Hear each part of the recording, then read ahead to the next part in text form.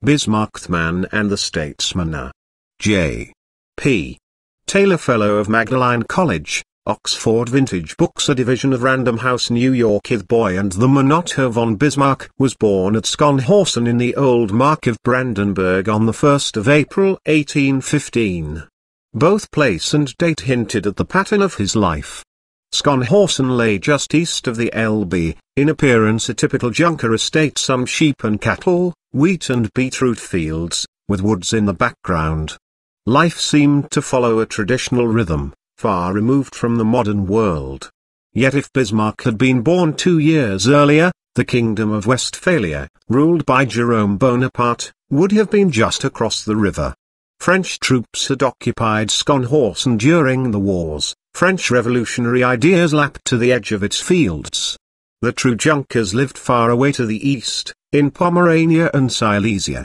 These Junkers were a Prussian speciality gentry proud of their birth, but working their estates themselves and often needing public employment to supplement their incomes. They looked with jealousy at the high aristocracy with its cosmopolitan culture and its monopoly of the greatest offices in the state. We may find a parallel in the English country gentry with their Tory prejudices and their endless feud against the Whig magnates, but the Junkers were nearer to the soil, often milking their own cows and selling their wool themselves at the nearest market, sometimes distinguished from the more prosperous peasant farmers only by their historic names. Schönhausen was an estate of this kind, but the winds of the modern world blew round it, Though Bismarck was born a couple of miles on the Junker side of the Elbe, he was always the Junker who looked across it sometimes with apprehension, sometimes with sympathy. The date of his birth was also significant. A fortnight earlier Napoleon had arrived in Paris for his last adventure of the Hundred Days. The old order had a narrow escape. Bismarck, despite his appearance of titanic calm, was always aware of the revolutionary tide that had threatened to engulf the antiquated life of Schönhausen. The kingdom of Prussia, of which he was a subject, had risen again into the ranks of the great powers, but it had been almost snuffed out by Napoleon. Her statesmen feared that the same fate might come again. It became their dogma, unless we grow greater we shall become less. This was no basis for a confident conservatism. The very geography of Schönhausen also shaped Bismarck's character and political outlook. It was unmistakably in North Germany, in a district entirely inhabited by Protestants. Bismarck never came to regard the South Germans as true Germans, particularly if they were Roman Catholics. Yet Schönhausen also lay far from the sea. Its inhabitants looked to Berlin as their metropolis, and the connection which Bismarck later established with Hamburg was always rather artificial. If Germany was to expand at all, he preferred that it should be overseas rather than down the Danube, yet both were alien to him. The eastern expansion of Prussia, which had shaped her history, was equally remote for him. Unlike the Junkers of Silesia or West Prussia, he never had a Pole among his peasants. The Poles whom he denounced from personal experience were educated revolutionaries, not workers on the land. It was because of them that Bismarck disliked intellectuals in politics. There was a similar contradiction in his family heritage. His father Ferdinand was a typical junker, sprung from a family as old as the Hohenzollerns a Suabian family no better than mine Bismarck once remarked. Schönhausen itself symbolized their humiliation, for they had received it as compensation for their original family estate, which a Hohenzollern elector had coveted and seized. The Bismarcks had done nothing to gain distinction during their long feudal obscurity. Ferdinand did not even exert himself to fight for his king. He left the Prussian army at 23, and missed both the disastrous Jena campaign in 1806 and the War of Liberation against Napoleon in 1813. The efficient management of his rambling estates was beyond him, and he drifted helplessly into economic difficulties. It needed a vivid imagination for the son to turn this easy-going, slow-witted man, with his enormous frame, into a hero, representing all that was best in Prussian tradition. Wilhelmine, the mother, was a different character.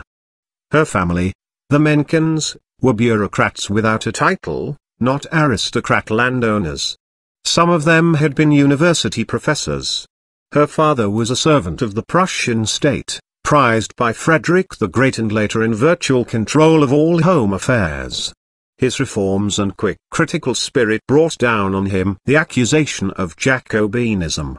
Wilhelmine was a town child, at home only in the drawing rooms of Berlin. She had a sharp, restless intellect, which roamed without system from Swedenborg to Mesmer. At one moment she would be discussing the latest works of political liberalism, at the next dabbling in spiritualist experiments.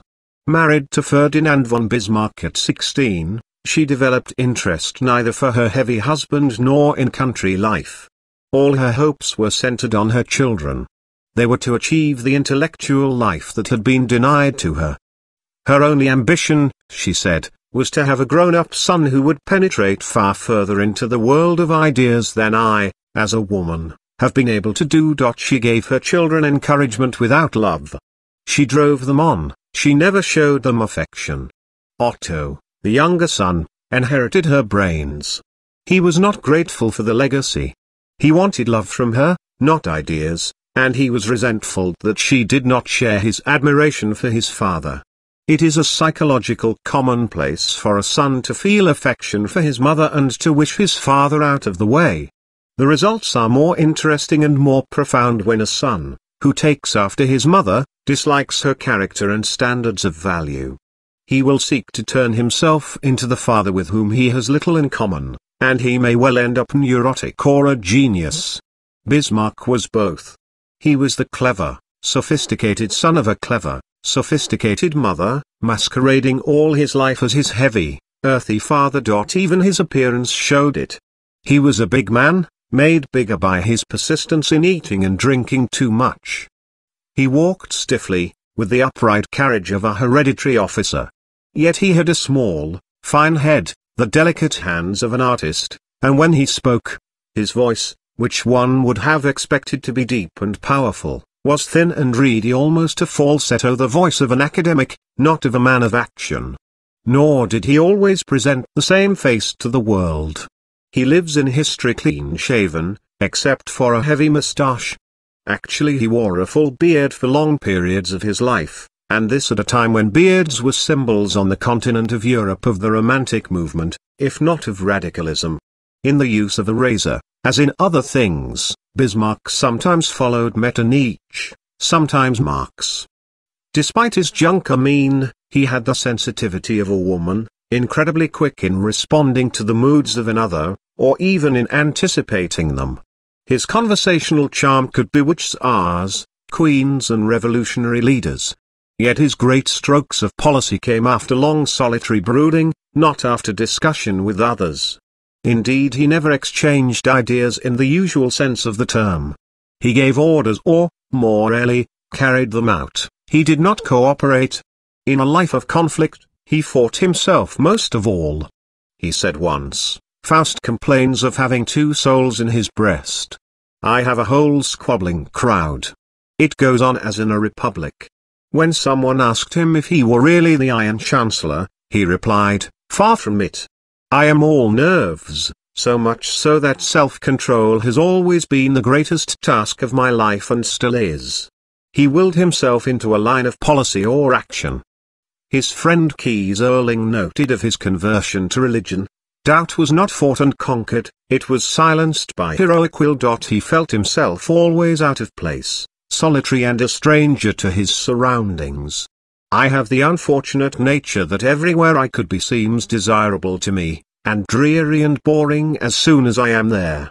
He loathed the intellectual circles of Berlin to which his mother introduced him, and in 1848 said to a liberal politician, I am a junker and mean to have the advantages of that position. But the years he spent as a junker, managing his estates, were the most miserable of his life, and when, as Chancellor, he retired to his beloved countryside, he was happy only so long as the state papers continued to pour in on him. He spent the 28 years of supreme power announcing his wish to relinquish it, Yet no man has left office with such ill grace or fought so unscrupulously to recover it. He despised writers and literary men, Yet only Luther and Goethe rank with him as masters of German prose. He found happiness only in his family, loved his wife, and gave to his children the affection that he had been denied by his mother.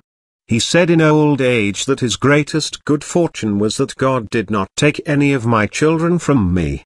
Yet he ruined the happiness of his adored elder son for the sake of a private feud, and thought nothing of spending a long holiday away from his wife in the company of a pretty girl. Indeed he was so self-centered that he boasted to his wife of the girl's charm and good looks. He claimed to serve sometimes the King of Prussia, sometimes Germany, sometimes God. All three were cloaks for his own will, and he turned against them ruthlessly when they did not serve his purpose. He could have said with Oliver Cromwell, whom he much resembled, He goeth furthest who knows not whither he is going. The young Junker had no vision that he would unify Germany on the basis of universal suffrage, and the maker of three wars did not expect to end as the great buttress of European peace. Bismarck was not brought up as a Junker, despite his constant assertions of this character in later life. The family moved soon after he was born to the smaller estate of Kniephof in Pomerania. Herodia was a smaller house with no architectural pretensions and hard practical farming. The Junkers, unlike the English gentry, did not live on rents. They worked the land themselves, and their peasants were, in reality, agricultural laborers, many of whom did not cultivate any land of their own. Bismarck experienced this idyllic existence only till he was seven. Then his mother set up house in Berlin, no doubt much to her own satisfaction, but ostensibly to send her sons to school in the capital. This exile from the country gave Bismarck lasting grievance against his mother. The education which she chose for him was another. A junker's son usually went into a cadet corps and, later, joined a cavalry regiment, even if he was not destined for a permanent military career. Wilhelmine, however, insisted that her children should have an intellectual education suited to the grandsons of the great Mencken, and Bismarck went to the best Berlin grammar school of the day where he mixed with the sons of middle-class families. His mother revived her connections with the court, and Bismarck led a privileged existence, mixing on intimate terms with the younger Hohenzollerns. This counted in his later career. Despite his sturdy affectation of independence, he was always inside the royal circle and was treated as one of the family. The spirit of the Enlightenment still dominated Prussian education, and Bismarck left school as a pantheist and if not as a republican, with the belief that a republic was the most reasonable form of state. His mother once more imposed her intellectual standards by sending him out of Prussia to the University of Göttingen in Hanover, the greatest liberal center of the day. Bismarck at first took a radical line, he defied university discipline both in behavior and ideas. What was more, he joined the Burschenschaft and students' unions which tried to keep alive the revolutionary spirit of the War of Liberation. He soon turned the other way. It was one thing to pose as a young radical in the court circles of Berlin, quite another to accept these ill-bred students from the middle class as his equals.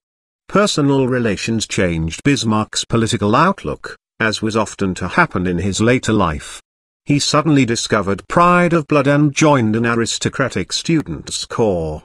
He still led a disorderly existence. He drank a great deal, had some passionate affairs, and, like the young Disraeli, wore fantastic and colorful clothes.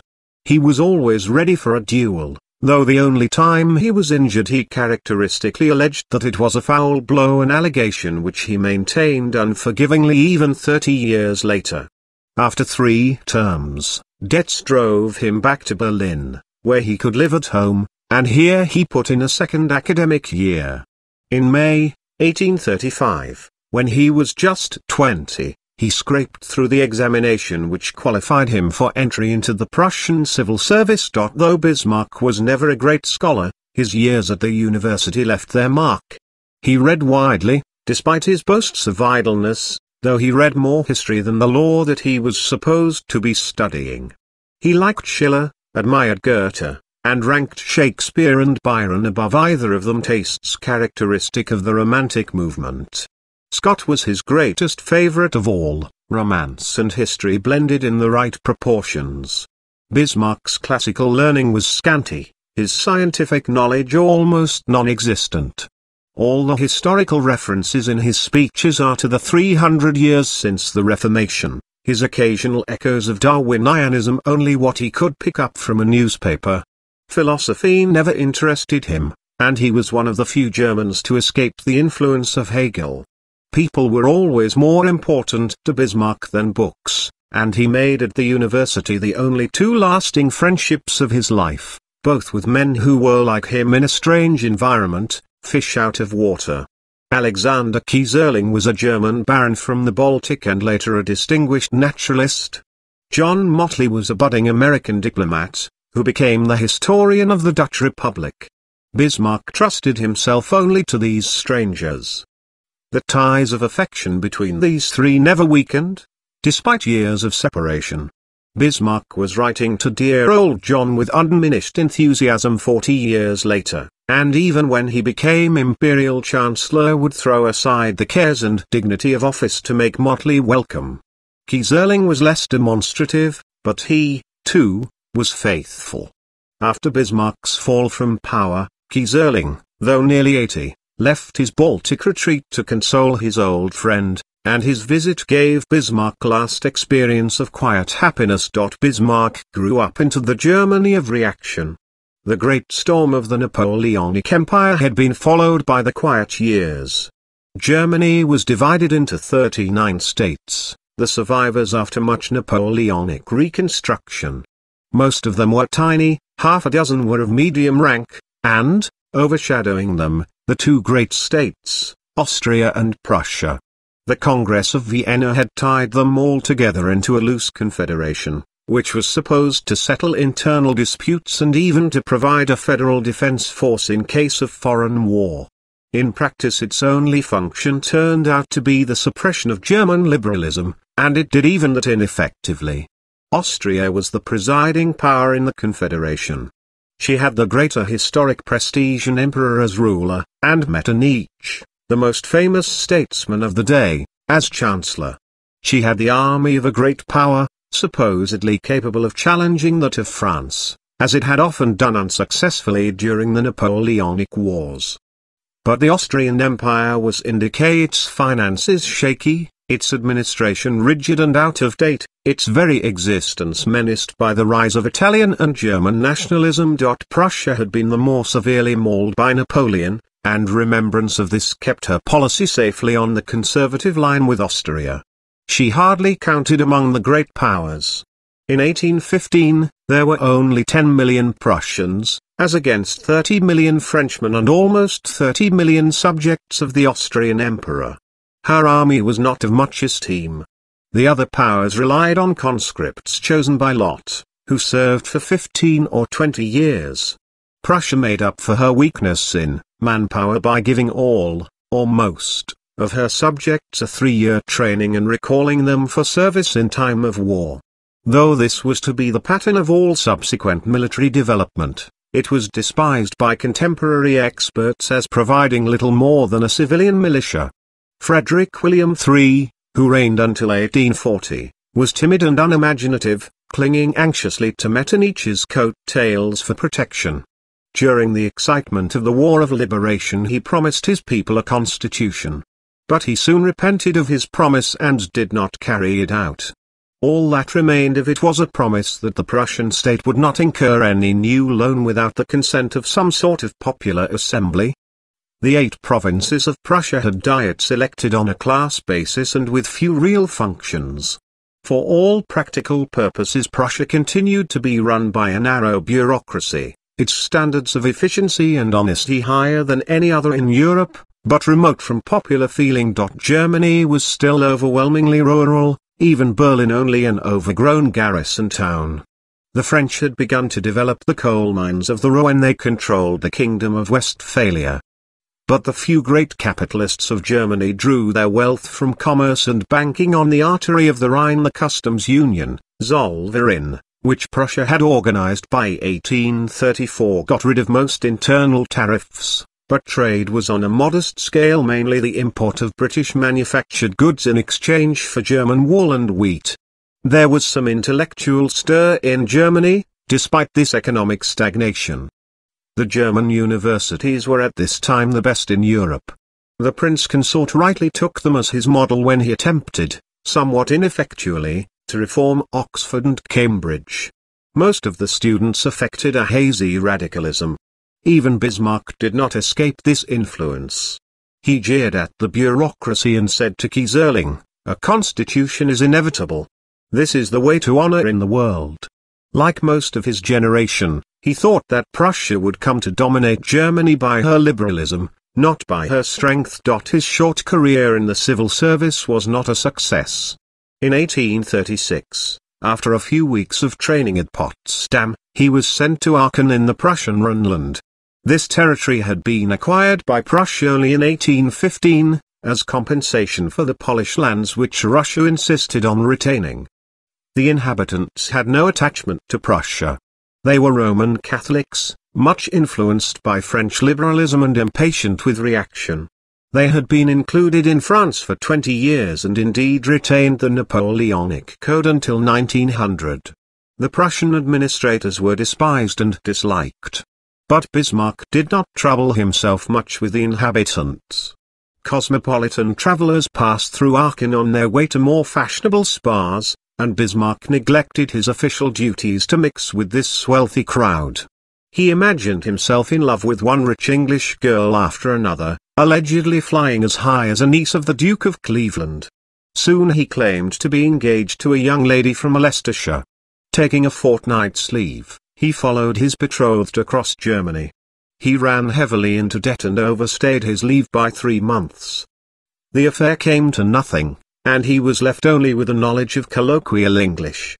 He was too proud to return to Aachen with a request for forgiveness. It is easy to guess what he would have said, as Chancellor, of a subordinate who slipped off in this way. Bismarck merely replied to complaints, he by no means intended to give the government an account of his personal relations. He found a simple means of evading Aachen. Prussians with a secondary education had to serve for a year in the army as officers, and Bismarck still had this hanging over him. He tried to escape by pleading a muscular weakness, I have told them I feel pain when I raise my right arm. The plea did not work, and Bismarck joined the garrison at Potsdam. He found it tedious and, ever having been to boarding school, railed fiercely against the hardships of life in barracks. Yet he led a privileged existence, constantly invited to the royal palace, where he strengthened his acquaintance with the crown prince soon to be Frederick William IV, and perfected the arts of a courtier. His only achievement in the field was to rescue a corporal who, had fallen into a ditch. He received a medal for life saving the only military decoration that he ever earned. His later admiration for the military virtues was certainly not based on personal experience or taste, and when his sons did their military service, he lamented their fate with civilian bitterness. In 1839, when his year of service was completed, he resigned from the Prussian bureaucracy. He found high grounds for his action. The Prussian official, he said, was only a member of an orchestra. But I will play music the way I like, or none at all. His ambition was to have the career of a statesman in a free constitution, such as Peel, O'Connell, Mirabeau, etc. A strange trio. Peel, seeking a compromise between the old England and the new, one can understand, even Mirabeau, struggling to create a strong constitutional monarchy in the storm of the French Revolution. But how did Bismarck hit on O'Connell, the radical tribune of Irish nationalism? Evidently principles did not matter to him. The important thing was to take part in energetic political movements. Bismarck was now 24, at a loss for a future. His mother died the same year, with her hopes for her son disappointed. The family fortunes had fallen into disorder through his father's incompetence and neglect. Bismarck and his elder brother established the old man at Schönhausen and took over the Pomeranian estates themselves. One here was the jungle life which had always been Bismarck's ideal, and he anticipated an idyllic existence.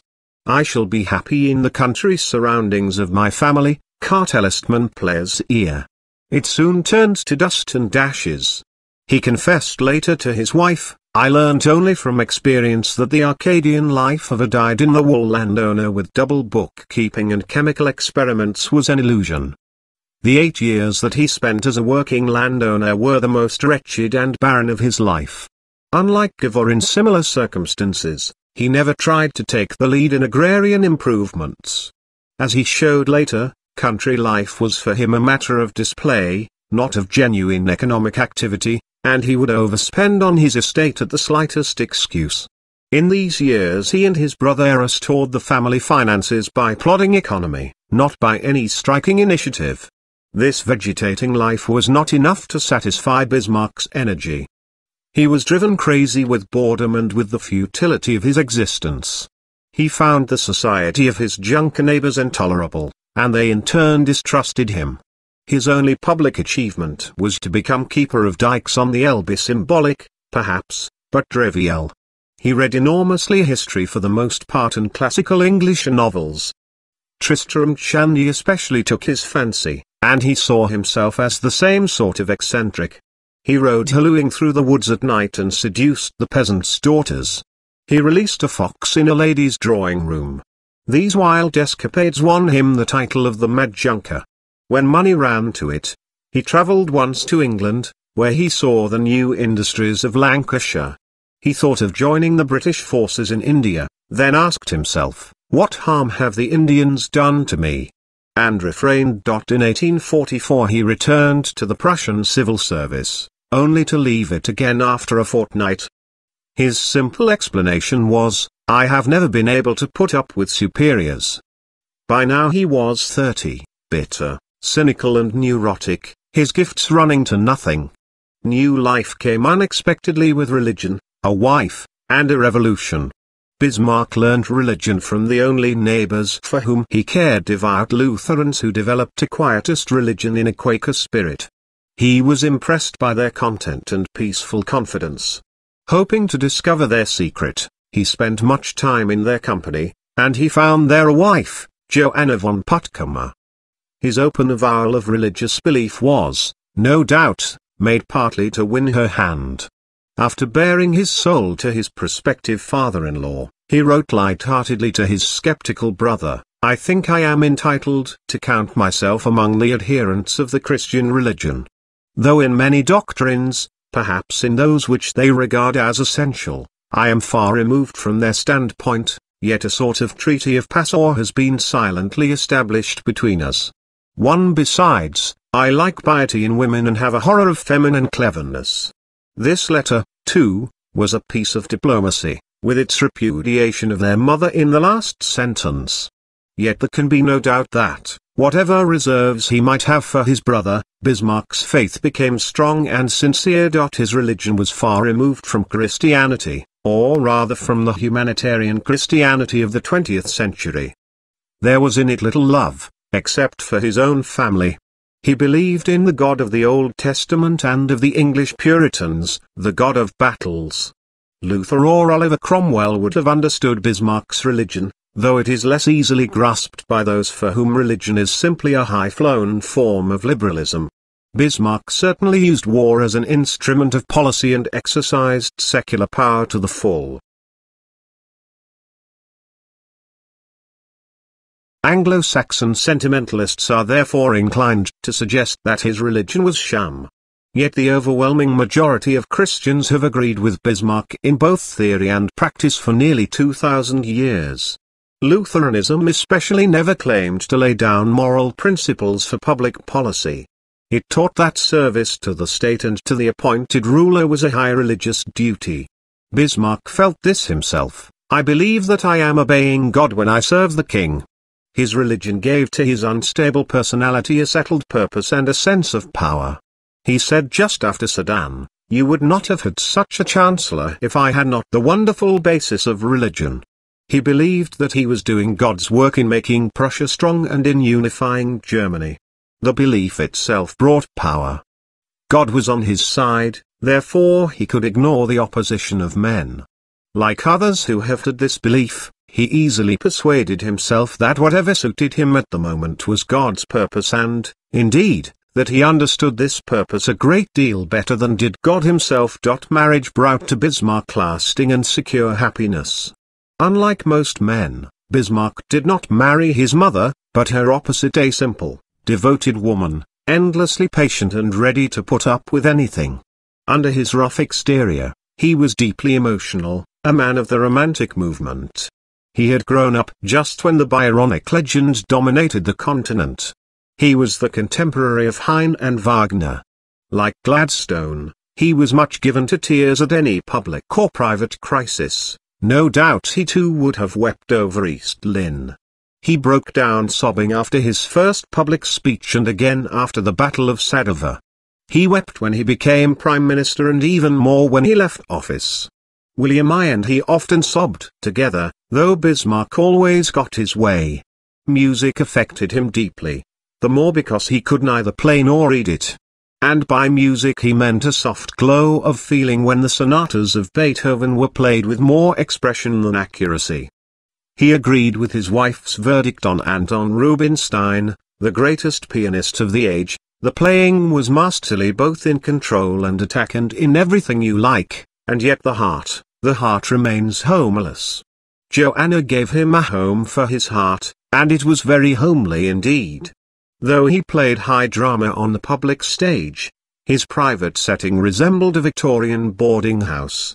Even in that tasteless age contemporaries commented on the banality of Bismarck's surroundings. When Bismarck proposed marriage to Johanna von Puttkamer, he supposed that he was offering her a life in the country.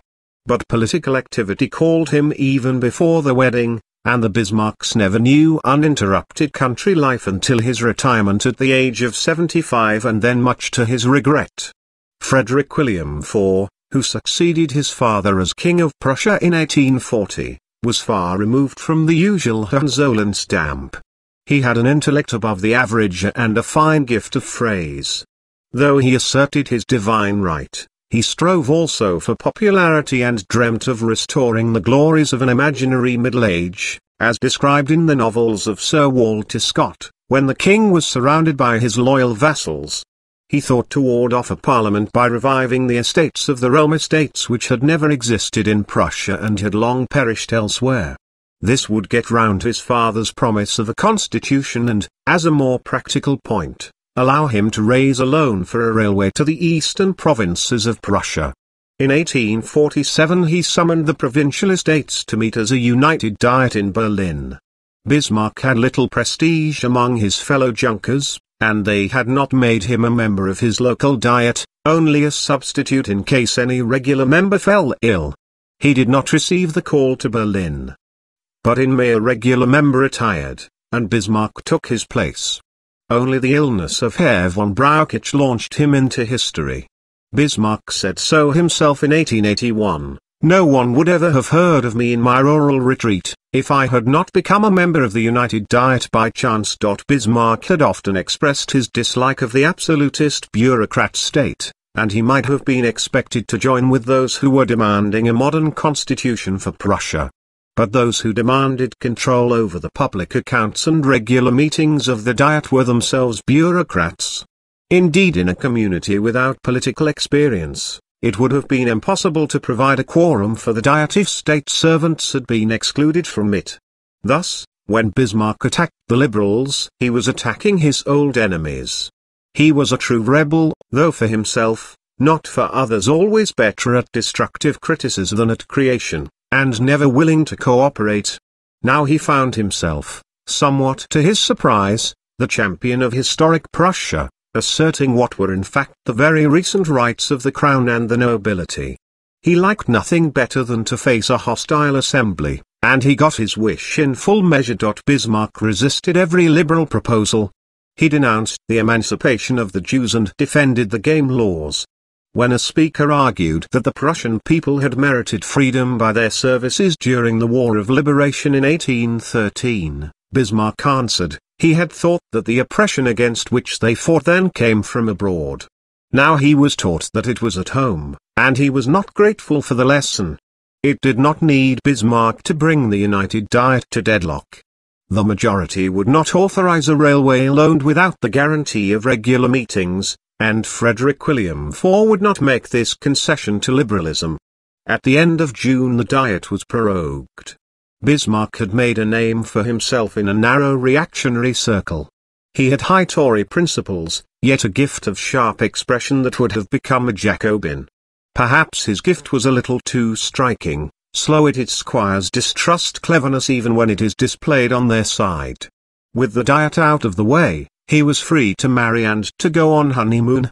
He met Frederick William IV at Venice and received the king's approval for his attitude at the diet. His future as a reactionary seemed secured but the old world of monarchy was coming to an end. The continent of Europe had recovered from the exhaustion of the Napoleonic Wars. Everywhere men wanted to take up the work of the French Revolution and to assert the ideals of individual and national freedom. The year of revolution was approaching. In January 1848, revolution stirred in Italy. On the 24th of February, the French monarchy was overthrown and a republic established in Paris. The revolution soon spread to Germany. A group of learned men called for a German national parliament. On the 13th of March Metternich, symbol of the old order, was overthrown in Vienna. Prussia was more stable than Austria, its army strong enough to put down any disorder. But Frederick William was not the man for a stern conflict with the revolution. Street fighting in Berlin soon made him lose his nerve. On the 18th of March he ordered the army to withdraw, announced that Prussia merges into Germany, and agreed to call a Prussian parliament. Bismarck's liberal enemies of 1847 had won. He himself was in the country when the revolution broke out. His first thought was to rescue the king with the aid of his faithful peasants. It was sentimental Jacobitism to suppose that untrained peasants could succeed where the army had failed. Bismarck hurried off to Potsdam and even entered Berlin, wearing a national cockade. He tried to persuade the commanding generals to stage a counter-revolution, but, as on many later occasions, the Prussian generals would not meddle in politics without an order from above. Each would act only if the other generals acted first. They were moved, but not to action, when Bismarck picked out the notes of a cavalry charge on the piano. Finally, he managed to see the king for a few minutes. The queen lamented that the king had been unable to sleep for three nights from worry. Bismarck answered, a king must be able to sleep. One in desperation he planned a reactionary stroke. Frederick William was childless, his brother William, Prince of Prussia, had gone into exile in England. Bismarck sought out Augusta, William's wife, and proposed that Frederick William should be pushed aside, William should renounce his rights, and their young son should be put on the throne as the figurehead of reaction. A similar maneuver made Francis Joseph Emperor of Austria in December. In March it was too early, and Augusta in any case too loyal both to her husband and to her brother-in-law. She rejected the idea indignantly and harbored a lasting resentment against Bismarck which was to hamper him throughout his career. To there seemed nothing to be done. Liberalism was in the ascendant. A German National Assembly and a Prussian Parliament were elected both by universal suffrage, and the electors did not choose Bismarck for either. As a gesture underscore one but did he really say it? In the first draft of his recollections, the remark appears as, a king ought not sleep. Perhaps the whole dialogue only occurred to him some 40 years later. 2 here again Bismarck improved on reality when he came to write his recollections. According to him, Augusta proposed putting her son on the throne with herself as regent, and he loyally defeated the proposal. But the contemporary record is against him. Of defiance against the revolution, he began to sign himself von Bismarck for the first time. This was his only concrete achievement during the revolutionary year. Throughout the summer he drifted round Berlin, attempting to organize the Prussian conservatives and engaging in futile court intrigue. In the autumn Frederick William plucked up courage. He ordered the army to reoccupy Berlin and dissolved the radical parliament. But he did not intend to restore absolutism. He issued a constitution which provided for a parliament with more restricted powers. The electorate was also limited, and the elections were made indirect. The primary electors did not choose their representative, but only an electoral committee. This gave Bismarck his chance. He was elected to the new parliament by 152 votes of the committee against 144. He was still hostile to Frederick William's attempts at compromise. Later on, he claimed to have acted as a secret advisor informing the conservative ministry. The king's real opinion of him was expressed in the comment, red reactionary, smells of blood, only to be used when the bayonet rules. Frederick William kept up an appearance of liberalism in the hope of leading the movement for German unity. He was always a German nationalist, though he learned his nationalism from the Romantic movement and not from the French Revolution. Here, too, Bismarck was hostile. He was, he said, a decided opponent of the German swindle in every form and believed only in the specifically Prussian. He denounced the attempt to force on Prussia the role which Sardinia had played in Italy. Instead he wanted a conflict between authority by the grace of God and revolution and popular sovereignty. Frederick William hoped to reconcile the two. While the revolution was at its height, the National Assembly at Frankfurt had tried to create a united German state which would include also the German provinces of Austria. At the end of 1848 reaction triumphed in Vienna, and Felix Schwarzenberg, the Austrian prime minister, would have nothing to do with German nationalism.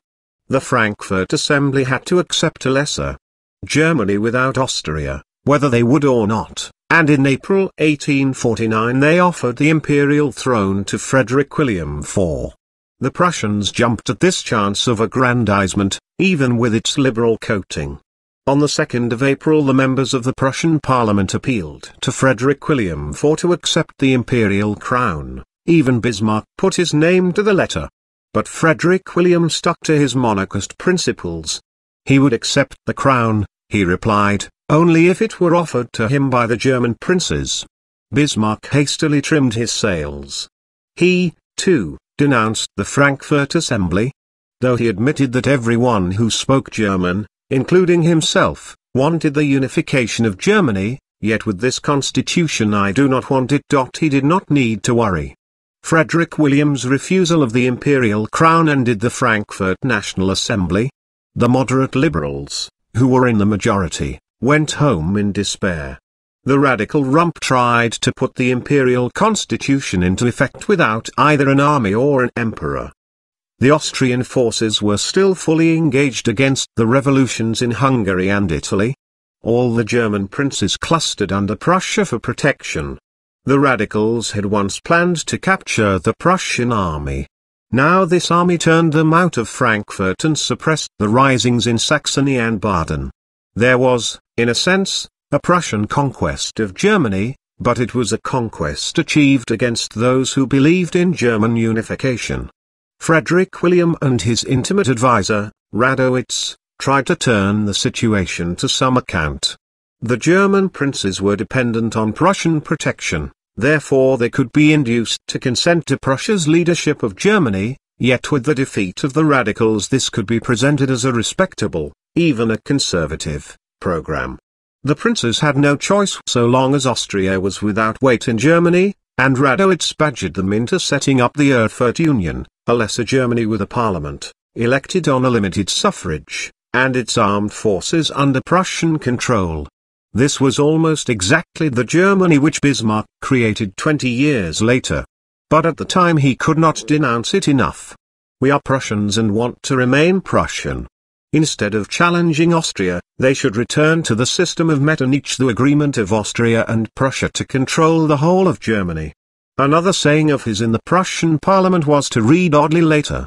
Opposing civil marriage, he declared, I hope to see the ship of fools of the age wrecked on the rock of the Christian church. He was always ready to challenge the liberal politicians with some provocative phrase. Yet in 1849 he took a step on the road to professional politics and away from a quiet junker life. He farmed out the lands at Schönhausen which had come to him on the death of his father in 1845 and rented a house in Berlin. The Parliament of the Erfurt Union actually met in April 1850. The liberals from the Frankfurt Assembly were in the majority and Bismarck protested against everything as usual. But the struggle for mastery in Germany had still to be fought. The Austrian Empire had recovered its strength. Italy and Hungary were subdued, and despotic Austria enjoyed the favor of the Tsar. Schwarzenberg was determined to reassert Austria's preeminence in Germany. He revived the Diet of the old confederation which had fallen into oblivion at the beginning of the revolution, and looked round for a conflict. He soon found one. The Elector of Hesse, once a member of the Erfurt Union, was at odds with his subjects. He appealed to the Confederation to restore order, and the Diet authorized Austrian and Bavarian troops to intervene. This was a vital challenge to Prussia. For, apart from the question of the Union, the Prussian military road which joined the Rhineland to Brandenburg ran through Hesse. Frederick William was at first all for resistance. Radowitz was made foreign minister, and preparations were made to mobilize the Prussian army. Shots were exchanged between Austrian and Prussian soldiers for the first time since 1778. The king's conservative advisers soon revolted. They shrank from a war in which they would have to call on revolutionary France and even on Sardinia against the two legitimist powers, Austria and Russia. The Minister of War discovered that the army was not prepared for war, and Bismarck, as a lieutenant of the reserve, felt it his duty not to raise his voice against a general. Radowitz resigned, and his successor, Manteuffel, met Schwarzenberg at Olomouc, Olmutz. He agreed to disband the Erfurt Union and to join in restoring the old confederation. The course of Prussian aggrandizement was temporarily arrested. Even the most conservative felt the shame of Olomouc. When Manteuffel came to defend it in Parliament, he said ruefully, the efforts of Prussia have not been crowned with success. There is always something sad in the failure of a policy. Bismarck had no such regrets. He alone defended the settlement of Olomouc without reserve. He repudiated the notion that Prussia should play the Don Quixote for offended parliamentary celebrities. The Erfurt Union would not have united Germany. It would have made us shoot and kill our German fellow countrymen in the south, and he praised Austria as a German power which had the good fortune to rule over foreign races. Bismarck regarded Olomouc as a decisive defeat for the revolution of 1848. Liberal dreams of German unity had been shattered, and the conservative system of Metternich had been restored. Historic right had triumphed over national freedom. Yet at heart Bismarck had no sympathy with this outlook. When one of his conservative friends said that Austria had right on her side, he answered, I don't recognize any right in foreign policy. And he said in his parliamentary speech, the only healthy foundation for a great state is egoism, not romanticism, and it is unworthy of a great state to dispute over something which does not concern its own interest. There was no doubt a case to be made against Radowitz and the policy of the Erfurt Union. Prussia lacked allies, the Tsar would perhaps have supported Austria, the German liberals were strong only in words, the Prussian army was inadequate, 1 Yet, reviewing Bismarck's arguments, it is difficult to resist the impression that the policy of uniting the Lesser Germany without Austria had one overriding fault in his eyes, it was being conducted by Radowitz, instead of by Bismarck. He declared in words worthy of John Bright, to the statesman, who at this time does not seek a cause for war which will still be valid after the war. Will you have the courage then to go to the peasant in the ashes of his cottage, to the cripple, to the childless father, and to say, You have suffered much, but rejoice with us, the Constitution of the Union is saved. Powerful rhetoric. But could not a critic have said the same of the wars which Bismarck conducted in 1866 and 1870? Yet Bismarck was not insincere. Like many great men before they find their vocation, he specialized in denunciation and harsh invective. The elder Pitt confessed late in life the injustice of the attacks on Walpole by which he made his name, Mussolini, who opposed the Italian conquest of Libya in 1911, himself conquered Abyssinia in 1935. Lloyd George, the pro-Boer of one war, was the man who won the war of the next, and Stalin rejoiced in, 1945 at having revenged the Tsar's defeat in what he had once called the criminal Russo-Japanese War. Men see things very differently when they are themselves in power. Underscore 1 This opinion was not held by all good judges. The Prussian Minister of War opposed the war on principle and therefore found technical arguments against it, as soldiers can always do. But Prince William, who was somewhat of an authority, believed that the army could defeat Austria, and the Russian general Paskevich, who had seen the Austrian army in action in Hungary, thought that Prussia could take on both Austria and such Russian forces as could be spared for a war in Germany. 2 The parallel is closer than either man would have liked. During the Crimean War, Bright denounced the quixotic idea of Lord John Russell that Great Britain should defend the liberties of Germany, what a notion a man must have of the duties of the people living in these islands if he thinks that the sacred treasure of the bravery, resolution, and unfaltering courage of the people of England is to be squandered in a contest for the preservation of the independence of Germany, and of the integrity, civilization, and something else, of all Europe. It did not yet occur to Bismarck that he would ever attain power. After Olomouc he remained the provocative and irresponsible critic, his last words in Parliament as a private member were thoroughly in character, be sure, gentlemen, that we shall know how to make the name of Junker honoured and respected. When Parliament adjourned, he puzzled for some means of adding to his income, in order to support his growing family a son and a daughter, with another son born in 1852. He even thought of returning to the state service which he had given up so emphatically twelve years before opportunity came unexpectedly.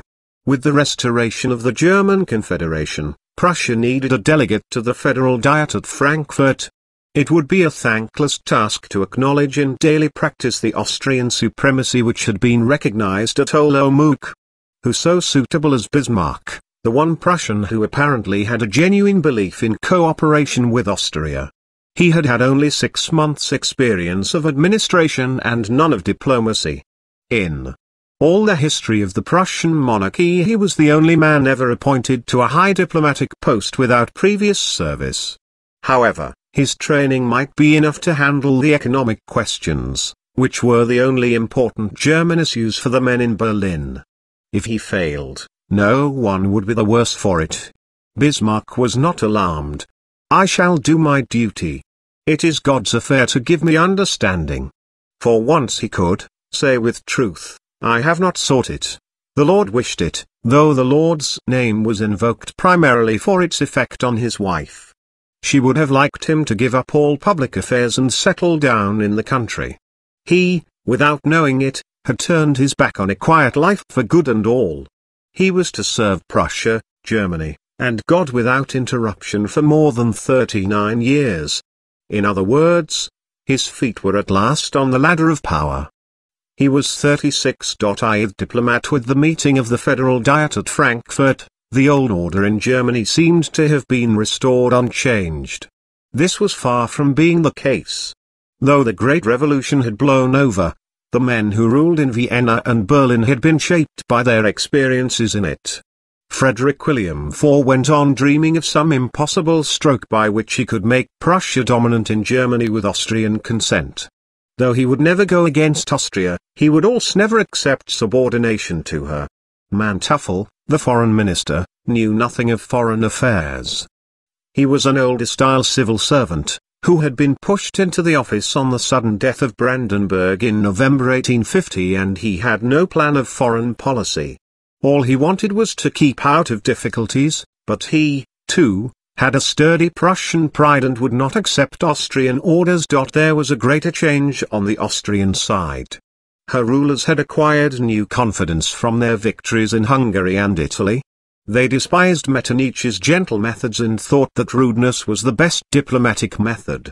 Schwarzenberg, who directed Austrian policy until his sudden death in 1852, planned to include the entire Habsburg monarchy in the German Confederation and a conference to achieve this was held at Dresden early in 1851.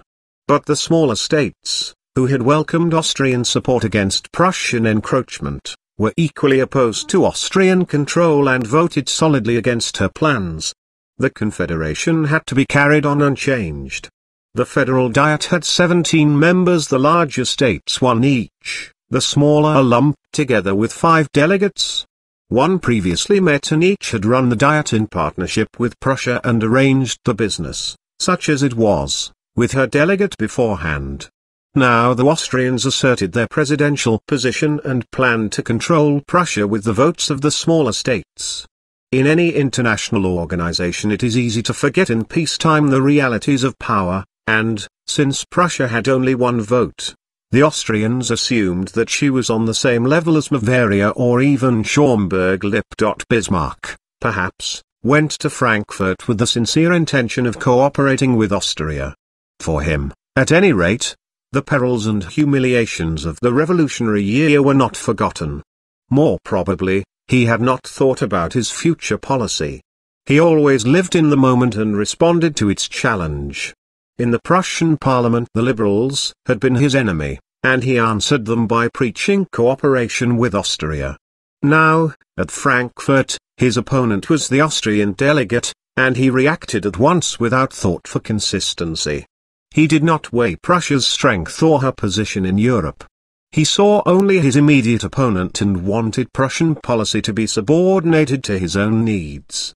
He was always quick to take offense personally, and Austria's airs as the presiding power were enough to offend a less sensitive man. The Austrian delegate ranged the business and often settled matters without consulting his colleagues. Bismarck insisted, like the Russians at the United Nations, on knowing every detail. A trivial gesture announced the coming struggle for mastery in Germany. Only the Austrian delegate smoked at meetings. Bismarck pulled out a cigar and asked the Austrian for a match. His act showed that he was a man of a new sort. Previous Prussian delegates had been high aristocrats and, like all the men of the old order, non-smokers. Only Austrian aristocrats smoked a habit they acquired when they inherited the tobacco monopoly from Napoleon in Lombardy. Bismarck had learned to smoke from the radical students whom he otherwise despised, and his cigar was a reminder that he really belonged to the world of the Burschenschaft despite his affectation of sympathy with the principles of Metternich.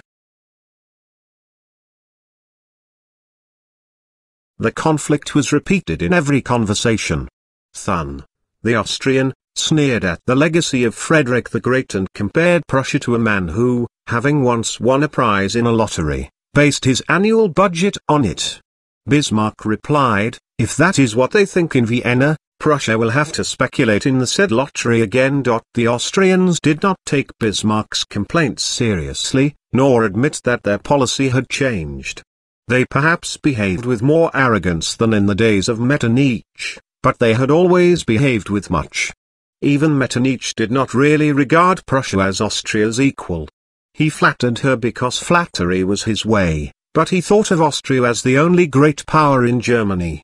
Bismarck unconsciously confessed that the change originated in himself, not in the Austrians. He wrote in February 1852, since the month of September of last year, Austria has abandoned the ground on which we used to meet. But nothing had happened in September 1851 so far as Austria was concerned. The only significance of the date was that Bismarck then received official confirmation of his appointment as Prussian representative. Once more he changed his policy simply because of his personal feelings. He had advocated cooperation with Austria when he was attacking Radowitz. He swung over to Radowitz's program of a lesser Germany when he felt that the Austrian representative was not treating him as a social equal, and this personal resentment was at once translated into high-flown political terms. I conceived the idea of withdrawing Germany from Austrian control, at least that part of Germany united by its spirit, its religion, its character and its interests to the destinies of Prussia Northern Germany. He made no pretense as yet that this was what the Germans wanted. He admitted frankly that the best thing for the Confederation would undoubtedly be to put ourselves and all German governments under Austria militarily, politically and economically. But advantage for the Confederation cannot be the guiding line of Prussian policy. His aim, in fact, was to divide Germany with Austria, not to unite it. The conflict on which he set out could not be settled by votes at the Frankfurt Diet. The smaller states, with no real strength of their own, went with Prussia against any Austrian attempt to unify Germany. They swung round just as much to the Austrian side if Prussia made any positive proposals. Bismarck wrote to Berlin, only outside Germany can we find the means to strengthen our position in the interest of Germany itself. He had no faith in public opinion or in liberal support. Foreign alliances, not an appeal to German feeling, would solve the German question. Hence Bismarck concentrated on European diplomacy, not on the intricacies of federal politics. His guiding principle was the aggrandizement of Prussia according to the principles of Frederick the Great, and he acknowledged loyalty neither to legitimacy nor to German nationalism. He never acted as a traditional ambassador, carrying out the instructions of his government.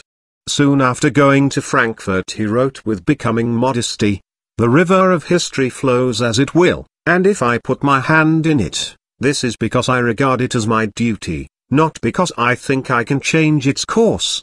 In reality he soon set out to devise the policy which his government ought to follow. After all, he had no experience of the diplomatic service until he stepped into the highest rank, and he never troubled to learn the trade. His notes of conversations with others were unsatisfactory all his life on a technical standard invaluable for revealing the current of Bismarck's own thought, unreliable as a record of the other man's point of view. His reports from Frankfurt carried this to extremes. He never troubled to report what was going on there or what the other representatives said. His sole concern was advocacy. He preached to Frederick William IV and to Manteuffel the policy which seemed to him right and criticized them when they rejected it. A Prussian diplomat who behaved like this when Bismarck was in power would soon have run into trouble.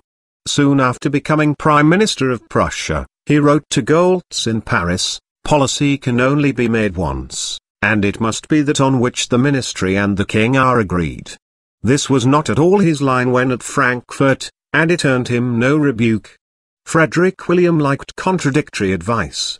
Manteuffel preached timid inaction, Gerlach, his unofficial adviser, upheld legitimism and a struggle against the revolution. Bismarck wanted conflict with Austria, and Bunsen, the king's closest friend, advocated from London a liberal alliance with Great Britain. Frederick William dodged among them all, appreciating their ideas without following them. He commented on one of Bismarck's reports, a masterpiece of its kind, though he did not accept its proposals. Bismarck, while ostensibly loyal, was driven to exasperation by his elusive master, and, when written argument failed, would hurry to Berlin in the hope that personal persuasion might succeed. In his own words, he went from Frankfurt to Berlin like the pendulum of a clock an early instance of the changes brought to diplomacy by the railway train. But, unfortunately for Bismarck, not all his efforts could make the clock strike. Bismarck scored an early success against Austria negative, but decisive. The great Prussian advance of the quiet years had been the building of a German customs union, the Zollverein. This included nearly all the German states except Austria, and it inevitably turned German trade from the Danube Valley to the ports of the North Sea. Metternich had foreseen the political weakening of Austria that must follow, but he could do nothing so long as the Austrian Empire was itself divided by a separate tariff barrier with Hungary. This barrier was swept away in 1850 after the revolution, and the Austrian government now asked to be included in the Zollverein. The demand was justified if the policy of Olomouc had any real meaning. Bismarck took the lead against it. He went on a special mission to Vienna, gave the Austrians many soft words, but held out on the essential point. It was fortunate for him that Schwarzenberg died suddenly just when the negotiations began. Buol the new Austrian foreign minister, had less grasp of affairs, sharp, but neither broad nor deep was Metternich's description of him. Austria was bought off with a post-dated check. Zollverein was maintained unchanged, but the inclusion of Austria was to be considered again when it next came up for renewal in 1863. By then Bismarck had the decision in his own hands. He did not appreciate the full importance of the decision at the time, nor perhaps even later. He considered the German question in political and, to some extent, in military terms. Yet the economic division was the greatest of all. Germany of the Zollverein, which was later Bismarck's Reich, became an economic power of the first order as the coal mines of the Ruhr expanded, Austria remained, relatively backward. Two Germanys would have come into existence, even if Bismarck had never been born though their political character might have been different. Bismarck at Frankfurt was absorbed in grand policy, not in economic questions. He recognized that he was on the way to becoming a professional diplomat and in 1852 did not seek re-election to the lower chamber. Though he was given a seat in the upper house, he never spoke there. Indeed, he never spoke again in the Prussian parliament except from the bench of ministers. It was a grave handicap to him later that he had experience of parliament only as a factious critic and none of working with a political group. At Frankfurt, too, he fought very much for his own hand. There was not much sense in his endless petty quarrels with the Austrian delegate so long as Prussia and Austria were forced together by the international situation. European politics seemed to have reverted to a fixed system after the upheavals of 1848. On the one side was revolutionary France, now under Napoleon III, on the other the conservative alliance of Russia, Austria, and Prussia, the three northern courts. This conservative union had forced Prussia to accept the agreement of Olomouc, and she had no freedom of movement so long as Russia and Austria held together. In 1853 this rigidity was dissolved. A conflict started in the Near East, first between Russia and France, soon between Russia and the two Western powers, France and England. The Tsar assumed that Austria and Prussia would support him unquestioningly for the sake of the Holy Alliance. Both failed him. Austria wished to maintain the integrity of the Ottoman Empire and to keep the mouth of the Danube out of Russian hands. Indeed, she wanted Russia to be defeated, though without bearing the risks or the blame herself. Prussia, alone of the powers, had no stake in the Near East. She was concerned neither to defend Russian claims in the Near East nor to thwart them. The Holy Alliance had been all very well so long as it implied Russian aid to Prussia against a possible French threat on the Rhine. It became a danger if it made Prussia face a war against the Western powers for the sake of Russian interests in the Near East.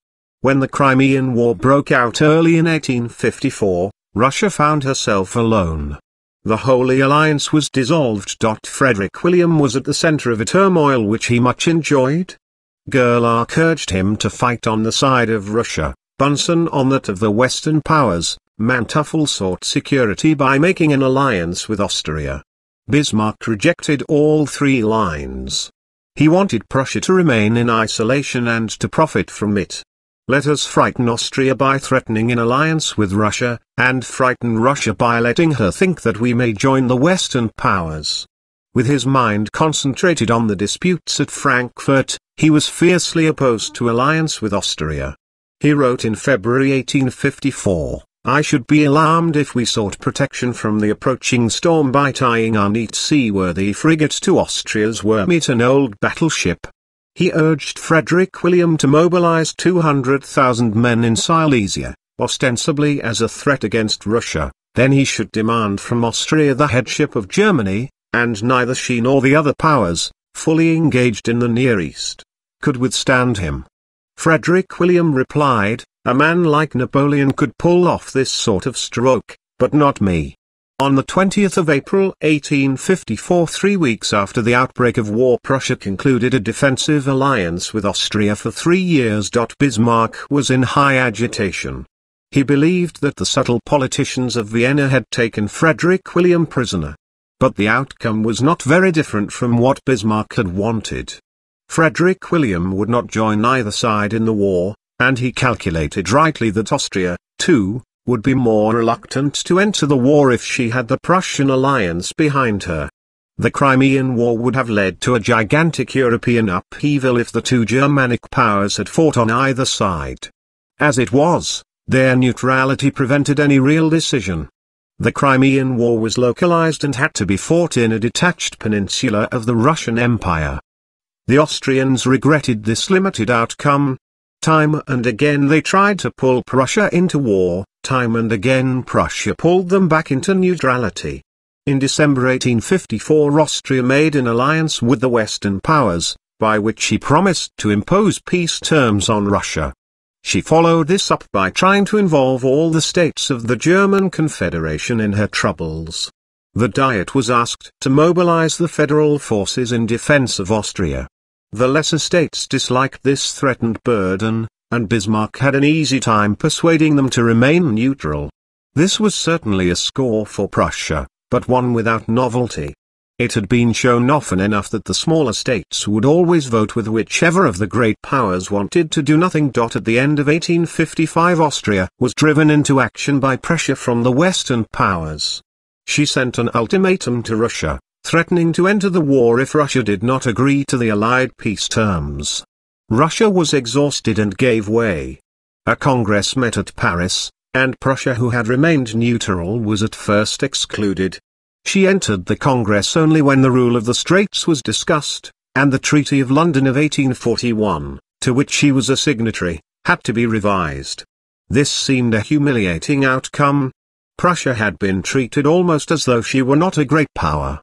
This appearance was deceptive. Russia was grateful for Prussia's neutrality, which had given her security in Poland, the Western powers soon forgot their resentment.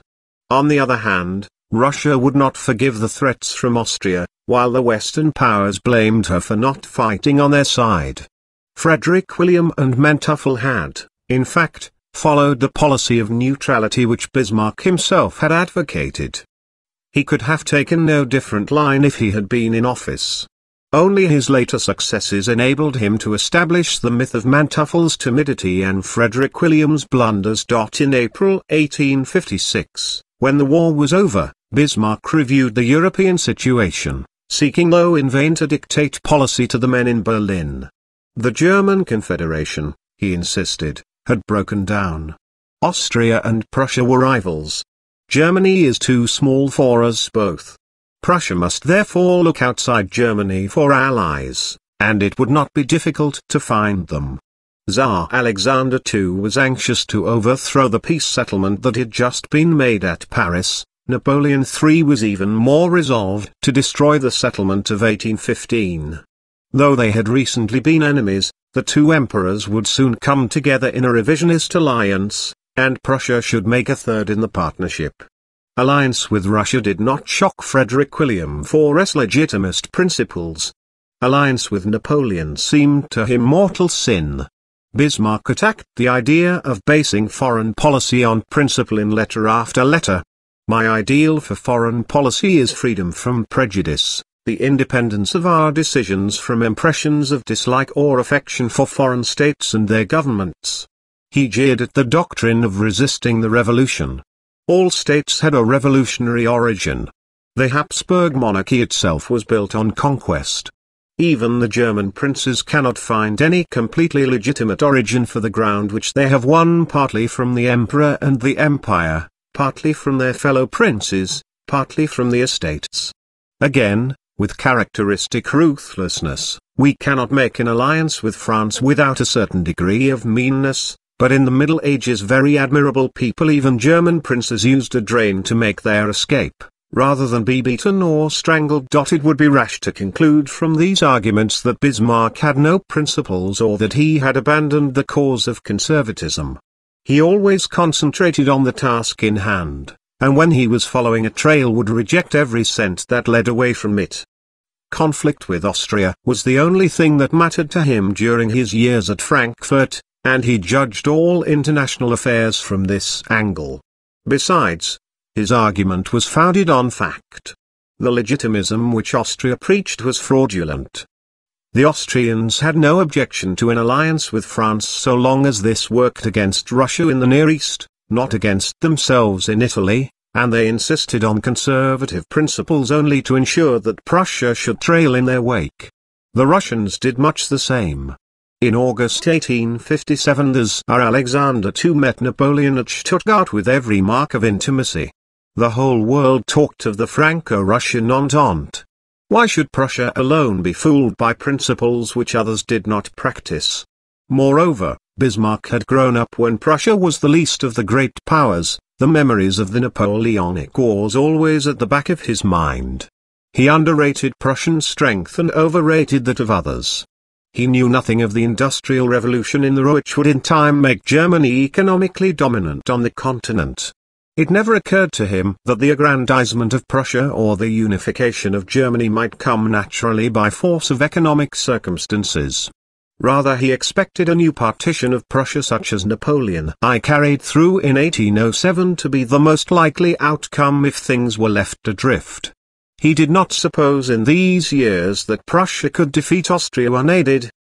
What he counted on was a war of Russia and France against Austria in which Prussia would make easy gains. Prussia had nothing to lose by such a war. It would not matter to her if Russia controlled the straits and the mouth of the Danube. In 1857 Bismarck visited Paris and discovered Napoleon's aims. Napoleon had little interest in expansion on the Rhine. He wanted to expel Austria from Italy and to make the Mediterranean a French lake or very nearly. These ambitions, too, did not conflict with Prussia's interests, however much they might injure Austria or Great Britain. On the contrary, Napoleon was prepared to offer Hanover and Schleswig-Holstein to Prussia in return for her neutrality. It was a reasonable speculation that Prussia could achieve the mastery of northern Germany as reward for assisting a Franco-Russian revision of the map of Europe, or perhaps even for tolerating it. The two emperors, Alexander and Napoleon, seemed to dominate Europe already, despite the Crimean War. Bismarck thought that he was going with the tide. But in 1858 the tide turned against him so far as Prussia was concerned. Frederick William had always listened fascinated to Bismarck's ideas and, with his incurably speculative mind, might ultimately have been one for them. In 1858 he fell hopelessly insane, and his brother William became regent. William was a simpler and less intelligent man than his brother, with some understanding only in military matters. Frederick William once said, If we had been born as sons of a petty official, I should have become an architect. William Annunzio one though reputed a reactionary in 1848, William had none of his brother's high-flown conservatism. In 1854 he had wished to go to war with Russia on the side of the Western powers. Now he thought it his duty, as a good German, to cooperate with Austria, especially in the defense of her lands in Italy. At home, he intended to give Prussia a more liberal government and so to make her more popular in Germany, he planned a policy of moral conquests. He dismissed P and opened the new era by appointing a liberal ministry. Bismarck's career seemed to be ended. He could not work with Austria at Frankfurt. He was equally unwilling to return to Berlin as a liberal minister. William regarded him as a wild reactionary. Augusta, the regent's wife, had a deep-seated hostility to him and, at this time, held her husband firmly against him. Schleinitz, the new foreign minister, had been nominated by Augusta and shared her outlook. Still, Bismarck could not be turned loose. He was consoled early in 1859 by being made Prussian minister to St. Petersburg. His final gesture of contempt was to leave the Diet without the customary formalities of farewell. On his way through Berlin, he said to a liberal politician, the only reliable ally for Prussia is the German people. St. Petersburg was poor consolation for Frankfurt. At Frankfurt Bismarck had been fighting a diplomatic campaign against Austria, not unsuccessfully, and he had always had the illusory hope that one day his arguments would impress Frederick William. Moreover, he had enjoyed the life. Frankfurt was the nearest thing to an international capital that Germany possessed, and Bismarck liked clever company whatever his Junker affectations. He had always been exuberantly well, despite his energetic way of living. He smoked Havana cigars from morning to night, drank much black velvet the mixture of stout and champagne which he invented, rode in the woods and swam in the Rhine, wrote endless reports. Yet never a day's sickness. At St. Petersburg he was, in his own words, put on ice. There was, as yet, no through railway, and the journey to Berlin took five days. He could no longer argue with the regent and the ministers in person, and he was removed from events while they pursued a German policy of supporting Austria. He tried to console himself by reflecting on the triviality of all human affairs. Peoples and men, folly and wisdom, war and peace, come and go like waves and the sea remains. Our states and their power and honor are nothing to God but ant heaps and beehives, which are trampled by an ox's hoof snatched by fate in the shape of a honey-gatherer. These reflections did not restore his peace of mind. He fell desperately ill of a nervous complaint, sure sign of strain and frustration that was often to be repeated. Characteristically, he attributed his illness to poison from an incompetent doctor, whom he imagined to be in Austrian pay, and he refused to convalesce at Karlsbad for fear of further Austrian tricks. He disliked the damp gloom of St. Petersburg, particularly as the Prussian minister was more poorly paid than other diplomatic representatives and could not hold his own with the Russian aristocracy. Bismarck always worried about his private finances, and never more than at St. Petersburg. Yet curiously enough the years that did not turn him into an enemy of Russia. This was a unique exception. The Frankfurt Diet had made him hate Austria and despise the smaller states. A fortnight in Paris was enough to produce revulsion against the modern Babylon, and he never developed any affection for Napoleon III, despite their intimacy. He said himself that England was the only foreign country for which he cared. But this was romantic humbug, an imaginary longing for the old England of roast beef and Burke's classical constitution. Bismarck regarded the contemporary British statesman with special hostility. Yet Russian arrogance did not offend him. He was flattered by attentions from the imperial family, and at this time even got on well with Gorchakov, the foreign minister. He learnt Russian and grew so fond of it that he used it to record his most private thoughts. He even claimed to like the Russian people. Perhaps there was some deep psychological link. The Russians, despite their emotional instability, present to the outer world a stolid resolution, which may be peculiarly satisfying to neurotic Germans. Or perhaps it was simply a political calculation. Bismarck regarded the Polish lands as essential to Prussian power and knew that they were secure only so long as Prussia and Russia were on good terms. At any rate, the fact is inescapable. St. Petersburg was the only capital which Bismarck left without hating it and without resolving to be revenged for his humiliations. He made a good impression on his side. Alexander II even offered him a high post in the Russian diplomatic service.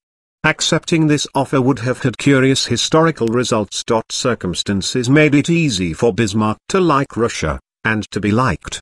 He never had to dispute with the Russian government. He was too busy disputing with his own. Relations between Prussia and Austria reached a crisis just when Bismarck went to St. Petersburg. In January 1859 France and Sardinia made a secret alliance to liberate northern Italy from Austrian rule. In April Austria was provoked into launching war against them. German feeling was deeply disturbed all the traditions of German nationalism were bound up with the war of liberation against Napoleon, and many Germans drew an analogy between the present war and the Italian campaigns of Bonaparte which had paved the way for his conquest of Germany. The regent William had himself fought as a boy in 1813 and thought that those great days had come again. Even Moltke, chief of the Prussian General Staff, wrote, The next French step will be against Prussia, just as the campaign of 1806 followed that of 1805. Prussia, it seemed, must go to the aid of Austria if she were to remain popular in Germany, and those Prussians who were indifferent to German opinion advocated the same course for reasons of self-preservation. Only Bismarck opposed this course. He wanted to seize supremacy in northern Germany, while Austria was busy in Italy. He wrote on the 5th of May, the great chance has come for us again, if we let Austria get embedded in war with France and then march south, setting up the Prussian frontiposts either on Lake Constance or where Protestantism ceases to predominate.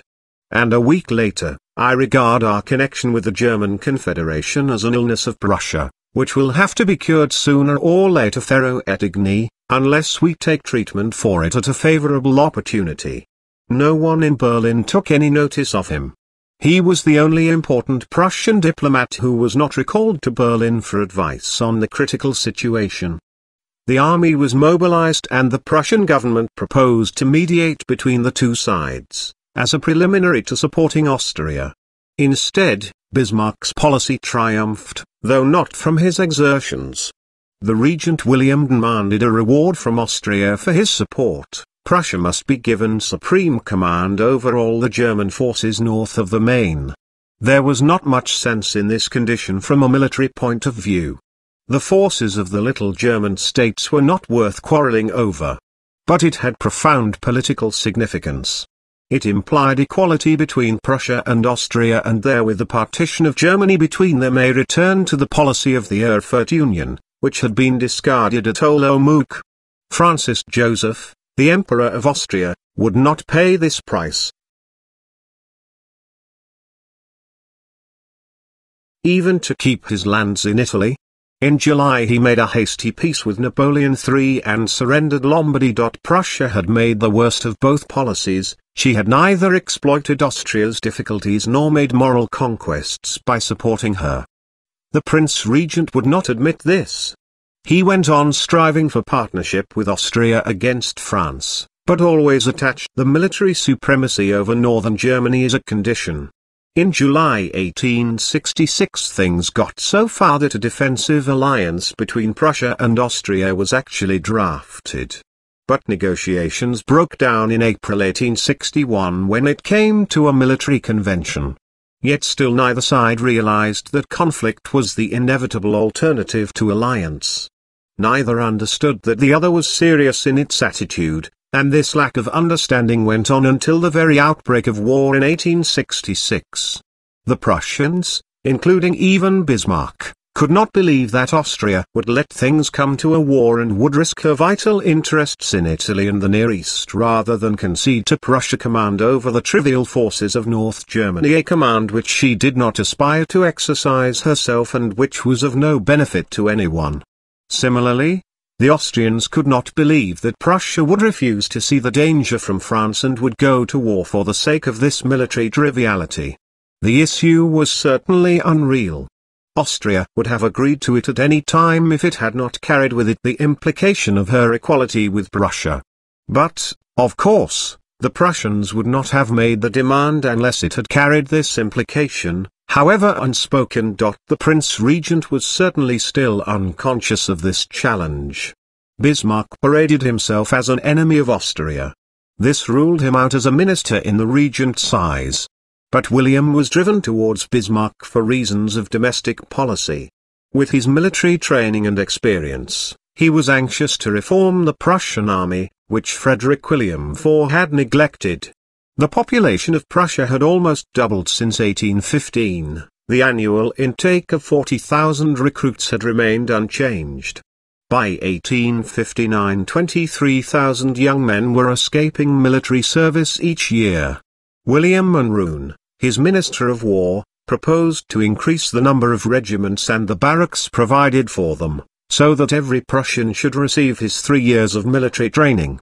There was no conflict with the Prussian parliament about this. The Prussian liberals admired the tradition of Scharnhorst and Gneisenau, and regarded universal military service as an enlightened measure. The dispute between William and the parliament was quite other. It had been an essential part of the Scharnhorst system that every Prussian citizen should pass, after three years active service and two in the reserve, into the Landwehr sort of territorial army with its own units and its own officers, most of them not drawn from the nobility. The land was a symbol of democratic nationalism. Roon despised it. It was, he said, all wrong as a military institution, because it lacked the genuine soldierly spirit and had no firm discipline. Moreover, now that Prussia was a constitutional country, the members of the land were especially the officers were also voters. But, as Roon said, the armed forces do not deliberate, they obey. Roon therefore proposed to increase the years spent in the regular reserve and to whittle the land to almost nothing. The liberals, on the other hand, wished to reduce the period of active service to two years and to make the Landwehr core of the Prussian army. The constitutional conflict which now began was not a conflict over the size of the army. It was a conflict over its character and particularly over the class origin of the officers. The regular army had exclusively junker officers, the land officers from the middle class. Roon introduced his proposals in 1860. The chamber was mollified by an assurance from the Minister of Finance that no fundamental changes would be made if it granted the extra money for a single year. The money was granted. Roon went ahead with his plans despite his colleagues' promise. In 1861 the chamber protested. Once more it granted the extra money for the next year, but with a clear warning that it would refuse further supplies if its conditions were again disregarded. 1862 would be the year of crisis. William had to look round for a man who would defy the chamber and break its opposition. Bismarck was clearly the man. With his reactionary reputation and his unrivaled courage he would not shrink from infringing the constitution. But he cared nothing for this military dispute. Himself without military experience or devotion, he knew that Roon was fighting a class battle, not a technical one and expected the Landwehr to give a good account of itself in wartime as proved to be the case. He would become minister and give William and Roon the army they wanted only if he could have his own way in foreign policy, challenge to Austria and alliance with France and Russia. William would not stomach this condition, despite his failure to make the Austrian alliance. The bargaining dragged on for more than two years. It was relentless, though never consciously formulated. Bismarck waited ruthlessly until William was forced to the wall. Time and again Bismarck was summoned to Berlin in order to take office, time and again he demanded a free hand in foreign policy and was sent back to St. Petersburg. The first call came in May 1860 when Roon put forward his proposals. Bismarck horrified William with the remark, if the Kingdom of Italy did not exist, we should have to invent it. He was at once ordered back to St. Petersburg. In July 1861 he appeared again. This time he advocated a German parliament, elected by universal suffrage, to sweep away all the little princes. He spoke of their sovereignty swindle as completely unhistorical, without divine or human right, and said, I am loyal to my own prince even to the Vendée. But as for the others I don't feel in one drop of my blood the slightest obligation to lift a finger for them. William had become king in January 1861 and was now planning his coronation with legitimist pomp. He was outraged by these subversive remarks, and once more Bismarck returned to St. Petersburg. Early in 1862 the chamber refused to pass the budget. It was dissolved, and Bismarck was summoned again. He was offered the post of prime minister, but without control of foreign affairs. He refused. He said in 1868, I was not absolutely sure that the king would go with me through thick and thin. Still, William wanted Bismarck near at hand in case of a crisis. St. Petersburg was too remote. In May 1862 Bismarck was appointed Prussian minister to Paris. At once he began to make out that he had been sent to promote an alliance between Russia and France, with Prussia as the third party. William was again alarmed. He said, Tell Bismarck that I will never reconcile myself to alliance with France. Bismarck decided that he would be better out of the way, he would lie low until despair drove the king to accept his terms. In June he visited London and told Disraeli, I shall declare war on Austria, dissolve the German Confederation, subjugate the middle and smaller states, and give Germany national unity under the control of Prussia. One in July he went to Biarritz. He met the Catherine Orloff, wife of the Russian ambassador at Brussels, and fell passionately in love with her. No doubt it was innocent in the law court's sense. The men of the 19th century had the art, now lost, of displaying violent emotion without carrying it to its logical conclusion. Cathy was with her elderly husband. She was 22, gay, pretty, irresponsible. Bismarck was nearly 50, his nerves on edge with anxiety, and uncertain of his future. She called him uncle and sent him sentimental messages. Johanna, in the remote German country, knew the truth.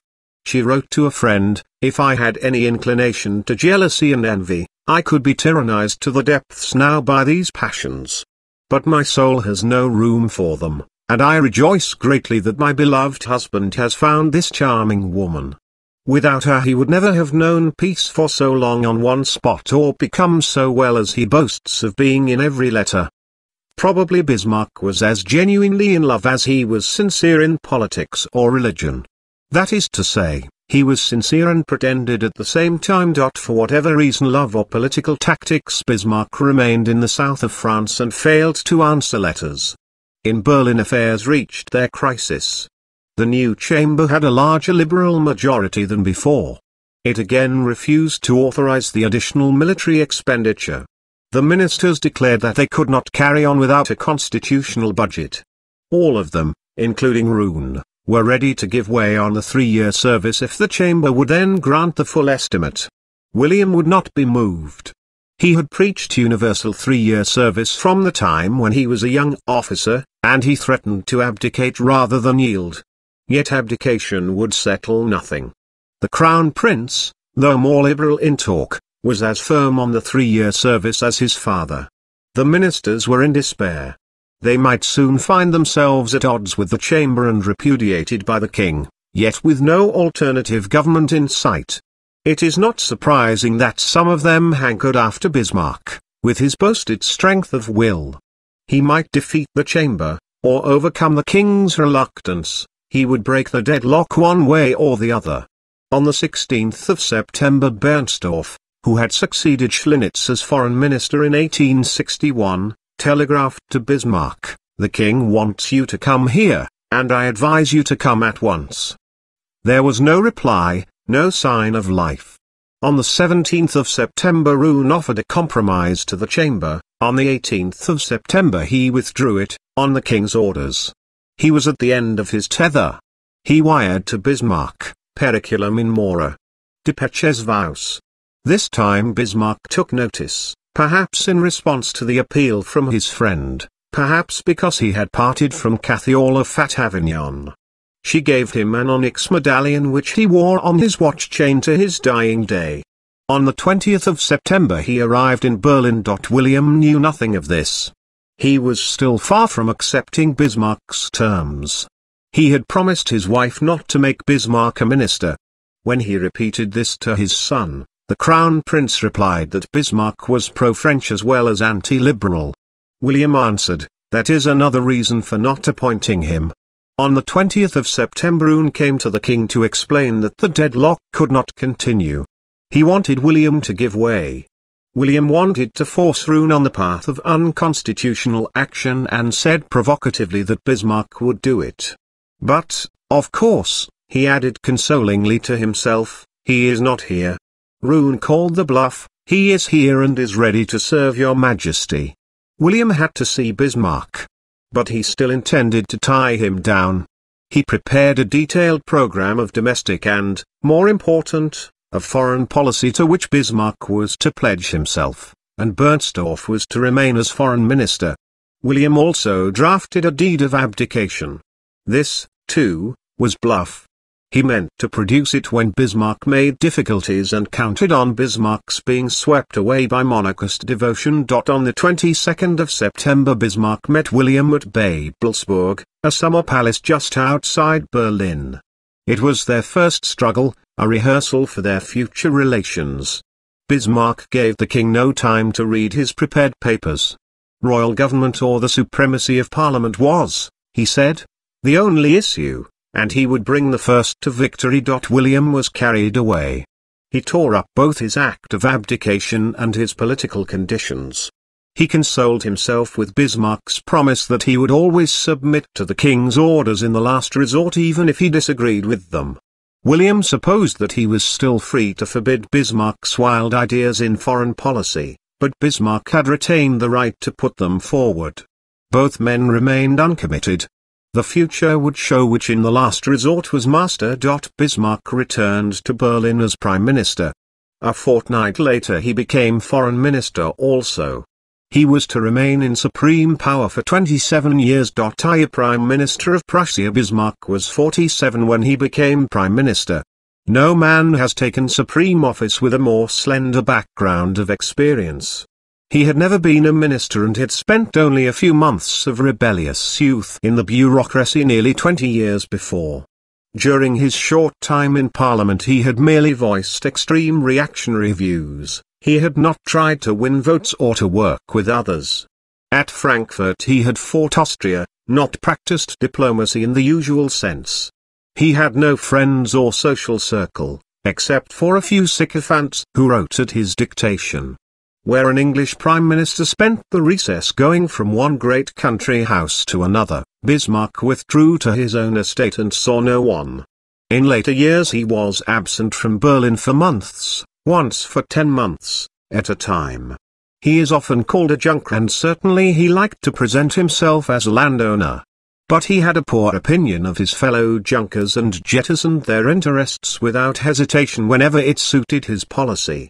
His aim was to succeed in whatever he turned his hand to or, as he called it, to accomplish God's purpose, and he certainly did not think that every junker prejudice was a divine ordinance. The only check on him was the king's will, but he meant to see to it that the king should will what he wanted. He was too old to learn political habits. He stood outside party or class, a solitary figure following a line of his own devising. He had no colleagues, only subordinates. The Prussian Council of Ministers rarely debated policy. It was called together only when it was necessary to pass a unanimous resolution or to force the king on some distasteful course.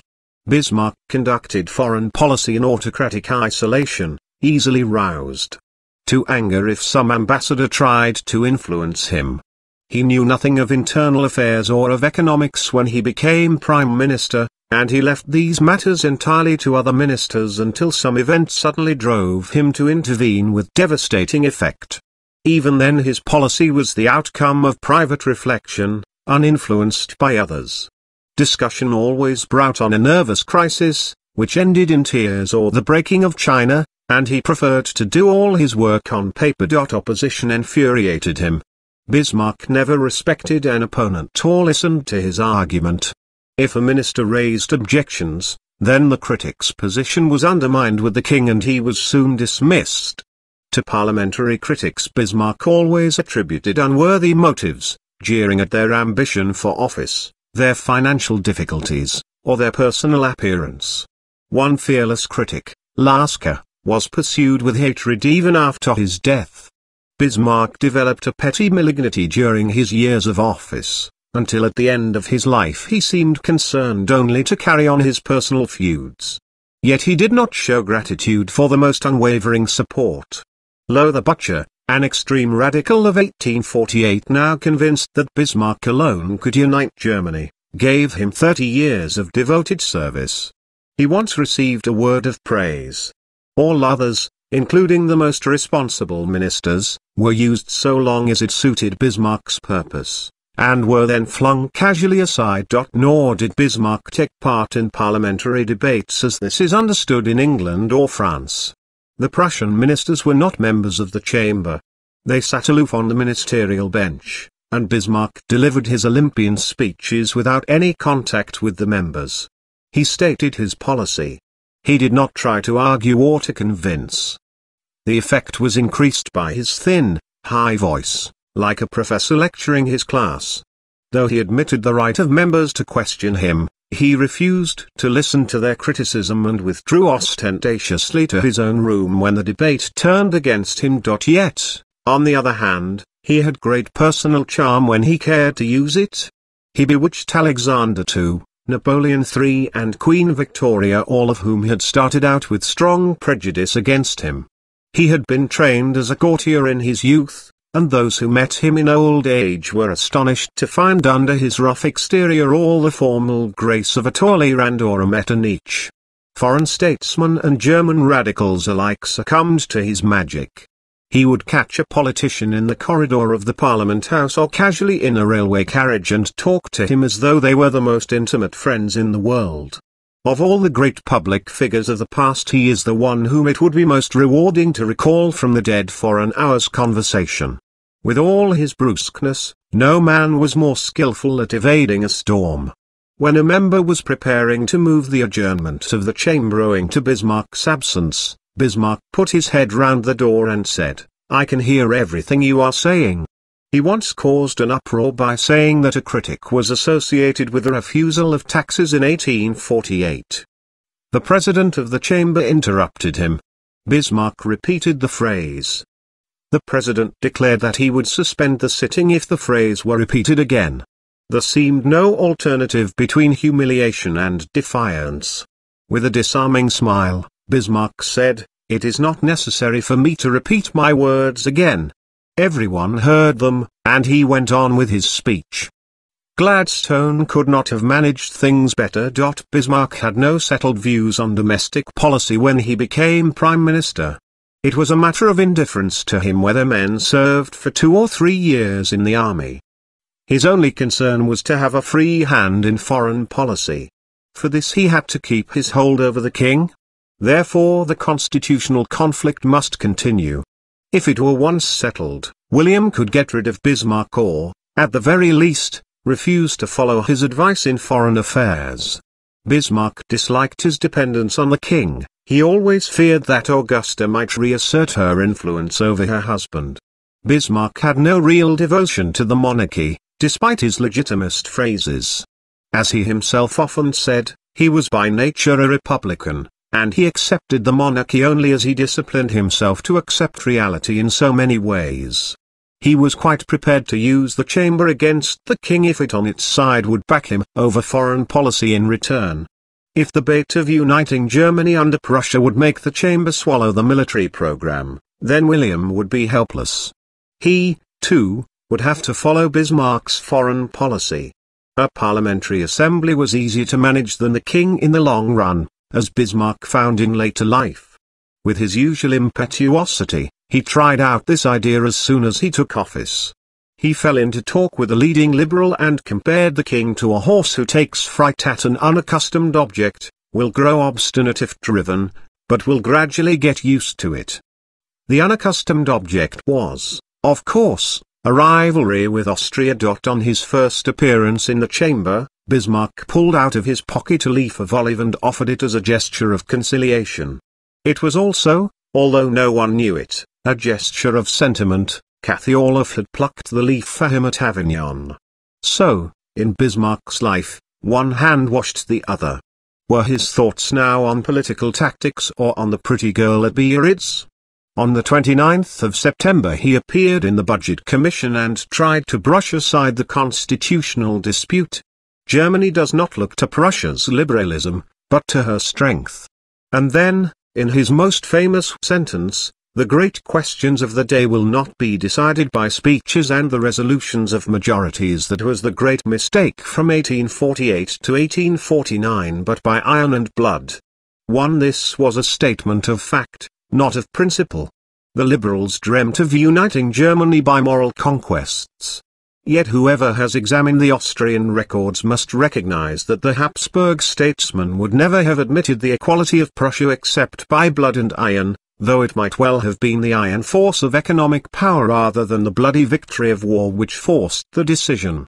All the great questions of our own day, from the defeat of Hitler to the checking of Soviet expansion, have been determined by blood and iron. It is the task of the idealist to put moral clothing on the victor. Bismarck never acquired this art. He was always inclined to call things by their real names, and when he was excited he found frankness irresistible. Later in life he could afford to enrage the Reichstag, but at this time he had meant to persuade the deputies. He was amazed when even Roon found the phrase too provocative.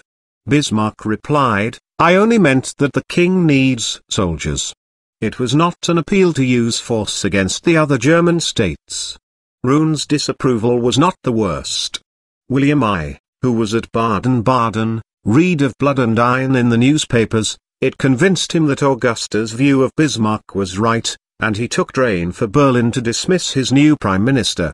Bismarck sensed that he was lost if William I were once firmly back among the Prussian politicians. He went to meet the king, traveling in an ordinary carriage and waiting at a deserted junction with the buildings still unfinished for William I to change trains. It would have been useless to make out to William I that the phrase had meant nothing. The king would reply that he could not afford a prime minister who committed such indiscretions unintentionally. Bismarck, therefore, played things the other way. The phrase, he claimed, had been an assertion of royal authority. William I said mournfully, I see how it will end on the gallows. You will suffer the fate of Strafford and I of Charles I. Bismarck countered skillfully, better that than surrender. And the trick was turned. The soldier king could not run away from a fight. He drew himself up, according to Bismarck's account, like an officer responding to the command of a superior. William I would have been bewildered if he had known that Bismarck was still trying to settle the dispute by compromise without a fight. Despite blood and iron Bismarck offered the liberals something like a fresh start. He would withdraw the budget of 1863, the army reforms, hitherto carried out by executive action, would be submitted as a parliamentary bill, and the budget for 1863 would be brought forward again before the new year. This was typical of all Bismarck's compromises. While his opponents would escape humiliation, he would keep open his path to the future. The constitutional crisis would be evaded. The chamber could, if it liked, amend the army law. But it would have surrendered its fiscal weapon, and Bismarck no doubt helped to win it over by some stroke of foreign policy. The liberals refused to be caught. On the 7th of October the chamber demanded the immediate submission of the budget, pruned of the army estimates. Bismarck answered by carrying the budget in the upper house. There was now, he said, a hole in the constitution. Money could be spent only with the agreement of the king and the two houses. They had failed to agree, Therefore the king must spend the money until they reached agreement. This was a tawdry piece of constitutional theory, and Bismarck himself did not take it seriously. The liberals had defied him. Now he defied them. On the 13th of October Parliament was adjourned. Bismarck was securely in power, defending the cause of hereditary monarchy. But he was more dependent on William I than he liked. The hold which the constitutional conflict gave him over the king might be shaken if he moved too fast in foreign policy, and, in fact, it took him nearly four years to break William's reluctance. It is often said that the Prussian liberals failed at this decisive crisis, but there was nothing they could do. The Constitution of 1850, within which they had to work, did not establish parliamentary sovereignty, it was not even undefined, like the English constitution of the 17th century. The taxes were not granted annually by Parliament, they were laid down permanently in the constitution. Any refusal of taxes would have been illegal. The expenditure of money which had not been authorized by the chambers was certainly unconstitutional, but not even the most fervent liberal wanted to disband the Prussian state and the Prussian army just as the Whigs of the British Parliament shrank in 1784 from refusing supplies to the younger Pitt. The Prussian liberals desperately wanted a compromise. When the chamber met in the following year, they offered to agree to the increased army and even to the three-year service if the Landwehr kept some of its importance. Roon accepted the compromise. Bismarck was in dismay. He could not allow the constitutional conflict to be ended until either the king or the chamber accepted his line of foreign policy. He went down to the chamber and behaved so provocatively that the compromise was withdrawn. It was never in sight again. The chamber continued to meet regularly, though with occasional dissolutions, which did not shake the liberal majority. It continued to reject the budget. And Bismarck continued to spend the money. Far from the conflict embarrassing him, it was the essential condition of his political existence. Bismarck did not attempt a coup d'état, the liberals did not attempt a revolution. The constitutional struggle was fought within the constitutional framework. The liberals were not solid country squires like the English parliamentarians of the 17th century. They were intellectuals from the professional classes lawyers, journalists, university professors, many of them actually drawing a salary from the Prussian state.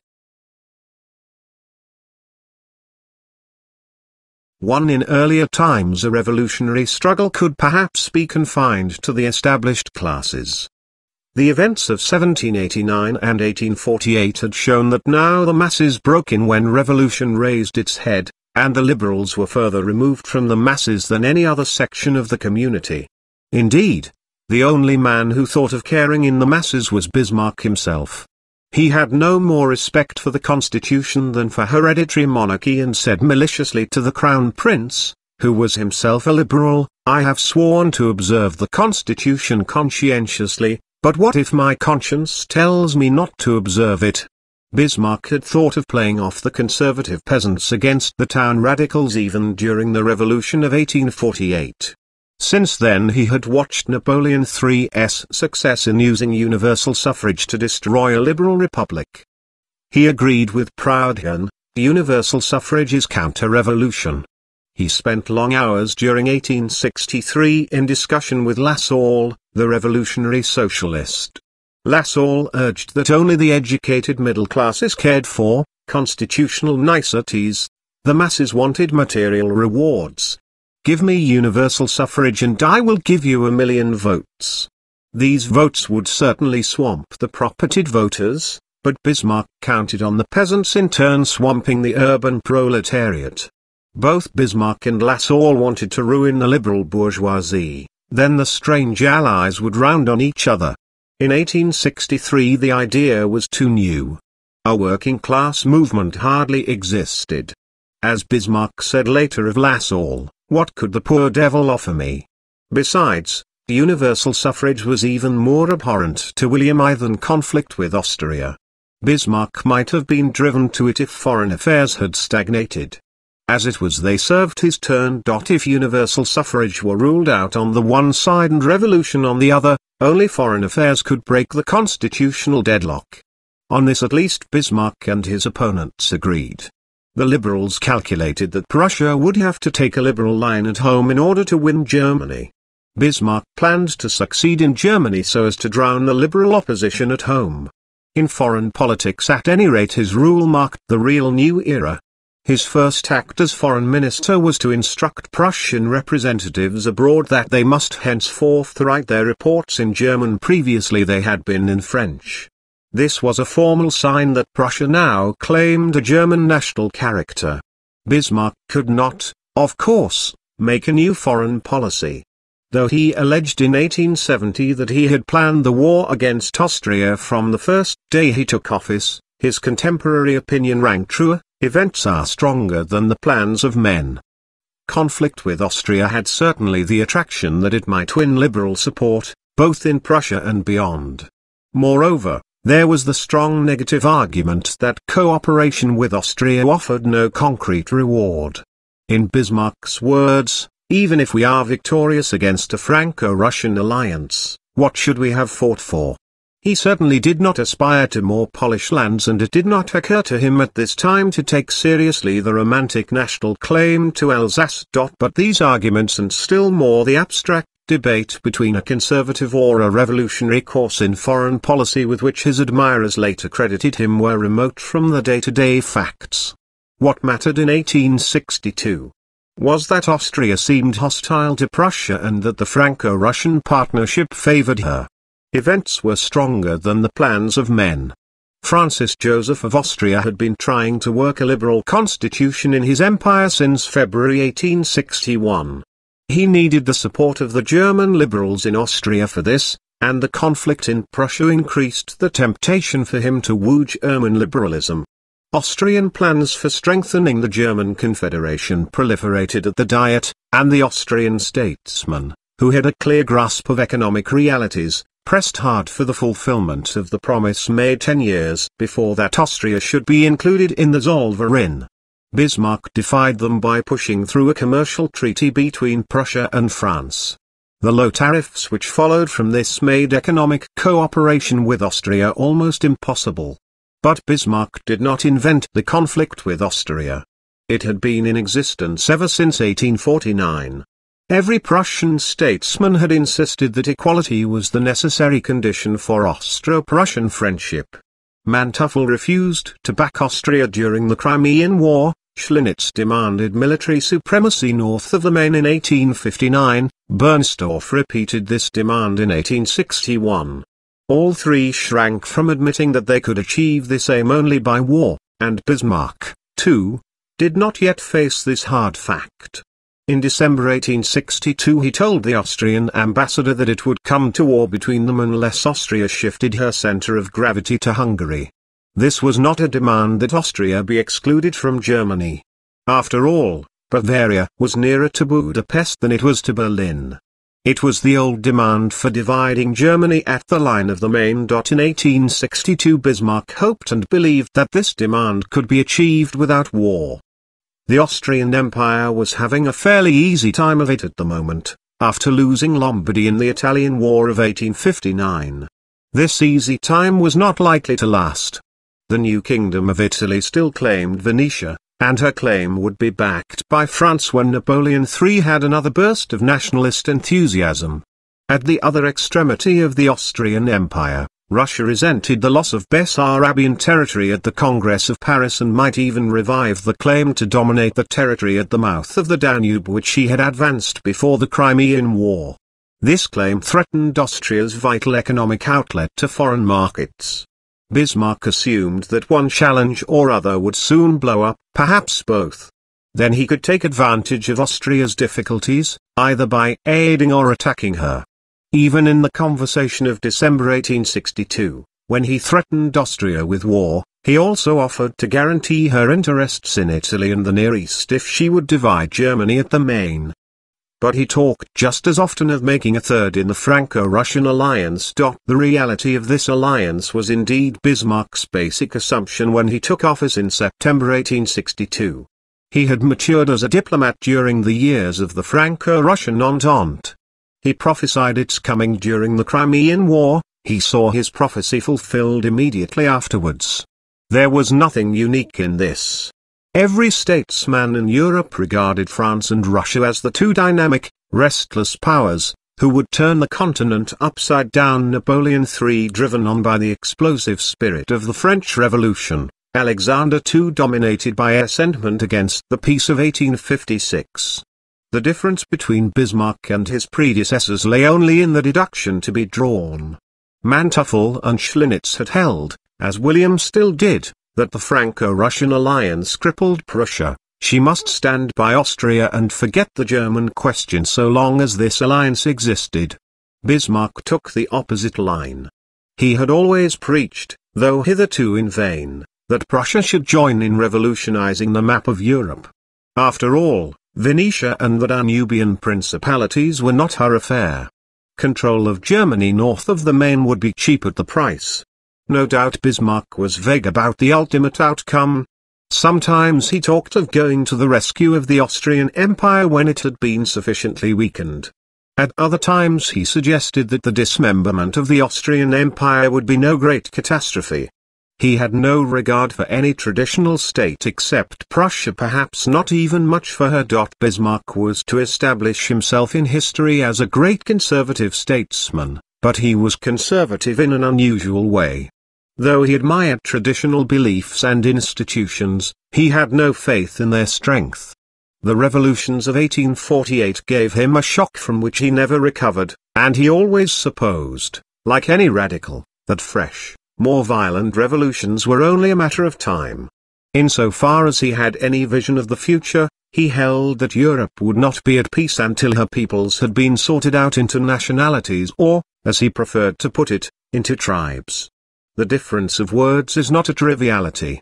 The advocates of nationalism claimed to be preaching a high moral principle Mazzini equating nationalism and Christianity merely carried this to its extreme.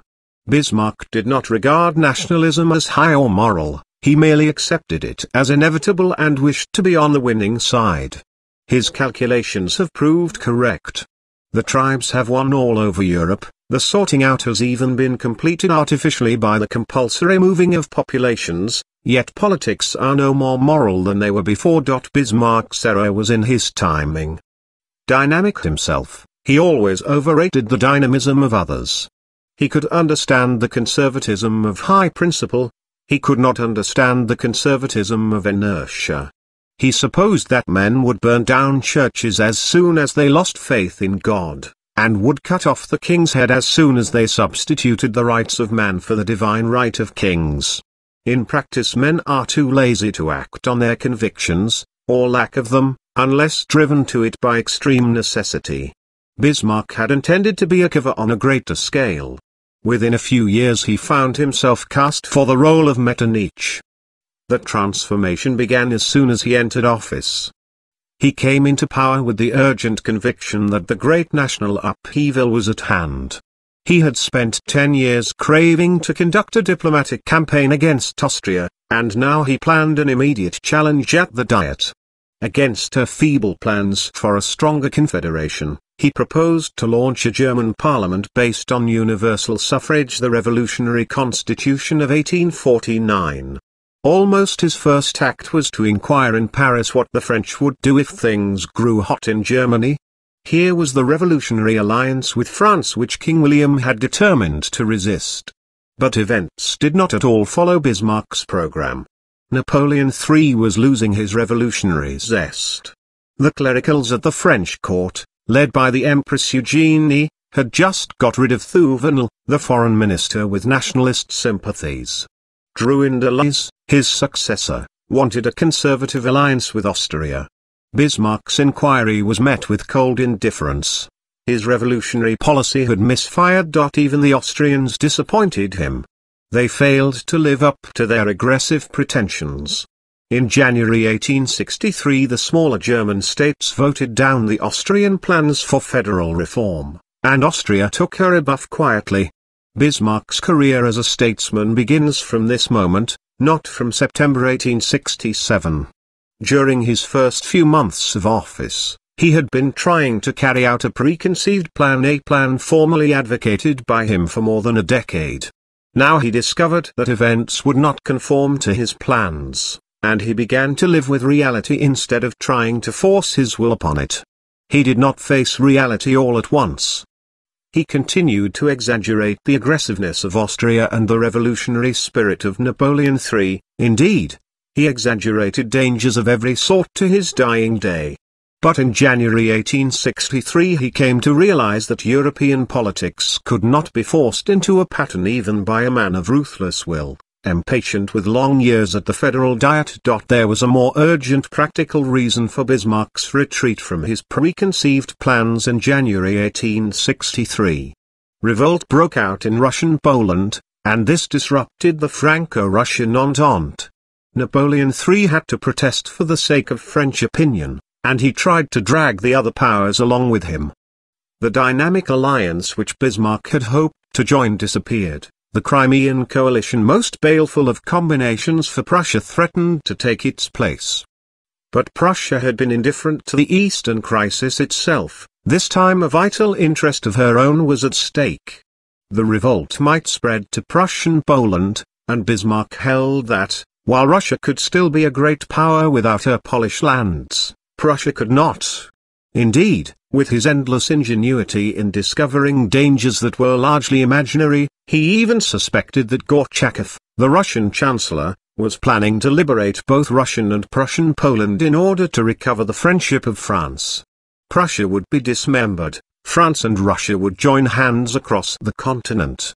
Bismarck had welcomed the Franco-Russian alliance so long as it was directed against Austria, he had to destroy it when it threatened to turn against Prussia. As a final provocation to him, the Prussian liberals like the radicals of 1848 inclined sentimentally towards Poland. Bismarck goaded them on, so as to discredit them further with the king, and he recognized more dearly than they did that the defeat of Poland would be a crushing blow also against Prussian liberalism. Bismarck acted with his usual impatience. General Alvensleben was sent to St. Petersburg, and on the 7th of February concluded with Russia a convention for joint action against the Polish Revolution. Bismarck later claimed that by this pact he had defeated Gorchakov as well as Napoleon III, he had played off the anti-Polish monarchist against the Polonizing Panslav forces at the Russian court. This was a characteristic exaggeration. Gorchakov had no real plans in favor of Poland, and the anti-Polish party at the Russian court would have carried the day without Bismarck's assistance. One as it was, Alexander too felt little gratitude for Prussia's patronage. It reminded him humiliatingly of Russia's protection of Austria against the Hungarian Revolution in 1849. Moreover, the convention threatened to turn European resentment against Prussia. France could not act against Russia, even if she would, she could easily move against Prussia on the Rhine. Bismarck had to ask Gorchakov to cancel the convention, and within a month he was assuring the other powers that it was a dead letter, after March 1863 he kept out of the Polish affair left Russia to suppress the revolt herself and drew his profit from her ensuing isolation. The Alvensleben Convention showed Bismarck in all his strength and weakness, a lightning grasp of any possible danger, but also excessive haste in meeting it. In later life, though he never lost his speed of vision, he learned to control his immediate impulse and to let events do the work for him. Even in this case, he recovered from his initial blunder. He kept ear of both sides from March 1863 until the end of the affair. England and France continued to make impotent protests against the Russian treatment of Poland. Austria joined them, even more ineffectually. She was a partner in the partition of Poland, but she could not resist the prospect of reviving the Crimean coalition. As in the Crimean War, she ended by estranging everybody. England and France were angry that Austria had not translated her protests into acts, Russia was angry that she had protested at all. The Polish revolt ruined the Franco-Russian alliance. Even more important from Bismarck's point of view, it ended what fragments of monarchical solidarity remained between Russia and Austria. It was certain after 1863 that Russia would tolerate a war between Prussia and Austria if Prussia chose to fight one. Bismarck's gain should not be exaggerated. Prussia performed an inestimable service to Russia merely by remaining neutral, and Russia would henceforth repay in kind. She would not do more. She would not protect Prussia against Austria or France. In fact, like Italy in 1848, Prussia was only free to do it herself. Still, a power with three strong neighbors has a great advantage when one frontier is firmly neutral, and Prussia enjoyed this advantage between 1863 and 1871. It did not look much like an advantage in the summer of 1863. Austria, not Prussia, took the lead in Germany. Prussia seemed to need protection, not a free hand. The Polish affair had forced Austria towards a choice between France and Russia. She tried to escape as she had done during the Crimean War, by uniting all Germany behind her. Francis Joseph invited the German princes to meet at Frankfurt, there to consider a reform of the federal constitution. There was to be an executive directory of five, Austria, Prussia and three others, and an assembly drawn from the parliaments of the individual states. It was the last and greatest attempt to unite Germany by consent the consent of princes who owed their sovereign existence solely to the fact that Germany was not united.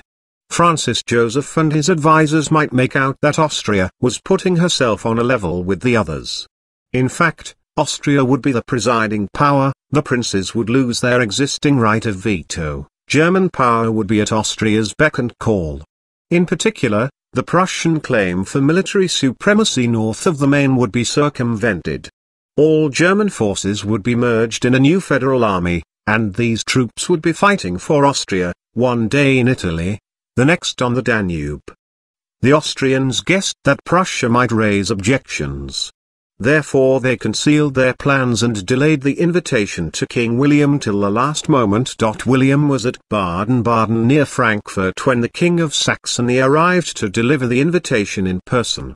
William was swept away by his monarchical emotions, thirty reigning princes and a king as messenger? How can I refuse? Bismarck fought with the king his first and most severe battle. He won the day by arguing that, if William went to Frankfurt, surrender to the Prussian parliament must follow there would be no point in quarrelling over an army that had no longer an independent existence. When William gave way, Bismarck broke off the door handle as he left the room and then, smashing a jug against the wall, burst into hysterical sobbing. It was worth the effort. Bismarck had ruined the Austrian plan. Without Prussia the Frankfurt meeting achieved nothing. The German princes agreed to surrender their sovereignty only if Prussia did the same an easy and unshakable excuse. When Francis Joseph left Frankfurt on the 22nd of August 1863, Austria had lost the initiative in Germany forever. Bismarck had not yet won it. His first year in office was a watershed in European affairs the moment when moderate liberalism faltered and began to run backwards. The Prussian chamber had been checked, the Franco-Russian alliance had crumbled, Austria's plans for a liberal Germany had miscarried. European anarchy and confusion was at its height. In November 1863 Napoleon III invited the great powers to a congress which should consider every European problem. No one troubled to turn up. France had certainly lost the leadership of Europe. But Bismarck had not yet discovered how he could take the lead himself. He tried the idea of a German parliament elected by direct universal suffrage. The initiative fell as flat as those of others. The middle-class liberals, who were alone vocal in Germany, would not trust Bismarck so long as he was in conflict with the Prussian parliament. He beat about wildly, consulting Lassalle, the extreme reactionaries, even the liberals, for something that would raise a storm and get things moving. Events came to his rescue. In November 1863 Frederick VII of Denmark died.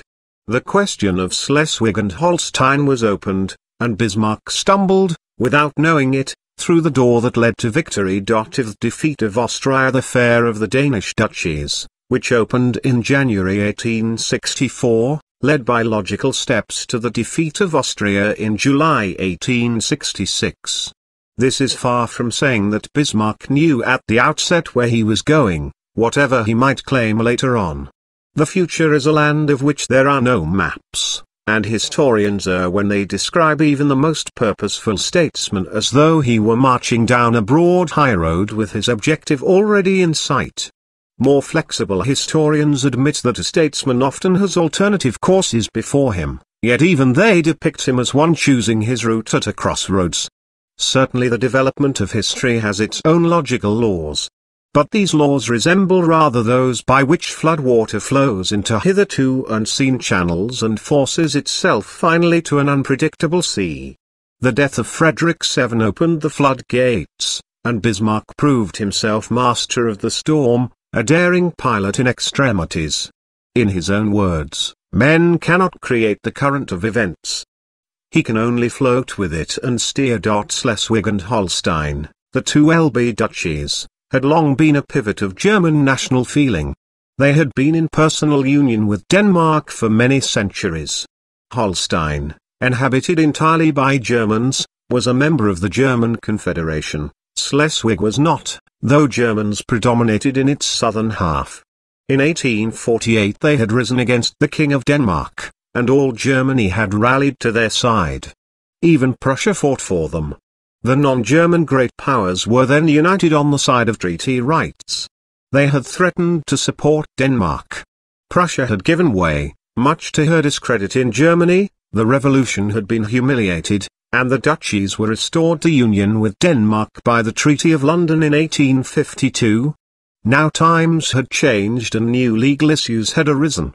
Frederick VII was the last king of Denmark in the male line. It was argued that the Salic law applied to the duchies, though not to Denmark itself. Moreover, Christian IX, the new king, opened his reign by confirming a constitution which incorporated Schleswig in a unitary Greater Denmark. This was a breach of the Treaty of London. The German liberals thought that their chance had come. They had found a cause which would arouse the enthusiasm of the masses. The German powers would have to support the Duke of Augustenburg, the rival claimant, and so liberate the duchies from Danish rule. The unification of Germany on liberal lines would surely follow. Bismarck had no sympathy with this policy, it is no concern of ours whether the Germans of Holstein are happy. He certainly did not wish to help in manufacturing a new small state which would vote against Prussia at the Diet.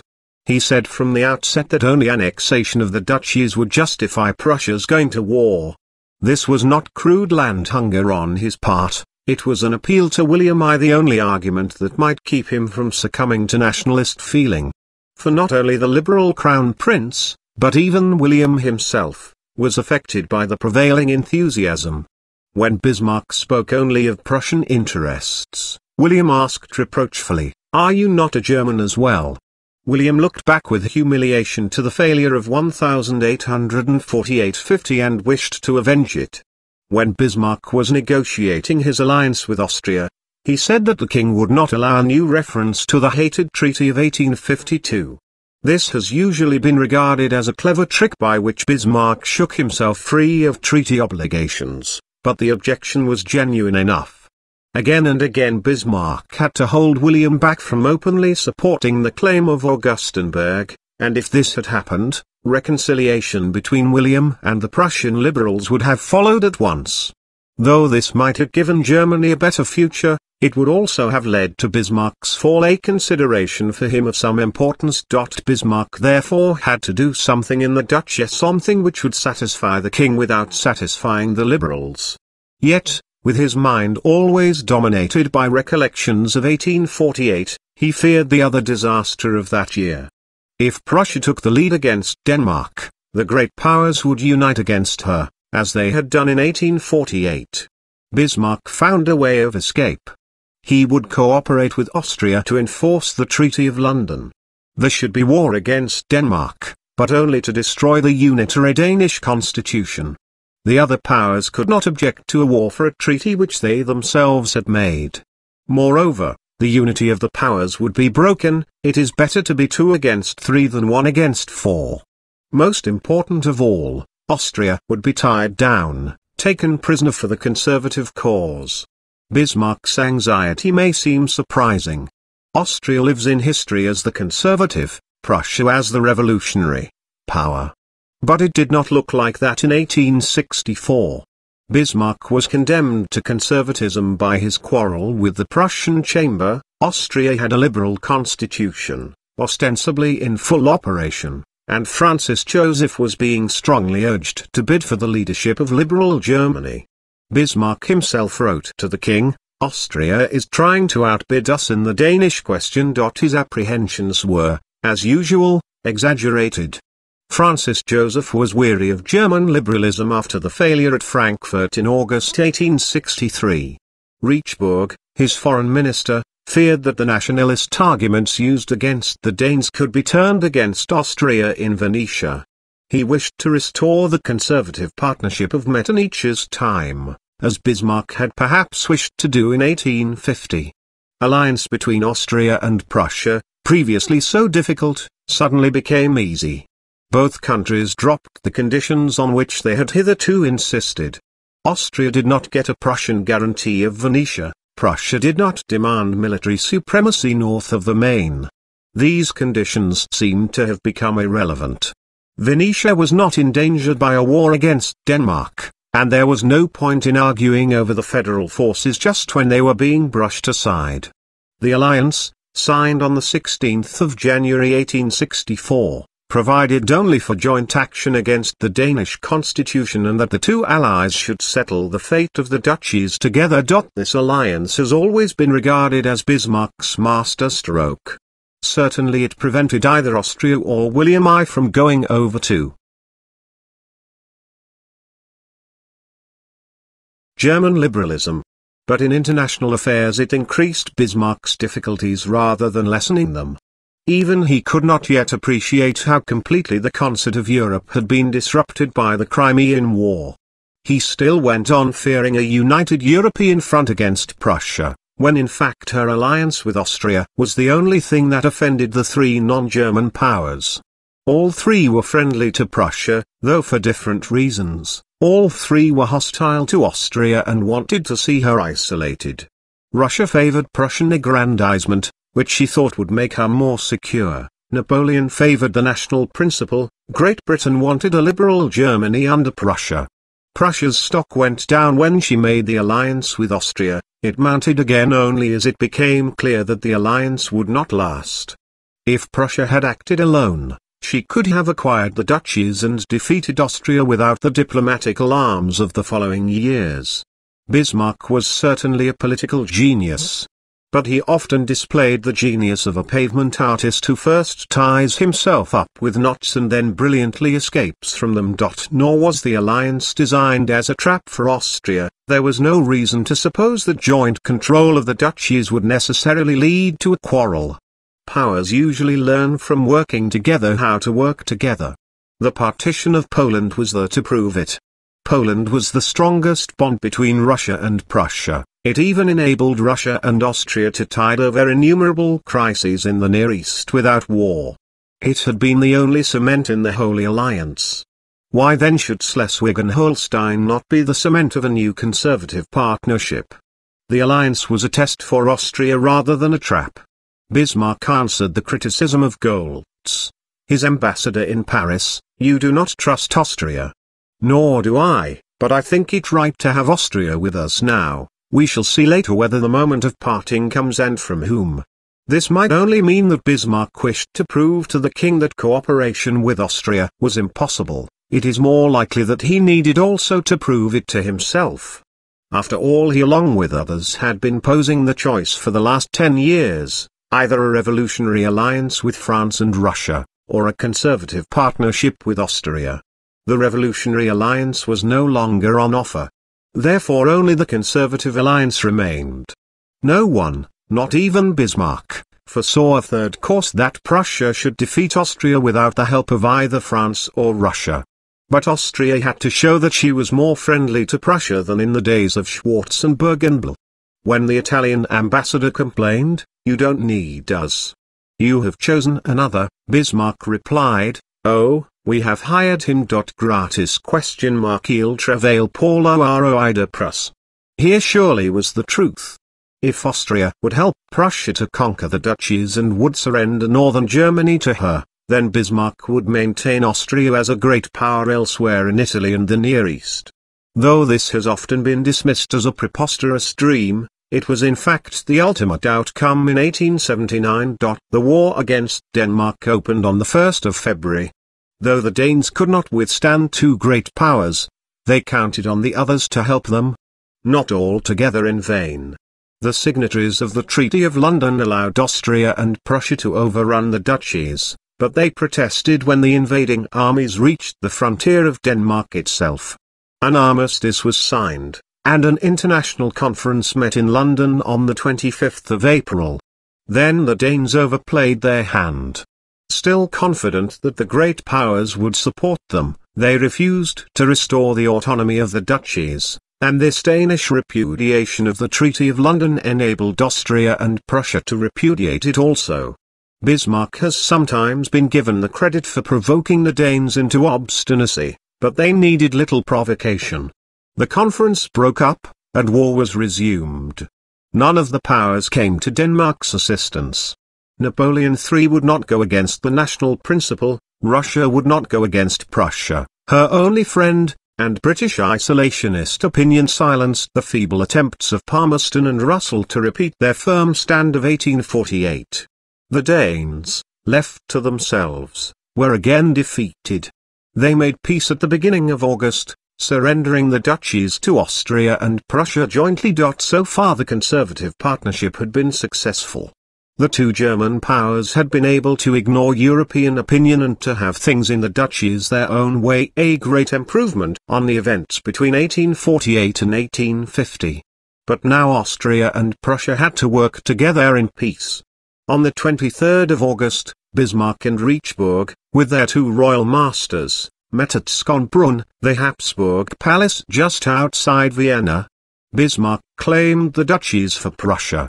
Rechberg answered by demanding a Prussian guarantee of Venetia and, as well, that Prussia should help to reconquer Lombardy for Austria in case of a new war against Italy. Bismarck agreed.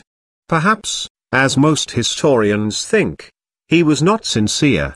But it is difficult to resist the conclusion that, with his usual impetuosity, he was now running full tilt after the Conservative alliance, as he had run full tilt after the Revolutionary alliance in earlier years. At any rate, The scheme was wrecked by the two monarchs. William said shamefacedly, he had no right over the duchies, and, with all the stubbornness of his limited intelligence, revived the claim for Prussian military supremacy in northern Germany. Francis Joseph would not swallow the German aggrandizement of Prussia which her annexation of the duchies would involve, for any price short of the surrender of some Prussian territory. He would not, in short, compromise in Germany for the sake of his lands in Italy, and as a result lost both. Rechberg and Bismarck had to drop their proposed treaty. No agreement was reached except that the two powers should hold the duchies jointly until something turned up. At Schönbrunn the conservative policy reached high water and passed it. Bismarck realized this. While still in Vienna, he said to the French ambassador, We Berliners do not now look on Vienna as a German city. The conversation, made sharper by the fact that it took place in Rechberg's own drawing room, was Bismarck's first approach to France for nearly two years. The tide soon began to run fast the other way. The treaties on which the Zollverein were based expired at the end of 1865. Rechberg pressed hard for the fulfillment of the promise to include Austria that had been made ten years ago. Bismarck was ready to meet him or, at any rate, to renew the promise. It was an inexpensive act of friendship. The Prussian ministers in charge of economic affairs objected. They were eager to shake off the conditional promise to Austria and to press further on the free trade course. Bismarck did not usually allow his colleagues to dictate policy to him. This time a strange thing happened. He went off to Biarritz, where he once more enjoyed the company of Cathy Orloff, and, Though he urged the Prussian ministers to agree to Austria's request, he acquiesced when they turned it down. Was he exhausted? Did he feel economic questions beyond his ken? Or, recognizing that this was a vital decision, did he prefer to place the responsibility on others? We can never know. But certainly the breach over the Zollverein made a greater cleavage than any of the political actions in these years. The tariff frontier between Austria and the Zollverein became the frontier between two worlds. Austrian trade went down the Danube and into the Balkans. Germany turned to the world market across the North Sea. Political division was bound to follow even if Bismarck's diplomacy had failed. The check over the Zollverein ruined the Austro-Prussian alliance. Rechberg resigned. Mensdorff, his successor, was in the hands of his professional advisers, and they were determined to resist Prussian claims. Biegeleben, the most outstanding of them, wrote contemptuously, Austria would have to give up the presidential dignity, as she gave up the imperial dignity half a century ago, and conclude an alliance with the Prussian German Reich. To this indeed Austria was to come, but only after defeat in war. The breach was not welcomed by Bismarck. He would have preferred to let things drift in the duchies until compromise was forced on Austria by new difficulties in Venetia or the Near East. As he wrote to Goltz in February 1865, I think it wiser to continue the existing marriage with Austria for the time being despite little domestic quarrels. But Russia and France did not oblige him. Both remained inactive. Russia was busy subduing Poland. Napoleon III, ill and dispirited, was playing at imperialism in Mexico. Neither was in the mood to revolutionize Europe. Austria seemed free to take the offensive against Prussia. Mensdorff and his advisers had no clear picture of their plans for Germany. Conservative in outlook, they disliked German nationalism, yet equally disliked the upstart Prussia, and resented the way in which they had been involved in the affairs of the duchies. They took to patronizing the claim of Augustenburg, more to provoke Prussia than for any constructive purpose. Bismarck tried to strike this weapon from their hands. In February 1865 he offered to recognize Augustenburg as Duke of Schleswig-Holstein, but on condition that Prussia had military control of the duchies. Augustenburg was confident of German liberal support, he was encouraged even by the Crown Prince of Prussia and dreamt of becoming a truly independent ruler. Bismarck has described their interview. He greeted Augustenburg as Your Royal Highness, lowered his tone to Your Highness when Augustenburg proved obstinate, and saw him off at the door as Your Excellency. The Austrians approved Augustenburg's obstinacy. B. Said that he would sooner plant potatoes than be duke on such terms. Soon afterwards, the Austrian delegate at Frankfurt voted for a federal resolution supporting Augustenburg. This was a breach of the Austro-Prussian alliance in all but name. Bismarck had to contemplate war against Austria, or at any rate to threaten it. He asked the General Staff for an appraisal of Austrian strength, and received an encouraging reply. On the 29th of May the Prussian Crown Council discussed future policy. Bismarck described Austria's mounting hostility and urged William to claim the duchies. He urged his old line of the revolutionary alliance, if war against Austria in alliance with France is ruled out of the diplomatic vocabulary, no Prussian policy is possible. William saw the trap. If he claimed the duchies, he would have to pay Bismarck's price and agree to alliance with France, a course that was abhorrent to him. He therefore declared that he had no moral claim to the duchies, though he would accept them if Austria offered them to him. This was an unlikely contingency. Bismarck had to play a game of bluff against Austria not authorized to claim the duchies, forbidden to negotiate with France, yet giving the impression that he intended to go to war with Austria for some reason or other. He talked threateningly and even proposed alliance to Italy through the Austrian post office. The Italians were not taken in. They suspected that Bismarck was not ready to play the great game. The Austrian ministers, however, drew back. They had no clear-cut plans for war against Prussia and, besides, wanted to settle their internal difficulties in Hungary.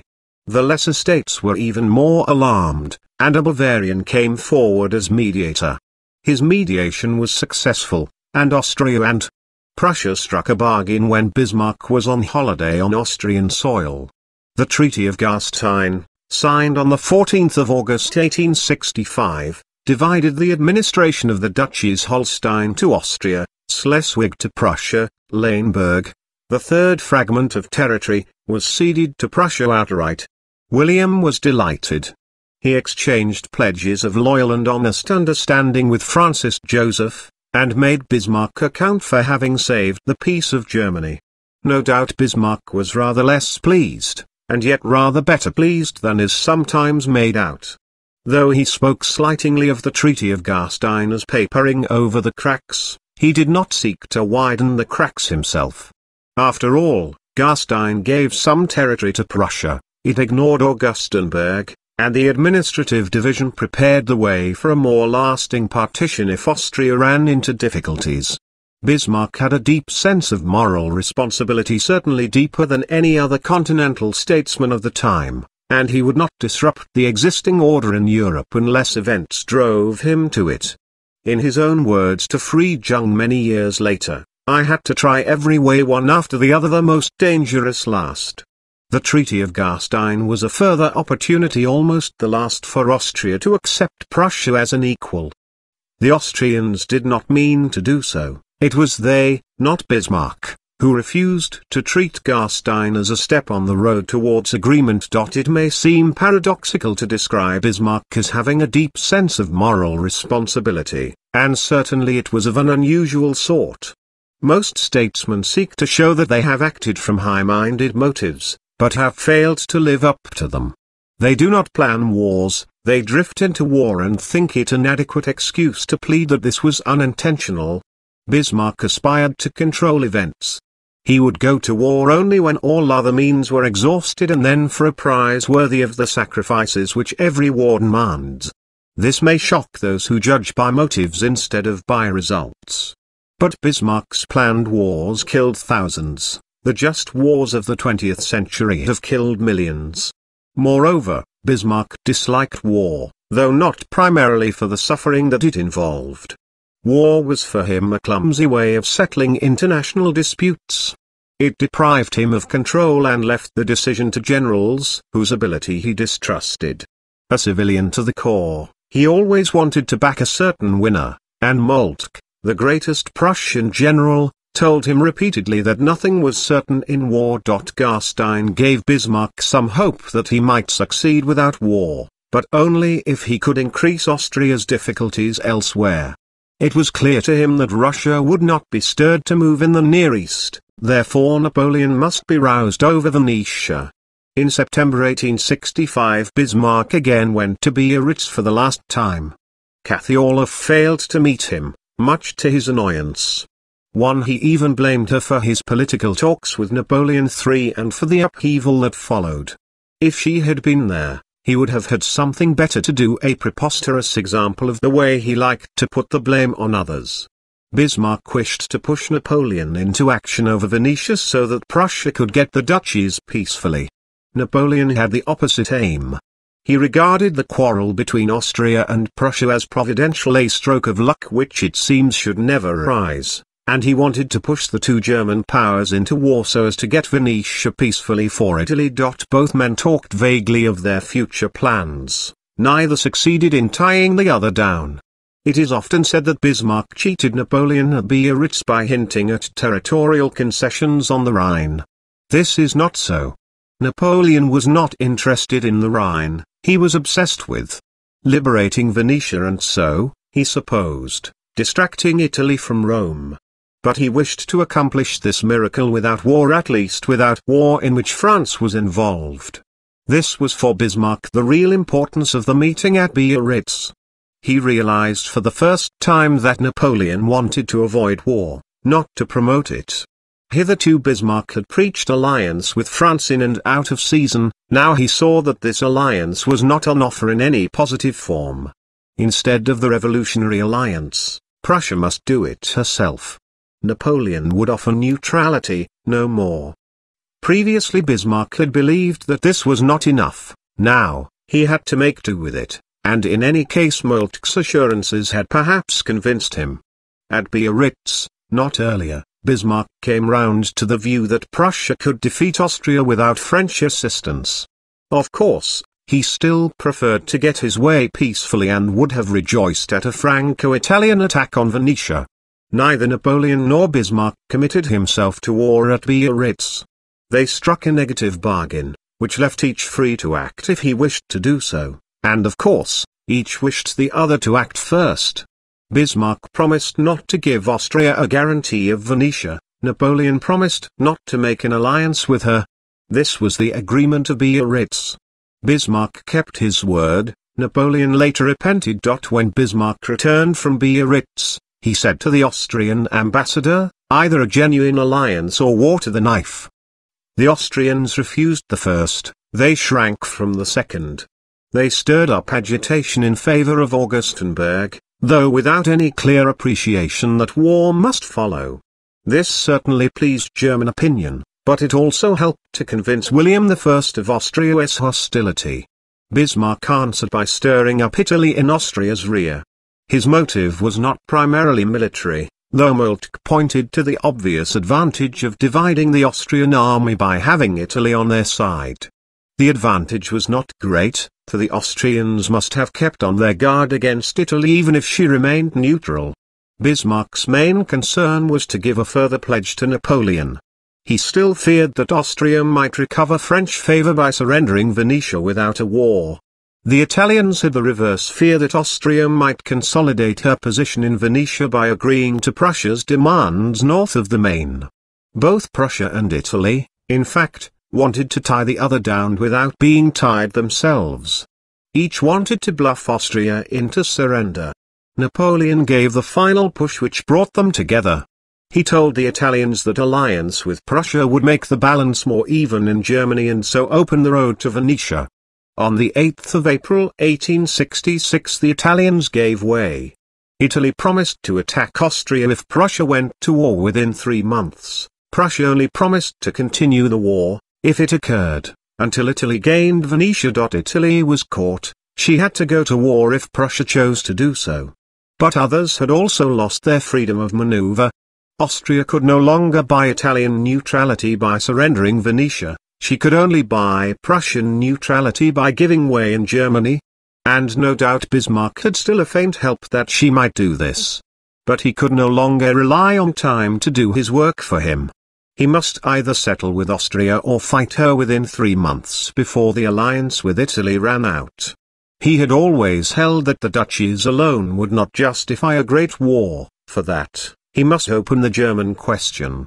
On 9 April the day after concluding the Italian alliance he proposed a German parliament elected by universal suffrage. The stroke miscarried once more. Few Germans would take Bismarck seriously as a radical. Public opinion was against him not only in Germany, but even in Prussia itself, and William I, not German nationalists, made the War of 1866 possible. The king had no desire to unify Germany, but he resented Austria's threatening attitude. The Austrians were maneuvered into this by the clumsiness of their military machine. Their army needed six weeks to mobilize, Prussia's needed only three. Therefore the Austrians had to start the race to a war which they feared and did not want. They tried to escape the trap by proposing mutual disarmament. William accepted joyfully. Bismarck saw precious time slipping away. He was saved by the Italians. They began to mobilize, and the Austrians therefore refused to disarm.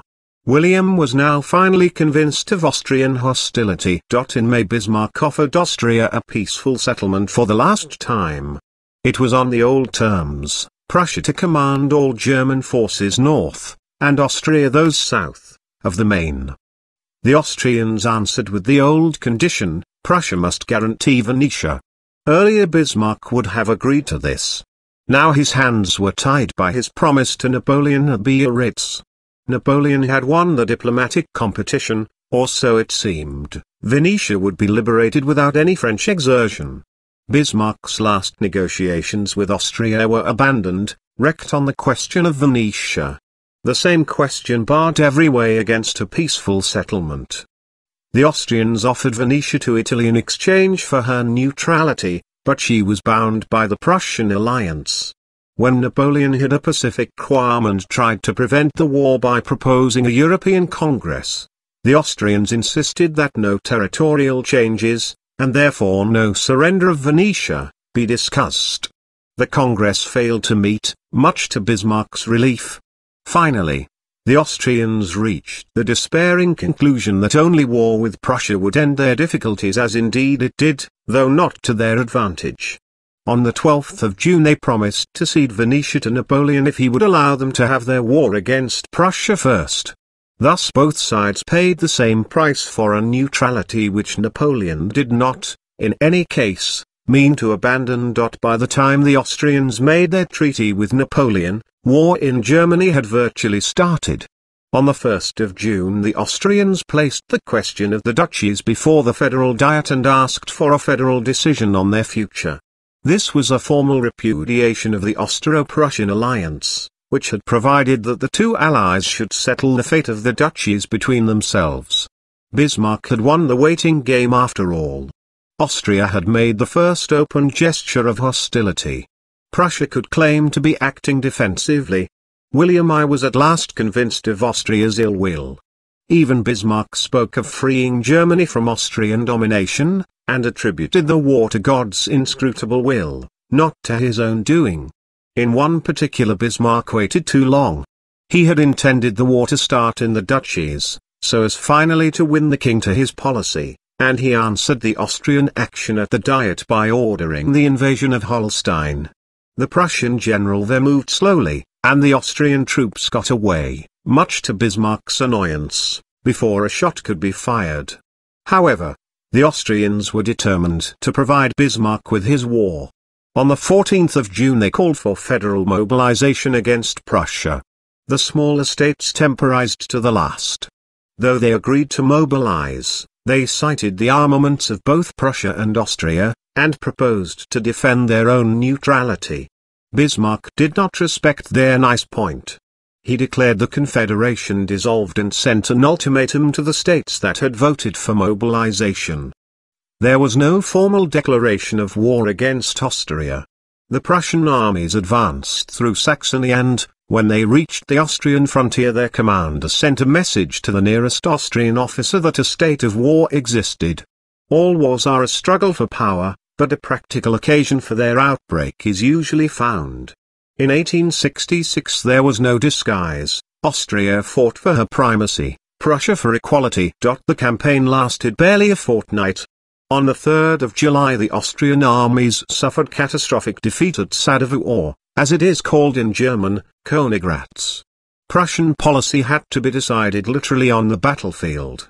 William I accompanied the armies, theoretically commander-in-chief, with Moltke's chief of staff, and Bismarck went along with him. Though only a lieutenant in the reserve, he was hastily made a temporary major general and tried to behave as a soldier during the campaign. His real concern was to keep his hands on the king, and this proved difficult. The smell of powder made William almost uncontrollable. A small incident showed it. William refused to withdraw when under fire, and he was unmoved by the accusation that he was endangering the life of his civilian prime minister. Finally Bismarck gave William's horse a sharp, unperceived kick in its flank, and William obeyed this protest. It was a perfect parable of relations between king and minister outward obedience, secret kicks. Bismarck was anxious to end the war as quickly as possible. He still could not believe that Russia and France would allow the remaking of Central Europe without their participation. Therefore he kept to the modest aims that he had before the war. He took some steps which might have heralded the breakup of the Habsburg monarchy, he organized a Hungarian legion and even talked of a Czech national state in Bohemia. But these were simply precautions in case Francis Joseph proved obstinate. Essentially Bismarck's terms remained the same, Prussian hegemony in Germany north of the Main. The only advance was that, whereas previously he would have left Austria supreme south of the Main, he now insisted that she withdraw from Germany and leave the south to enjoy an independent international existence. The Austrians made little difficulty over accepting these terms. Francis Joseph was angry with the German states, which apart from Saxony had given him no effective help. It troubled him little to renounce the last scraps of Habsburg supremacy in Germany, and he was quite ready for Prussia to annex all North Germany, so long as his one loyal ally, Saxony, was spared. Nor did Russian complaints prove serious. Bismarck invoked William's family ties with the Tsar, and threatened to raise Poland if Russia tried to intervene. The Russians acquiesced in sulky silence. France seemed a graver danger. Napoleon III had got what he wanted the liberation of Venetia, the aggrandizement of Prussia, and the triumph of the national principle in which he believed he would have been content to let well alone. But his advisers insisted that France would be humiliated and his prestige ruined, unless he imposed himself on the combatants and claimed territorial compensation for France. Unwillingly he followed their advice. On 4 July he announced that Austria had appealed to his mediation and that he had agreed. This was a breach of the neutrality which he had promised at Biarritz. Bismarck exclaimed, I will be revenged on the Gauls when opportunity offers. He discussed the possibility of a war on two fronts with Moltke and prepared to rouse German feeling by resurrecting the revolutionary constitution made at Frankfurt in 1849. The alarm did not last. Napoleon might have been pushed into action, despite the inadequacy of the French army, if Prussia had stood alone. But Italy was also in the war. The Italian army had been defeated by the Austrians at Custoza, and occupied Venetia only when the Austrian troops were recalled to defend Vienna after Sadowa. Now the Italians wanted a victory of their own and dreamt of conquering South Tyrol. Napoleon could never go against Italy, his own creation. Therefore he swung round to his old line and welcomed the triumph of nationalism. He even pushed Bismarck to make higher claims. Where Bismarck would have been content with military hegemony in North Germany, Napoleon urged full annexation, and thanks to him, four million Germans became compulsory Prussians. Napoleon made two conditions, South Germany should be independent, and there should be a plebiscite in northern Schleswig. Bismarck agreed to both. He had no ambitions south of the Main, and he himself believed in the national principle particularly where the territory concerned had no strategic importance. One a fortnight after Sadowa, Austria had accepted Bismarck's terms, France approved of them, Russia did not object. Yet Bismarck's greatest struggle was still to come. The obstacle which almost broke his will was William I. The king had never understood Bismarck's far-reaching plans and had been dragged reluctantly into war. He had given way only when convinced that Austria and her German allies were planning to attack him. Now he regarded them as wicked and insisted that they be punished.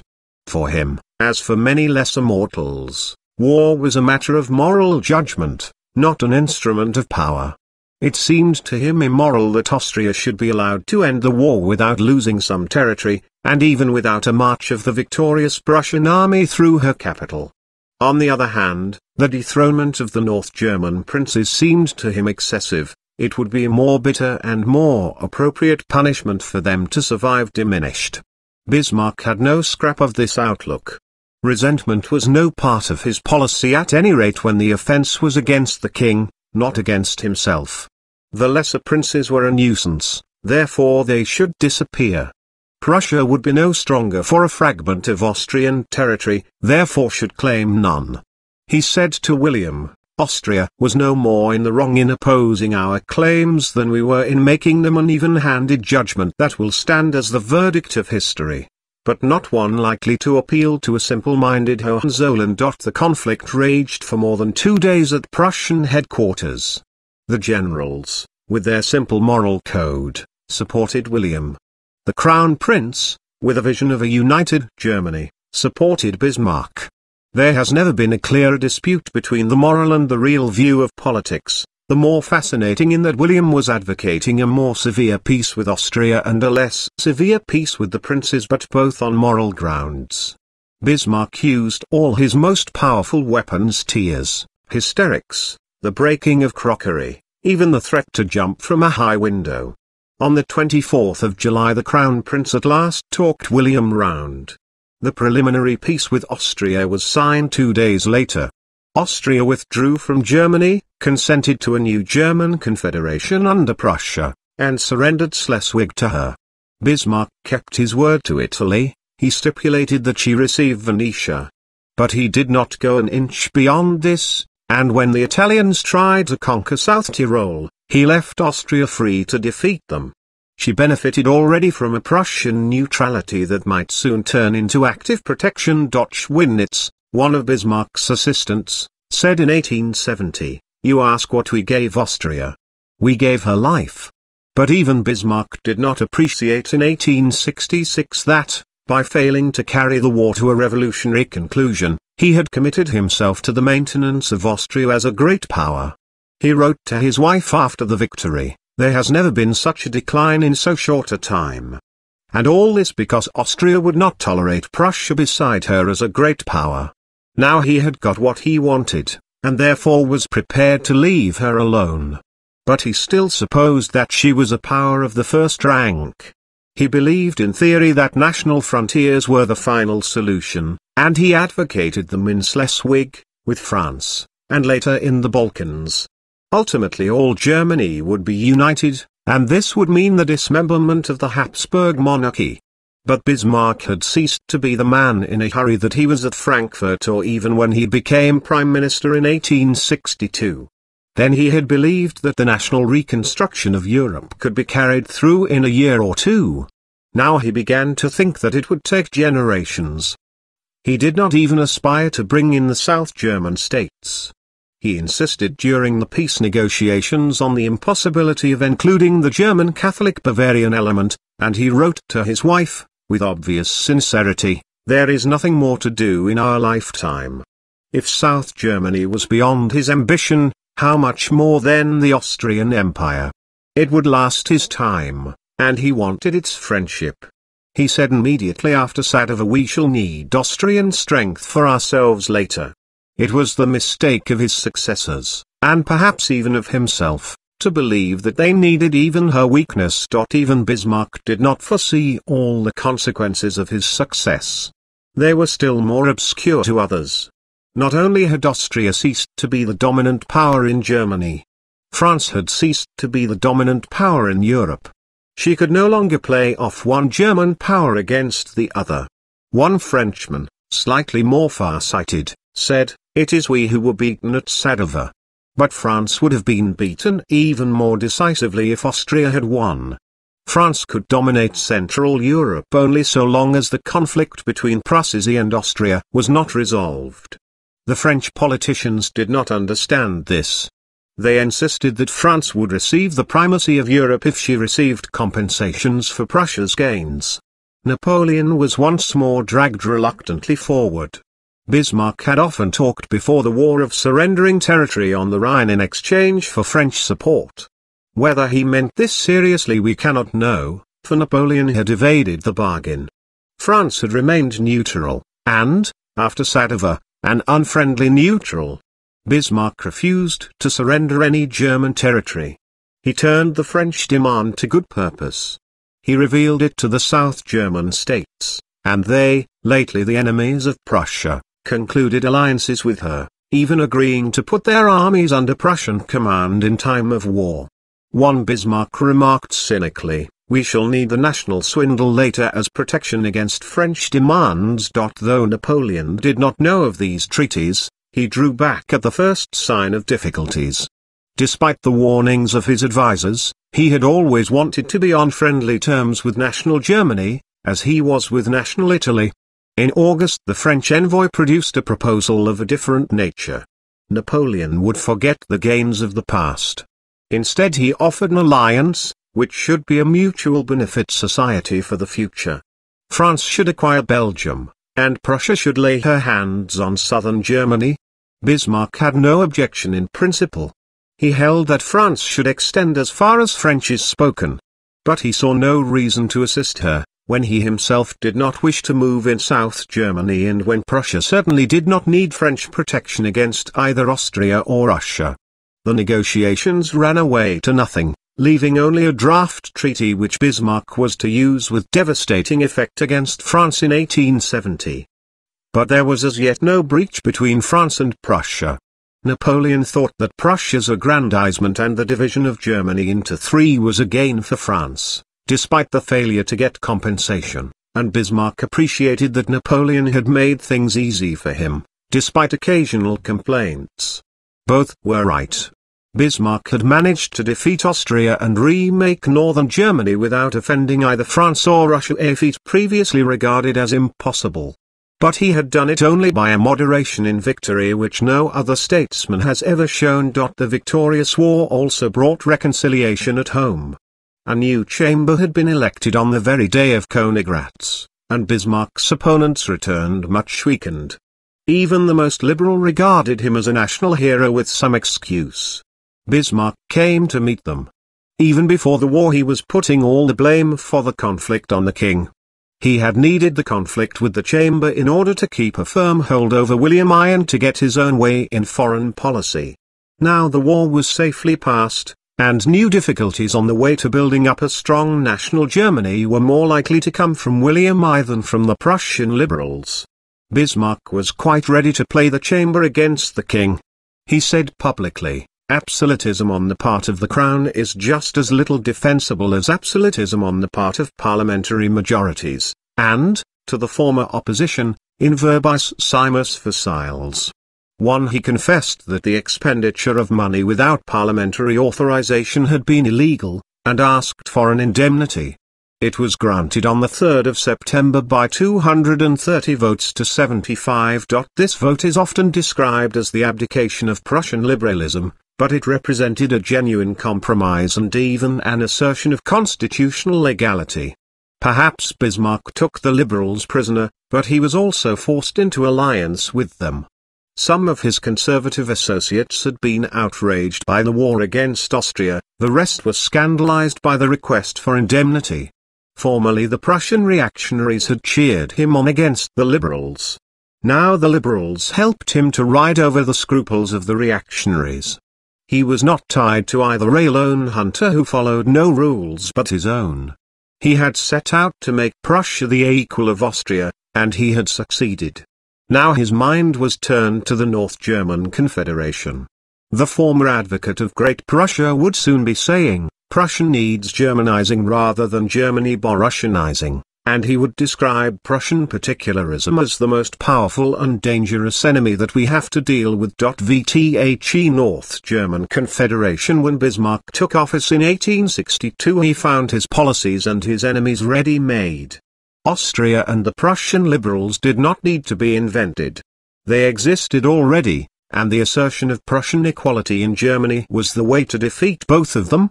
Bismarck's policy had been response to a challenge, his admirers have even described it as defensive, though it certainly took an aggressive form. There was no longer the same urgency after the victorious War of 1866. Prussia still had enemies. Francis Joseph might seek to undo the verdict of Sadowa, Napoleon III might be pushed by French opinion into opposing any further advance towards the unification of Germany. And there were domestic obstacles also to that union. But the enemies were not active. Bismarck had to take the initiative for the first time. The years between Sadowa and Sedan were for Bismarck years of transition when he moved from defense to creation. He ceased to be a Prussian and became a German. He almost became a liberal.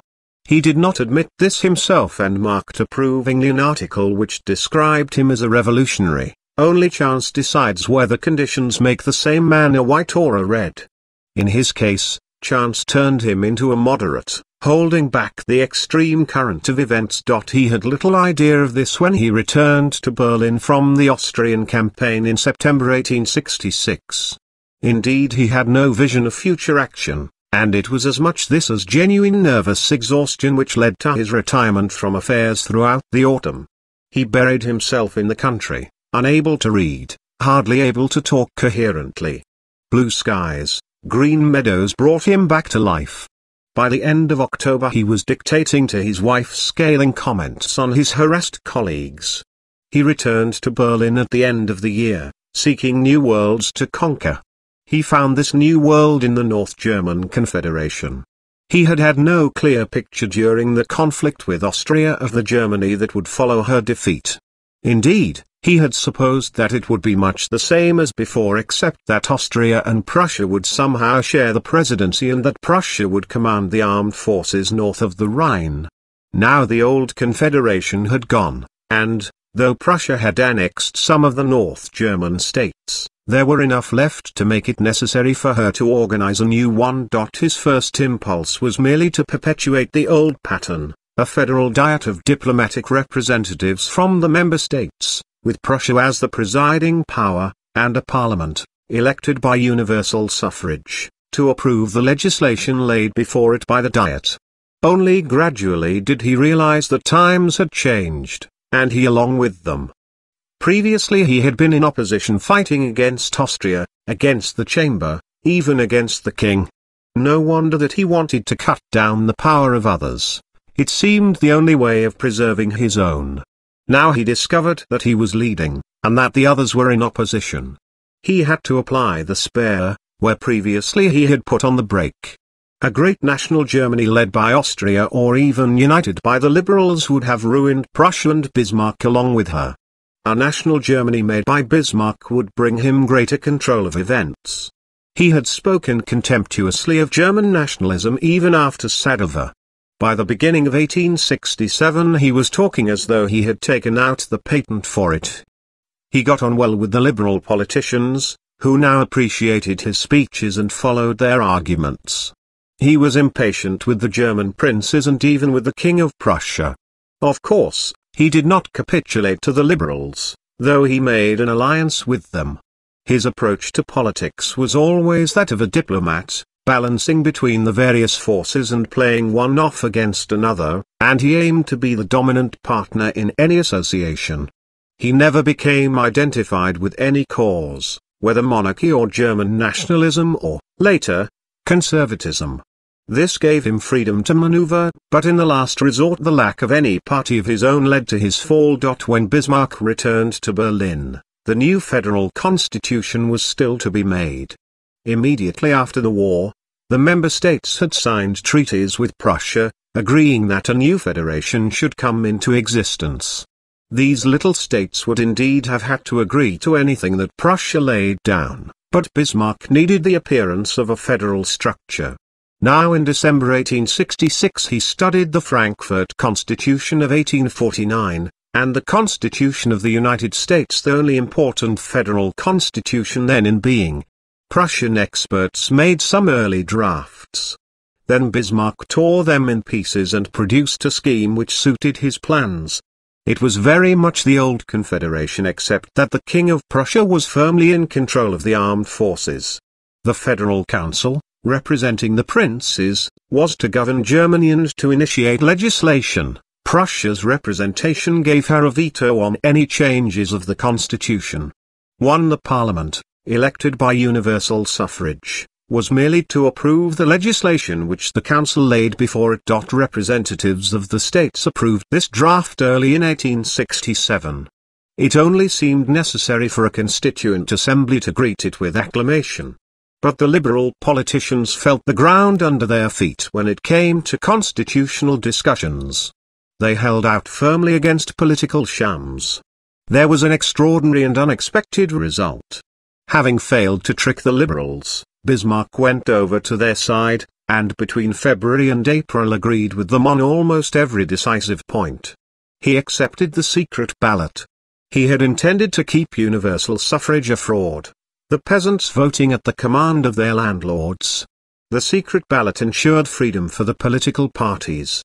In return Bismarck secured a concession which was in fact a blunder on his part. He refused to allow payment of members in order to avoid a class of professional politicians. He got something which he liked even less. Despite universal suffrage, Parliament was long dominated by liberal intellectuals of independent means the very class most alien to Bismarck. This was a relatively small issue. Greater concession soon followed over the army.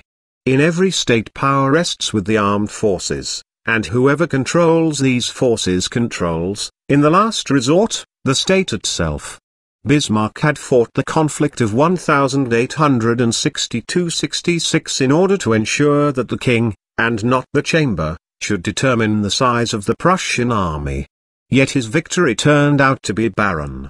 For now, though the Prussian army continued to exist, it was merely the largest contingent in the Federal Army of North Germany and whoever controlled that army would have the decisive power. In his original draft Bismarck had written the Federal Army into the Constitution. The annual intake of recruits was to be fixed on a percentage basis for good and all. The liberals held out more successfully than they had done in Prussia. There they had been tied by a constitution which gave the king much power, the Constitution of 1850. Now the federal constitution could not come into being without their agreement.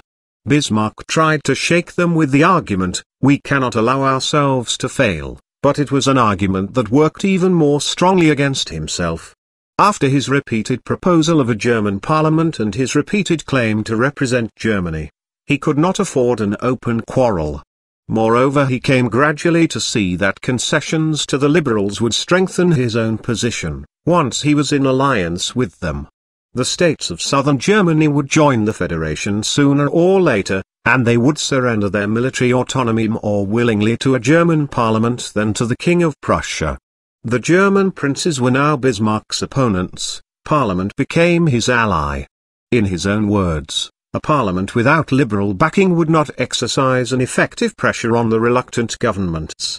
He therefore compromised with the politicians, as previously he had compromised with Austria, and put off the decisive struggle.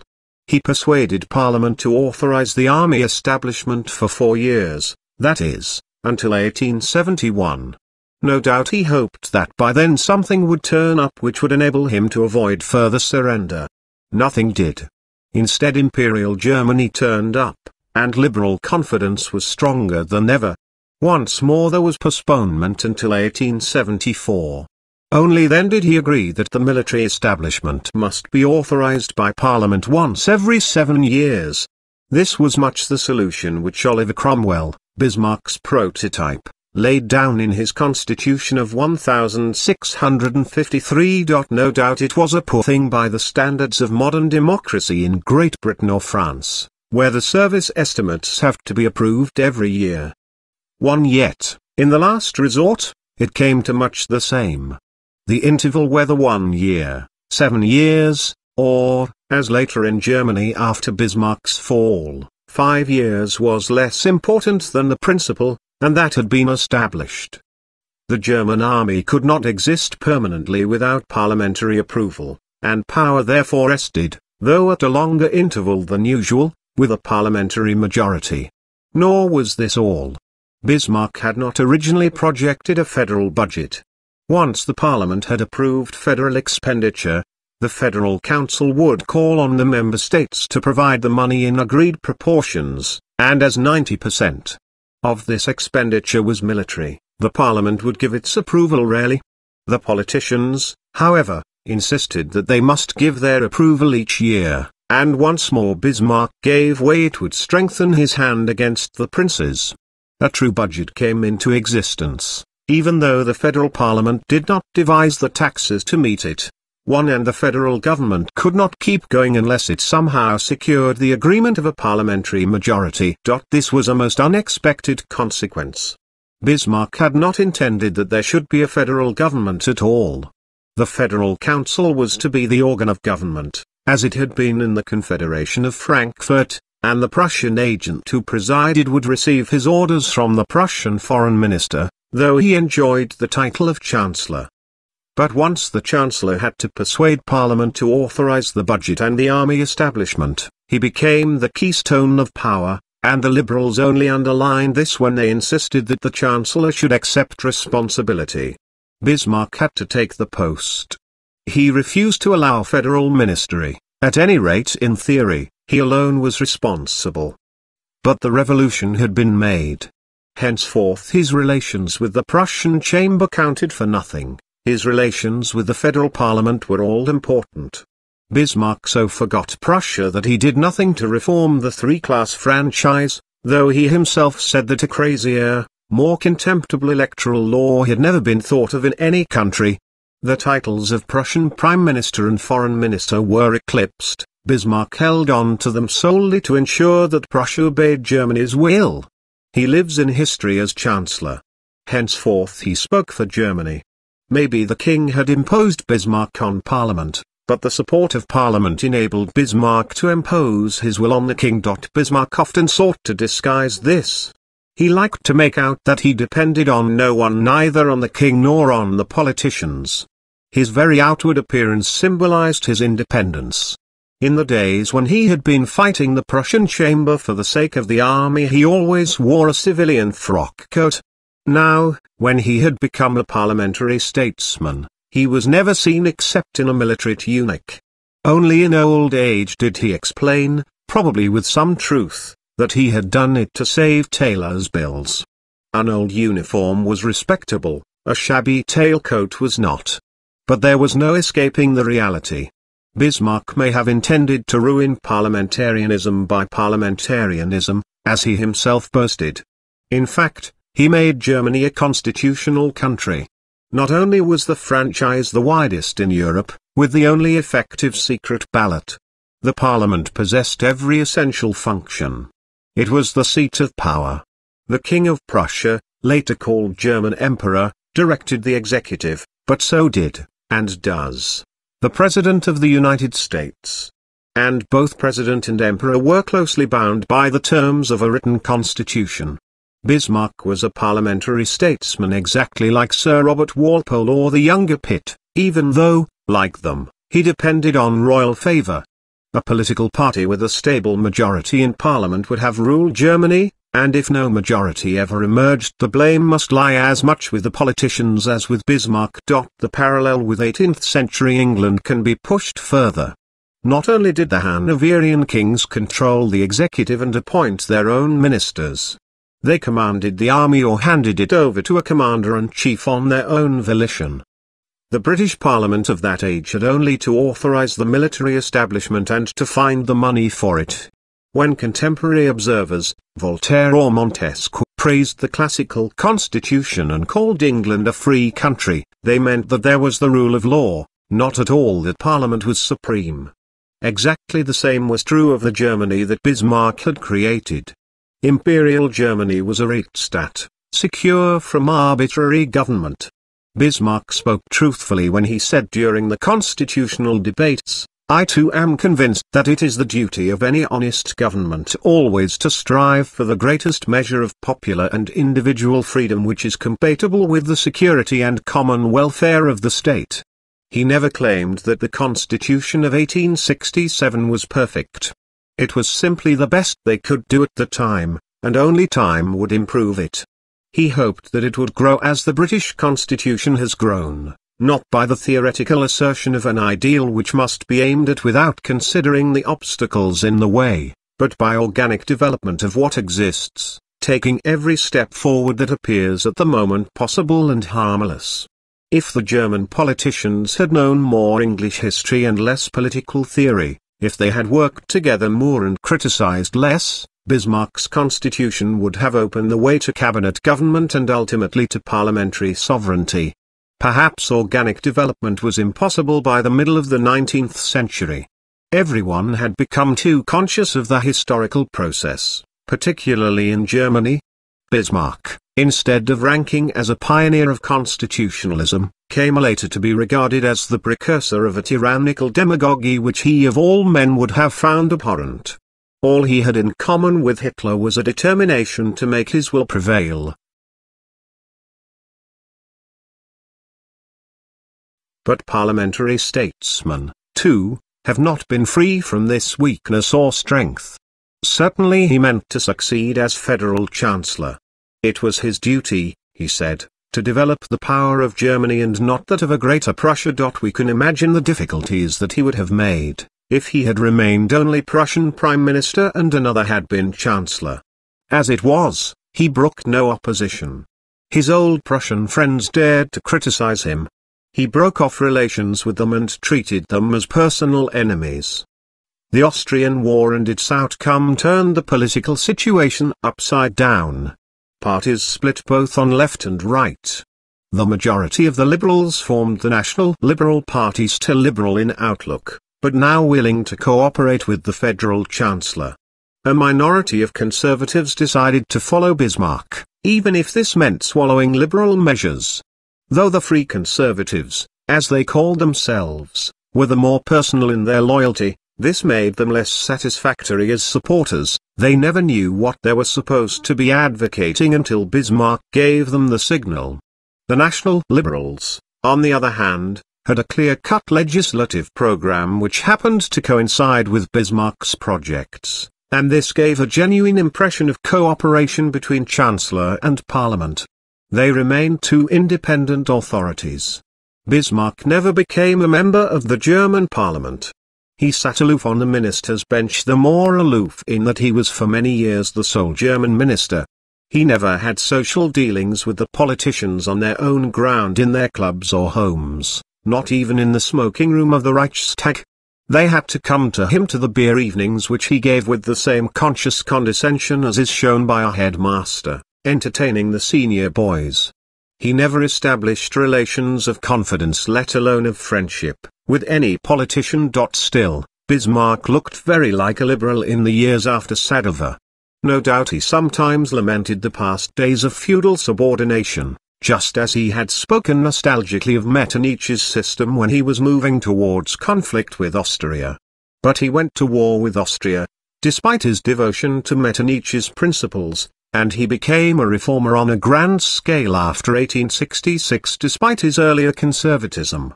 He claimed only to understand foreign policy, and the post of President of the Chancellor's office was created for his technical advisor, Delbruck. But Bismarck never relaxed his grasp of responsibility, and perhaps his early training as a Prussian administrator had left a deeper mark than he liked to confess. He altered Delbruck's draft laws to conform to a common pattern, and the new German Reichstat was largely of his making. In 1867 Germany did not exist except as a name on paper her only common possession the commercial code which Bismarck had helped to carry through the Federal Diet. Now, under Bismarck's direction, Germany was given all the qualities of a great modern state. The civil and criminal codes were ready before the making of the empire, a unified judicial system came into operation in 1873. In a curious, though trivial, gesture of decentralization, Bismarck allowed the High Court of Appeal to sit at Leipzig. Though he sometimes wearied of the legal technicalities, he enjoyed lecturing Parliament on general principles. Perhaps he overreached himself when he argued that only those who believed in personal immortality could support capital punishment. This would seem to be a strong argument in favor of atheism. The New Germany was as much his work as modern France was the work of Napoleon, and Bismarck had to cajole more, could order less. He never reconciled himself to the liberal demand for centralized administration. He paraded a countryman's distrust of bureaucrats all the more from having been one himself, and used to claim that, unlike most of the deputies, he had been at the receiving end of government orders. He, as a landowner, was a taxpayer, belonging to the misera contribuens plebs. His liberal critics had no property, no trade, no industry. In practice he did little to check the advancing march of bureaucracy. His economic ideas, too, were at this time little developed. He pushed on the establishment of a unified currency and of a unified financial system. Otherwise he accepted without much thought the free trade principles of his colleague, Delbruck. Yet he had qualms. He once proposed to subsidize the weavers of Silesia. When Delbruck answered that every industry would then ask for aid, and that therefore the state could do nothing, Bismarck commented, and therefore it is to help no one question mark the state can do it. As yet, no action followed. In foreign affairs, even more than at home, Bismarck had no clear aim after the victories of 1866. Previously he had been determined to settle the problem of German dualism. Now he asked only to be left alone, and his desire seemed to challenge no one. He was content to leave the South German states in their international independent existence. He said repeatedly, we have done enough for our generation. Austria was no doubt disgruntled, and Francis Joseph showed his help for revenge when he appointed Beust, former Prime Minister of Saxony and Bismarck's principal opponent among the German states, as Austrian Foreign Minister. But the danger was remote. The Austrian army was disorganized, her finances weak, and every political force in the Habsburg monarchy pulled against war. Bismarck understood this. The German Austrians know that an Austrian victory would rob them of their gains. The Hungarians know that a victorious Austrian army would overthrow their constitution. The Prussian General Staff never treated war against Austria as a serious problem after the Peace of Prague. The German problem had been settled and Bismarck now counted that European controversies would arise elsewhere at Rome or in the Near East topics from which Prussia and North Germany were profitably detached. Of the other powers, England was now moving towards complete isolation from continental affairs.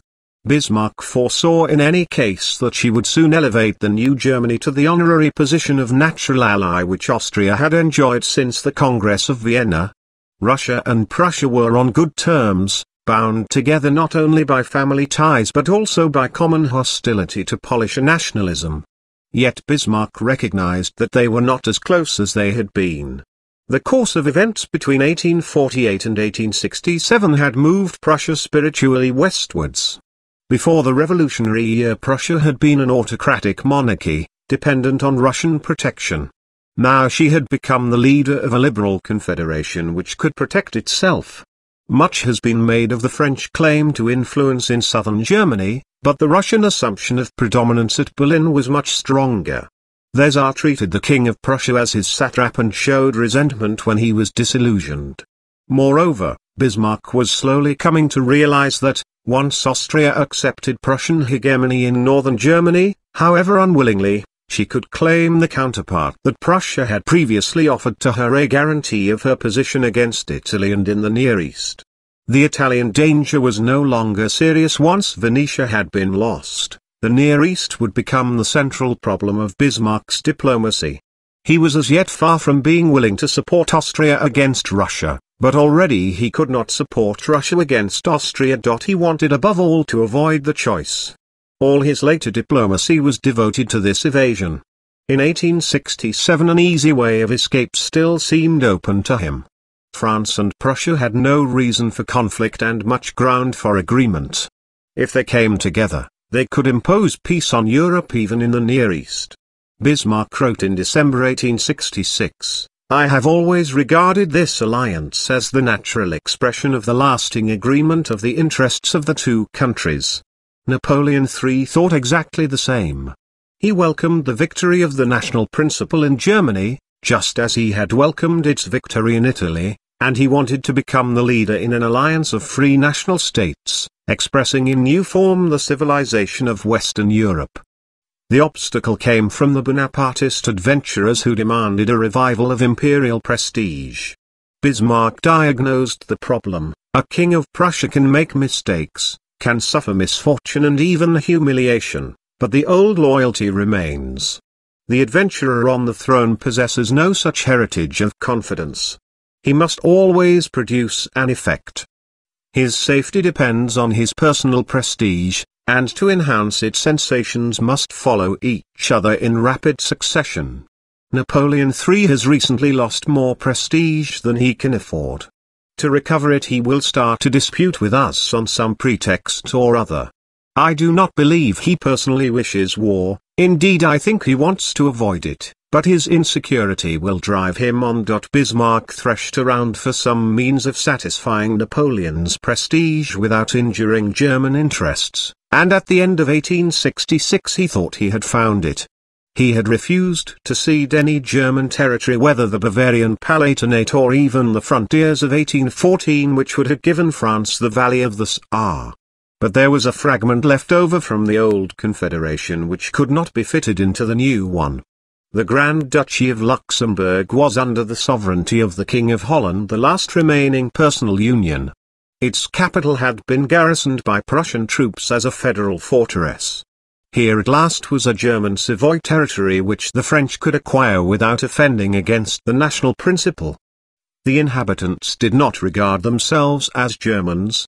The King of Holland would be glad to sell Luxembourg in order to pay his private debts, and, with the dissolution of the old confederation, the Prussian troops would in any case have to be withdrawn. Many writers, in the light of what followed, have accused Bismarck of setting a trap for France. This was not at all in keeping with his intentions in 1867, whatever it might have been three years later.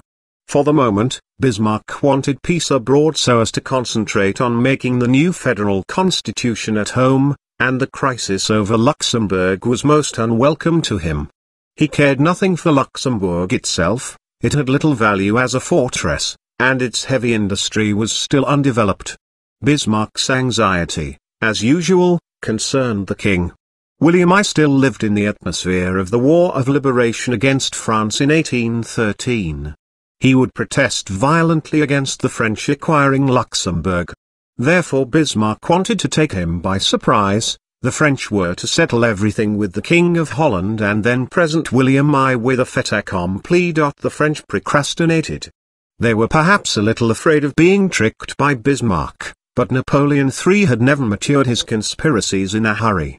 The King of Holland was not made ripe for cession until the end of March 1867.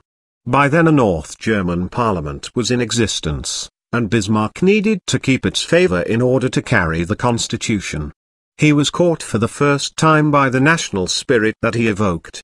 Those who argue that he often disregarded public opinion failed to see that, whereas between 1862 and 1866 his political life depended on his being on bad terms with the liberals, now their support was essential for his political success. Nothing is free in this world, and the crisis over Luxembourg was the price which Bismarck paid for the North German Confederation. He could perhaps have overruled the king, he could not disregard the liberal clamor against surrender of ancient Germanic lands. Yet even so, he did not mean to give way to it.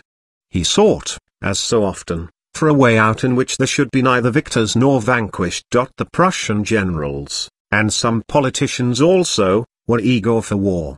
Moltke wrote, Nothing could be more welcome to us than to have now the war that we must have. Bismarck set his face against it.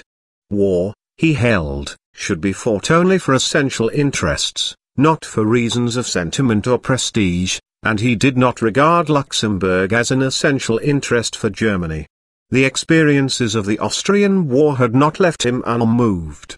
He was a civilian despite his military tunic and, what was more, a father with growing sons. He said on the battlefield of Sadowa, It makes me sick at heart to think that Herbert may be lying like this someday, and later, no one who has looked into the eyes of a man dying on the battlefield will again go lightly into war. Bismarck allowed the German parliament to storm but he kept his hands free. Bennigsen, the national liberal leader, demanded that Luxembourg should remain united with the rest of Germany, and that the Prussian garrison should not be withdrawn. Bismarck asked the deputies to have confidence that he would defend Germany's national interests. They did so. They were bewitched by his phrases and in the outcome failed to notice that he had surrendered the two points on which Bennigsen had insisted. Bismarck settled the affair with the first of his many diplomatic miracles satisfying German public opinion and yet giving the French all that they could reasonably claim. In earlier years Bismarck had excluded the other powers from the German question when he had wanted to defeat Austria. He called them into the question of Luxembourg. An international conference met on his initiative and found a compromise which should have satisfied all parties. Though Luxembourg remained an independent state, the Prussian garrison was withdrawn, its fortifications were razed, and its neutrality put under the collective guarantee of the great powers. All this was sheer gain for France, yet achieved with German consent. Luxembourg had long been called with some exaggeration the Gibraltar of the North. Now this Gibraltar disappeared and an ineffective guarantee took its place. Louis XIV would have regarded this as a great triumph. The road to invasion of Germany was more open than before to the French if they cared to take it. The French generals recognized this and, freed from the anxiety of a Prussian force in Luxembourg, they planned more light-heartedly the offensive strategy which, in fact, led them to disaster in 1870. But French opinion wanted a symbolical triumph, not a real one. Napoleon III was expected to show that nothing could happen in Europe without gain for France. Yet, one may ask, why should France acquire territory merely because northern Germany had been united? Unfortunately men do not reason in this way, and the settlement of the Luxembourg question, though eminently sensible, ruined good relations between France and Germany. Henceforth the French believed that they had been tricked by Bismarck, and regarded every step forward that he took as a step against them. No one appreciated this at the time. Bismarck himself feared the effect of the Luxembourg settlement on German, not on French opinion. His fears were not without foundation. One member of the North German parliament indeed protested against the compromise on grounds of national pride and appealed to the German people. This patriot was the Social Democrat, Bebel.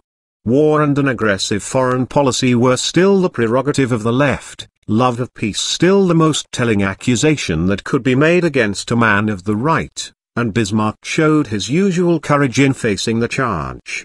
His dealings with German liberalism were the exact counterpart to the implicit bargain which he had made with King William in 1862. Then he had defended the rights of the crown and had exacted the price in a foreign policy directed against Austria. Now he offered the Germans liberal institutions and imposed a pacific foreign policy in return. Many liberals would have liked to challenge France and to show that Germany had taken her place as la grande nation. Bismarck dreaded war with France, not from fear of defeat, but because of the consequences which victory would bring. He said during the Luxembourg crisis, I shall avoid this war as long as I can. For I know, that once started, it will never cease.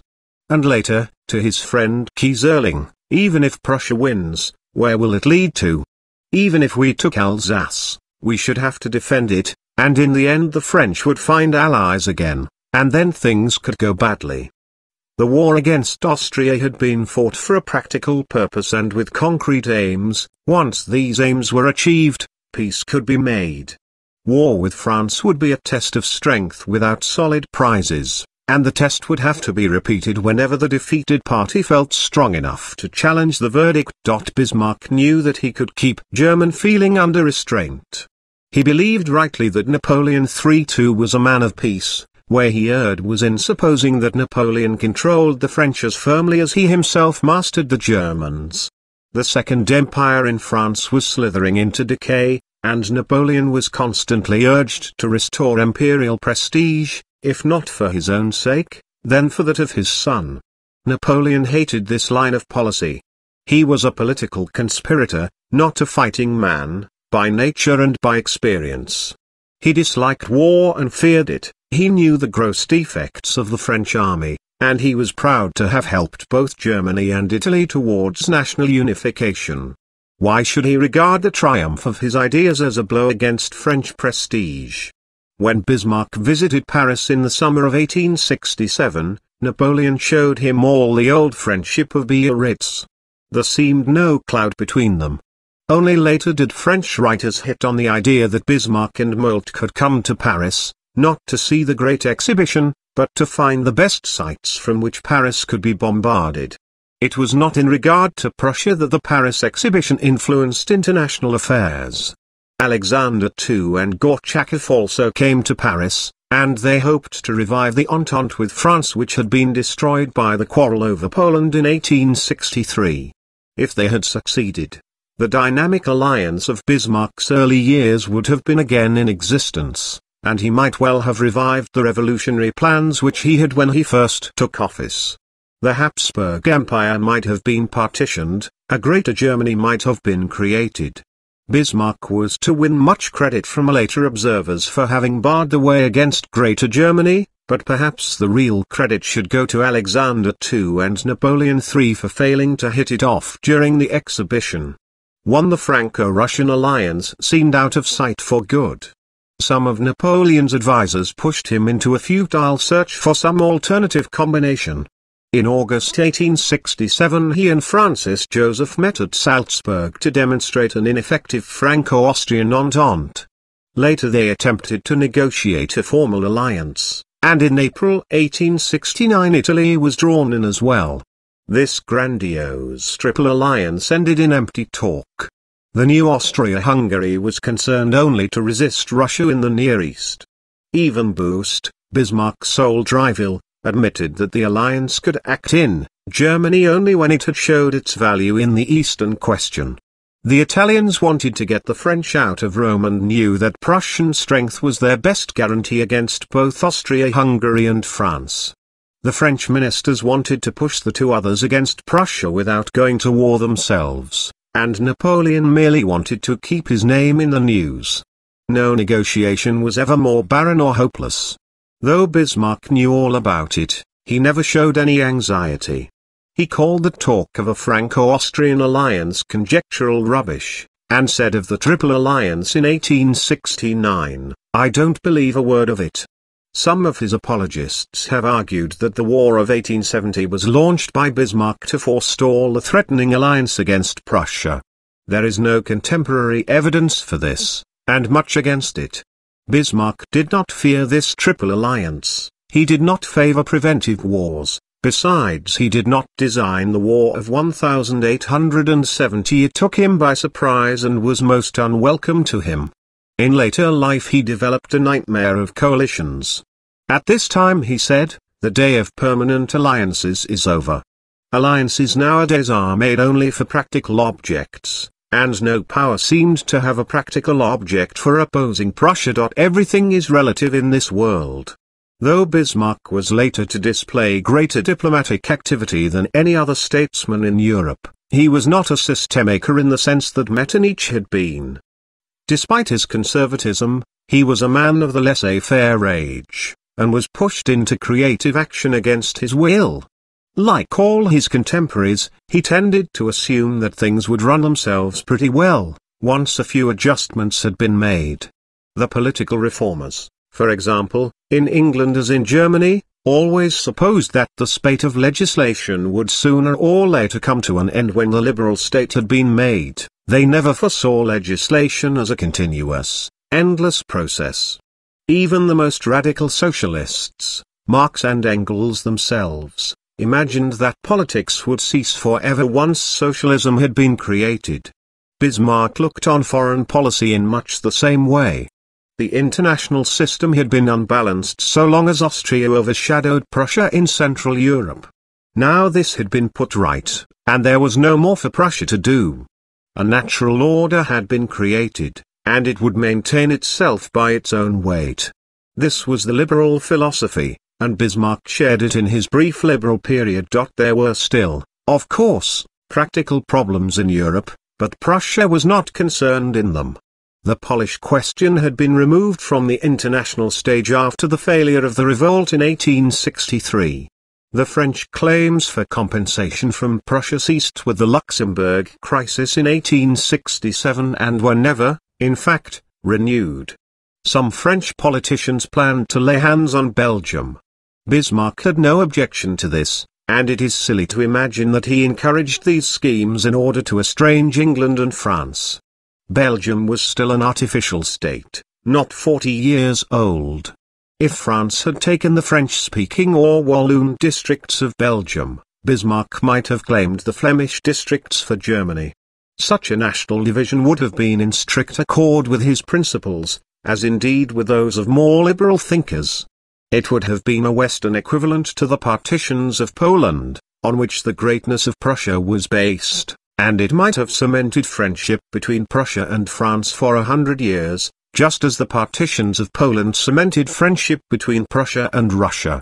It was not Bismarck's concern to overcome British objections nor, however, to encourage them. Apart from this, the only troublesome question in Western Europe was Rome, still occupied by French troops, but claimed by Italy. Here again Bismarck's only aim was to keep out of the way. He would not join France in guaranteeing papal sovereignty, Still less would he help the Italians to conquer Rome. The Eastern question gave him more anxiety, and he drew there a faint preliminary sketch for his more elaborate diplomacy later on. During the Crimean War he had wanted to take advantage of Austria's difficulties, but Prussia could only lose by a new Eastern conflict now that she was satisfied in Germany, his object was to keep Russia and Austria-Hungary at peace so far as he had a foreign policy at all, and the task was becoming more difficult. Russia was resuming her interest in the Near East after her defeat in the Crimean War, and the Austrians were turning to the Balkans now that they had been excluded both politically and economically from Germany. As early as 1868 Bismarck laid down that Prussia could not allow either empire to be again defeated, and he did something to ward off incipient dangers. For instance in 1868, when Romanian irredentism disturbed Austria-Hungary, he prevailed on the Hohenzollern ruler of Romania to silence the campaign. Again in 1869, when a revolt in Crete threatened to provoke war between Greece and Turkey and then to drag in the great powers, Bismarck acted for the first time as honest broker and arranged an acceptable compromise in an international conference at Paris. These were isolated episodes, dealing with occasional alarms. For most of the time between 1867 and 1870, Bismarck the greatest master of diplomacy in modern history had no foreign policy except to be left alone. Bismarck held the reins of power more loosely in his hands after the Luxembourg crisis and the making of the federal constitution. Indeed, he often talked of retiring from political life altogether. Between 1862 and 1866 he had lived only for public affairs, except for his trips to Biarritz with Kathy Orloff, now he began to look after himself, though he never saw Kathy again. Politics were for him a duty, not a pleasure, at any rate consciously, and he was always assuming that their claims on him would one day come to an end. He never acquired a home of his own in Berlin. In 1862 he moved into the house of the Prussian foreign minister in the Wilhelmstrasse, where Barbarina the platonic mistress of Frederick the Great had once lived and he stayed in these inconvenient old quarters for 28 years, always giving visitors the impression that he was camping there. His study gave directly off the entrance hall. It was littered with books and bric-a-brac, a railway timetable, a Russian grammar, and costly presents from the Tsar heaped up chaotically on tables and chairs. Paintings of crowned heads were piled against the walls some of them remaining unhung for 10 or 20 years. Upstairs some of the carpets were never laid. There were hardly any shelves for books and no separate library. The kitchen was inadequate for a public man, and the food had to be sent in from a restaurant on the one occasion in the year when Bismarck entertained the diplomatic corps to dinner. Only the cellars were properly stocked. When Bismarck left in 1890, 13,000 bottles of wine had to be cleared out in a couple of days. This is not surprising in view of his statement that he intended to consume 5,000 bottles of champagne in the course of his life and this only as light refreshment after the table wines and brandy, to say nothing of beer. Bismarck built on a few office rooms for his secretaries in the garden. Otherwise he made no attempt to provide the German Chancellor with a suitable residence and met all expostulations with the remark, what does not belong to me does not interest me. In 1867, however, he got something to interest him. The grateful Prussian parliament voted him 400,000 thalers, say, 40,000 pounds, on his return from the Austrian War, and with them he bought the Junker estate of Varzin in Pomerania. This fulfilled all his youthful dreams. Though even Johanna found the house unbearably ugly, Bismarck was delighted. As he said, whoever is interested in furnishing is not interested in food. The essential thing is to eat well. He buried himself in Varzin for months at a time five hours by slow train from Berlin, and then 40 miles on bad roads. There were no visitors, and virtually no social life with the neighboring gentry. The estate was covered with trees, indeed overburdened with them. It would have been sounder to clear the ground and cultivate it, but, Bismarck said, if I wanted to see maize growing, I need not have left Schönhausen, and he guarded every decaying tree as though his own life depended on it. There was something pathetic and yet absurd in this man of only fifty already identifying himself with an old weather-beaten oak. The sophisticated intellectual from Berlin was building up a legend even for his own benefit. Not that Bismarck failed to turn Varzin into a money-making concern. He became an industrialist like many another junker. He manufactured spirits for the market and ran a paper factory, exploiting his political position to get favorable contracts from the Prussian and even from the Russian state. It was also characteristic that he got from William I a secret decree, exempting the entail of the property from stamp duty.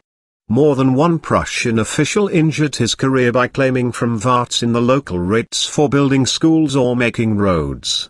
The old aristocratic politicians from the Duke of Newcastle to Metternich ruined themselves in the service of the state. Bismarck always saw to it that his accounts balanced, despite his ceaseless complaints of poverty. He lived at Varzin a patriarchal life, patronizing his peasants and even occasionally beating them. Yet the reality for which he lived was the daily arrival of the courier from Berlin. Nothing could be done without Bismarck. Internal affairs did not interest him, and he often delayed an answer for months at a time. But he poured out penciled comments on foreign policy, and the North German Confederation somehow kept going, though ambassadors complained that they never saw the man on whom policy depended. Bismarck was already in search for new decisions. In 1866 he had grasped at what was within reach the unification of Germany north of the Main. Now he was intoxicated with his success in wielding the weapons of liberalism, and he who had once sneered at the idea of uniting Germany by public opinion and moral appeal planned just this in regard to South Germany. The War of 1866 had dissolved the treaties of the customs union, and when Bismarck renewed them he introduced a customs parliament, which was to be made by adding representatives of the southern German states to the existing federal parliament. The South Germans would be elected by universal suffrage, free from bureaucratic control. In this way an all-German parliament would come into existence almost unperceived. The maneuver was not a success. The Roman Catholic peasants of South Germany used their new franchise to bring a clericalist party, the Centre, into existence. Bavaria returned 26 clericals out of 48 members, all Germany south of the Main returned 50 particularists against 35 supporters of unification, and when the Customs Parliament met in April 1868 the South Germans took care that it never strayed from the narrow path of tariffs. Bismarck preached patience, an arbitrary interference in history brings only the gathering of unripe fruit, and it is obvious to me that German unity is not a ripe fruit at this moment. He took the members of the Customs Parliament on a trip to Kiel, to see German warships actually afloat, and to Hamburg, where they saw the beginnings of Germany's world trade. There was a strange symbolism in this echo of the Frankfurt Parliament of 1848 with its abortive plans for a German navy, but it made little appeal to the suspicious clericals from the south. Dot thereafter Bismarck's helps for German unity ran backwards.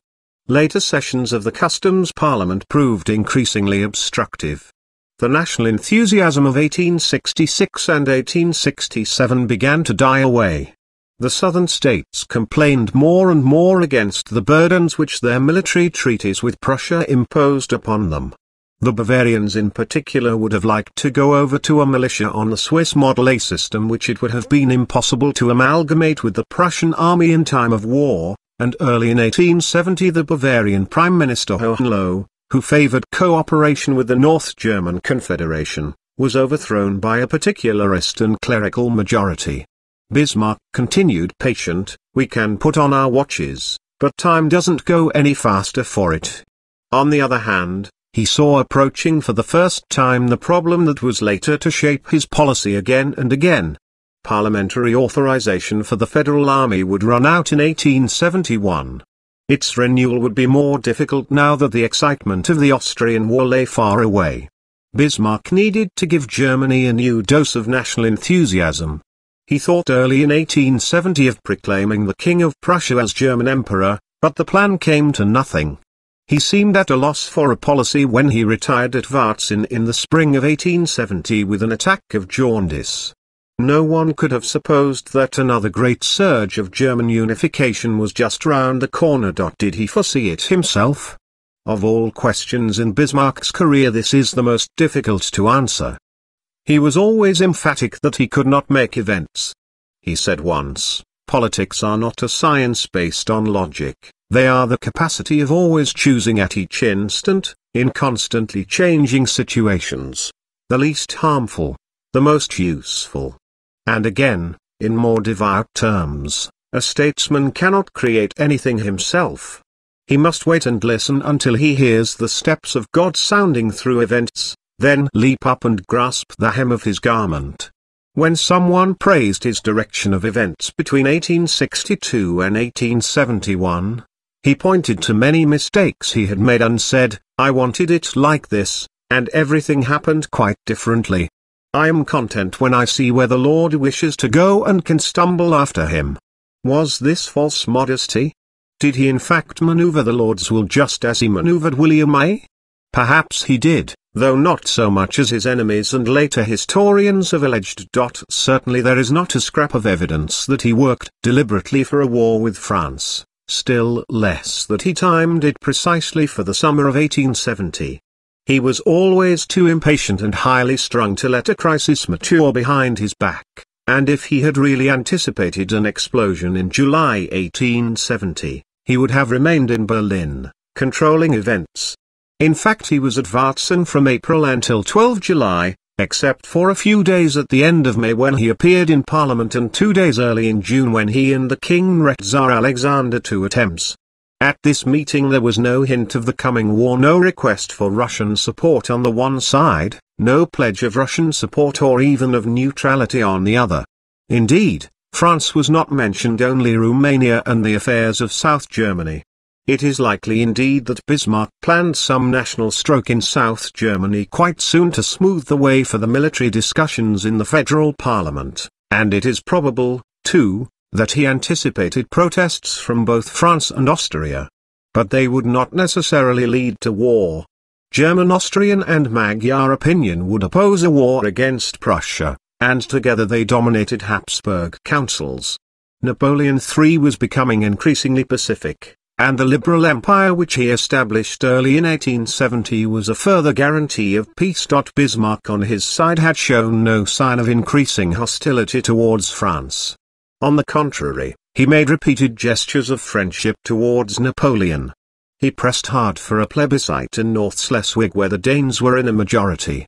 This would please Napoleon's nationalist principles, and Bismarck favored it also.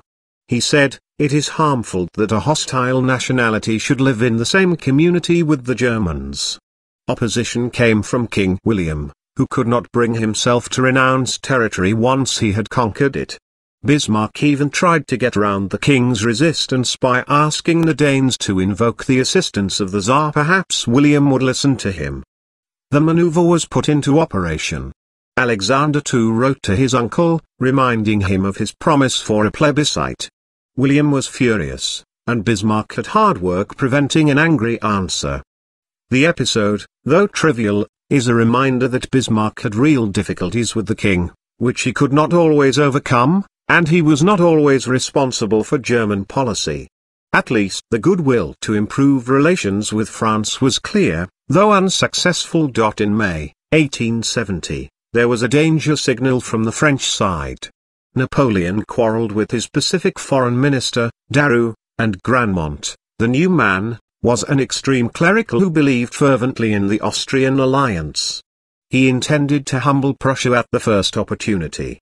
Yet neither Gramont nor Bismarck foresaw the crisis that blew up in July 1870, when it suddenly became known that Prince Leopold of Hohenzollern was about to be elected King of Spain. This affair had a long and obscure history which has given rise to even more than the usual dogmatism always associated with war origins. In 1868 the dissolute Queen Isabella had been turned off the throne of Spain, and ever since the vacant throne, had been hawked around Europe. The French were busy in Madrid, intriguing for one candidate after another, as though Spain was their private property, and early in 1869 Bismarck urged Prince Leopold to become a candidate also. Leopold was a Roman Catholic, but not a clerical, he was married to a daughter of the former King of Portugal and also closely related to the Bonapartist House of Murat, and his younger brother had become Prince of Romania on French nomination. It is impossible to decide with any confidence why Bismarck involved Germany in Spanish affairs, usually he tried to keep out of such remote questions. Perhaps he wanted the Hohenzollerns to think of themselves as rulers of a great power, and no longer obscure princes in North Germany. He may have had an eye on Spanish trade. There were two more practical motives. Firstly, Bismarck was not a Lutheran for nothing. He regarded Roman Catholicism as his enemy, particularly in the obscurantist form it was taking under the direction of Pius IX. The clericals were already Bismarck's principal opponents in Germany, and the culture Kulturkampf against them was just around the corner. It would be a great stroke against clericalism, as well as against radical republicanism, if Spain acquired a liberal Catholic king, and one highly pleasing to Protestant German liberals. There was also a motive in foreign policy. Leopold's candidature was a precaution against the projected Franco-Austrian alliance.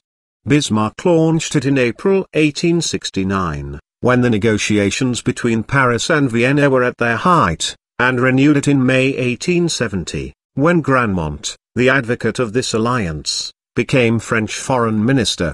The alliance, if it had ever come to anything, would not have operated in the first place against Prussia, it would have operated against Russia in the Near East. But Russia would then have turned to Prussia for support, and this would have revived all the embarrassments of the Crimean War. Spain under a German prince might deter France from an active Eastern policy at any rate it was worth trying.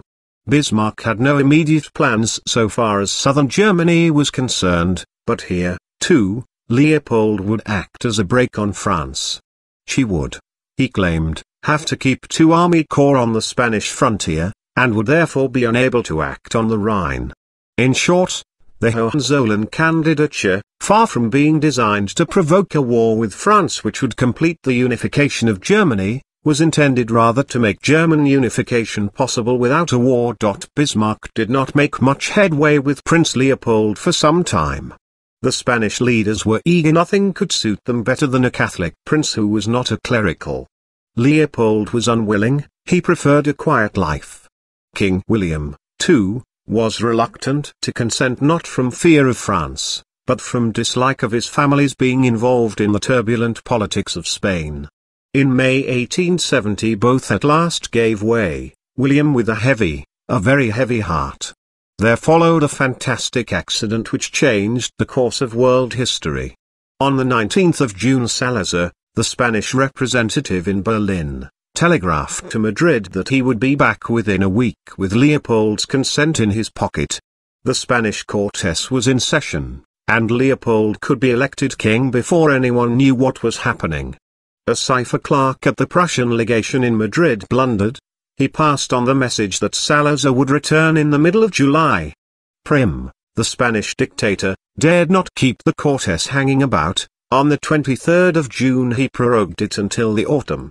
When Salazar returned on the 26th of June he found Madrid deserted. Prim agreed to recall the Cortes, but he had to reveal why it was being summoned. On the 2nd of July the news that Leopold was to be elected King of Spain reached Paris. This was Gramont's opportunity. He wanted to restore the prestige of the Napoleonic Empire and to show that he was a more forceful foreign minister than his predecessors. Had he wished merely to bar Leopold from the Spanish throne, he should have protested in Madrid, and the Spaniards would have given way, as they did a fortnight later. But Gramont wanted to humiliate Prussia and to restore French primacy in Europe. He said on the 6th of July, We have unanimously agreed to march. We have carried the chamber with us, we shall carry the nation also. Gramont had chosen his ground well. The Austrian ambassador in Paris said to him, You have seized the chance of either scoring a diplomatic success or of fighting a war on a subject where no German national feeling can oppose you. And Gramont replied, You put it exactly. The states of southern Germany resolved one after another not to be involved in the dynastic affairs of the House of Hohenzollern. But the Hohenzollern dynasty had no wish to be involved itself. Leopold was eager to give way, and King William encouraged him. On the 12th of July Leopold announced his withdrawal law, to be precise, his father announced it for him. The French success was complete. Bismarck had recognized the dangerous ground he was on from the first moment that Leopold's candidature had become known. Had he intended to provoke a war with France, he would have hurried to join the king at Ems, just as he never quitted William's side during the crisis which preceded the war with Austria. Instead he remained buried at Varzin, even failing to answer the king's agonized requests for advice until too late. He was indignant when William listened to the French complaints, but he would have been equally angry if William had rejected them. His overriding consideration was not some high issue of foreign policy, it was to shift on to William the responsibility for any failure and yet to grasp for himself the credit for any success. On the 12th of July Bismarck at last left Varzin.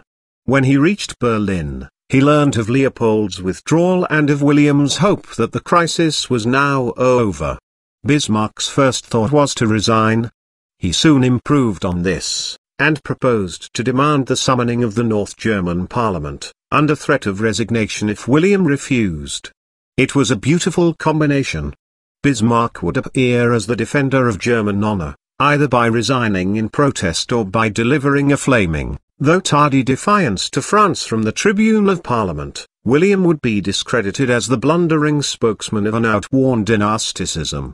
This policy showed little loyalty to the House of Hohenzollern, but Bismarck was often ready to risk the king's position when his own power or popularity were at stake. This time it turned out to be unnecessary. While Bismarck sat in Berlin intriguing against the king, Napoleon III and Gramont fired a new shot from Paris. They made further, more extreme demands demands which would either display the humiliation of Prussia or force war upon her. William must endorse Leopold's withdrawal. He must apologize for the candidature and promise that it should never be renewed. If not, war would follow. These demands were presented to William I at Ems on the 13th of July. He still did not understand what was at stake. Though he rejected the new French demands, he repeated the announcement of Leopold's withdrawal and supposed that he had made a fine stroke for peace. When William's report of these doings reached Berlin, Bismarck saw his chance at last. He cut out William's conciliatory phrases and emphasized the real issue. The French had made certain demands under threat of war, and William had refused them. This was no forgery, it was a clear statement of the facts. There is curious evidence of this, which is often overlooked.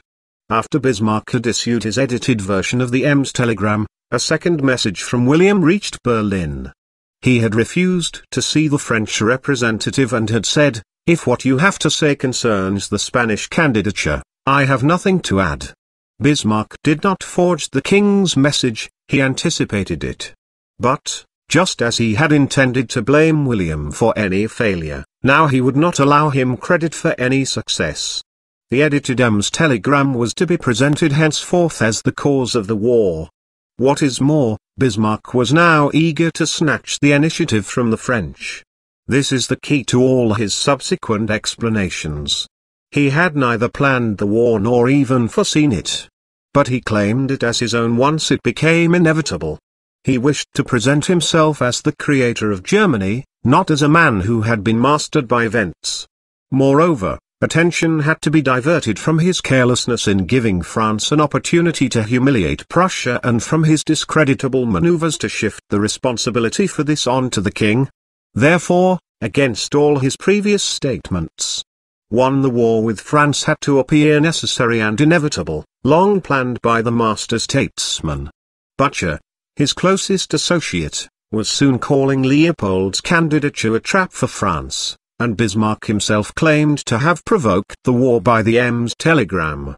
Probably he came to believe his own story and spoke in all sincerity on the 30th of July 1892, when he declared, We could not have set up the German Reich in the middle of Europe without having defeated France.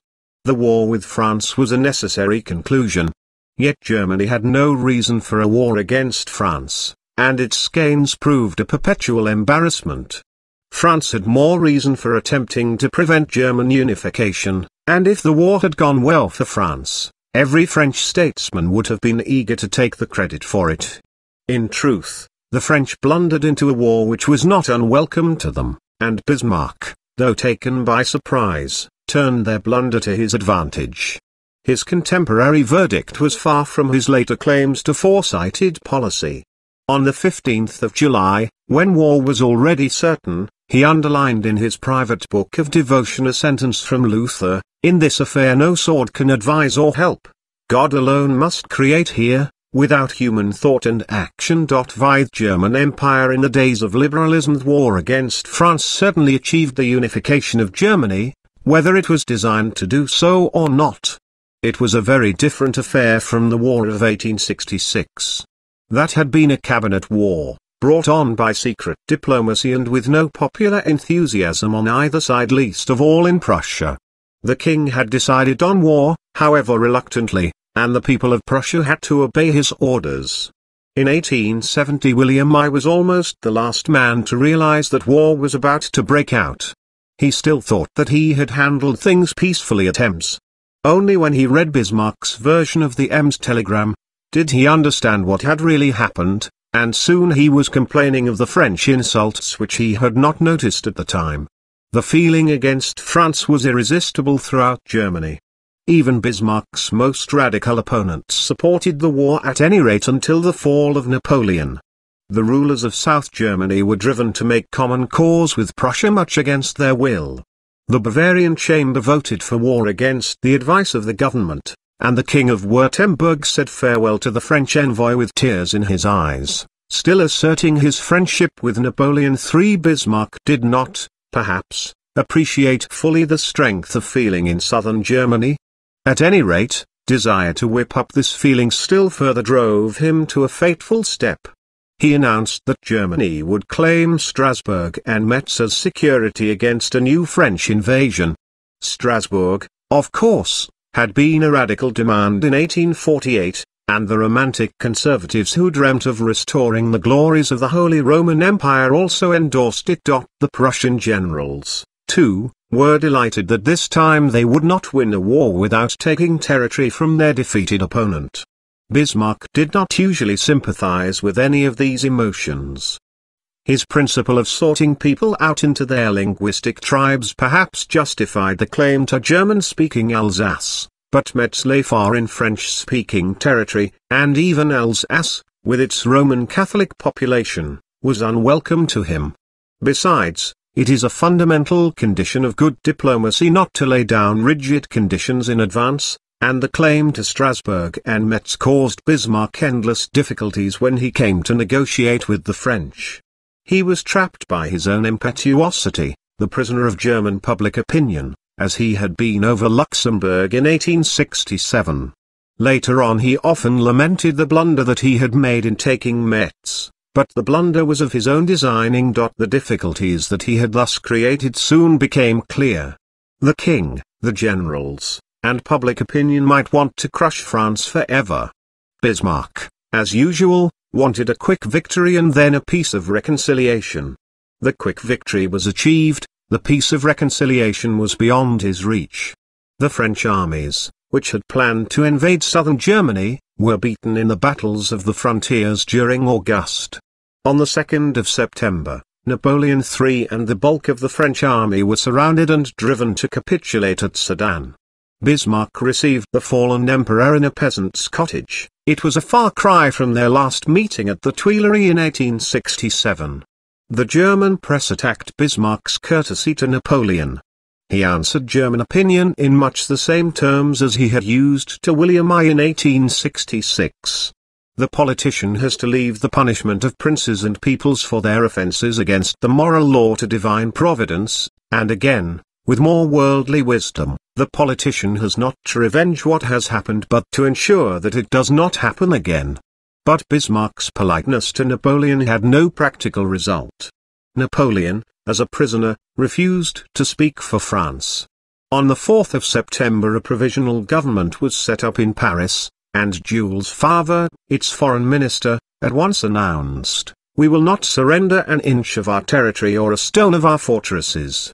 A meeting between Favre and Bismarck proved barren. Bismarck had to demand Strasbourg and Metz, whether he would or no, and Favre could not surrender them. Henceforth France was fighting for her national integrity, not for imperial prestige or for influence across the Rhine, and the Germans were fighting a war of aggression and conquest. The war took on a new character French partisans on the one side, ruthless oppression, by the standards of the time, on the other. Gambetta tried to inspire French opinion and to create fresh armies. Bismarck sought to make the French war-weary, and became war-weary himself. When Bismarck joined the king at military headquarters, he imagined that he would be back at Berlin within a month. As it was, though the German armies swept through northern France, they were held all winter at the siege of Paris, and Bismarck, too, had to settle down at Versailles, which he left only on the 6th of March 1871. It was a strange system by which the sole responsible minister of a great state remained for six months in a foreign town, but Bismarck knew that he was powerful only so long as he was in personal contact with the king, though even then he was not always successful. At Versailles he had three tasks to influence the conduct of the war, to prevent European intervention between France and Germany, and to create the German Reich. Of the three, the first was probably the most difficult, certainly the most exasperating for him. The Prussian generals were determined not to repeat their mistake of 1866, when Bismarck had snatched the fruits of victory from them almost before the fighting had started. This time they would allow no civilian, not even Bismarck, to interfere with their war. Though Bismarck was now a major general, one he was excluded from the councils of war, and he was reduced to learning the progress of the campaign from the Berlin newspapers. He replied by speaking contemptuously of the demigods of the general staff and declared, none of them except the good old Moltke could stand up to critical scrutiny. It was indeed fantastic that he should be kept ignorant of military developments, but, with perhaps less justification, he also wished to dictate them. Ever fearful of European intervention, he was impatient to force a French surrender and demanded that Paris be bombarded instead of being reduced by hunger. There may have been sound military reasons against this course. But Bismarck, as always, detected a conspiracy against himself perhaps by the Crown Prince, perhaps by his English wife, perhaps by Queen Augusta, in any case by someone. The demigods, he insisted, regarded Paris as the center of modern civilization instead of as the modern Sodom. In the end he got his way and Paris was ineffectually bombarded, though it was hunger that brought surrender. The estrangement between Bismarck and the generals was never overcome, and nothing could be more false than to suppose that he favored military rule in Germany. The only general he wished to see in power was General Count Bismarck. The danger of European intervention was never serious. Neither Russia nor Great Britain regretted the defeat of France. Russia hoped for a freer hand in the Near East, Great Britain was relieved of her anxieties in regard to Belgium. Italy was content to have occupied Rome on the 20th of September and was already looking to Germany as her new patron. Only Austria-Hungary might have entered the war against Prussia and then only if France had won the first battles. She was saved from disaster by her usual policy of delay. By October Francis Joseph was saying to the Prussian ambassador, you cannot expect me to like what has happened. But I shall agree to anything, I shall do nothing.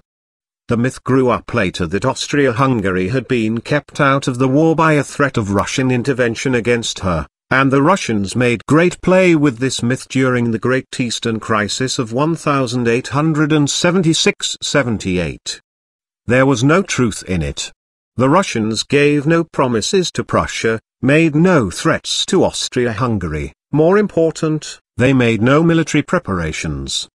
The Austrians kept out of the war solely from a well-founded reluctance not to tie themselves to a country that was already defeated. When Thiers, the veteran French statesman, toured Europe in an effort to provoke some intervention or at any rate mediation, he received only empty words. The British were busy building a league of neutrals, all pledged to stand aside. Beust said sadly to Thiers, I do not see Europe anymore, and the Russians told him that they would welcome an alliance with France when the war was over. France had to do what she could on her own. Bismarck had grown up when the concert of Europe was a reality, and it was difficult for him to appreciate that it no longer existed. He was driven desperate by the fear of European intervention, while the demigods of the General Staff fumbled on with the siege of Paris. He had a further alarm at the end of October when the Russians denounced the clauses of the Treaty of Paris, 1856, neutralizing the Black Sea. For, though Bismarck cared nothing about the Black Sea one way or the other, the clauses concerning it could only be undone by an international conference, and at this meeting the French might at last discover the Europe which had hitherto evaded him.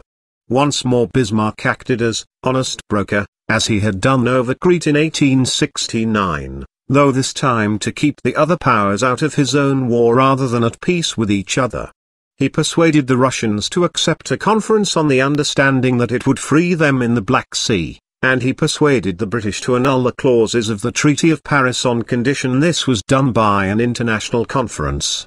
In return both powers gratefully accepted Bismarck's condition that the conference should limit itself strictly to the Black Sea and that the Franco-German War should not be mentioned. Here again a myth grew up that Bismarck gave the Russians what they wanted in the Black Sea in exchange for their support against Austria-Hungary. In reality, Bismarck was angry with the Russians for raising the question at this time, and far from supporting them, he balanced between Great Britain and Russia as he was to continue to do for the rest of his life. The Russians accused him of being pro-British, the British of being pro-Russian. He was neither. He considered only the interests of his own country always the worst offence that a statesman can commit in the eyes of foreigners. In much the same way, he was indifferent to the form of government in France. What he wanted was to make peace as soon as possible of course, on his own terms. If the provisional government in Paris had agreed to surrender Strasbourg and Metz, he would have recognized it without a qualm. When it tried to evoke a patriotic revival, he developed constitutional scruples and announced that the empire was still the legitimate government of France. But again all that mattered to him was a quick peace. he negotiated with the Empress Eugenie, who was in exile in London, and with Bazaine who held out for a time in Metz. Napoleon III refused to exercise any political activity while remaining a prisoner. None of the Bonapartist spokesmen would agree to the surrender of territory, and Bismarck soon dropped them. Despite his suggestion that an empire, restored by German arms, would be the most pacific form of French government in the future. Certainly he talked of the social dangers which would follow a long war, but the ghost was evoked to frighten others, not himself. For the time being he failed to shake French resolution, either among the Bonapartists or in the provisional government, and he resigned himself to the fact that no peace was possible until Paris had fallen. During this long delay Bismarck feared that German resolution would break down sooner than the French. The unanimous enthusiasm of the first victories did not survive Sedan. Some radicals and social democrats took the line of high principle that Germany was now fighting a war of aggression, and anti-war agitators were imprisoned even in East Prussia. The princes and politicians of South Germany were more concerned to preserve their independence. On the 23rd of September Louis II of Bavaria, though still effervescing with German enthusiasm, said, but we are not going to enter the North German Confederation, eh? Even Bismarck had not intended any such thing when the war broke out. The military treaties had provided adequate unity on the battlefield and he still had a deep Protestant distrust against organic unity with the Roman Catholics of South Germany. He wrote on the 23rd of July, just after the outbreak of war, we shall let the measure of our mutual cooperation depend entirely on the free decision of our South German allies. This was enough for the first victories, it would not last or so he feared for a long war. He pushed the South German states into the Reich not at all with a vision of a distant future but solely to keep them in the war.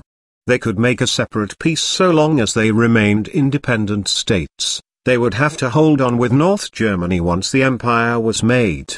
This anxiety explains the haste with which he drove the negotiations for unity forward.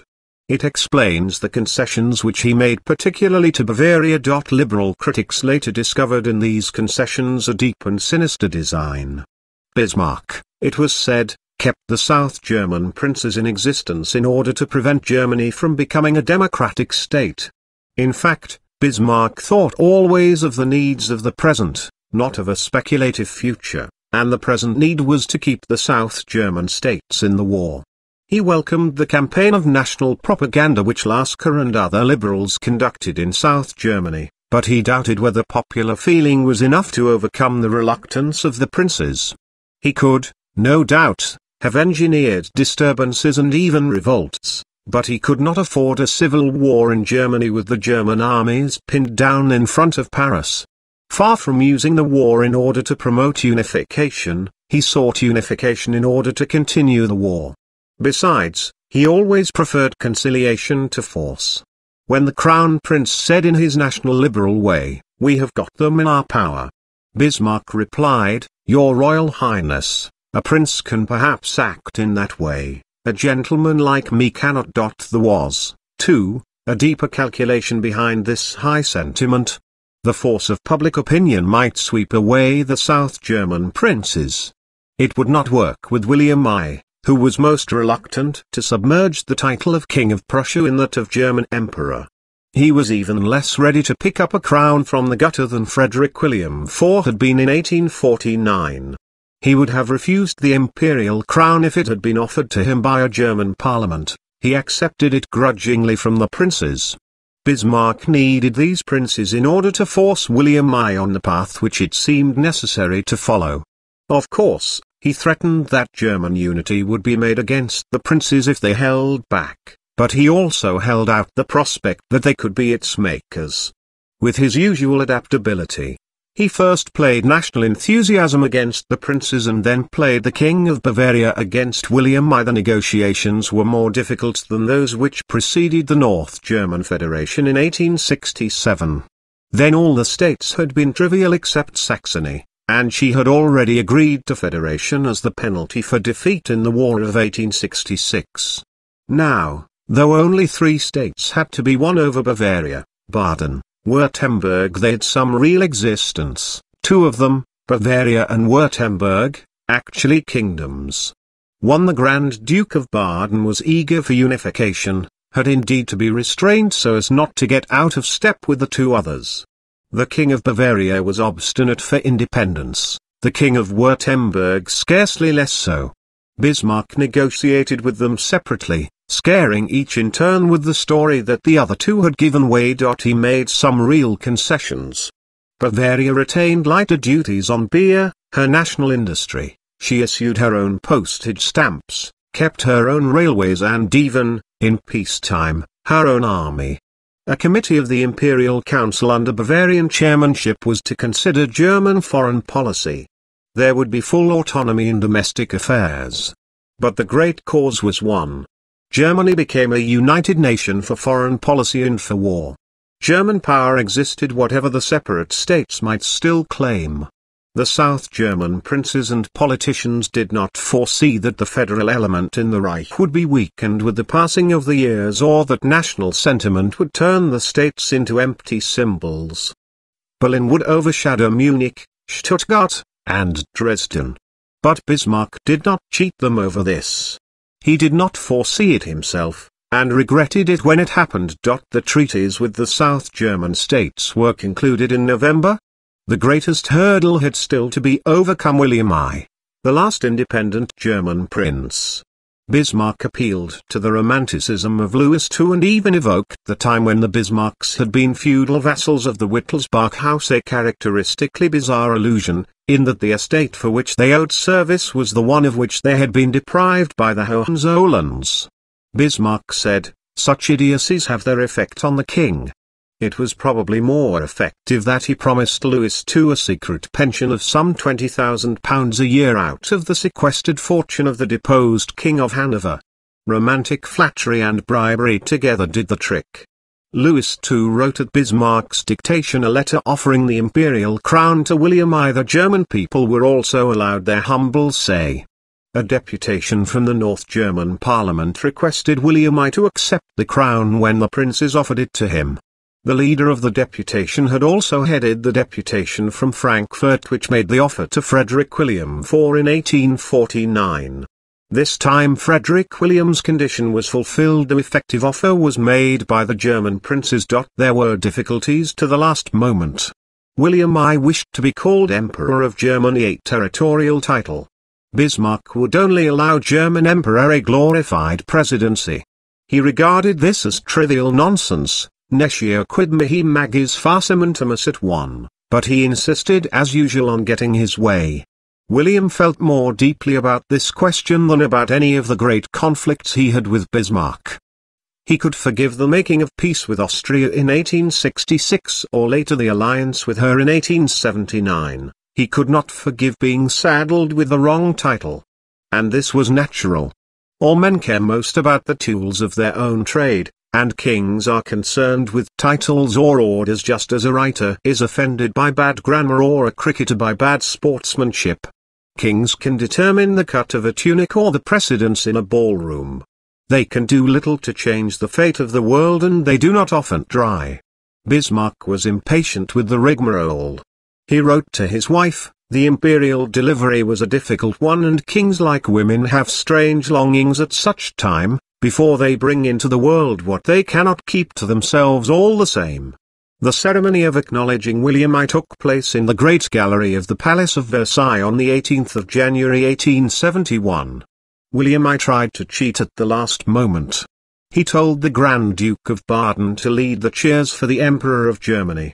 Bismarck intercepted the Grand Duke on his way upstairs, and suggested a safe compromise, cheers simply for Emperor William. William was furious at the trick, and he ignored Bismarck's outstretched hand as he stepped off the imperial dais. Bismarck soon had other negotiations on his hands, this time with the French. Paris capitulated on the 28th of January, and an armistice followed, providing for a French National Assembly, which should agree to the peace terms. Bismarck now paid the penalty for his rashness at the beginning of the war. Though he was determined to claim Strasbourg, he wanted to give way about Metz, I don't like so many Frenchmen in our house, who do not want to be there. He thought that the French would be resentful at their defeat in any case and wrote, this bitterness will be just as great even if they come out of the war without loss of territory. But now it would have been a great stroke of conciliation if Metz had remained French after all the German talk. Bismarck failed to get his way. Moltke and the generals insisted in Metz, and after fierce debate William I supported them. Bismarck lamented that he would have done things very differently if he had had supreme power like Frederick the Great or Napoleon I. As it was, he had to set his hand to a peace which, he knew, would not be a peace of reconciliation. Still, he met the French on many points.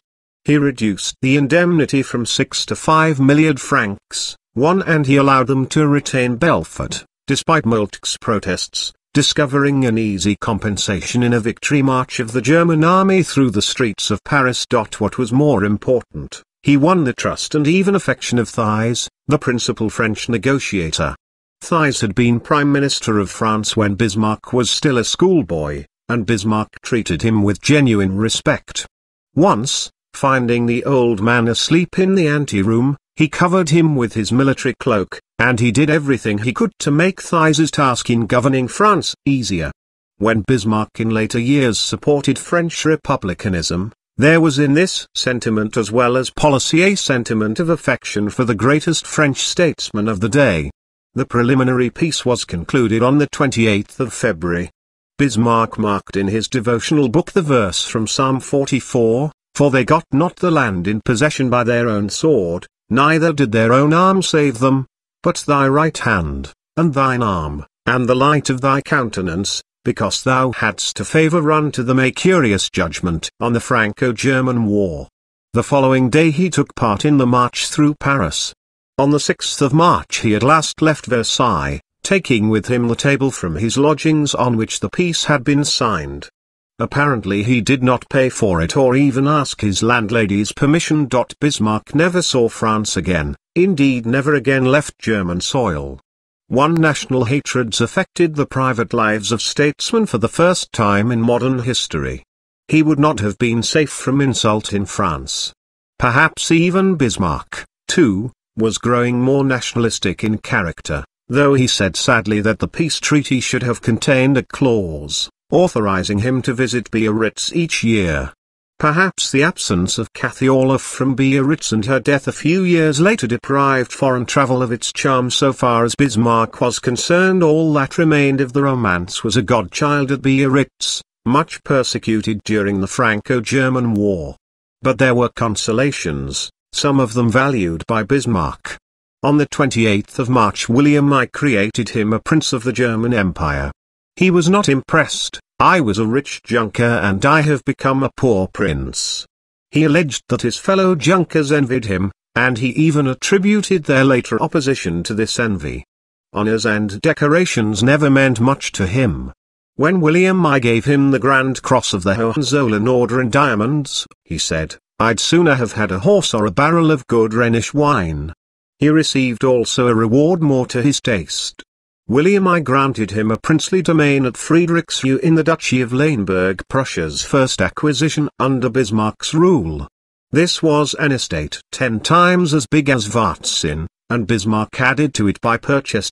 Bismarck was now one of the greatest landowners in Germany, particularly in timber. At Friedrichsruh he showed the same exaggerated love of old trees as at Varzin and planted new ones as well. In 1887 he sent to Gladstone the malicious message, tell him that, while he is chopping trees down, I am busy planting them. He developed, too, a love of animals and soon carried no weapon except a pair of field glasses. At Friedrichsruh and Varzin he wore glasses so as to observe nature. When asked why he did not wear them in Berlin, he answered that he found nothing to interest him there. This was not quite true. He used to survey the Reichstag through an old-fashioned lorgnette perhaps, however, more to overawe the deputies than to see what was going on. Bismarck took some time to get used to Friedrichsruh. He visited it little in the first decade when he was imperial chancellor. Later, he settled there more and more. It was more accessible, only two hours by train from Berlin, and Hamburg lay near at hand. The acquaintance with Hamburg which Bismarck made from Friedrichsruh helped to develop his interest in colonies, and the leading Hamburg newspaper became his mouthpiece after his fall. The traditions of the Hanseatic League came to mean something to him, as those of the Holy Roman Empire never did. The house at Friedrichsruh was even uglier than the one at Varzin.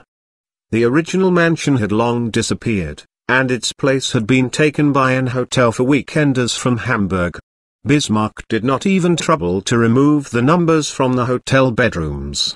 He did not install electric light, managing with oil lamps to the day of his death, and he stored in the cellar the countless books which were given to him but which he did not read. He knew nothing of contemporary literature, either German or foreign. He condemned Sybel, his own official historian, as one who muddied the waters of history. He never even read Clausewitz, to whom he once referred as a distinguished general. Ranke had always been his favorite historian, and he made a revealing exception later for Taine. He continued to soak himself in the Bible and Shakespeare, and he developed a consuming passion for the novels of Dumas. Otherwise his tastes remained those of his romantic boyhood. He ignored altogether contemporary developments in philosophy, science, and economics, despised all artists, and dismissed Wagner, the greatest musician of the day, as a monkey perhaps because the wife of Schleinitz, his predecessor as foreign minister and now the confidential advisor of Queen Augusta, was a Wagnerian enthusiast. He attended the opera in 1889 during their Tsar's visit to Berlin. It was his first appearance there since he became chancellor. Indeed, though he now held the greatest position in Europe, he made no attempt to fulfill the representational side of his office. He never appeared at funerals, even at those of royal princes, and he ignored visiting foreign celebrities unless they had something interesting to say. He attended the court balls when he was first chancellor and danced with almost boyish zest. William I said that such dancing was too frivolous for an imperial chancellor and forbade it. Bismarck did not appear at court balls again. He entertained the diplomatic corps once a year, otherwise hardly saw them. He never dined out. When the King of Saxony called at the Chancellery one morning, he was told by the porter to go away and make an appointment. A Grand Duke who was expected at 9 p.m. arrived a little late. He was greeted by Bismarck wearing an old coat and with the words, I had given up helping for the honor of a visit from your Royal Highness, it is 9.20.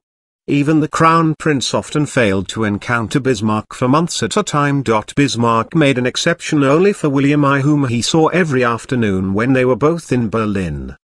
He established over the emperor an ascendancy that was great but never complete. The Crown Prince said shortly after the War of 1866, if Bismarck proposed an alliance with Garibaldi well, he's at least a general.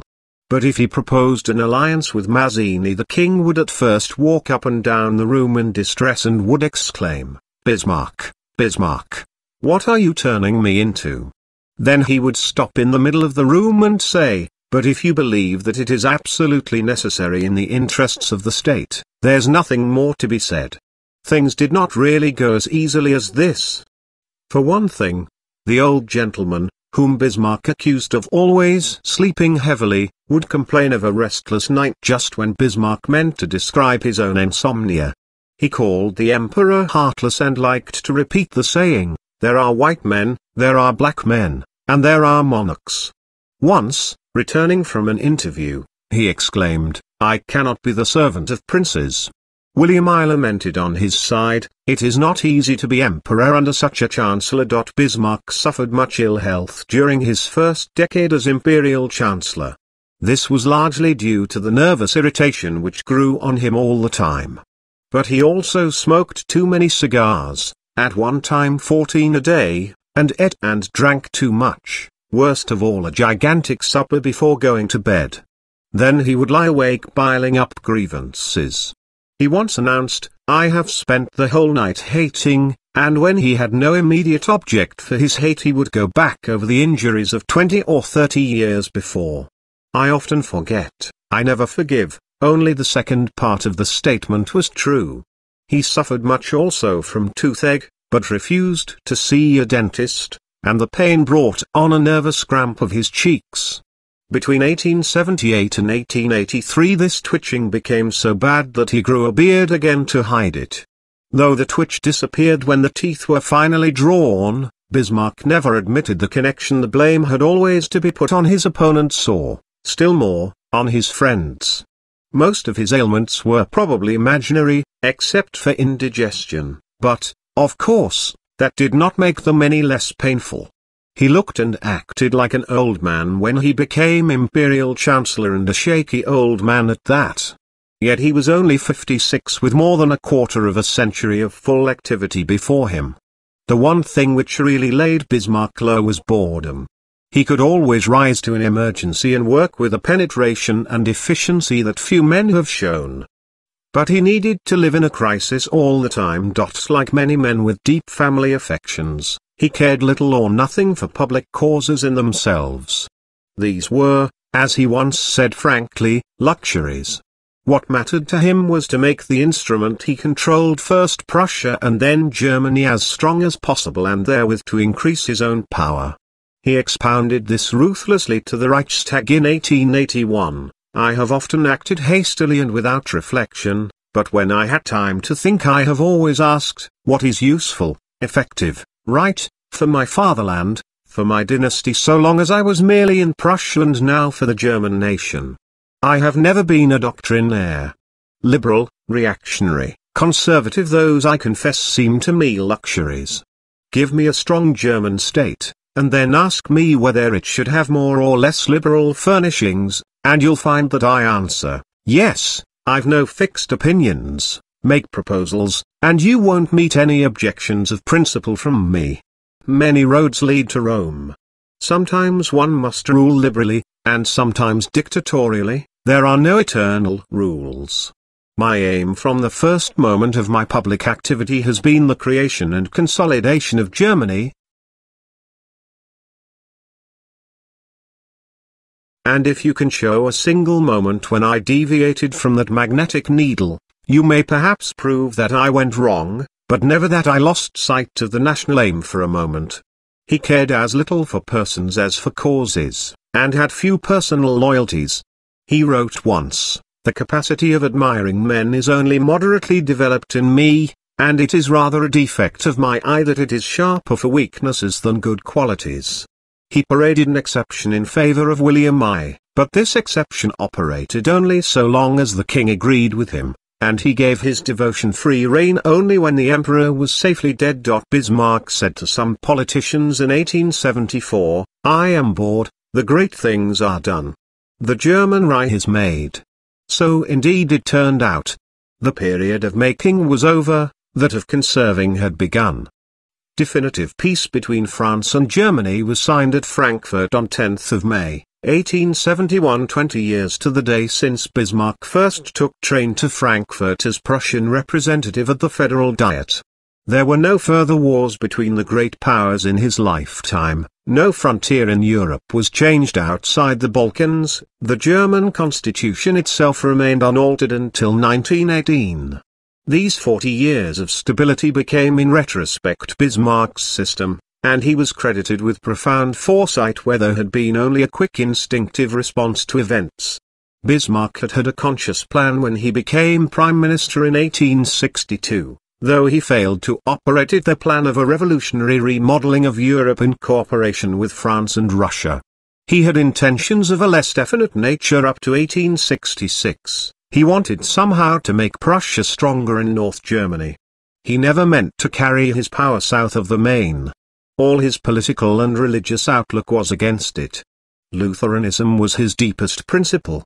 He regarded the South Germans as corrupted by Roman Catholicism and French liberalism, moreover beyond the reach of Prussian militarism. Schweinitz once said to him, this expansion must cease where the supply of Prussian officers gives out, and he replied, I do not say so, but it is the basis of my policy. The military treaties with the southern states were then all he wanted. He was driven to go further first by the accident of the war with France and then by its prolongation. He made Little Germany without ever intending to do so. Could this Little Germany be permanent?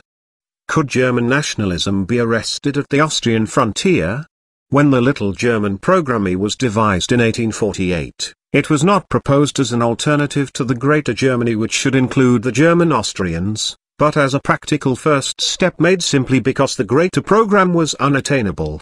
Every little German at that time expected Greater Germany sooner or later. The only real alternative to Greater Germany was to divide Germany at the Main with Austria, and this is what Bismarck had tried to do until 1866. The independence of the South German states was another, though inferior, version of the same idea. It had now broken down. The German Reich was unmistakably a national state, despite its federalism, and it was bound to exercise an increasing attraction on the Germans still outside it in the non-national Habsburg monarchy. Bismarck had not only done enough for his generation, he had done too much when, however inevitably, he overstepped the line of the Main. He recognized this himself. No man was more convinced that Europe would never be settled until national reconstruction was complete or, as he put it, until the peoples were sorted out into their tribes. Yet after 1871 he did everything to stave off the consequences of his own work. He tried to make out that his Germany was still an exclusively Protestant state with no interests in the valley of the Danube or in the Near East. There was no philosophy behind this. Bismarck did not believe that his negations could be permanent, he merely shrank from further trouble and upheaval. When we have arrived in a good harbor, we should be content and cultivate and hold what we have won.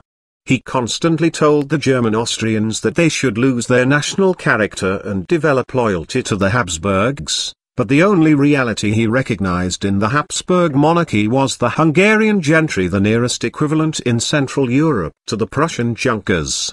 Time often gives to things a sanctity which they did not possess at the start, and the frontier which Bismarck drew in 1871 between the Austrians and other Germans is now perhaps a genuine dividing line. If this is so, Bismarck made Little Germany by accident, that he should have believed in it himself, is to credit him with a foresight which he did not and could not possess. It was the same in his relations with the other powers. Metternich had perhaps planned a system of perpetual peace. Bismarck was content to avoid the troubles of the moment. He did not expect them to present much difficulty after the peace with France. She was too weak to challenge the settlement by herself, and no other power was likely to aid her in doing so. He is often said to have aimed at the isolation of France. But this was unnecessary, the French did it for themselves. They too wished to avoid new troubles. Certainly Bismarck supported the republican form of government in France and even justified this by arguing that republicanism disqualified her as the ally of any monarchist power. This was window dressing for his emperor. His real concern was that a royalist or Bonapartist government in France caring more for prestige and less for the French people might turn to a grandiose foreign policy, as Gramont had done in 1870, and provoke a new war, disastrous for both France and Germany. Of course, the temptation might be irresistible even to the Republicans if other powers actively sought a French alliance. But they would do this only if they had themselves causes for quarrel with Germany, and these did not appear to exist. Bismarck had no colonial ambitions it did not even occur to him to claim any French colony in 1871. Hence England and Germany were friends, if not natural allies, as England and Austria had been earlier. Austria-Hungary was reconciled to national Germany, even Beust met Bismarck with every evidence of friendship in August 1871, and it was henceforth Bismarck's anxiety to avoid Austria-Hungary's alliance, not her enmity. Nor did the rise of Germany seem to threaten a conflict with Russia. Bismarck, and indeed most Germans, remained hostile to Polish nationalism after 1871 as they had been before it. He repudiated any interest in the German Baltic barons, despite their ties of class with the Junkers. They have got into the ogre's cave, and we cannot help them. If I wanted to conduct a purely Machiavellian policy, I should even wish that they would be Russified as soon as possible. For as long as they remain German, they form an element of strength and energy. Germany had no practical conflicts with any of the powers. Therefore he still assumed, as he had done between 1866 and 1870, that she could follow a line of pacific detachment, friendly to all, allied with none. He was never chary of kind words. He emphasized to England their common character of industrial progress and liberal monarchy, to France the common need for a settled frontier. With Austria-Hungary and Russia he revived the cause of monarchical solidarity, and sometimes spoke as though it were his dearest wish that the old Holy Alliance should return to life. He never took this very seriously. He knew quite well that Francis Joseph was no longer a despotic monarch and that even Alexander II had to consider Russian opinion. When a party of German officers visited St. Petersburg at the end of 1871, the Tsar said to one of them, You don't know how I love you, I daren't even show it to you here. Bismarck himself was far from Metternich's position. He was the chief minister of a constitutional state, ruling in close cooperation with a great liberal party. Perhaps he emphasized the conservative nature of his foreign policy for that very reason. It is often said that home and foreign policy should go hand in hand, each reflecting the other. With Bismarck the opposite was the case. He was always most revolutionary abroad when reactionary at home, liberal at home when conservative abroad. He had preached revolutionary nationalism between 1867 and 1866, when he was in conflict with the Prussian liberals, he was pacific between 1867 and 1870 when making liberal Germany. Later he abandoned the Holy Alliance just when he broke with the Liberal Party in Parliament. He liked to make policy himself, not to have it dictated to him either by politicians or by the Emperor, and he practiced in this as in everything else a policy of balance taking away with one hand what he gave with the other. Though he frightened the Tsar and the Austrian Emperor with talk of the social peril, he did nothing against the Social Democrats in Germany until after the Holy Alliance had disappeared. Having one of Marx's friends among his own associates, he knew that the Marxist International was dying, yet he used its ghost as excuse for the League of the Three Emperors. This league had nothing in common with Bismarck's later alliances. It was founded on sentiment, not on interests, and it had no precise terms. In 1872 the three emperors met in Berlin without making a written agreement of any kind. Later in the year Moltke drafted a convention with the Russian chief of staff, providing for military cooperation in time of war. Bismarck refused to confirm this convention, and it was never invoked later. In 1873, when Alexander II was in Vienna, Austria-Hungary and Russia at last got something down on paper. The essential clause was a promise that, if they quarreled in the Near East, they would subordinate their differences there to the general interests of monarchical solidarity. Bismarck gave a vague approval to this agreement. He could hardly accede to it in any real sense, having no stake of his own in the Near East. The League was not designed to isolate France. Bismarck had other means of doing this.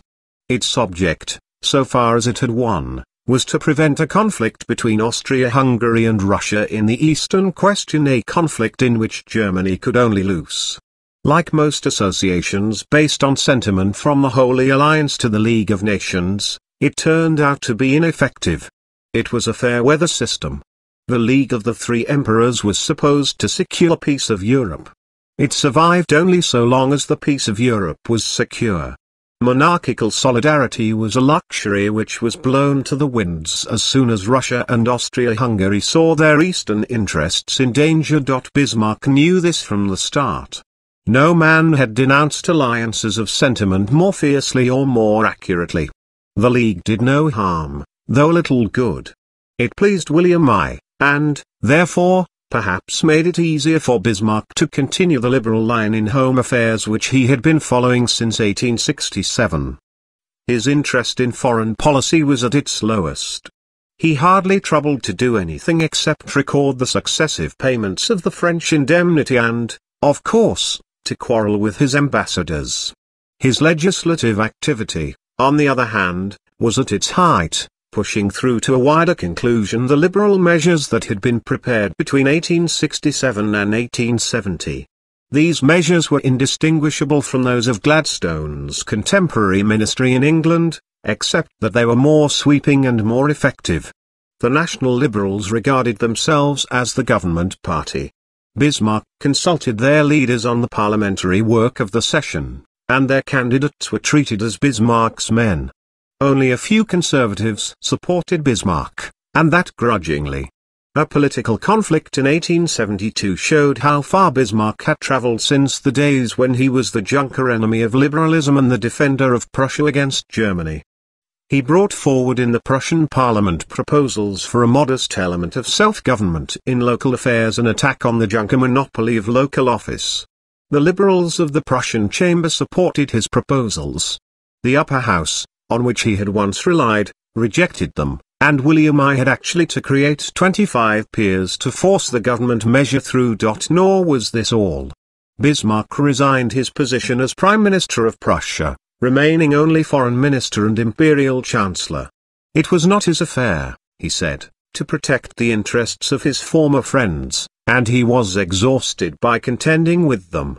Even the Prussian ministers were too reactionary and timid for his taste. Roon, who had proposed Bismarck as prime minister ten years before, had now to repay the debt and become prime minister himself. The experiment was not a success.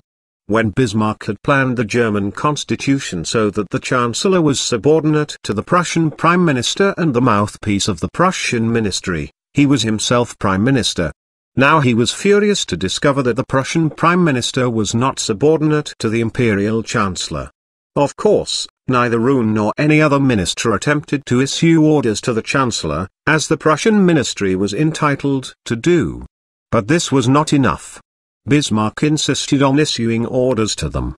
He complained that legislative proposals were being made in Prussia without his knowledge. Prussia, he added, must now conform to a German pattern. Bismarck had resigned as being too liberal, Roon had taken his place as more conservative. But it soon turned out that Bismarck would not allow Roon to act on his conservative principles. His function, in Bismarck's eyes, was to exploit his reputation as a conservative in order to force through Bismarck's liberal measures with less fuss above all with less nervous irritation for the great man. Roon would not play this part. He resigned within a few months and Bismarck resumed the post of Prussian Prime Minister for the rest of his active life. A further episode soon showed again how far Bismarck had moved from his original position of 1862. The German military establishment was still on a temporary basis. Parliament had authorized it in 1871 immediately after unification, for three years only. The General Staff and the military cabinet of the Emperor now tried to make it permanent. They submitted their proposal to the Reichstag without consulting Bismarck or asking his advice. The politicians resisted. They would authorize the establishment for the lifetime of a single parliament, three years, or, as a gesture of conciliation, for four years, they would not agree to the Eternat. He told the national liberal leaders, the proposal is not my work. You can discuss it freely. They took his hint and threw it out. William I announced that the conflict of 1862 had begun again and that he would fight it through once more. Bismarck, far from showing fight, first took to his bed and then offered to resign. The emperor gave way, and the politicians, threatened with a dissolution, gave way also. Bismarck imposed authorization for seven years a compromise acceptable only to himself. The politicians did not get authorization by each Reichstag, the emperor did not get eternity. Bismarck had proved himself the master of both elements in the constitution, the agent of neither. He often claimed to be educating Germany into parliamentary government. Nothing was more frequent than his call for a steady majority which should work hand in hand with the government of the day. He said in private, I am no absolutist. There should be only two parties, for and against the government. If the ministry is overthrown, the opposition party must be forced to form a new ministry. He referred enviously to the example of England where there was a parliament with a strong majority, homogeneously organized, under a leadership such as was provided by the two Pitts or Canning, or even Palmerston, Peel. One such a parliament, he said, would soon reduce the king and the upper house to a very little space and tie them down. He blamed the Germans for having eight or ten factions, with no constant majority, no united, recognized leadership. And it was true that the Reichstag never knew a single majority party. The National Liberals, even at their most powerful, could provide a majority only by associating themselves with the Bismarckian conservatives on their one side or with the progressives on the other, and they were themselves divided into a left under Lasker and a centre under Bennigsen. Yet it is difficult to put all the blame on the politicians. Though Bismarck called for a parliamentary majority, he disliked its consequences. His theories led him one way, his personality another. There is an exact analogy in his underscore one the existence of a two-party system in England ever since the Glorious Revolution was a received dogma of the time. If Bismarck had understood English history as we do now, he would have held up these statesmen as a warning, not an example. The elder Pitt never had any party support, the younger Pitt had to juggle a number of groups, relying mainly on the support of the Crown. Canning was put in office by royal favour, against the will of the majority of the House of Commons. The Liberal Party on which Palmerston relied was in fact a collection of differing factions. Only Peel had the support of a compact party much to his discomfiture in 1846. Relations with William I. Bismarck said to Roon in 1872, I don't know why, I don't manage to please the king. As a gentleman and a soldier, I only want to obey him. Roon, who knew his Bismarck, answered, Certainly you want to, but you don't do it. It was the same with the Reichstag. He wanted a majority, but it had to be one which followed his lead unquestioningly. I have often spoken to English members of Parliament, and they said to me in reference to some measure, I regard this measure as foolish, dangerous, and mistaken, but the minister who leads the party, the leader of the party wants it, he must accept the responsibility for it I think he is making a mistake. But what if instead the majority tried to impose its will upon Bismarck? He rejected the idea with violence. The Crown Prince wants me to obey the majority. That demands a suppleness of character and conviction that I do not possess. And again, the foreign policy of a great country cannot be put at the disposal of a parliamentary majority without getting onto a false track. Yet Bismarck can be defended by the English example to which he himself appealed. Sir Robert Peel was the first man to see that parliamentary government demanded a stable majority. He built up such a majority for the Conservative Party and used it to force himself upon an unwilling Queen in 1841. But when it came to the repeal of the Corn Laws, he repudiated his responsibility to the Conservative Party and rejected its claims in words which Bismarck might have used, I am not under an obligation to any man or to any body of men. I have served four sovereigns and there was but one reward which I desired namely, the simple acknowledgment, on their part, that I had been to them a loyal and faithful minister. It is surprising, indeed, that Bismarck cooperated with the National Liberals for so long or that he did not run earlier into a crisis such as brought Peel down. The breach was postponed by a great political struggle, in which Bismarck and the National Liberals seemed to be on the same side the Kulturkampf, or conflict of civilizations between national Germany and the Roman Church.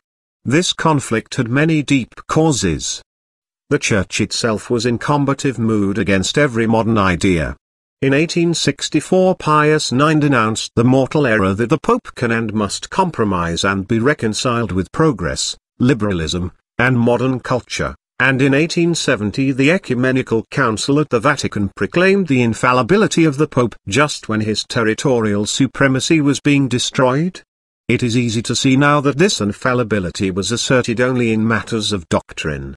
It seemed at the time that the papacy was claiming again the right to excommunicate and depose temporal rulers which it had tried to exercise in the Middle Ages. The papacy had identified itself with the defeated powers in the War of 1866 and 1870. Antonelli, the papal secretary of state, exclaimed on the news of Sadowa, the world is falling to pieces, and Windthorst, the Roman Catholic leader in Germany, said that the Kulturkampf began on the day of Sadowa. Similarly, Napoleon III had been the protector of the papacy, and Rome fell to the Italians as a direct consequence of Sedan.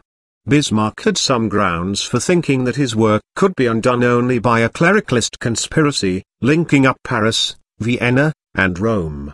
On the other hand, the decree of infallibility seemed to have opened a chink in the clericalist armor. It was opposed by the leading German theologians, and every German bishop at the Vatican Council voted against it. The aggression was not all on one side. Bismarck and the Reichstag were making liberal Germany, and the modern liberal state came everywhere into conflict with the church. Education, for instance, could be a matter for compromise so long as it was limited to a few. It was bound to cause bitter dispute as soon as it became universal, and after 1871 universal elementary education was everywhere the order of the day. Disputes over religious education dominated the politics of every European country in the last 30 years of the 19th century not merely Germany, but England, France, Belgium, and Austria-Hungary, to name a few at random, and Germany, in fact, got by with a less fierce conflict than the others. What made the conflict seem sharper in Germany while it lasted was in part Bismarck's own ruthlessness of expression and still more the political associations of the Roman Catholics. Germany had been divided religiously for 300 years, each state possessing a defined religious character of its own. In some states the Roman Catholics were a secure majority, in others a barely tolerated minority, and this made them infinitely adaptable. Prussia had long had peculiar difficulties. By tradition a purely Protestant state, she acquired a large Roman Catholic population on the Rhine in 1815, and there had been a full dress rehearsal for the Kulturkampf, this time over mixed marriages, between 1836 and 1840, with priests and bishops in prison, churches standing empty, and the state impotent against a religious opposition. In 1840 the romantic enthusiasm of Frederick William IV had led to a compromise, with the king actually attending celebrations at the Roman Catholic Cathedral of Cologne in 1844. The conflict was postponed for a generation. Bismarck's victories renewed it in acuter form. The North German Confederation was still predominantly Protestant, but the unification of 1871 created a state in which the Roman Catholics were a formidable minority. Moreover, they were a minority clearly identified with the defeated cause. The clericals of Bavaria opposed unification to the last, and when the Roman Catholics created their own political party, the Centre, this won support from all those who disliked the Bismarckian Reich. The Poles and Alsatians who cooperated with the Centre were Roman Catholics, but Hanoverian separatists also voted solidly for it, though they were Protestants, just as on the other side Roman Catholic nationalists urged Bismarck on. It was, for instance, Hohenlohe, former Prime Minister of Bavaria and a Roman Catholic, who proposed the attack on the Jesuits in 1872. Bismarck emphasized the anti-national aspect of the conflict and even attributed it all to the Poles. I got involved in the struggle through the Polish side of the affair. This was an exaggeration. The conflict would have happened even without Poland. The center was rather the rallying point for those who, though German patriots, had a different German ideal Greater Germany, a resurrection of the Holy Roman Empire, ruled perhaps from Vienna, perhaps from Frankfurt, but certainly not from Berlin. Bismarck expressed this when he called the centrists Reichsfeinde, enemies of the empire. Windthorst answered, the Prime Minister is not the state and no minister has yet dared to call his opponents opponents of the state. This was a telling reply, Bismarck easily identified himself with the state and did so increasingly as time went on. Yet the accusation was true. The centrists were enemies of Bismarck's Germany, though not of Germany itself and enemies above all of the state's claim to regulate all temporal affairs. Bismarck was exasperated and driven forward against the center by his realization that he had himself put power into their hands. The center was the creation of universal suffrage and could not have existed without it. Bismarck, as so often, had got out of one difficulty only to find himself in a greater. He had carried universal suffrage in order to ruin the liberals, his opponents of the 1860s. His calculation proved correct. Middle-class liberalism had little appeal to a mass electorate, and it fell to pieces in Germany as in every other country within a generation of the establishment of universal suffrage. But this did not strengthen Bismarck. Indeed, his parliamentary position would have been stronger if a compact Liberal Party had survived, and its backing would have enabled him to defy William II in 1890.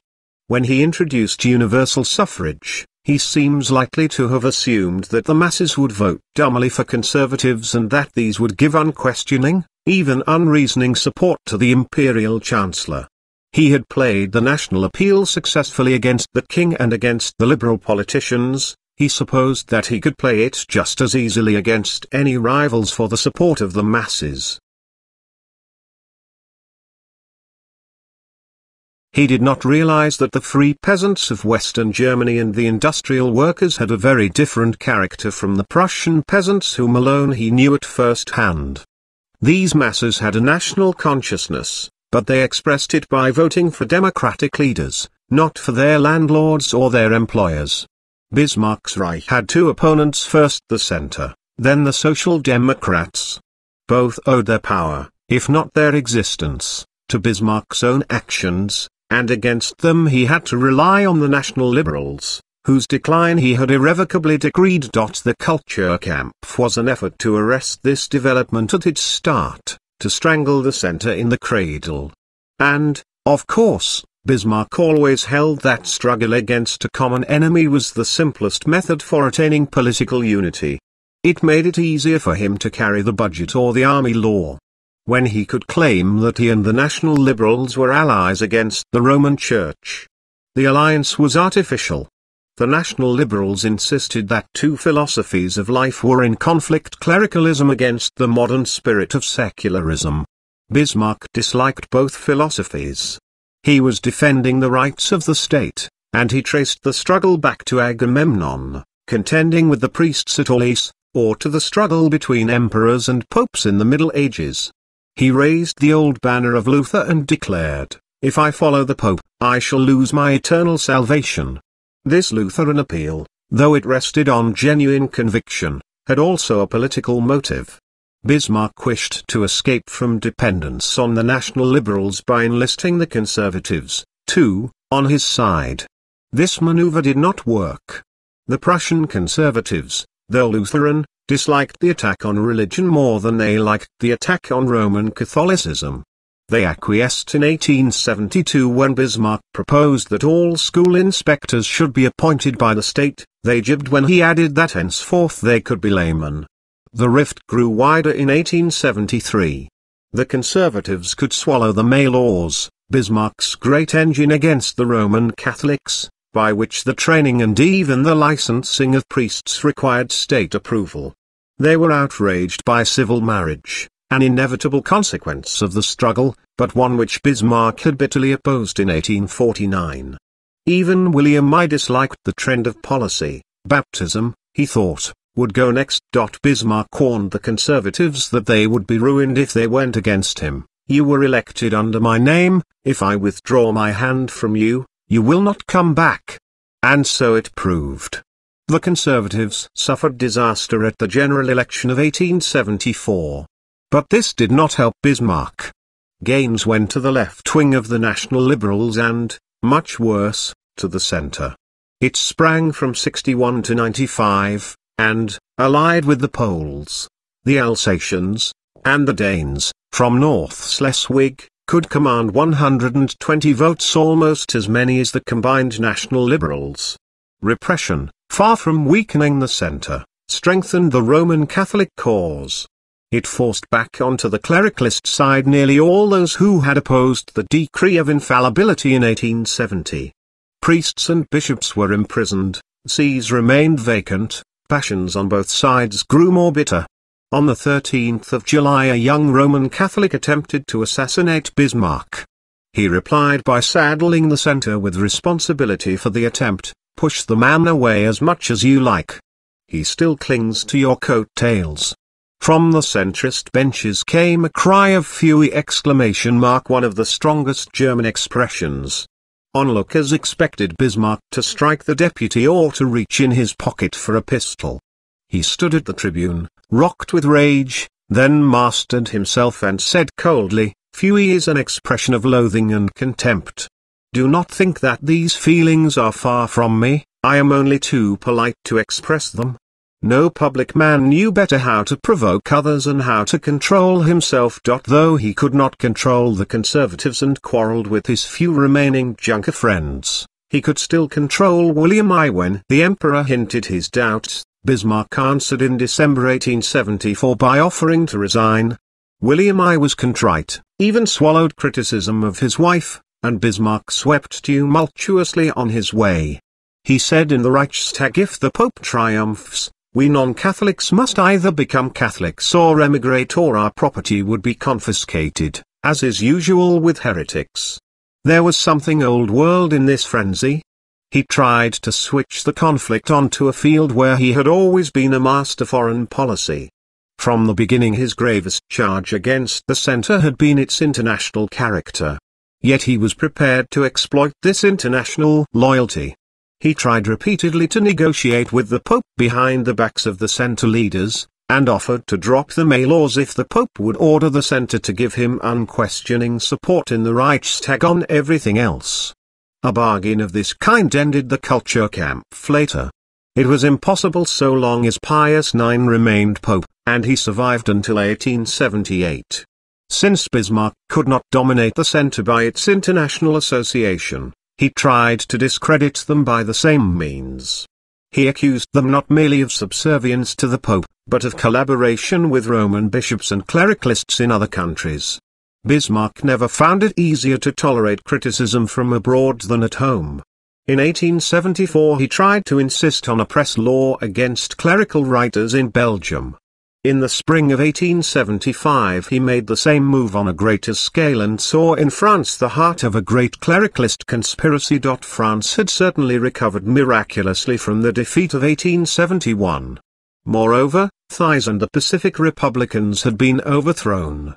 The Royalists had elected MacMahon as temporary president, and they aspired to increase their prestige by a challenging foreign policy. Bismarck accepted their challenge. He even allowed his associates to talk of a preventive war, and Moltke talked of it also, without waiting for the Chancellor's permission. It is inconceivable that Bismarck meant this talk seriously. A man cannot go against the habits of a lifetime, however much he may change his ways of expressing them, and Bismarck never wavered in his dislike of war except as a last resort. Besides, he had always insisted that war must bring practical gains. What gain could victory over France have brought him in 1875? Only more discontented French voters, to strengthen the centre in the Reichstag. But talk of war, or of the French danger, might discredit the centre, it might even weaken the French clericals and bring a sensible republican government to power or so Bismarck, in his bullying way, too easily assumed. On the 5th of April the Kölner asked, is war in sight? Perhaps not at Bismarck's instigation, but certainly with his encouragement. It was the signal for a crisis which did not work out to Bismarck's advantage. Though the French government were alarmed, they did not respond, as Bismarck had hoped, with apologies or with a reduction of their armament program. Decazes, the French foreign minister, revealed the German talk of preventive war to the Times a stroke as telling as Bismarck's publication of the French designs on Belgium in 1870, and he appealed to the European powers, this time more successfully than Thiers had done during the Franco-German War. Andrássy, the Austro-Hungarian foreign minister, alone did not respond. He was bidding for an alliance with Germany, not for the alliance with France which had escaped was even before the War of 1870. Indeed, Andrássy saw estrangement between Russia and Germany in the offing, and expressed his joy by three handstands on the table that had once been Metternich's. The British and Russian governments both expostulated seriously in Berlin the British through their ambassador, the Russians personally on the occasion of a visit by Alexander II and Gorchakov. Bismarck gave way with the masterly grace which he knew how to use when necessary. The crisis turned out to be a false alarm, even helped to improve Franco-German relations. It left only a lasting estrangement between Bismarck and Gorchakov. Bismarck did not forgive the Russian interference and alleged that Gorchakov had announced to his ambassadors, peace is now assured. One Gorchakov on his side was not sorry to humiliate the man who had once described himself as Gorchakov's admiring pupil, and he said in private, Bismarck is ill because he eats too much and drinks too much and works too much. Though this was true, Gorchakov like others would have done well to remember that Bismarck, even when ill, or perhaps most when ill, was more formidable than most men when well. The war in sight crisis was a casual episode in Bismarck's policy, and it seemed to leave no mark on domestic affairs. The Kulturkampf was waged as fiercely as ever, Bismarck's alliance with the National Liberals grew closer. In February 1876 he openly denounced the Kreuzzeitung, the paper of the extreme right which he had helped to found in the bitter days of 1848. More than a hundred Junkers, including all the famous names of Prussia, answered with a declaration of loyalty to their paper and of defiance to Bismarck. He published the names in the official gazette and went over the offences of his former friends in many a sleepless night. Yet there were warning signs that his confidence in the National Liberals was on the wane. It left perhaps only a passing mark when in 1875 they defeated his attempt to smuggle into the criminal code provisions against stirring up class hatred and civil disobedience which would have enabled him to prosecute the Social Democrats. It was more significant when Bismarck proposed later in the year the nationalization of the German railways not in itself an illiberal measure, for Gladstone had favored it in England, but an indication all the same that Bismarck was losing faith in free trade and laissez-faire. One of Bismarck's closest associates took the hint. In April 1876 Delbruck resigned. The most competent of officials and a convinced free trader, he would not follow Bismarck, yet shrank from conflict with him. At just the same time, Bismarck said of the National Liberals, they always want to wash the fur without making it wet and so always turn in shame from any naked idea. Even Bismarck took some time to look facts in the face. The German protective tariffs would expire on the 1st of January 1877. Thereafter Germany would become a free trade country. In England free trade had been followed by almost 30 years of uninterrupted prosperity. Germany was going into free trade just when the boom after the Franco-German War was ending and when trading conditions were becoming more difficult. Bismarck might have told German industrialists to face these difficulties if free trade had been an intrinsic part of his political thought, and if industry alone had been threatened. But the Prussian landowners were also encountering the competition of cheap Russian grain first result of the new Russian railways, and a prosperous agriculture was always essential in Bismarck's outlook. It would be unfair to ascribe his conversion solely, or even mainly, to his private interest as a great landowner. He had allowed others to introduce free trade, without much thought or leadership of his own. There had always been a doubt beneath the surface. Bismarck was never liberal in thought, though sometimes in action. For him the state, not the individual, was the mainspring of political action, and he did not accept the night watchman theory of the state which was common to all liberals. He held that the state could lead in economic affairs, just as he had tried to take the initiative in foreign policy and not wait upon events. There was a second consideration.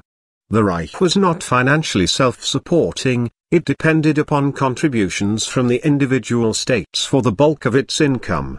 A new tariff system would both protect German industry and give to the Reich a secure revenue of its own. No doubt there were cruder political calculations.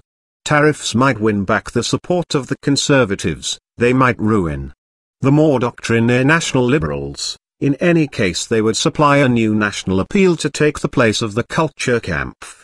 The steps of God could again be heard sounding through history.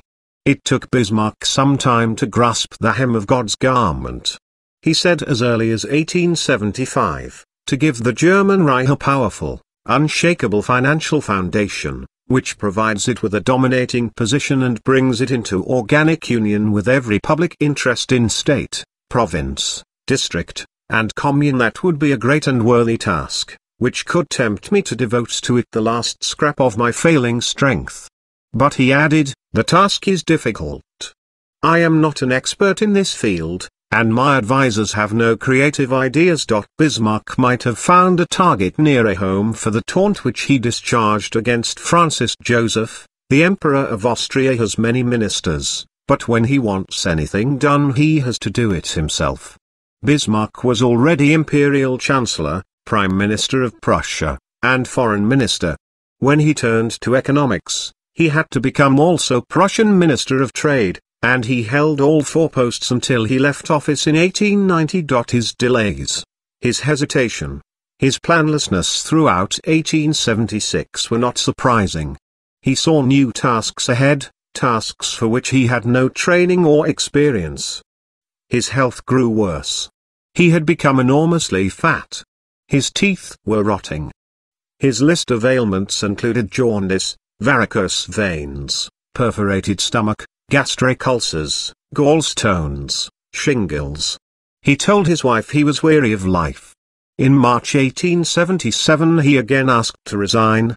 William I almost took him at his word, much to Bismarck's alarm. He withdrew his resignation and compromised on a prolonged leave of absence. On the 15th of April 1877 he retired to Friedrichsruh, in the summit to Varzin.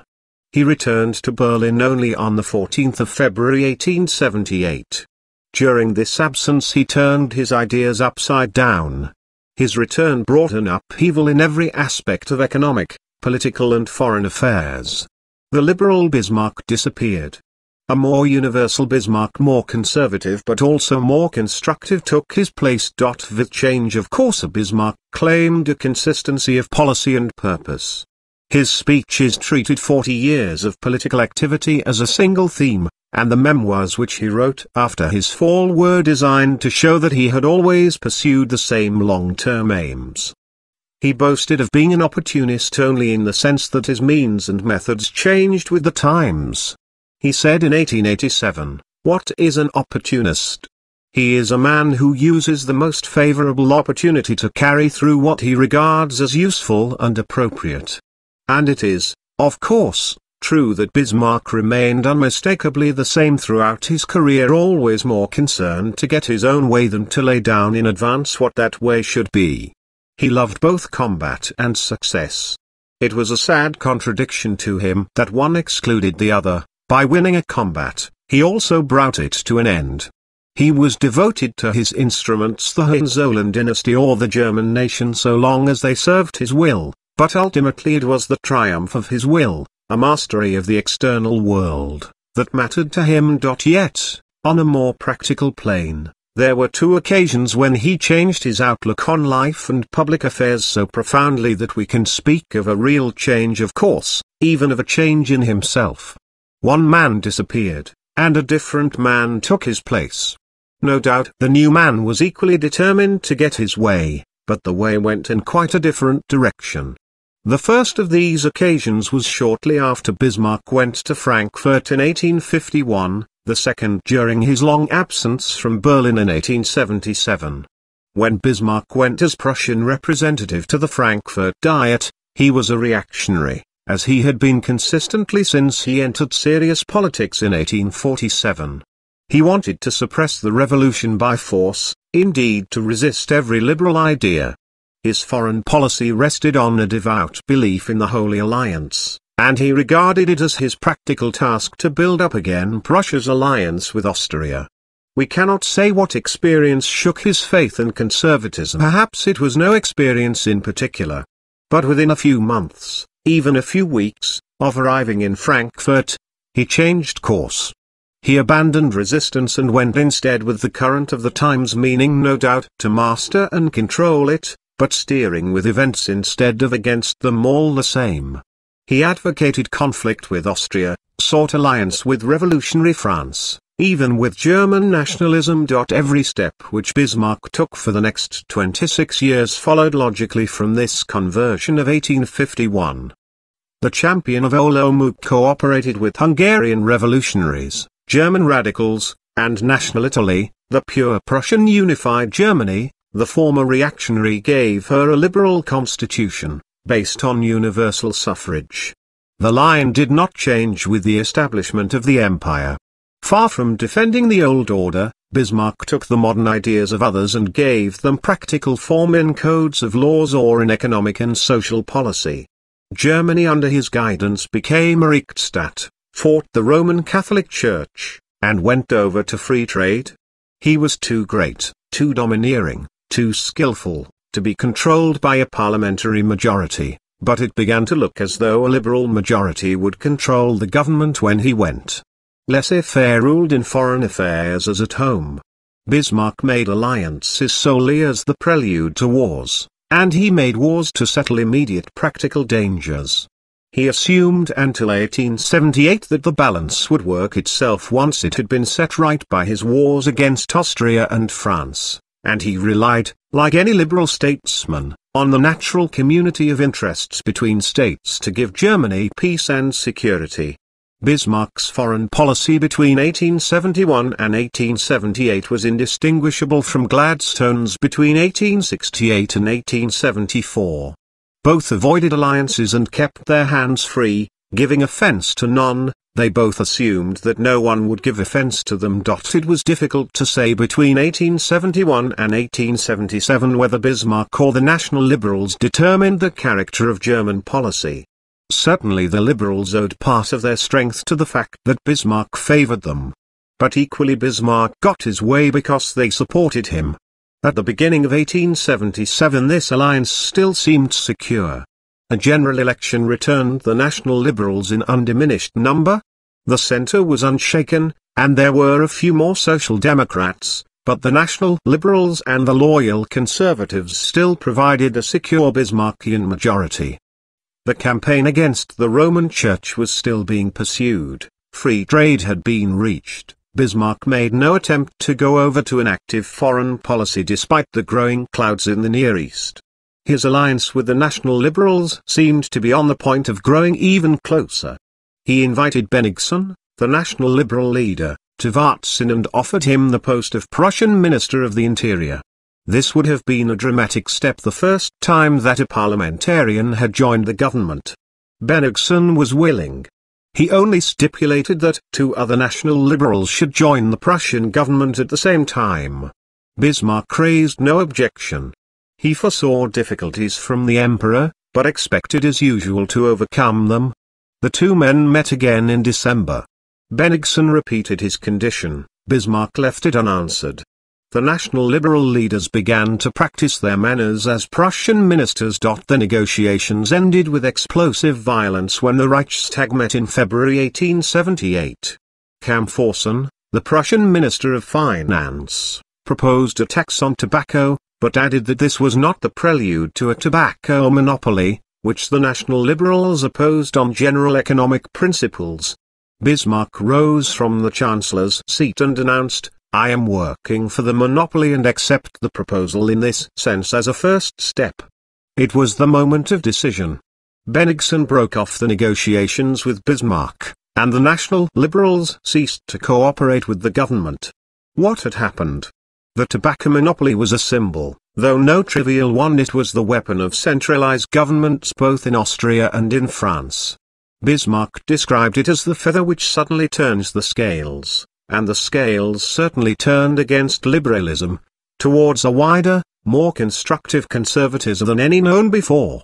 Even the negotiations with Bennigsen may have been a preparation for this. Bennigsen certainly intended to make Bismarck the prisoner of parliamentary government, perhaps Bismarck intended to make Bennigsen a prisoner of a different sort. He often suggested that parties should take the helm in order to carry out the policy which they opposed and held up the example, which he claimed with some exaggeration to have found in England, if reactionary measures are to be carried, the Liberal Party takes the rudder, from the correct assumption that it will not overstep the necessary limits. If liberal measures are to be carried, the Conservative Party takes office in its turn from the same consideration. It would be foolish to suggest that Bismarck's breach with the National Liberals was a personal whim. Old-fashioned liberalism was dying everywhere. It ended in Italy in 1876, in Austria in 1879, Gladstone was so conscious of its being played out that he resigned from the leadership of the British Liberal Party after the general election of 1874. Legal and administrative reform was exhausted, social improvement would take its place. Bismarck declared, political parties and groups based on high policy and political programs are finished. The parties will be compelled to concern themselves with economic questions and to follow a policy of interests. They will melt like ice and snow. Voters with the same interests will cooperate and will prefer to be represented by people of their own instead of believing that the best orators are also the most skillful and most loyal representatives of their interests.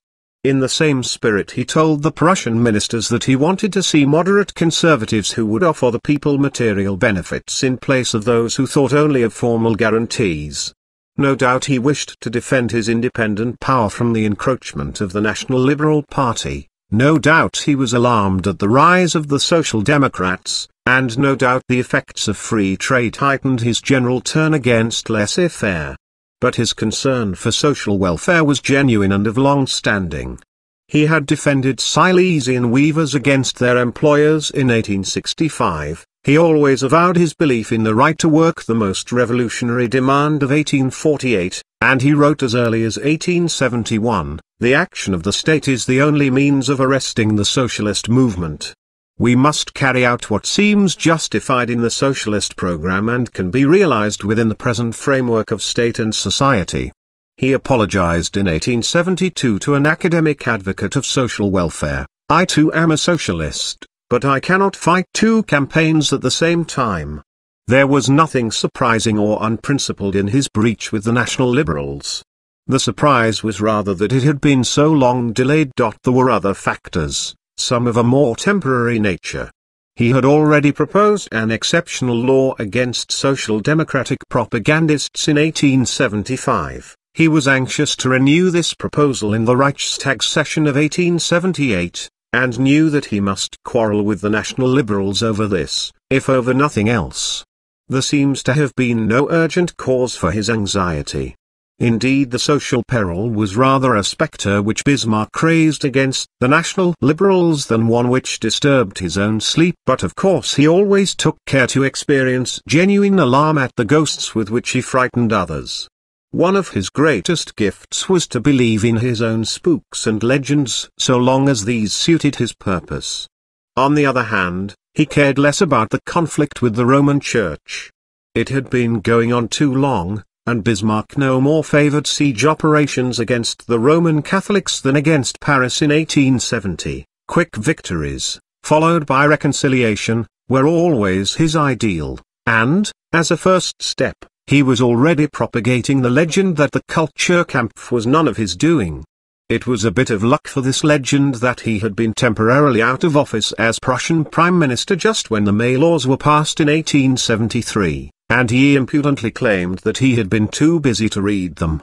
Roon was indignant at this excuse, and even Bismarck contradicted it in private. I carried on the struggle against the papal claims more energetically than any of my colleagues, including Falk, the minister actually responsible for the May laws. The legend did as a starting point when a prospect of agreement showed itself. And this happened in 1878. Pius IX died. Leo XIII, his conciliatory and worldly wise successor, was elected two days before Bismarck took the tobacco monopoly under his wing in the Reichstag. Though he could not foresee all Leo's moderation and diplomatic skill, he already had in his pocket a letter to William I from the new pope, hoping for an improvement in relations. It would make it easier for Bismarck to end the Kulturkampf if he quarreled with the national liberals and posed as a conservative. And, to put it the other way round, he could shake himself free of the national liberals if he ended the Kulturkampf.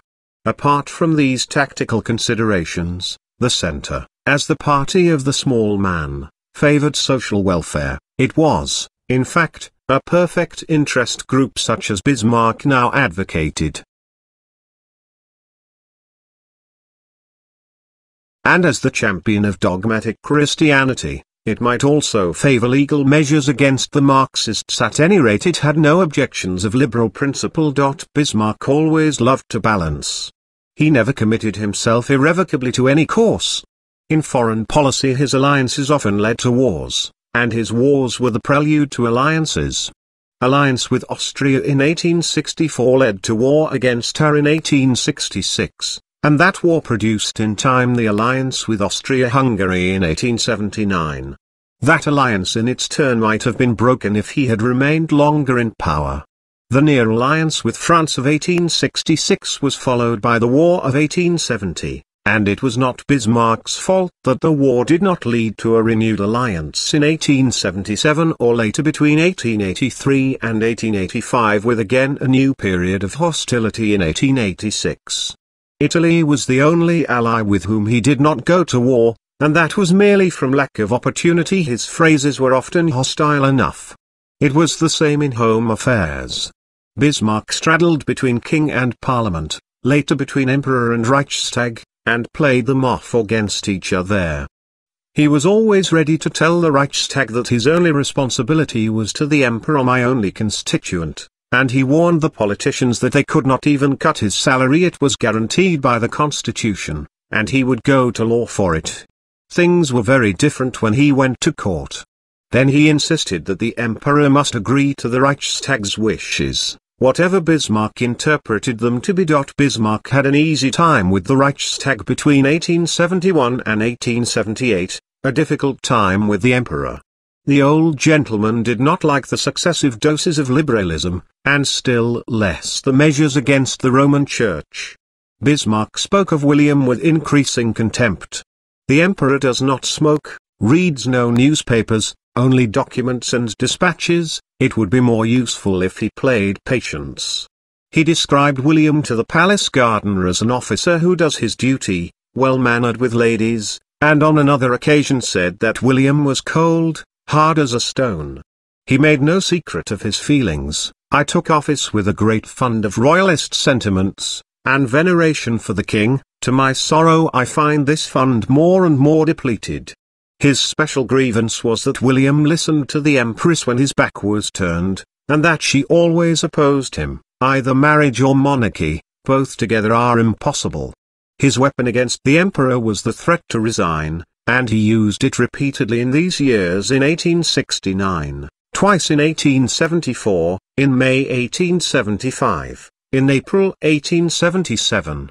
Though his excuse on each occasion was the state of his health once he even threatened to go mad like Frederick William for, the real reason was always that William I had criticized or opposed him. It is significant that at this time he never threatened the Reichstag.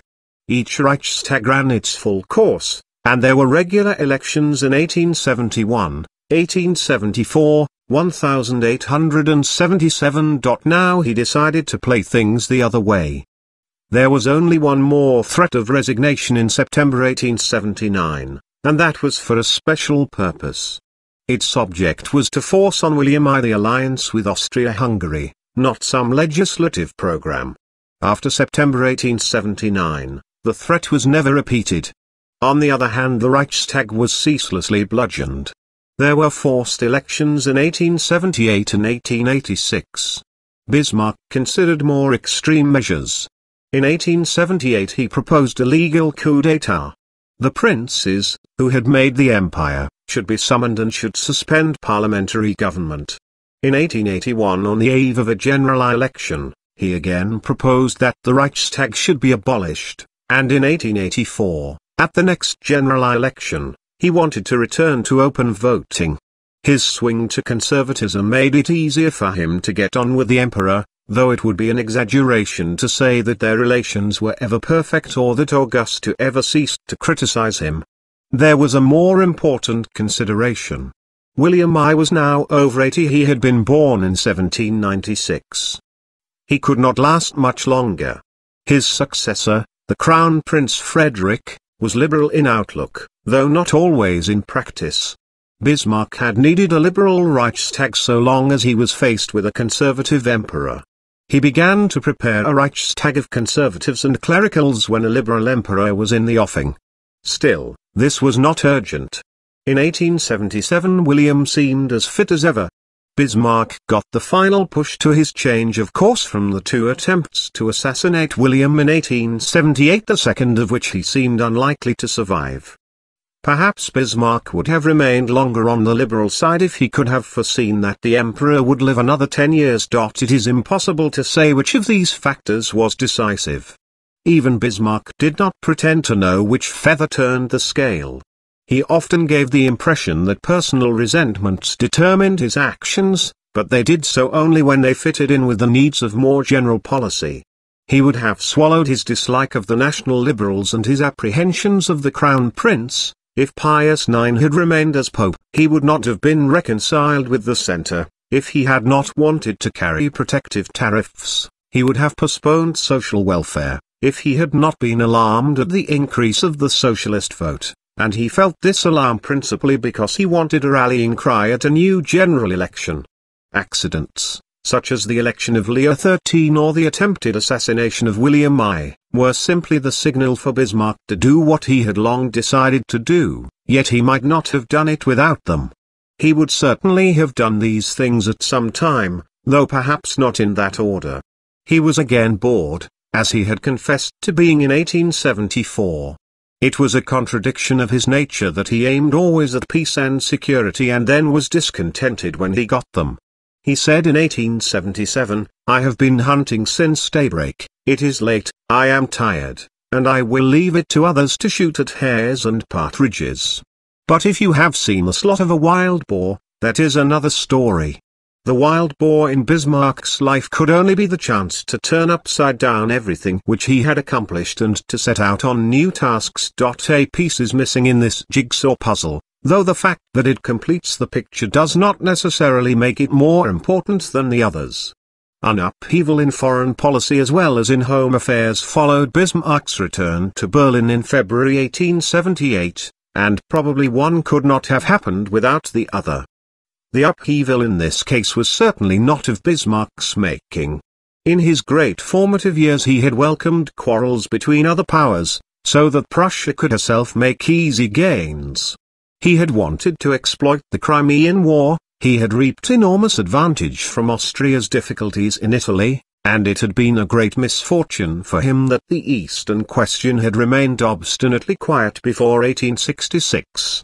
But once Germany was satisfied, he wanted every other power to be peaceful too.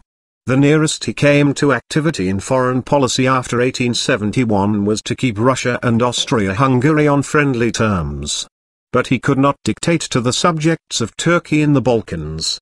There was a rising in Bosnia in 1875, and a worse rising in 1876 which provoked the Turks to the Bulgarian horrors. Russian opinion was outraged by the sufferings of the fellow Slavs, the Habsburg monarchy was concerned to preserve another ramshackle empire. Bismarck cared nothing for the Eastern question one way or the other. When Gorchakov urged that this was not a German nor a Russian, but a European question, he replied, I have always found the word Europe on the lips of those politicians who wanted something from other powers which they dared not demand in their own names. Of course, he added, as Christians we ought to have sympathy for suffering humanity everywhere and especially for suffering Christians in foreign lands. But this sympathy did not oblige him to risk Germany's power, her peace and her European relations. In December 1876 Bismarck first used a famous phrase that he often repeated later. Germany, he said, had no interest in the Eastern question that was worth the healthy bones of a Pomeranian musketeer. One the phrase was more revealing than he perhaps intended. In his more expansive moments, he would show sympathy for Austria's German mission down the Danube and in southeastern Europe, just as he once called Trieste, an Austrian port, Germany's outlet on the southern seas. But when he wanted to define Germany, it was Pomerania on the Baltic, not the Rhineland, Bavaria, or Austria which came into his mind. And certainly, Pomerania was remote from the Eastern question, however much this affected the German communities of Transylvania, Constantinople, or Salonika. The other great powers had vital interests in the Near East. Bismarck's Germany stood aloof, as though in a different continent. Bismarck tried, therefore, to adopt an attitude of amicable detachment during the discussions which went on between Russia and Austria-Hungary. He despised the Turks with a true Lutheran contempt, and he believed, as in other cases, that a partition of the Balkans on national lines would be the safest and most sensible solution. But since his two friends could not agree on this, he joined with them in advocating futile programs of reform. He welcomed Andrássy's initiative in recommending reforms for the Ottoman Empire in December 1875, and when these failed, he invited Andrássy and Gorchakov to Berlin in May 1876 for a further effort. England and France were excluded from the Berlin meeting but not from malice or monarchical prejudice. Bismarck took trouble over Russia and Austria-Hungary solely because they seemed the too likely to quarrel. Nor did he insist on being a party to their agreements so long as they agreed. In July 1876 Gorchakov and Andrássy met at Reichstadt and agreed, or so they thought, on what they would tolerate in the Balkans, if the Ottoman Empire collapsed. Unfortunately it failed to do so. Quite the reverse. The Turks suppressed the risings and defeated the semi-independent Slav state of Serbia. Pan-Slav enthusiasm in Russia could no longer be restrained. The Tsar was captured by it and resolved on war against Turkey. But the example of the Crimean War made him hesitate. Gorchakov was always insisting that Russia must not fall again into the isolation that had then led to disaster. Alexander II, free at Livadia from Gorchakov's control, thought that he would pull off a great stroke on his own. He would invoke the traditional friendship between Russia and Prussia and would ask William I to keep Austria-Hungary neutral by threats as he now genuinely imagined that Russia had done in 1870. It was a typical bit of old-style diplomacy between crowned heads that might have once worked. Now Bismarck stood in the way, even though Gorchakov might be evaded. Alexander II made his inquiry of William I in October 1876. The old German emperor had long lost all independence of action in foreign affairs. Bismarck snatched the question out of the monarch's hands. He replied to Gorchakov, not to Alexander, Germany was friendly to both Russia and Austria-Hungary, and she could not allow any of the factors on which she counted in the balance of power to fall out of it. There was nothing new in this answer it was no different from the line that Prussia had taken during the Crimean War, though then to brush off Austrian, not Russian, demands for support. It was not an option for Austria-Hungary, it was a refusal to take sides, a hope that the balance would still work of itself. Gorchakov was not surprised or offended, more probably, he welcomed the snub to Alexander II's amateur diplomacy. He knew that Russia could not go to war against Turkey without the permission of Austria-Hungary, and he obtained this permission in a convention negotiated at Budapest in January 1877. One new question was raised in Bismarck's answer, though not with much serious purpose. He suggested that Germany might support Russia if she received in return a Russian guarantee of Alsace and Lorraine. A little later he took a similar line with the British government, which was preparing to resist Russia for the sake of the Ottoman Empire. An Anglo-German alliance against Russia was possible only if it was also directed against France. Bismarck knew perfectly well that neither Russia nor Great Britain would commit themselves in this way. Both courted France the Russians to prevent the Crimean coalition, the British to resurrect it. Nor did Bismarck want their support war against France was far from his thoughts, and he could not bind the future. Gorchakov said truly this guarantee would be of little use to you, treaties have very little value nowadays. Bismarck's answer was a friendly evasion, no more, and was so accepted by all parties. A myth grew up later, encouraged by Bismarck, that in October 1876 he had offered to go with Russia through thick and thin and that decisive estrangement followed Russia's refusal. In fact, Bismarck had simply kept out of the Eastern question, as his predecessors had done before him. Russia bought Austria-Hungary's neutrality, went to war with Turkey in April 1877, and was bitterly engaged throughout the year. Bismarck at Varzin and Friedrichsruh ignored foreign affairs and brooded on his domestic problems. The Eastern question took a new turn in February 1878. The Russians had defeated Turkey, their troops were at the gates of Constantinople. The British government determined to preserve the remains of the Ottoman Empire. The British fleet passed the straits. War between Russia and Great Britain seemed imminent a war in which Austria-Hungary was likely to be involved. Bismarck decided that he could no longer stand aside. He was indifferent to the fate of the Balkans, he could not be indifferent to the balance of power.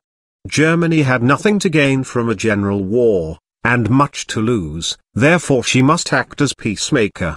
On the 19th of February Bismarck announced in the Reichstag that Germany came forward not as arbitrator but as an honest broker. Bleichröder, Bismarck's man of business, commented, there are no honest brokers. But in this case Bismarck was really concerned to settle the affair, not to earn a percentage. His action, far from being hostile to Russia, helped to save her from a disastrous war. The Russians imposed the Treaty of San Stefano on the Turkish Empire in March. Then, urged on partly by Bismarck's mediation but more by their own fear and weakness, they agreed to submit the treaty to a European Congress. Bismarck tried to dodge further responsibility. He suggested that the Congress should meet in Paris, and when this was rejected, offered the chairmanship of the Congress to Waddington, the French representative. Bismarck's efforts were in vain. He had made Berlin the capital of Germany, and Germany the center of Europe. Now he had to pay the price for his success. By the spring of 1878 Bismarck had cast off from his old moorings. He was not yet running with full sails before a fresh wind. Doubtful of the old course, he could not yet see the new. The first storm signals of February 1878 were followed by some months of calm. At home, the alarm over the tobacco monopoly was forgotten the monopoly never in fact achieved. The National Liberals continued to assume that they were Bismarck's allies, even though he had not admitted them to the government. At most they thought to make him more amenable by a little harmless obstruction. Bismarck, on his side, found reconciliation with the Roman Catholic Centre more difficult than he had at first supposed on the death of Pius IX. Leo XIII was a match even for Bismarck. Though he wanted a settlement, he was prepared to wait for it. In April he demanded the repeal of the May laws and the restoration of the legal privileges which the Roman Church had enjoyed in Germany, before he would advise the Centre to compromise itself politically. These were terms of unconditional surrender, and Bismarck would not go to Canossa even for the sake of protective tariffs and social welfare. He broke off negotiations with Leo XIII and waited in his turn. In foreign affairs equally, Bismarck did not admit that a new era had begun. The approaching Congress was a nuisance, but he still imagined that it would settle the differences between the great powers and that the natural order of peace and security would then reassert itself. He had some thought of a grandiose initiative, proposing a partition of the Ottoman Empire Egypt to England, Bulgaria to Russia, Bosnia to Austria-Hungary, Tunis or Syria to France. But even this was far from a policy of permanent alliances. Foreign affairs in his eyes were something that could be dealt with and finished, a book to be closed. In April he retired again to Friedrichsruh. Two unforeseeable accidents pushed him again into action. On the 11th of May a crazy youth attempted, ineffectively, to assassinate the emperor. Bismarck at once answered by laying before the Reichstag the exceptional law against the Social Democrats which he had failed to carry in 1875.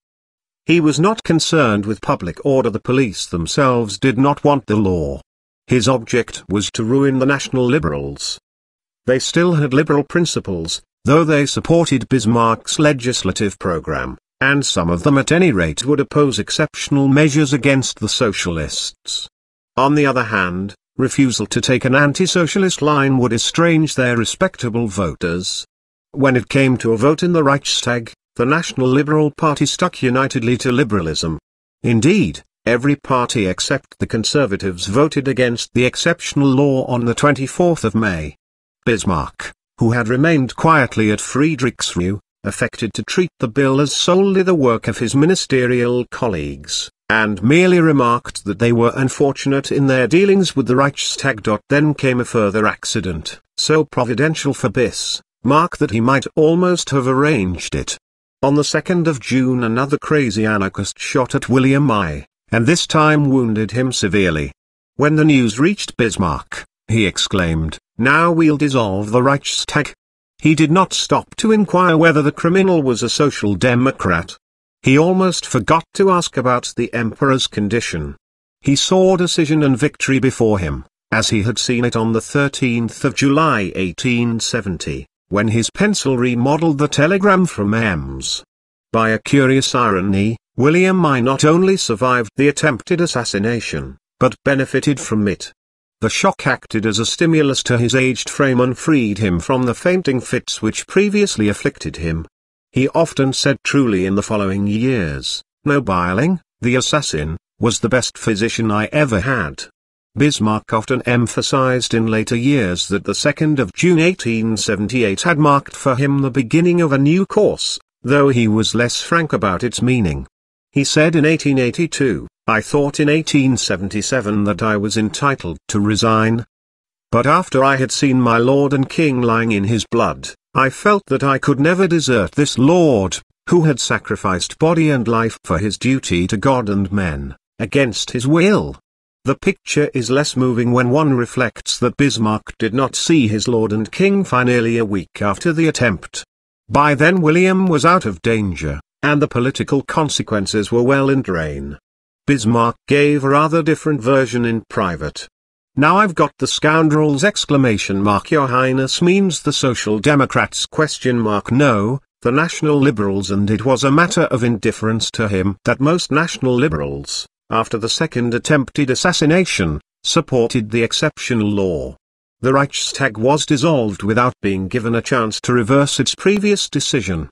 The important thing for Bismarck was not to pass the exceptional law, but to impress the electors. Previously he had waited for the results of general elections and then made the best of them, now he tried to dominate the electoral campaign. He did this in a curious way by his absence. Western democracies expect the political leader, whether president or prime minister, to be the center of public agitation. General elections are themselves a form of running debate. But Bismarck never argued or took part in the cut and thrust of debate. He rhapsodized in the Reichstag, standing ostensibly above the parties, and he would slip into his speeches some general philosophic reflection from which the voters were expected to divine the correct party moral. Once an election began, he alone of all Germans was condemned to silence. Every politician had a platform, literally and metaphorically. Bismarck had none.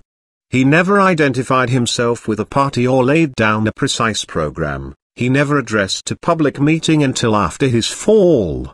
A tongue-tied leader of a country with universal suffrage seems strange, though not so strange then as now.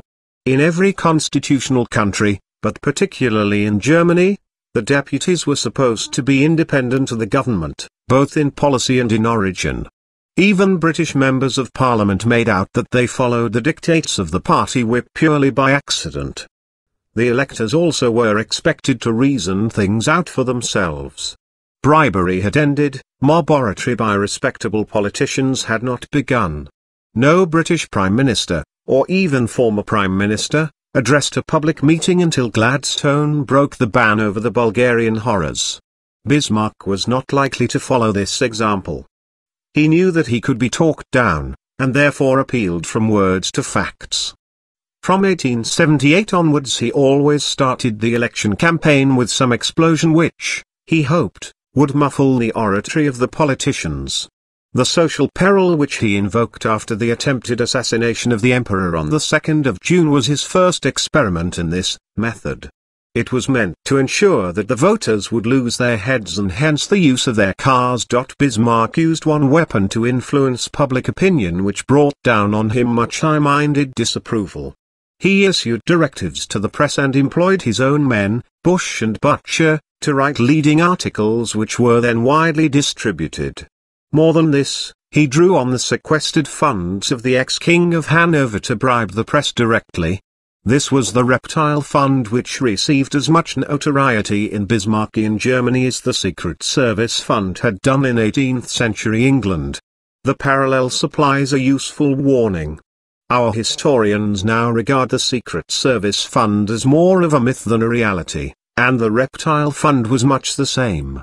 Newspapers with a wide circulation, solidly buttressed by advertisements, did not need subsidies, as the Times was the first to discover. Newspapers with a small circulation needed financial support either from private persons or from the government, and most German papers were still in this condition. Why should Bismarck alone be without a journalistic voice? As a matter of fact, the Reptile Fund was used mainly as the Secret Service money had been to do things that were better not talked about. Elderly servants of the state were saved from penury, the indiscreet from the penalty of their mistakes.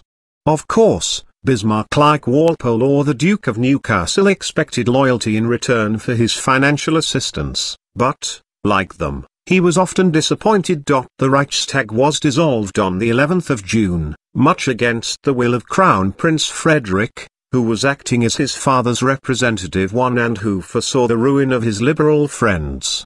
Bismarck sent out instructions to all government officials, much after the fashion of 18th century England, the object of the election was to split the National Liberal Party, and it was to be fought with the two cries of the social peril and tariff reform. Once this circular had been dispatched, there was little more that Bismarck could do. A general election was for him a time of leisure, not of political activity, and he conveniently fitted the Congress of Berlin in before the poll on the 30th of July. The Congress was a grandiose episode in Bismarck's life rather than a vital event in his policy. It still sprang from the hope that all international rivalries between the powers could be finally settled and that foreign affairs would then look after themselves. It was the last great effort of laissez-faire in foreign politics, not the prelude to a more conscious system. Indeed, it was mainly significant, so far as Bismarck was concerned, for what it left out, not for what it discussed or settled. Statesmen of the earlier 19th century, or even Napoleon III, would have been astonished at a European Congress where the questions of Poland, Germany, and Italy were not mentioned.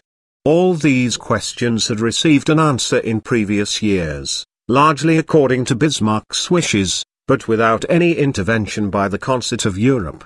The Congress of Berlin dealt only with the Eastern question, and even with that in a limited sense the French made their attendance conditional on the exclusion of Syria, Egypt, and North Africa from the agenda, and Bismarck seconded them. The European order which Bismarck had created did not receive even formal approval. It rested, and continued to rest, on German strength, not on the agreement of the great powers. The Congress of Berlin confined itself to the settlement of the Balkans and its task was little more than to register the private agreements which had already been reached between Russia and England and between Russia and Austria-Hungary. In fact, Bismarck regarded the Congress as a device for saving the face of the Russians. They could make to European opinion the concessions which would seem humiliating if made to British and Austro-Hungarian threats. Bismarck tried to win Russian favor by taking their side over the details which remained in dispute. But this did not satisfy them. He hoped to please the Russians by mitigating the effects of their defeat. They thought that he ought to have prevented the defeat itself. Their grievance was justified. It would have been small consolation to Bismarck in 1866 or 1870 if the great powers had intervened to impose a settlement and if Russia had then thrown to Prussia a few trivial concessions. He had settled with Austria and France in isolation, and this is what the Russians had wanted to do with Turkey. No polite phrases could conceal the fact that they had failed to repeat Bismarck's success though more from their own blunders than from any maliciousness of his. The Congress was a showpiece for Bismarck's personality. It was the only international gathering over which he presided, and no one ever presided in the same manner. He gave the great statesmen of Europe a taste of the rough jovial manner with which he entertained German politicians at his beer evenings. He even appeared at the early sessions in a beard, and shaved it off only for the composite portrait which concluded the Congress. The exuberant joy with which he disregarded aristocratic conventions revealed his nature half country squire, half revolutionary. He bustled through the formal sessions, commenting audibly at the Turkish delegate or even Lord Salisbury dared to raise a new point, and scribbling during Gorchakov's opening speech, pompos, pompo, pomp, po. Protocol was ignored, everything subordinated to punctual and enormous meals. Bismarck was to be seen, stuffing shrimps into his mouth with one hand, cherries with the other, and insisting surprisingly that he must leave soon for a cure at Kissingen. Any real difficulty was settled by Bismarck privately behind the scenes, and to great effect. Gorchakov, who could remember the congresses of Ljubljana and Verona, was horrified at this brusque procedure. But the Congress was a model for all time in its way of doing business and reaching results, even if less in the results themselves. Bismarck was not interested in these or in the fate of the people down there. We are not here to consider the happiness of the Bulgarians but to secure peace of Europe. He wanted to get everything settled and to start getting his weight down at Kissingen. Bismarck had often met Gorchakov and Andrassy before. He was now on cold terms with Gorchakov, whom he found vain and senile, and he did not care for Andrassy's grand Magyar ways. Nor, despite political courtesy, did he find any common ground with Waddington, the French delegate a man distinguished as the only prime minister, French or British, to row in the university boat race. Bismarck at this time disliked Salisbury, the second British delegate, whom he described as a lay preacher and as would painted to look like iron.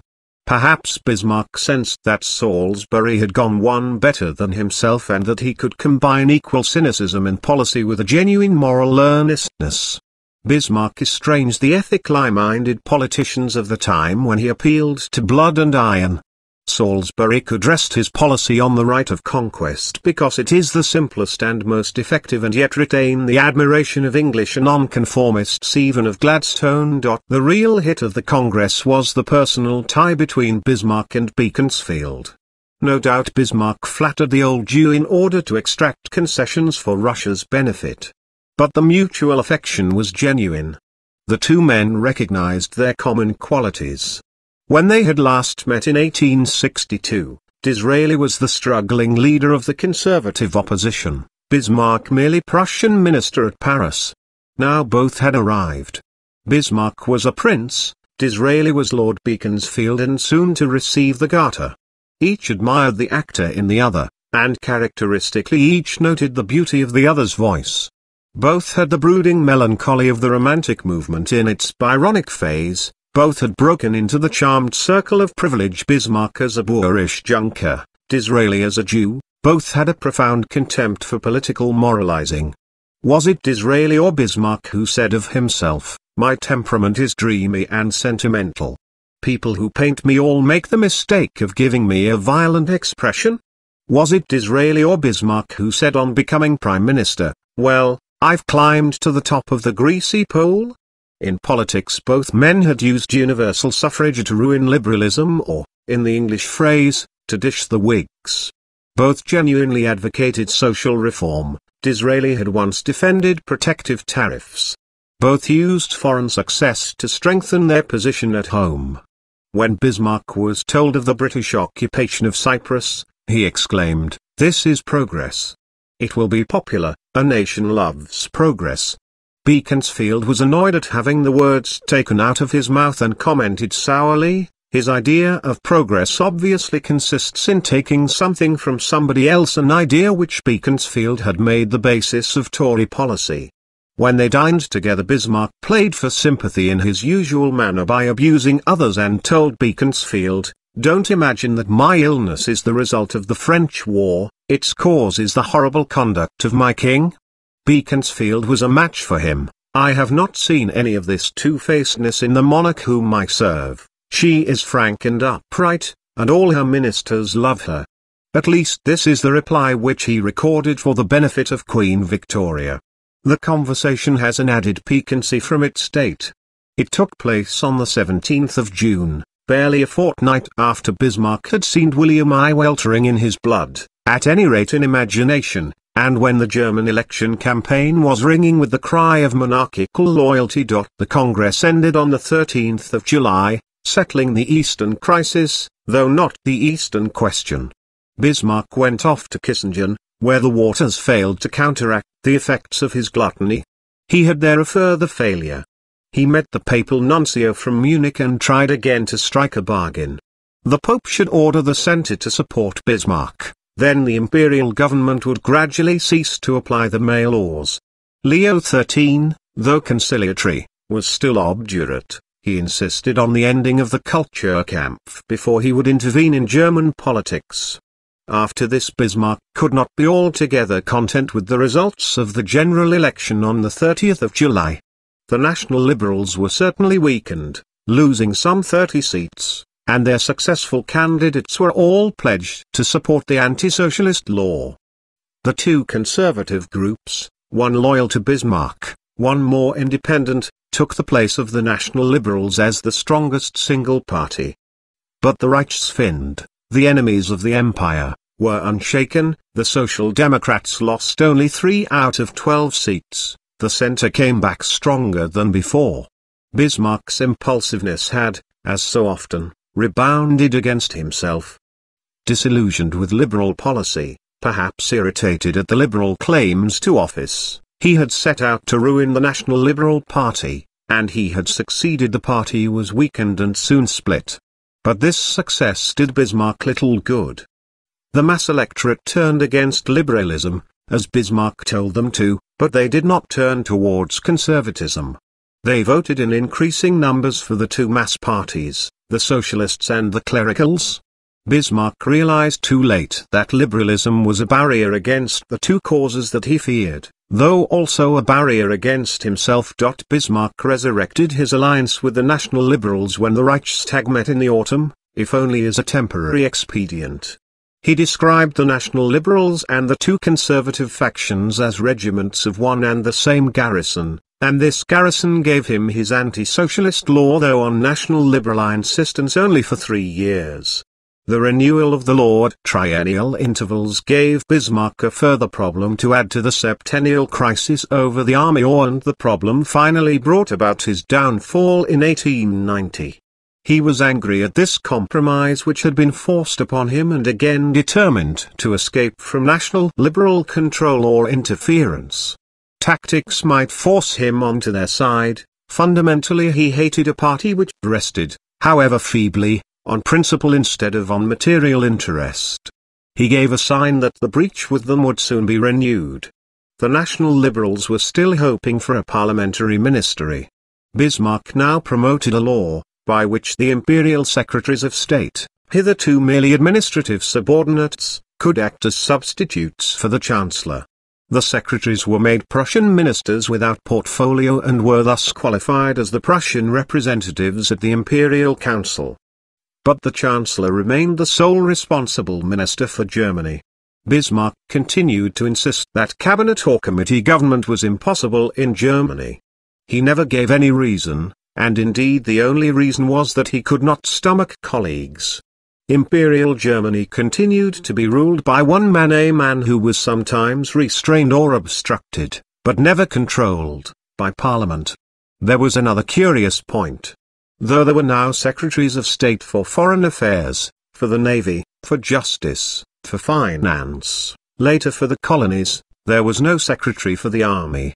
That remained the exclusive concern of the emperor and of the chief of staff an arrangement which Bismarck, considering his open hostility to the generals, tolerated rather than welcomed. The last step in Bismarck's change of course came during the winter of 1878-79. It was a masterstroke of improvisation. His projected timetable since the death of Pius IX had clearly been, first to end the Kulturkampf, then to carry protective tariffs with the support of the center. This had not worked out. The Kulturkampf had not been ended. But in October 1878 the center came out in favor of protective tariffs. At once Bismarck reversed his order of tactics. He would first propose fiscal reform and thus compel the center to support him, even before the Kulturkampf had been brought to an end. The new economic order in Germany was Bismarck's own work as much as the legal and constitutional order had been. He studied political economy, saying, I am ashamed to understand so little of this subject, and drafted all the principal tariffs. Having once abandoned free trade, he now wanted thoroughgoing protection, and stirred the sectional interests to bid against each other. The conservative agrarians, for instance most of them aristocrats agreed to the tariff on iron and steel only in exchange for a high tariff on grain. As in every auction, Bismarck the auctioneer collected his percentage. The groups were all tied to him, though hostile to each other. This fiscal revolution produced its political effect. Bismarck's anticipations were realized. On the 3rd of May 1879, Windthorst, the leader of the Centre, appeared at Bismarck's beer evening, and remarked as he left, Extra centrum nulla salus no salvation without the centre. Bismarck responded by attacking in the Reichstag the intellectual politicians of the National Liberal Party, who neither sow nor reap, weave nor spin. These gentlemen whom our sun does not warm, whom our rain does not make wet, unless they happen to go out without an umbrella, Bismarck always made great play with his practical activity as a cultivator of the soil. But he had gained his estates by being the most intellectual politician of his time and was no more a farmer than our present-day company directors who go in for agriculture to offset their liability to surtax. Joseph Chamberlain, the English radical, turned the same phrase they toil not neither do they spin to a more appropriate use a few years later when he fired it against the great landed aristocracy, the class to which Bismarck now belonged. On each occasion the phrase infuriated the other side. The alliance between Bismarck and the National Liberals, which had lasted 12 years, tumbled down in a few weeks. Falk, the leading fighter of the Kulturkampf, resigned in July, Bennigsen soon withdrew altogether from politics, the National Liberals dissolved into fragments one group merging with the Progressives who had opposed Bismarck since 1862, another constituting itself the mouthpiece of heavy industry, and a third drifting disconsolately in the hope that a liberal Bismarck would one day reappear. The center was caught, as Bismarck had expected, its social basis made it support protective tariffs even though the May laws were still on the statute book. But the center claimed a price, though of a different sort. Bismarck had two objects in mind when he introduced tariff reform, one was to protect German industry, the other was to end the dependence of the Reich on the matricular contributions from the separate states. Most of the national liberals were ready to swallow tariffs for the second reason, if not for the first, but they insisted on voting these tariffs annually, so as to strengthen the budgetary control of the Reichstag. The center were prepared to vote for permanent tariffs, but not for the profit of the central authority. They insisted in their turn that the yield from customs dues, above a limited amount, should be shared out among the member states in the same proportions as their matricular contributions. In this curious way an artificial deficit was created in the imperial budget, which the states would be called upon to fill. Bismarck could make his choice between parliamentary liberalism and federalism. He did not hesitate a moment. Though he had often urged the Reichstag to develop its authority and had dismissed the states as contemptibly unreal, he chose the concession to federalism perhaps for this very reason. This financial jugglery between the Reich and the states completed the ruin of German liberalism. Bismarck had insisted, when the federal constitution was made, that the central authority should levy only indirect taxes customs and excise. Direct taxation remained the prerogative of the member states. This was perhaps reasonable so long as the new Reich was not expected to be any more powerful or effective than the old German Confederation.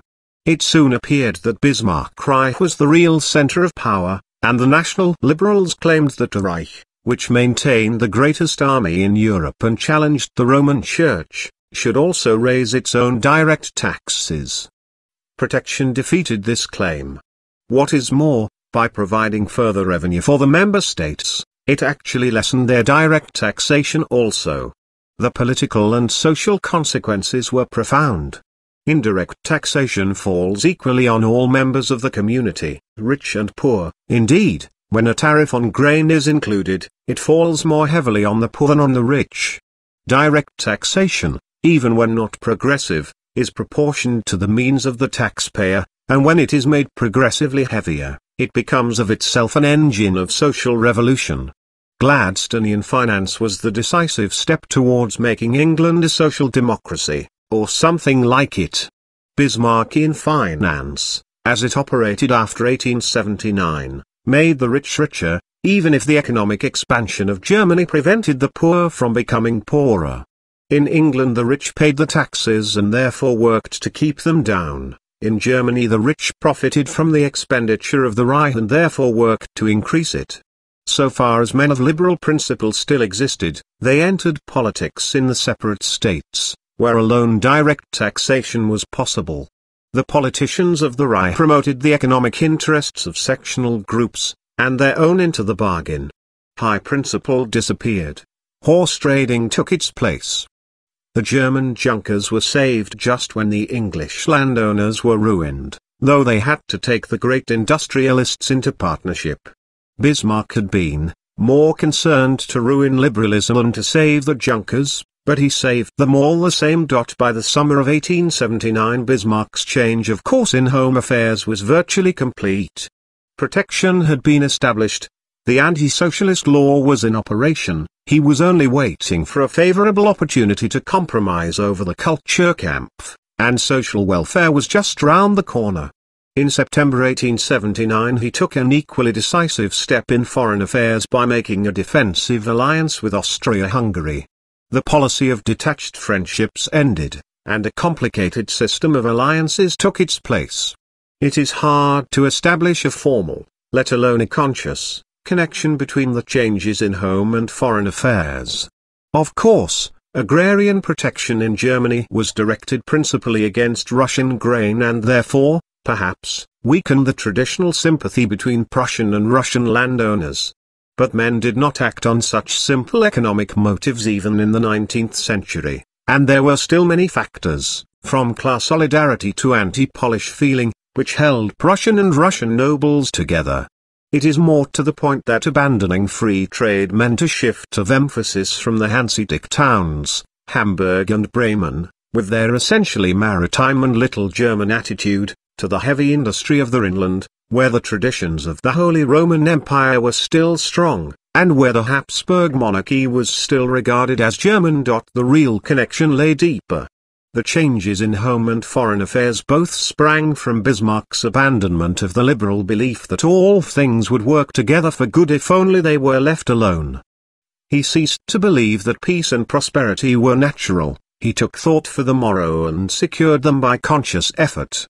Protection, as the name implied, involved the deliberate fostering of German industry and agriculture against the dictates of economic law, just as the anti-socialist laws were an attempt to direct men's thoughts. Bismarck's alliances were also a form of protection, imposing a conscious design on international relations instead of waiting upon events. He was not alone in this change of outlook. At the very moment when Bismarck was concluding an alliance with Austria-Hungary, Gladstone greatest of liberals left his old line of moral detachment and preached in the Midlothian speeches a creative foreign policy, based on the concert of Europe. Bismarck and Gladstone reached no doubt very different conclusions, but they both started from the same point the loss of faith in laissez-faire. It would be easy to explain Bismarck's new foreign policy if he had not explained it so much himself. His explanations were not made for the benefit of posterity, a subject which never interested him. They were advocacy, directed to the person with whom he was arguing. William I had to be frightened by the story that Germany was in danger of immediate attack from Russia or even being a Vera, old man by echoes from the Seven Years' War.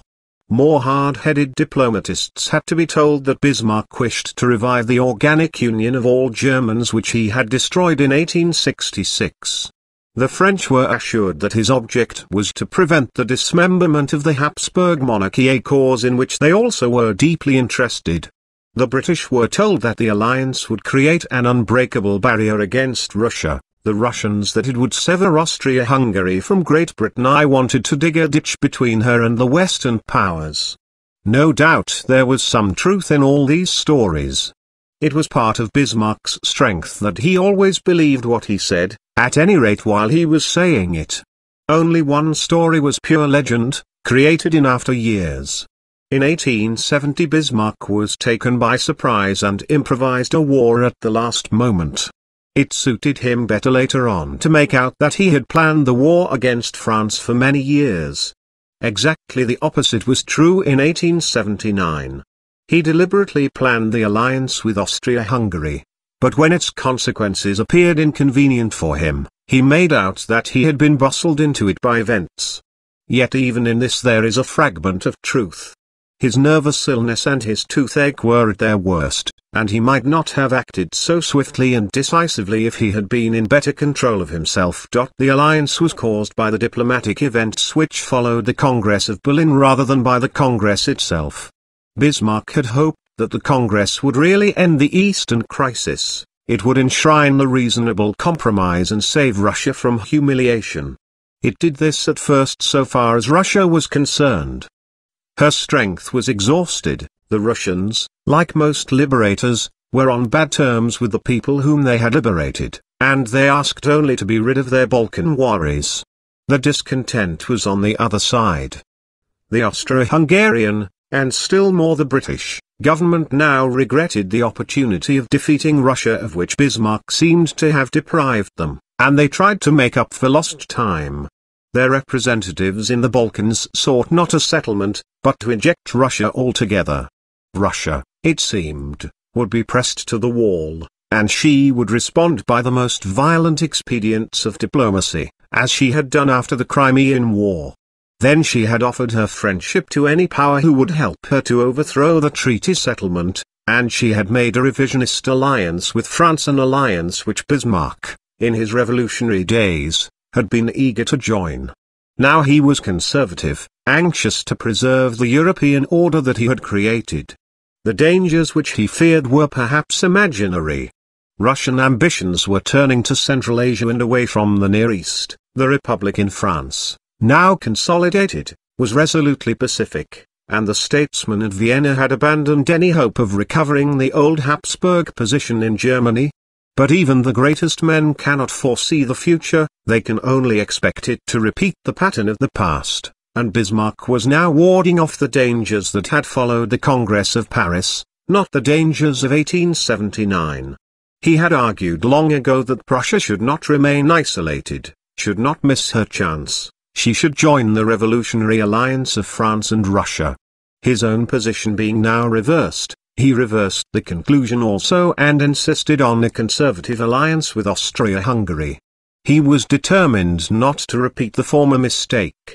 There could be no more dangerous course, what was mistaken 20 years before is often the wisest policy in the present. Great disasters are caused by trying to learn from history and to correct past mistakes. Men being what they are, it is probably better to think about the present, not about the past or the future. As Bismarck said to Napoleon at Biarritz, one must not make events, one must wait for them to happen. Now, for whatever reason, he was determined to guard against future dangers, not present ones. The great improviser built a system against the improvisation of others. Early in 1879 he resolved on alliance with Austria-Hungary. There was no obstacle on the Austrian side.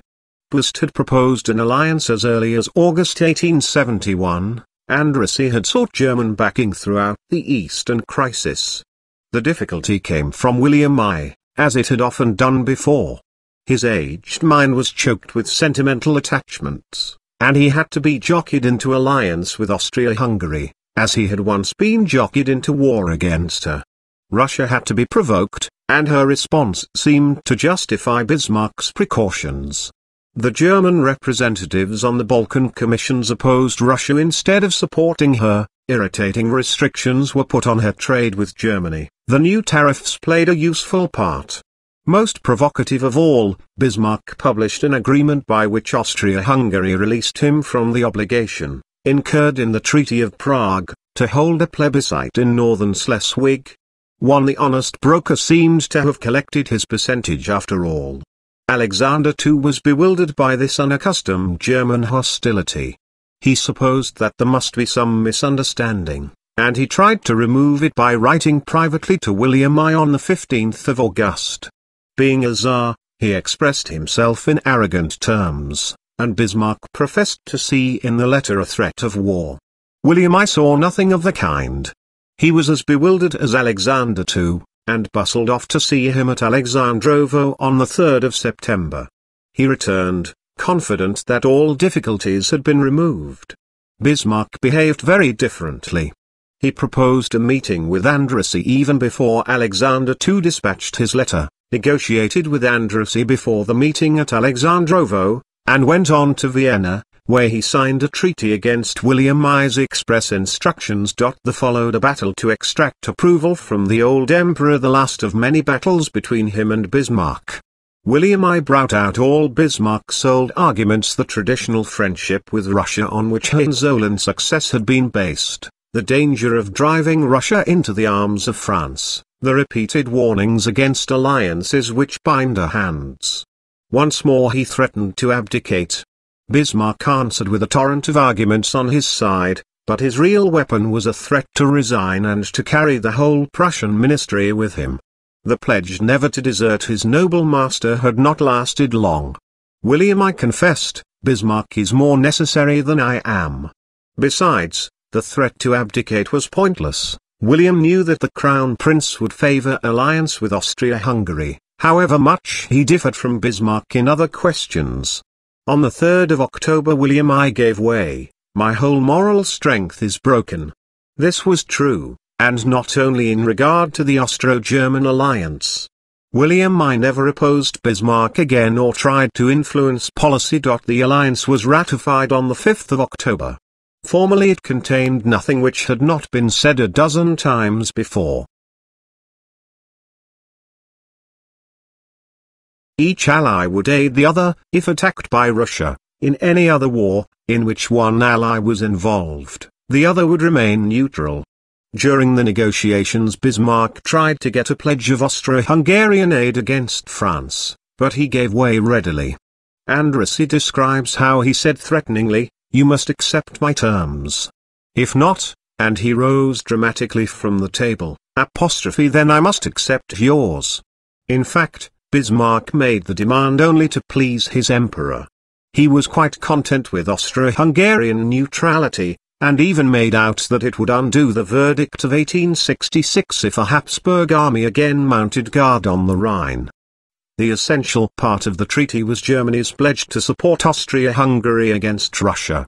Bismarck had already warned Russia in October 1876 that he would not allow an attack against Austria-Hungary, but it was one thing to warn Russia, quite another to give a pledge to Austria-Hungary. The alliance did not increase German security in the least. On the contrary it brought her nearer to war, for there was no danger of a Russian attack on Germany except as a consequence of the pledge to Austria-Hungary. The alliance was a liability for Germany, not an asset. Bismarck never explained why he thought it a necessary liability. Bismarck crushed into the Austro-German alliance without considering the remote consequences. He was always impulsive, and the alliance seemed a quick way of ending the tension in the Balkans. Austria-Hungary would feel secure, she would no longer cooperate with Great Britain, and Russia, therefore, would escape further humiliation. Frederick William IV had made an alliance with Austria, against Bismarck's advice, for much the same reasons at the outbreak of the Crimean War. Probably Bismarck assumed that this alliance would fade away as his earlier alliances had done. But there was a fundamental difference.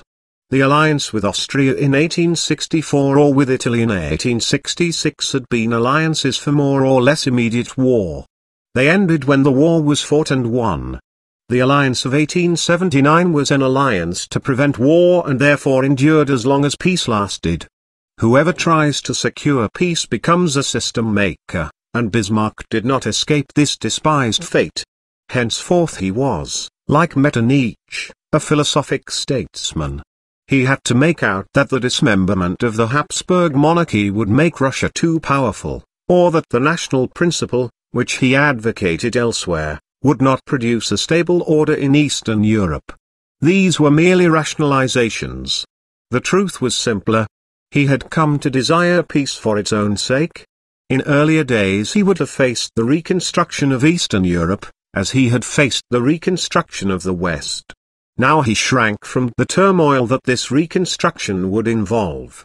Security and tranquility had become his watchwords. He had done enough reconstructing. All he wanted was a quiet life. Once he had been ready to stake everything on fortune's wheel. Now he tried to stop it from spinning. How contemptuous he had been of the old Prussian statesman who had helped to prop up Metternich's system. How strenuously he had warned against tying Prussia's trim, seaworthy frigate to Austria's Wormitten galleon. Now he did everything that he had condemned in his predecessors. Prussia's frigate had become the great German man-of-war. Austria's galleon was more worm-eaten by 25 years. Yet Bismarck tied them together for the rest of their existence. The alliance of 1879 only recognized existing facts, but, by recognizing, it sought to perpetuate them. In 1866 Bismarck failed to carry through the thoroughgoing national reconstruction of Europe which he had advocated earlier. He allowed the Habsburg monarchy to survive. Now he went further and committed Germany to its survival. No more events must be allowed to happen. The keeper of the Elbe dike had resumed his old employment. No sooner had he taken this decisive step than he tried to belittle it. He always reacted violently against arguments that were put before him. One of his colleagues said, beware of opposing Bismarck immediately if you disagree with him. If you do, he being so excitable finds such crushing arguments for his opinion and becomes so obstinate that no power on earth can move him from it. William's opposition during the negotiations had made Bismarck behave as though the alliance was the be-all and end-all of German policy. Once he had got his way, he reacted against his own tumultuous arguments, and soon became as distrustful of the Austro-Hungarian alliance as he had once been enthusiastic, until at the end of his life he was almost its only critic and opponent in Germany. The alliance was to last only for five years, though then automatically renewed unless denounced. Bismarck always refused to make it permanent and left obscure hints to his successors that they should shake it off as he had shaken off the earlier alliance with Austria in 1866. During the negotiations he had put the Pomeranian Grenadier on hay and had declared in romantic terms, according to a thousand-year-old tradition the German fatherland is also to be found on the Danube, in Styria, and in Tyrol.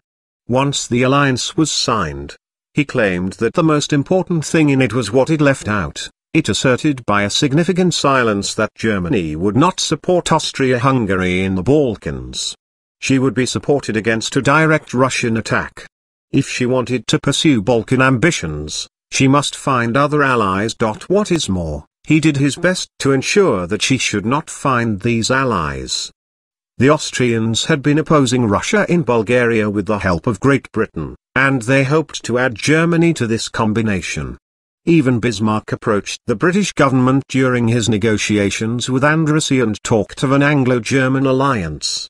He broke off abruptly as soon as the Austro-German alliance was made, and the Austrians were soon complaining that the principal effect of the alliance, so far as they were concerned, was to thwart their Balkan policy.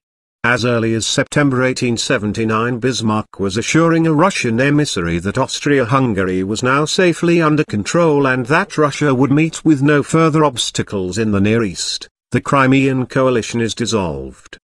He decked this out with much talk of monarchical solidarity against the socialist countries of Western Europe, but this was window dressing Bismarck could always discover sentimental ties with any country whom he happened to favor. His real aim was to perform a gigantic conjuring trick. He would satisfy Russia by concessions in the Near East and compel Austria-Hungary to acquiesce by insisting that her security depended on the alliance with Germany, not on Balkan predominance or gains.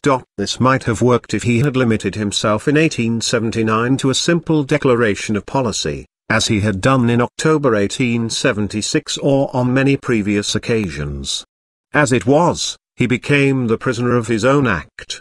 The treaty with Austria-Hungary was the first formal alliance between two great powers concluded in peacetime since the outbreak of the French Revolution and the end of the ancient regime. The powers might have sentimental attachments, such as the so-called Holy Alliance. They signed treaties of alliance only before a war or on its outbreak, and these alliances ended when the war was over. So it had been with the Anglo-French alliance of the Crimean War, the Austro-Prussian alliance in 1864, and the alliance between Prussia and Italy which preceded the War of 1866. The written alliance with Austria-Hungary which Bismarck now made set a rigid pattern which shaped international relations until the First World War. Bismarck might say that every treaty contained an unwritten clause, rebus sic stantibus, 1. The solemn recital of full powers and the seals ponderously affixed were among the things that remained the same. Though no treaty can bind the future, a formal treaty influences the future by its very existence. Bismarck never gave the slightest hint why he had recorded Austro-German friendship in this formal way. His haste and dogmatic insistence almost justify the conclusion that he genuinely believed in the danger of attack from Russia in August 1879. But there were surely limits even to what Bismarck could make himself believe. The explanation is presumably to be found, as on many earlier occasions, in the effect on William I. Only a formal alliance would convince the Austrians that William I had really turned against Russia, and William could be turned only by talk of immediate war. Whatever the explanation, the effect was unmistakable. The alliance with Austria-Hungary overshadowed Germany's foreign policy, and in time it even came to be felt that countries could not be on friendly terms unless they had a written alliance. Bismarck sometimes argued that formal alliances were made necessary by democracy and the growth of public opinion. The masses could not understand diplomatic gestures, they had to be tied by precise words. But the statesmen were tied as much as the masses. The signature of the Austro-German alliance, though not its terms, was announced at once, and German national feeling was enthusiastic. Greater Germany seemed to have been achieved in a roundabout way. Bennigsen said truly, for the first time the Chancellor has made an act of foreign policy, to which all interests, all parties, yes all Germany, joyfully agree. Bismarck was embarrassed by this enthusiasm, but he could not repudiate it just when he was preaching the national cause in economics and social welfare. He had prepared a strange fate for himself. He, the greatest and most successful enemy of the Habsburg monarchy, the man who had destroyed its predominance in Germany and ended it in Italy, became henceforth its guarantor and protector. He did not relish the part, and every subsequent step in his foreign policy aimed at escaping the inevitable consequences of what he had done in October 1879. The conservative chancellor the end of the year 1879 opened a new epoch in Bismarck's life. Gone were the days when he had unified Germany on the basis of universal suffrage and given her modern institutions with the help of a great liberal party, gone the days when he welcomed conflicts between the other great powers and profited from them, now he echoed Metternich and became a rock of order. The change has given him another cycle of posthumous fame. Fifty years ago Bismarck was admired as the great nationalist and revolutionary, now he is held up as the man who sought to preserve Europe's traditional civilization. Both pictures are true, though of different times. All revolutionaries become conservative once they are in power, and Bismarck had always longed for tranquility even when he was a revolutionary. Personally, Bismarck enjoyed more absolute power than ever before. The old emperor became a figurehead, even Augusta ceased to criticize, especially when the Kulturkampf was relaxed. His only fear now was of what would happen when the crown prince came to the throne. And Bismarck pursued with destructive hatred any political figure who he imagined might be the head of a so-called Gladstone ministry. This was a spook of his own creation. The Crown Prince was too weary and too ineffective to have any clear plans. It was characteristic of Bismarck that whereas he had constantly expressed weariness of office when he was regarded as indispensable he now clung to it with frenzied determination. He said in 1888, I shall refuse to sign any letter of resignation. I shall cling to my chair and not go even if they tried to throw me out. Previously he had had colleagues of some independence and ability. Now he had underlings to carry out his orders. He distrusted even them and felt secure only in 1885 when he made his son Herbert Secretary of State. He meant to found a Bismarck dynasty and remarked complacently, Louis XIV said, L'état, qu'est moi? I say, moi, je suis l'état. He cared for his son more than for any ruler or any public cause, yet he crushed this son with all his ruthless energy at the first sign of independence. Herbert fell in love with a divorced princess and proposed to marry her. Divorce was no handicap in Lutheran Germany a few years later Bülow became chancellor, though married to a divorced woman, when this would have debarred him from the lowest ministerial post in England. But Herbert's lady was related to Schleinitz, Bismarck's old enemy. Bismarck used every weapon. He threatened to dismiss Herbert from the public service, announced that he would kill himself if the marriage took place, and got William I to exclude from the entail on Friedrichsruh and Varzin anyone who married a divorced woman.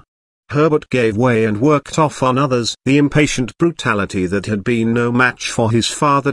Bismarck did not reveal his thoughts even to Herbert, but he trusted him to execute orders. He trusted no one else. Suspicion grew with power, and he broke ministers and ambassadors who showed any sign of independence.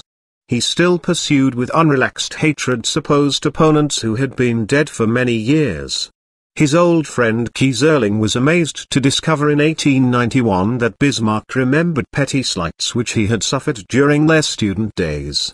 When Lasker, the national liberal politician, died during a visit to the United States, Bismarck forbade the Reichstag to accept a message of condolence from Congress. Lasker had given invaluable aid in 1870 in winning South Germany for unification, but, according to Bismarck, he had prevented Bennigsen from becoming a minister in 1878. The charge was quite untrue Bennigsen was capable of making up his own mind, and Lasker's real offense was to have kept his independence of judgment. Bismarck's hostility was not confined to politicians. Though he could flatter foreigners, such as Jules Ferry or Salisbury, when it suited his purpose, it maddened him that they were out of his reach. His greatest contempt was reserved for Professor Gladstone, perhaps because he recognized that his only equal. This irritability and petty spite could earlier be excused by Bismarck's nervous temperament and his constant ill health. It had less excuse in his last decade of power. He no longer needed to worry about his tenure of office, he was secure for William I's lifetime and could retire to Friedrichsruh or Varzin without risk of intrigue against him at court. In 1883 a startling change took place in his health. A new medical attendant, Schweninger, at last imposed moderation on the genius who had imposed it on others, but never on himself. At their first meeting, Bismarck said roughly, I don't like being asked questions. Schweninger replied, then get a vet. He doesn't question his patients. The battle was won in a single round. Bismarck ate and drank less, kept more regular hours. When Schweninger was present, he even kept his temper.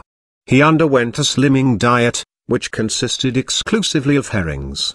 However curious this seems by contemporary standards, it did the trick. Bismarck's weight went down from 18 to 14 stone, he slept long and peacefully, his eyes became clear, his skin fresh and almost youthful. The full beard came off in 1884 not to reappear again until extreme old age.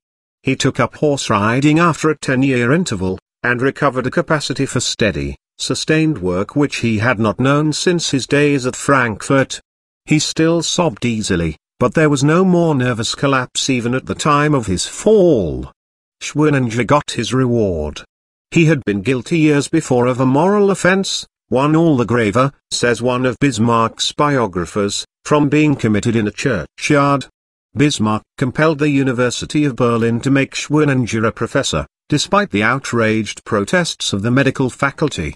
An appropriate exchange, Bismarck got 15 years of life, Schweninger a university chair. Every observer noted the change in Bismarck, and it can be seen in his photographs. In 1877 he is bloated, choleric, bursting at the seams. In 1883, before Schweninger took over, a bearded old man, bewildered at life and hardly able to control his twitchings long enough to face the camera. In 1885 he is fresh, clean-shaven, chin upright, face finely drawn, master of himself, 70 years old no doubt, but a man with long life before him. His talk and writing gave further evidence of renewed health. It was more serene, relaxed and patient, though still full of cunning, always with a calculated effect. Bismarck was never spontaneous, even with himself. His speeches and instructions now had an air of inner communing, which only the old can have, as though he were more interested in eternity than in events. It was a hard task to be one of Bismarck's ambassadors. He never learned to give precise instructions, just as he never learnt at Frankfurt to write accurate reports. He would always explore remote aspects of a topic and turned easily aside to byways of historical allusion of personal reminiscence. The wise ambassadors kept quiet, when they acted on their instructions, they usually acted wrongly. For instance, in May 1884 Bismarck wrote to Munster, his ambassador in London, that the British government must be more sympathetic to German needs if they wanted to keep German backing in the Egyptian question and in particular they should consider ceding Heligoland. He also remarked, in a casual aside, that Great Britain should show consideration for German trading interests in Africa. But Munster was only told to raise the question of Heligoland. He had long advocated Anglo-German cooperation and was delighted, he began to ask for Heligoland at once. A fortnight later Bismarck told him to drop the question. The following year Bismarck rebuked Munster in a Reichstag speech for not complaining about British obstruction over colonies a question that Munster had never been told to raise, and the British government were also attacked for ignoring complaints that had never been made. Munster was lucky to escape only with the penalty of being moved to Paris. His offense was to have carried out instructions that he had received and for failing to carry out instructions that he had not. Bismarck's speeches in the Reichstag also took on this character of grandiose obscurity. He spoke often indeed, since he did nearly all the work of government, more often than ever before. When he had something to promote in the Reichstag whether the army law or social insurance he attended every day and spoke to every amendment.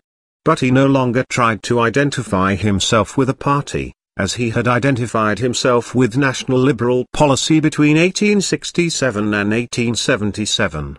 He seemed to stand aloof from the Reichstag and above its members, meditating aloud, sometimes striking out a dramatic phrase, more often wrestling for words exactly in the manner of Oliver Cromwell.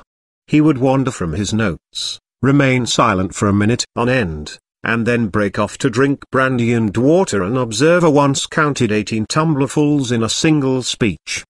The members would cough, laugh, and talk among themselves, until Bismarck, beside himself with rage, would shake his fist or stare them down through his lorgnette. His final resort was to exclaim, I am no orator. I am a minister, a diplomat, a statesman and I should be offended to be called an orator. His speeches are among the greatest literary compositions in the German language, despite their repetitions and their clumsy, fragmentary phrases. But their historical allusions to the revolutions of 1848, to Metternich, or even to the Frankfurt Diet, must have seemed remote to members who could hardly remember the founding of the North German Confederation, let alone the Crimean War. Yet in the end Bismarck's personality forced itself through and he usually got his way even in a Reichstag composed mainly of his opponents. The basic argument of Bismarck's speeches in this last decade was always that he alone spoke for the nation, for Germany. This Germany existed only in his imagination. He knew little or nothing of contemporary German life. He read no new books, knew none of the leading thinkers, never went out even in Berlin.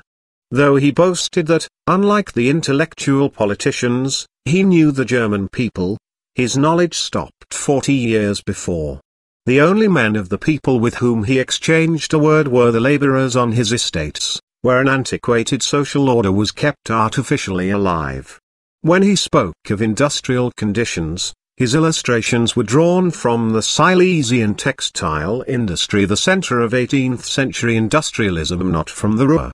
He never saw a coal mine in his life, was never in the Ruhr, and did not visit the Rhineland between 1871 and 1892. Even his attitude to Marxism was old-fashioned. Marx died in 1883. His best work done 20 years before, and Bismarck knew nothing of trade union development nor of the practical points in the socialist program. For him the Social Democrats were always the Red Revolutionaries of 1848, just as he still saw the Roman Catholics with the eyes of Luther. Bismarck complained that the Reichstag was a chaos of factions, but this chaos was largely of his own making. He had forced a split in both the conservative and the national liberal parties, and, still worse, by launching universal suffrage, he had cleared the way for parties which were not upholders of the state at all in his sense. To defeat the middle-class politicians by universal suffrage turned out to be itself a middle-class idea. Bismarck reacted by denouncing others, not by confessing his mistake. In the first years after 1867 he had almost ignored the Prussian Diet. Later he praised it as a truer expression of the national will, and in 1885 actually sought a vote of confidence from it when he had been defeated in the Reichstag over his Polish policy. Again, he had found no words strong enough with which to criticize the German princes their lack of any national feeling, to say nothing of the trouble that they caused him. In the 1880s he turned round and exalted their patriotism above that of the politicians. He even included in his reminiscences a passage, contemptuous of German nationalism, where he asserted that the dynasties were the only effective bond of union. This was to fly wilfully in the face of the facts and Bismarck knew it. He did not value the princes nor respect them, he merely wanted to repay in kind the exasperation which the politicians had caused him.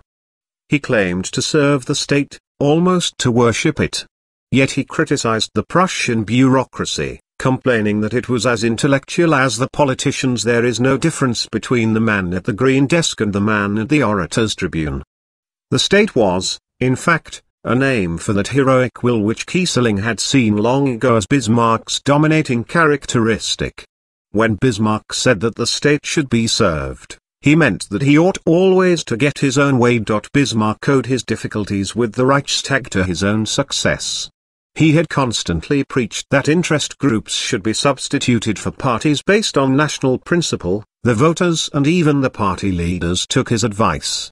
The old conservatives of the 1870s became spokesmen of the Junker estates in the 1880s, the national liberals became spokesmen of heavy industry. But now Bismarck told the electors and the deputies that they should consider only the national good. Was not this a principle like any other? In practice he had usually to promote the national good by concessions to the interest groups, a horse trading that grew ever more elaborate. A small section of conservatives, called the Empire Party, and a small section of the National Liberals tried to turn support of Bismarck into a principle, accepting his identification of himself with the nation, but this adherence to principle ruined them, as Bismarck had foretold. The two parties outside the national fold, the Centre and the Social Democrats, were abhorrent to him both because of their principles and because he disliked their practical interests. Yet he often had to play for their support so as not to be taken prisoner by one of their respectable parties. He jeered at the Reichstag for being unable to provide a stable government majority and asked, what sort of a government would it be, where Windthorst of the Centre, Bebel the Socialist, and Richter the Progressive, sat side by side. As a matter of fact, this was exactly the coalition which sustained the Weimar Republic, and it would have given Germany a secure parliamentary system if it had not been for the national parties which Bismarck had patronized. Bismarck's jugglery with the Reichstag in the 1880s rested on a simple calculation. The conservatives supported him firmly once they were won over by agrarian protection, but he needed further votes to secure a majority. The National Liberals supported the Kulturkampf, but opposed protective tariffs and authoritarian government. The Centre opposed the Kulturkampf, but supported protective tariffs and perhaps would not mind authoritarian government if it were not applied against themselves. In 1879 Bismarck thought that he had outmaneuvered the center by promoting tariffs, without relaxing the Kulturkampf. The maneuver did not work, the center went back to opposition as soon as the tariffs were passed. In 1880 he had a further, graver disappointment. Leo XIII was anxious to compromise. He disliked the head-on conflict with the modern state and in any case regarded the German Reich as the least of his enemies, if he could settle with Germany, he could play her against France or against his most dangerous opponent, National Italy. In February 1880 Leo XIII, not Bismarck, went to Canossa. He accepted Bismarck's principle that the age-long conflict could not be fought out, church and state should find a workable compromise. As a first gesture he agreed that Roman priests should henceforth register with the state authorities, in return the May laws would be more laxly applied. Bismarck and Leo XIII had reckoned without the center leaders. They refused to settle for anything less than repeal of the May laws. Windthorst exclaimed, shot in the field. Shot in the back. He thought at first of retiring from politics, then decided, despite Leo XIII's prompting, to oppose all Bismarck's measures. Bismarck swung back. He renewed his friendly relations with the National Liberal leaders almost for the last time, and in the summer of 1880 a Liberal-Conservative coalition carried the first renewal of the Septennial Army Law. Fortunately for Bismarck his diplomacy had promoted a peaceful Europe, and he asked only for renewal, not for increase, of the military establishment. He now embarked on a bolder maneuver still. Since he could not shake the center, he would win over the Social Democrats not certainly by appealing to their leaders, whom he was persecuting and sending to prison, but by a constructive social program, which he hoped would detach the working class voters from the Social Democratic Party. It would be unfair to say that Bismarck took up social welfare solely to weaken the Social Democrats, he had had it in mind for a long time, and believed in it deeply. But as usual he acted on his beliefs at the exact moment when they served a practical need. Challenge drove him forward. He first avowed his social program when Bebel taunted him with his old friendship with Lassalle. He answered by calling himself a socialist, indeed a more practical socialist than the Social Democrats, and he provocatively rejoiced in echoing Frederick the Great's wish to be le roi des gueux, king of the poor. Richter, the progressive leader, called Bismarck's proposals not socialistic, but communistic. The proposal was merely that part of the cost of social insurance should be borne by the state, and nowadays Bismarck seems the progressive, Richter the unenlightened reactionary. The system of social insurance which Bismarck inaugurated in 1881 and completed in 1889 just before his fall would be enough to establish his reputation as a constructive statesman even if he had done nothing else. He recognized this and wanted to put into William I's mouth the words that it would be the finest work of our government which has been so clearly blessed by God. William objected that unification ranked higher and struck the words out. Yet unification had been achieved by other countries. German social insurance was the first in the world, and has served as a model for every other civilized country. The great conservative became the greatest of innovators. Earlier it had been Bismarck's weakness that he did not share the basic principles of liberalism even when he worked with the national liberals, now it was his strength. His very lack of principles gave him a clearer vision into the future. Of course, Bismarck did not promote social reform out of love for the German workers. Sympathy and affection had never been his strong points. His object was to make the workers less discontented or, to use a harsher phrase, more subservient. He said in 1881, Whoever has a pension for his old age is far more content and far easier to handle than one who has no such prospect. Look at the difference between a private servant and a servant in the chancellery or at court. The latter will put up with much more, because he has a pension to look forward to. Social security has certainly made the masses less independent everywhere, yet even the most fanatic apostle of independence would hesitate to dismantle the system which Bismarck invented and which all other democratic countries have copied. Bismarck's policy revealed the contradictions of his social outlook. He had always fought for his independence from parties, from princes, from foreign countries. He believed that life was a ceaseless battle, struggle is everywhere. Without struggle no life, and if we want to go on living, we must be ready for further struggles. Yet he wanted to combine this fighting independence with security, always seeking a verdict from the referee before he would enter the ring. His foreign policy was packed with insurances and reinsurances, and he kept away from war simply because victory could never be guaranteed. In his private life he was always beating down others, yet demanded security for himself. He hoarded money and estates, worrying endlessly about the old age that he did not expect to survive into. He would not tolerate any interference in his own concerns as landowner or industrialist and even stormed at having to pay rates on the chancellery buildings. Yet his sensitive imagination was racked by the thought of the worker who had no protection against accident or old age. He preached rigor at one moment, security at the next. He would not tolerate factory inspection or any legal limitation of hours, the factory owner must be master in his own house. But he proposed to insure every German worker against accident, sickness, and old age. At the end he talked of the right to work and thought of insurance against unemployment their final step to the welfare state of the 20th century. These ideas were too novel for Bismarck's contemporaries. Most resisted them on the basis of liberal economics.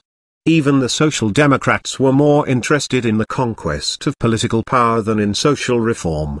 Even when social insurance was carried, the Reichstag defeated Bismarck on one essential point. It struck out the contribution from the state, and left insurance as a direct levy on worker and employer. The politicians acted wisely from their point of view. Bismarck wanted to make the workers feel more dependent on the state, and therefore on him.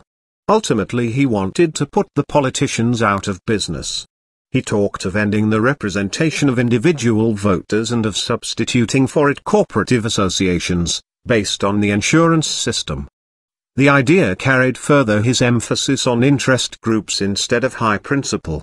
The phrase and the device were to be picked up again by the 20th century exponents of fascism.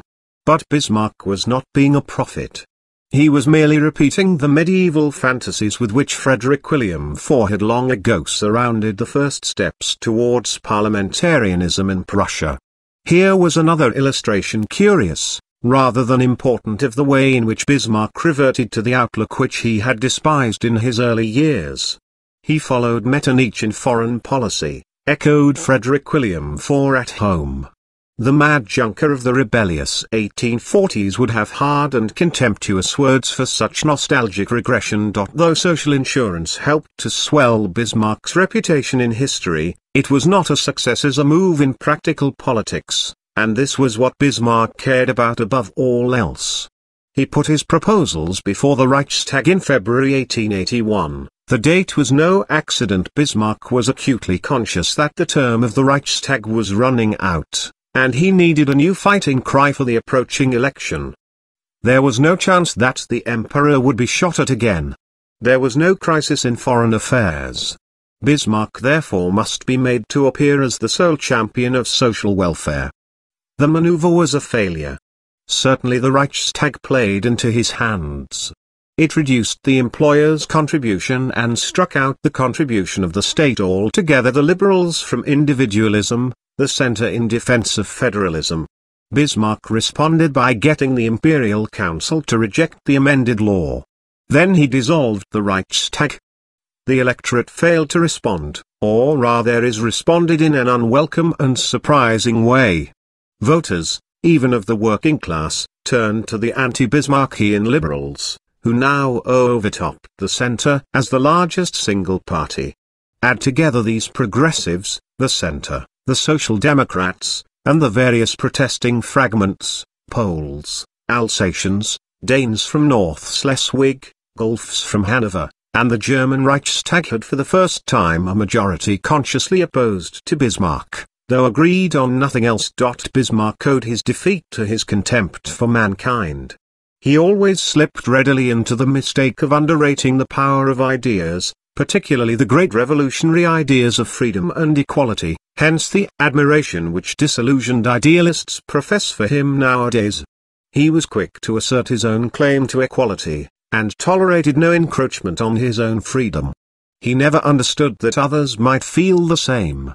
He was impatient enough with educated people who worried about principles and the rule of law, but he shrugged this off as an ineradicable effect of their education. What took him by surprise was that the uneducated cared just as deeply, or perhaps even more so. The Social Democratic Party had been little more than a sect until the passing of the anti-socialist law, then every working man regarded himself as persecuted and was not to be bought off by insurance against accidents.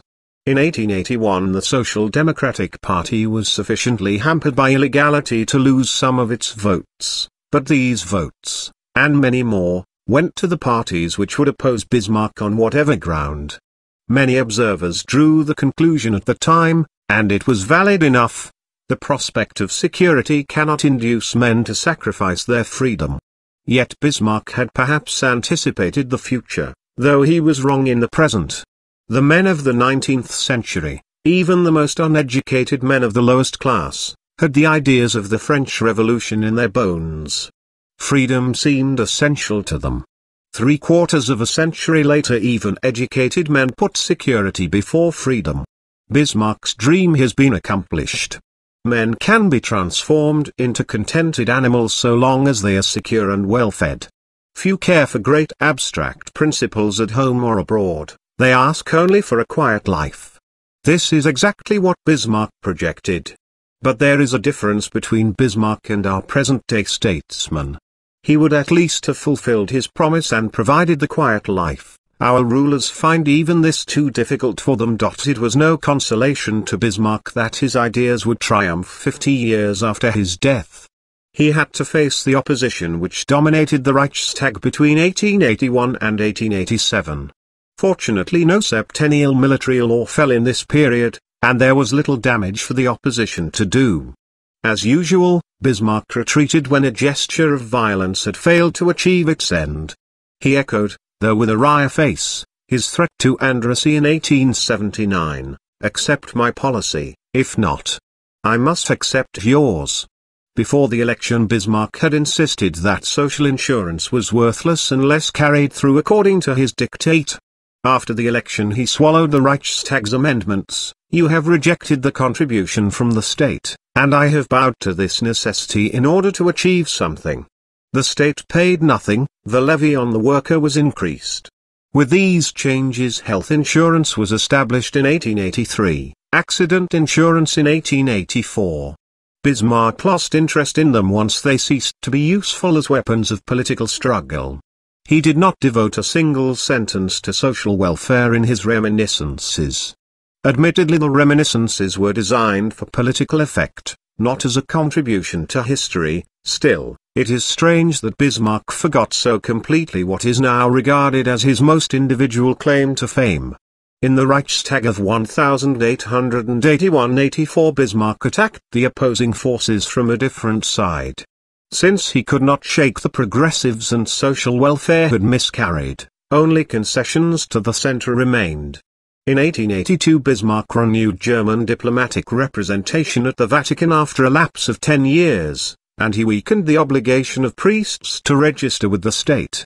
But Leo XIII would not again risk the snub from the center which he had received in 1880. Rome remained silent, and the center, though less virulent, was not won over. its votes were cast in favor of a renewal of the anti-socialist law in 1884, but against Bismarck's old favorite, the tobacco monopoly. Bismarck fell back on his final resort a coup d'etat. He talked of making the Chancellor a pure figurehead, who should preside over the Imperial Council and no more. Then the Reichstag would find no responsible minister whom it could attack and would be reduced to impotence. The representatives of the states insisted that it was impossible thus to dismantle German unity, and he put the idea unwillingly aside. Yet he was determined to remain in power and to enforce his will. As he said in the Prussian Diet a little later, I regard the minister as a wretched coward who does not risk his honor and his head to save his country even against the will of majorities. These were brave words. All they meant in practice was that Bismarck intended to be the only permanent feature in the German political scene. He had always to be right even though this made everyone else wrong. An English analogy again comes to mind. The years between 1881 and 1887 in Germany, when the groups in the Reichstag were strong enough to oppose the Chancellor but were divided against each other, had much in common with the years of political confusion and instability in England which followed the Seven Years' War. There was restlessness and faction, but no uniting principle. In England a young king with weak ministers made the confusion worse. But suppose the old king, George II, had lived another ten years and suppose the political genius, William Pitt, had remained in full health, we might have seen a Bismarckian decade, with Pitt defying the House of Commons and refusing to bow to its temporary majorities. Even the younger Pitt, a lesser man, adopted much this attitude 20 years later. Maybe such analogies do not take us very far. But if we are to make them at all, they are better made for Germany at this time with an England that was still strongly monarchical and where the House of Commons had only the function of opposition than with the contemporary England which had two generations of full parliamentarianism behind her. Bismarck's claim to be the indispensable man seems more justified when foreign affairs are brought into the picture. Here his uncanny sensitivity and his inexhaustible expedients had always made him a worker of miracles, and in the 1880s he developed a diplomatic mastery without parallel.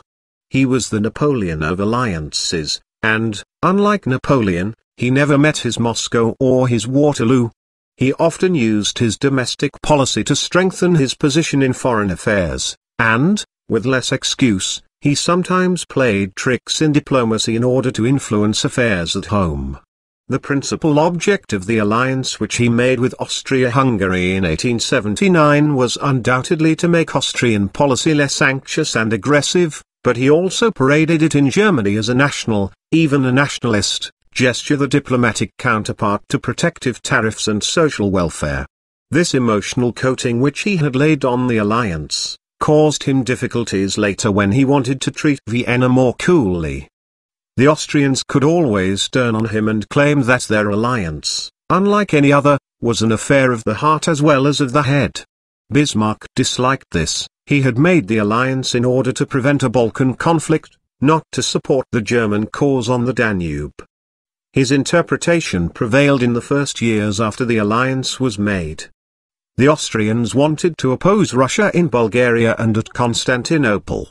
Bismarck insisted that they had no quarrel with Russia now that they had the security of the German alliance, and the Austrians were dragged reluctantly in his wake, particularly when the victory of the English liberals under Gladstone deprived them in 1880 of any hope of an alliance with England. A surprising result followed surprising, that is, to all except Bismarck.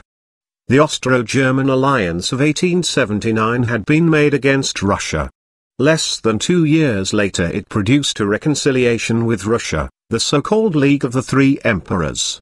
This was not, despite its name, a sentimental association of conservative monarchs, it was a hard-headed practical agreement, welcome to Russia, forced on Austria-Hungary by Bismarck. The three partners promised to remain neutral if one of their number were engaged in war with a fourth power. Since the only war Austria-Hungary would fight would be against Russia, This meant in practice a Russian promise of neutrality in case of a German war against France and an Austro-German promise of neutrality in case of a Russian war against England this latter promise given most reluctantly by Austria-Hungary. Only a war against Turkey was excluded for that Russia must first get the permission of her two partners. This was no real concession, it sprang from the nature of things and had always been true, in the Crimean War as in 1877. Germany got security, Russia got a firm promise that Austria-Hungary and Germany would give her diplomatic support against England in any dispute over Bulgaria or at the Straits. Austria-Hungary got nothing except the German alliance which she had already got the League of the Three Emperors, signed in June 1881, represented the triumph of Bismarck's deepest wishes. It gave him what he wanted escape from having to choose between Russia and Austria-Hungary. Russia's friendship was recovered at the expense of Austro-Hungarian and British interests in the Near East. Bismarck cared nothing for the first and was quite pleased to injure the second. The security of Germany's rambling eastern frontier was worth the high price, particularly when paid by others. Bismarck always held that it was more important for Germany to stand well with Russia than with any other power. He took this line from beginning to end of his career. He said in 1863 when first in power, the secret of politics. Make a good treaty with Russia. Almost his last public utterance in 1896 was to present himself, in contrast with his successors, as the man of the Russian alliance. Germans of a later age who advocated good relations with Russia could rightly claim to be Bismarckian. Yet Russo-German friendship had a grave, indeed a fatal flaw for Bismarck. As for his heirs, it was intensely disliked by the overwhelming majority of Germans. The nation, divided in all else, was united in hostility to Russia. This was shown both at the outbreak of the First World War and in June 1941. It was equally clear in Bismarck's time. Only the old emperor, with his fading memories, agreed with Bismarck. All other Germans looked on Russia as their enemy though the Russians asked nothing except to be left alone. The liberals regarded Russia as reactionary and backward, the center disliked her oppression of the Roman Catholic Poles, the Social Democrats inherited hatred of Russia from the radicals of 1848, the conservatives had an agrarian jealousy of Russian grain, the generals, including even Moltke, eagerly planned war against Russia. The only power that they had not fought, the younger generation wanted to assert the German cause everywhere on the Danube and in the Near East more than anywhere else. Bismarck would have had a united nation behind him if he had gone against Russia, and he could have it in no other way. Instead he made friendship with Russia the keystone of his foreign policy. Social conservatism perhaps counted for something with him, fear of a revived Poland for more. Most deeply he feared that war against Russia would be a war to the death. Wars with other powers could be fought, as he had fought them, for limited objects. War with Russia must end in the destruction of one or other combatant, as Napoleon had found and as Hitler was to find later on. Now Bismarck wanted a quiet life, however revolutionary he had been earlier. His greatest, and most admirable, quality was to be content with limited success, and this was the one thing which war against Russia could never give. He was alone in his view. William I and a few elderly courtiers also wanted friendship with Russia, but on grounds of monarchical conservatism. Bismarck exploited their prejudices. The League of the Three Emperors was a conspiracy between Bismarck and William I against the German people. William I and Bismarck were also partners against the Reichstag between 1881 and 1887. But at least there were in the Reichstag some deputies who agreed with Bismarck over home affairs. No German politician would have applauded his foreign policy if it had been made known. Hence it remained a rigid secret. Bismarck boasted of the Austro-German alliance from the day that it was made. Later, when Italy was added, he boasted of the Triple Alliance. Later still, he boasted of his association with England. He never mentioned the League of the Three Emperors, and it remained an obscure mystery until 30 years after his death. In the same way, later German statesmen whether Stresemann, Hitler or those of the present have had to treat friendship with Russia as a guilty secret. German emotion has always been against it. Even when the Second World War had made clear the full penalty of conflict with Russia, a German liberal writer could condemn Bismarck for seeking the friendship of Russia instead of making an alliance with England, though this must inevitably have led to European war. In 1881 Bismarck could ignore the German people, he could not ignore his Austrian allies, and they complained ceaselessly against the League of the Three Emperors. Bismarck did something to quieten them. He would not underwrite Austro-Hungarian interests in the Balkans. Instead, in May 1882, he brought Italy into the Austro-German partnership. The essential clause of this triple alliance was Italy's promise to remain neutral in a war between Russia and Austria-Hungary. The promise, Bismarck claimed, was worth four army corps the troops which otherwise Austria-Hungary would have to keep on her Italian frontier.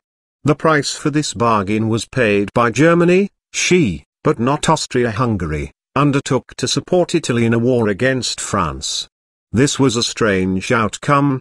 Bismarck despised Italy, who had, he said, a large appetite and very poor teeth and he did not rank her among the great powers for him they remained five, not six. When Italy demanded territorial gains at the Congress of Berlin, he asked, what, has she lost another battle? Devotion to monarchy, even if it weighed with him, could hardly extend to the Italian royal house at best, the Triple Alliance gave a convenient excuse for evading a revival of the temporal power of the papacy. His claim that the Holy Roman Empire had been restored and that the great powerful area of all Central Europe had finally come together again after being torn apart by strokes of destiny and fierce struggles was mere window dressing to please German opinion. The Triple Alliance showed Bismarck's determination, almost his obsession, to keep the Pomeranian Grenadier out of the Balkans. He would do anything rather than support Austria-Hungary there. He would even risk a war for Italy's sake against France. The risk was not great. Bismarck used his alliance with Italy to prevent a war against France, just as he used his alliance with Austria-Hungary to prevent a war against Russia. As soon as he got allies, he took them under his control. He insisted that they must do what he wanted, and what he wanted was peace. The alliances had a further value they fixed the limits of his concessions to France and Russia. After 1879 he was willing to do anything the Russians wanted short of sacrificing Austria-Hungary. After 1882 he would do anything to please the French short of sacrificing Italy. The parallel was not exact. He felt less committed to Italy despite the terms of the Triple Alliance. In 1879 he really came to believe, for whatever reason, that the integrity of Austria-Hungary was essential to the security of Germany, at any rate to the security of his Germany. Italy did not mean so much to him. Perhaps he feared obscurely that the Habsburgs might renew their claims in Germany if they recovered their predominance in Italy and men in Vienna still talked of reconquering Venetia and Lombardy. But he jettisoned Italy's Mediterranean interests for the sake of French friendship and he might even have let the Italian monarchy disintegrate if he could have won both France and the Pope completely to his side. As it was, both, like Russia, remained too independent. They would not accept his control. Austria-Hungary and Italy had for Bismarck the attraction that they were the weaker and therefore the more subservient powers. In foreign affairs, as in private life, men do not like equals, they like dependents Bismarck more than most men. Nevertheless he went on from the Italian alliance to an attempted reconciliation with France, just as he went on from the Austro-Hungarian alliance to a reconciliation with Russia. The reconciliation with Russia succeeded, at any rate for some years, that with France did not and has therefore attracted less notice. Yet it was the core of his policy from 1882 until 1885 and the most grandiose task that he ever attempted. For Germany would really be secure if France were reconciled. The Eastern question would lose its terrors, and Berlin would be the center of a new European order.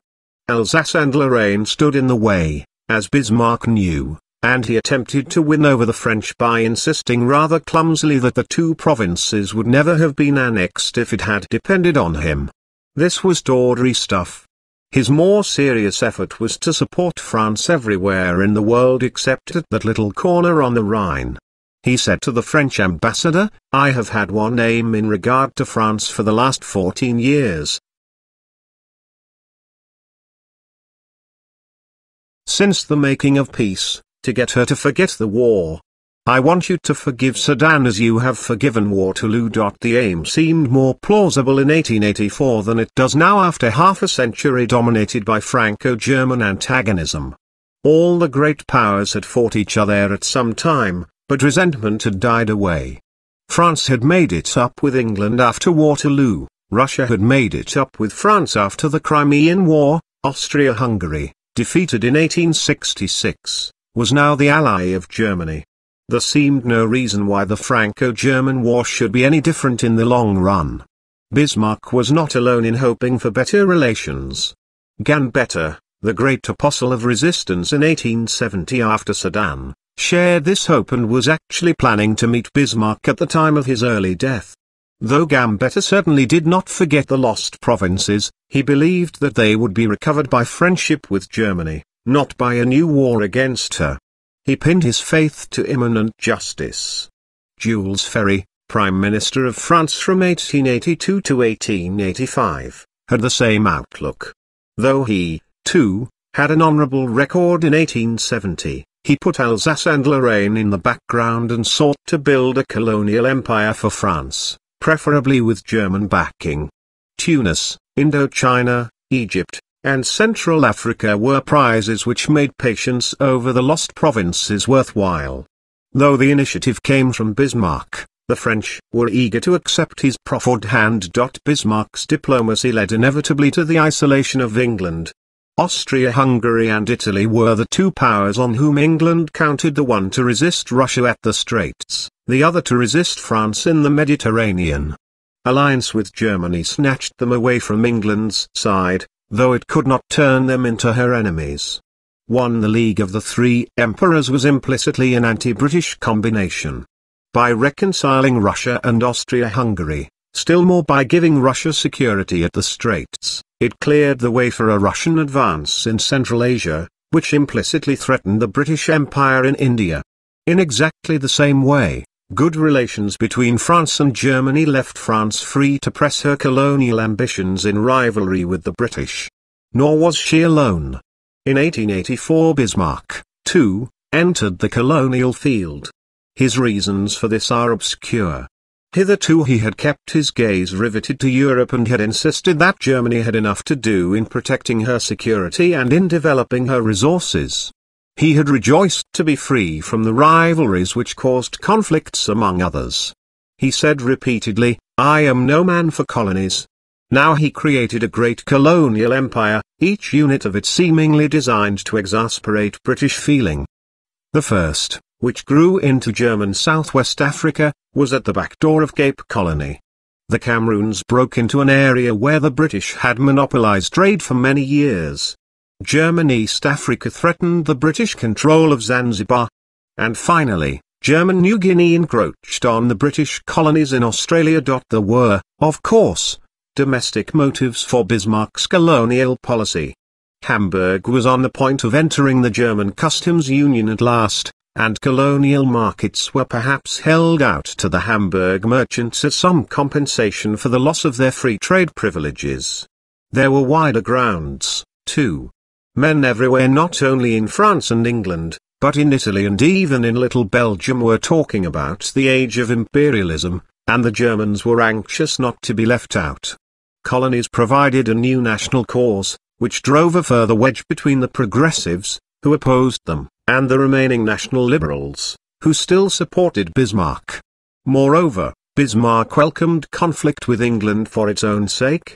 He was always angered by British aloofness and independence, particularly when Professor Gladstone was Prime Minister. Still more important, the colonial disputes were a blow at the Gladstone ministry in Germany which Bismarck always professed to fear. The crown prince would be crippled when he came to the throne if Germany and England were on bad terms. Herbert Bismarck later gave this as the essential motive. When we started colonies, we had to face a long reign by the crown prince. and therefore had to launch a colonial policy in order to be able to provoke conflicts with England at any moment. It was not the first time that Bismarck had sought to discredit his supposed opponents by accusing them of favoring Germany's enemies. Once he had accused the conservatives of friendship with Austria, then he had condemned the South German states for their friendship with France. Now the Crown Prince was to be smeared with English liberalism. As usual, one hand washed the other. Probably Bismarck would not have developed colonial ambitions in order to win French friendship, if this had not suited his plans at home, but equally he would not have exploited German enthusiasm for colonies, if he had not seen the opening for a Franco-German entente. Whenever Bismarck advocated something, every argument went in the same direction foreign policy, the balance in the Reichstag, dynastic calculations, all gave the same answer to the sum. It seemed inconceivable that there could be any other course. Yet he could change his mind overnight, and then every argument pointed just as decisively in the reverse direction. Only one thing remained constant, Bismarck was always right. Right when he was against colonies, right when he acquired them. Right when he went to war, right when he kept the peace. Loyal when he agreed with William I, loyal also when he disagreed with him. In other countries a change of policy needed a change of government. Bismarck made his own changes, ruthlessly attacking his own arguments of yesterday. Like a great man of our own day, he was a coalition in himself. Bismarck's foreign policy brought him in the summer of 1884 unrivaled success. Serene in temper, recovered in health, he became, for a brief moment, the pivot of Europe. In September the three emperors Francis Joseph, Alexander III, and William I met at Skierniewice in Poland. It was the most open display of their league and seemed to be more a revival of the Holy Alliance. Bismarck dominated the meeting, and the emperors hung on his words. Each of them could have said, as Nicholas I of Russia once said to Metternich, I come to sit at your feet, as the pupil at the feet of his master. Scarce back from Skierniewice, Bismarck told the French ambassador that they should build up a maritime league, an armed neutrality, to resist British control of the seas. Bismarck's old friend Keyserling commented, curious that Bismarck is being led in this way to a continental system a la Napoleon I and that he has practically all Europe together for it. Bismarck surpassed his prototype. The great Napoleon had had to fight many wars in order to impose his continental system. Bismarck had done it by magic. The lay the weakness. The differences between the great powers had not been settled. They were conjured away, and they reappeared as soon as Bismarck's back was turned. Content himself, he had nothing to give the peoples and rulers of Europe except lassitude. They should forget their hopes, their ambitions, their enthusiasms, and should accept what life, or rather Bismarck, had to offer them. Bismarck wanted peace, therefore everyone else must want it too. He offered nothing positive, nothing creative, nothing which could make men square their shoulders and look hopefully forward. He should have lived in the despairing 20th century, not in an age when men still believed in a progress without limits. The colonial disputes gave a Bismarck a cry for the general election in the autumn of 1884 effective, but not effective enough. The progressives lost a third of their seats. The conservatives gained. But the centre was unaffected despite its opposition to colonies, its roots were in South Germany, remote from the sea. More dangerous still, the Social Democrats doubled their representation. Imperialism was never a cause which appealed to the masses, despite all the arguments proving that it should do so.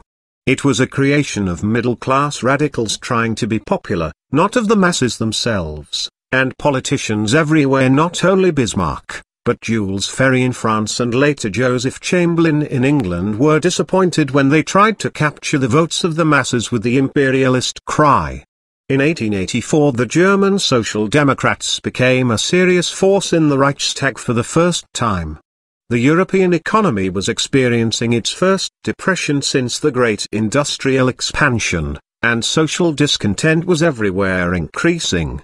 The Social Democrats would make a formidable opposition if they combined with the center. Bismarck sought to prevent this coalition by relaxing the Kulturkampf, Some of the May laws were appealed, and later in 1885 Bismarck even invoked Leo XIII as arbitrator in a colonial dispute with Spain over the Carolinian Islands.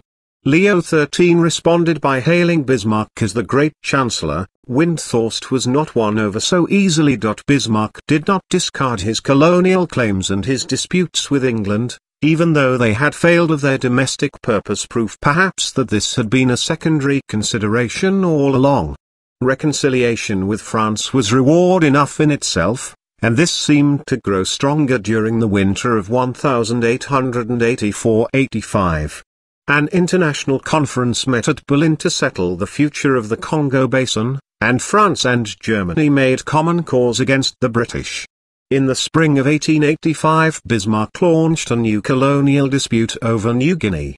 In April the Continental League made its most open demonstration. Russian forces were threatening Afghanistan.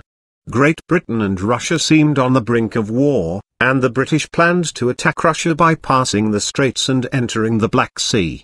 Not only the powers of the Triple Alliance, but France, too, warned the Sultan to keep the Straits closed against the British.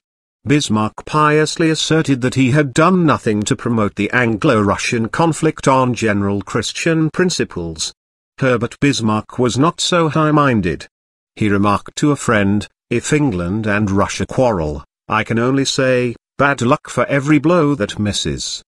Christian principles apart, a war between England and Russia would give Germany the effortless mastery of Europe, and Bismarck was not the man to overlook it. The happy situation was too good to last. Bismarck's continental system tumbled down almost overnight. Russia and England failed to go to war, instead they settled the Afghan affair by negotiation. On the 30th of March Jules Ferry was overthrown in France. A trivial defeat of French forces at Langson in Indochina brought him down. If his friendship with Germany had been known, he would have fallen all the sooner. Freycinet, Ferry's successor, took a more cautious line. At the end of May, Bismarck was complaining that the French would not play the great game the game of a continental league against England, and he warned them that he would win in a competition for English friendship. As usual, he did not confess that he had been wrong in his policy. He professed to believe that the old emperor was dying, then the crown prince would come to the throne with a pro-British policy. We are in for an era of Coburgs, and tears ran down his cheeks for the benefit of the French ambassador. The tears were genuine enough. Bismarck had been sobbing for years whenever it crossed his mind that William I was mortal. But he did not intend either to change his policy or to lose his position merely because Frederick III was on the throne instead of William I in any case. It was all a false alarm William lived woodenly on for another three years. The Continental League was not really destroyed either by ministerial changes in France or by the failing health of William I. The Eastern question was always its most vulnerable point, as in every Continental League from that between Alexander I and Napoleon in 1807 to that between Hitler and Stalin in 1939. Russia would never allow Austria-Hungary to dominate the Balkans, Austria-Hungary would never trust Russia nor announce cooperation with Great Britain. The two could be held together only so long as the Balkans remained quiet, and Bismarck's miracle really depended on the sheep stealers whom he so much despised.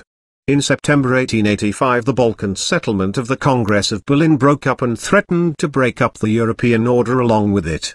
Eastern Rumelia, which had been made merely autonomous in 1878, revolted and joined Bulgaria. The Russians had once sought a great Bulgaria, they opposed it now that Bulgaria had broken loose from their influence. As a last gesture of loyalty to the League of the Three Emperors, the Austrians joined with Russia in demanding a new partition of Bulgaria. The scheme was wrecked by the Western powers, France and England, and by the Bulgarians themselves. In the summer of 1886 the Russians scored a last success, they dethroned the Prince of Bulgaria, Alexander of Battenberg much to Bismarck's pleasure. However unlikely it seems, he had detected in Alexander a possible head of the Gladstone ministry in Germany. The success did Russia no good. The Bulgarians continued to take an independent line, and a new crisis seemed to be approaching in the Near East. With Russia seeking to reconquer control of Bulgaria, and England and Austria-Hungary defending Bulgarian independence. Bismarck was determined not to be drawn in. He cared nothing for Bulgaria, though much for the integrity of Austria-Hungary.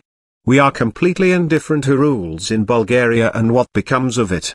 We shall let no one put a noose round our necks because of this question in order to drag us into conflict with Russia.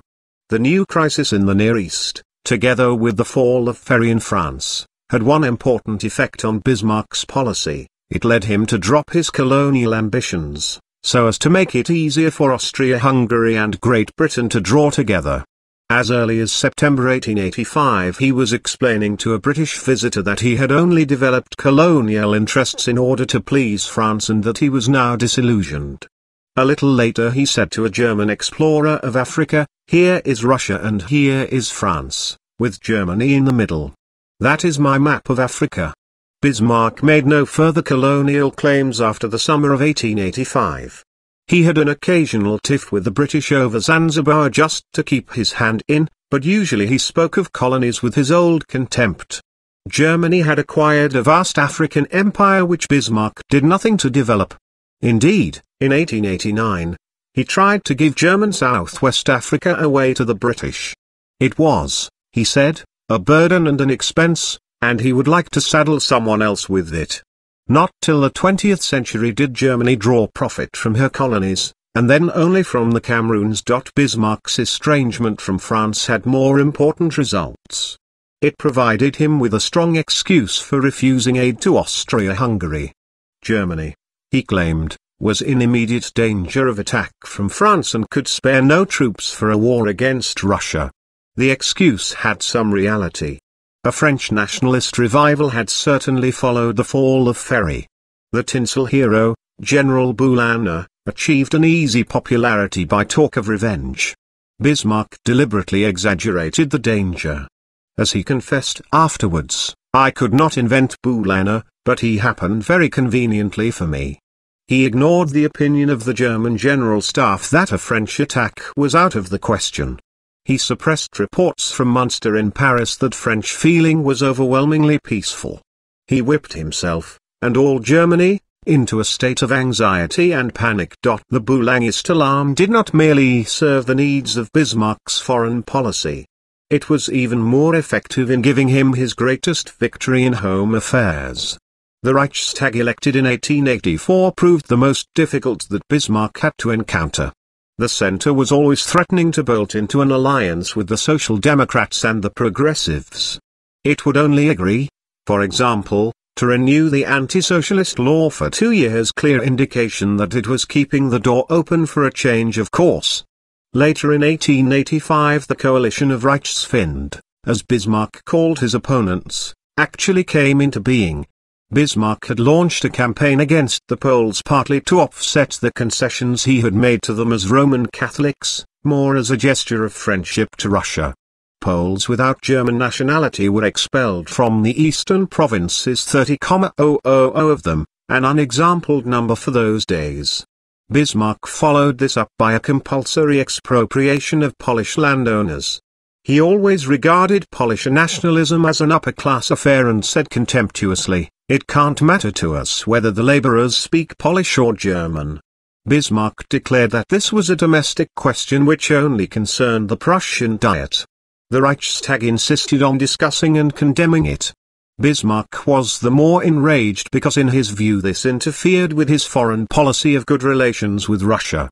As a matter of fact, his calculation was all at sea. The Russian government, looking forward to war against Austria-Hungary, were anxious to conciliate the Poles and were irritated by Bismarck's revival of the old anti-Polish front. Now, in the autumn of 1886, Bismarck believed that he had found the winning card. Tariffs, the social peril, colonies, had all failed of their national appeal. The cry of the Reich in danger would do the trick, and what was more, Germany could evade foreign commitments while she was torn by political controversy. In November 1886 Bismarck presented new army law to the Reichstag, though the old one had two years to run. The center and the progressives saw their danger. They tried to avert it by offering to vote every penny and every man if Bismarck would compromise on three or even five years instead of seven. This would have been reasonable if the immediate danger of war had been the real motive for increasing the army. But it was not. Bismarck wanted a political victory, not greater armaments, and he wanted to drag out the conflict so as to turn his back on his allies. When the Pope offered to influence the center in favor of the law, Bismarck brushed him off. Rejection would give the government a different and perhaps much more favorable basis for operations. The military experts, half convinced of the danger, made concessions to the Reichstag. Bismarck repudiated them as he had done in 1863. Determined to provoke a decisive conflict, he remained quietly at Friedrichsruh until the majority against the army law had consolidated itself. Then on 11th of January, 1887, he appeared in the Reichstag and delivered his most powerful speech since the days of blood and iron. It was a conjuring trick of the highest class. On the one hand Bismarck had to justify the increase of the army and therefore to display Germany in imminent danger of attack. At the same time he had to claim that Germany was on good terms with all the powers thanks to his unique diplomatic gifts. It is impossible for the reader, and must have been still more impossible for the listeners, to discover Bismarck's firm opinion, the summing up of probabilities on which he acted. Was he really afraid of attack from France and not afraid of war with Russia? Did he inflate the French danger in order to glide over his greater anxieties in the Eastern question? Or were the dangers on both frontiers exaggerated for the purposes of home policy? At any rate, he was carried away, as often happened with him, by the excitement of his peroration, and let slip his real object. He wanted an army law that would last forever, not merely for seven years. The Germany army is an institution which cannot be dependent on changing majorities in the Reichstag. It is an absolute impossibility that the fixing of military strength should depend on the casual constellation and opinion of the Reichstag. Do not strive for such fantastical ideas, gentlemen. It was the old issue of a parliamentary or royal army, the issue which had first brought Bismarck to power in 1862. Now it worked better for him. The limited Prussian electorate of 1862 had stuck to its principles. In 1887 the masses responded to the national appeal. On the 14th of January the Reichstag limited the army law to three years by 186 votes to 154. Centre and progressives had combined to defeat Bismarck. The Social Democrats abstained ostensibly because they were unwilling to vote for the army at all secretly because they were unwilling to vote against an army that might one day be used against Russia. The Reichstag was at once dissolved. Bismarck's opponents were massacred at the polls. The Social Democrats lost 12 seats, half their number, the Progressives 50. The Centre held its own as always, it lost one seat, but its moral strength, too, was broken when Bismarck published a letter from the Pope, condemning its vote against the army law the National Liberals became the largest single party in the Reichstag for the last time, and they joined the Conservatives in a cartel, sole basis of which was unconditional support for Bismarck. He had at last manufactured a subservient majority for himself after 25 years of failure or half-success. The army law passed the new Reichstag for its full seven-year term by an overwhelming majority 223 to 40. Bismarck enjoyed his triumph in silence and did not go near the tribune. Seven members of the Centre obeyed the Pope's instructions and voted for the law, the other 83, including Windthorst, abstained. Leo XIII got his reward. Most of the May laws were appealed in March 1887, Bismarck personally inspecting the vote in the Prussian Diet to ensure that it went the right way. The religious orders were allowed to return, the Roman Church recovered control of its seminaries. Bismarck said airily, What do I care whether the appointment of a Catholic priest is notified to the state or not Germany must be at one.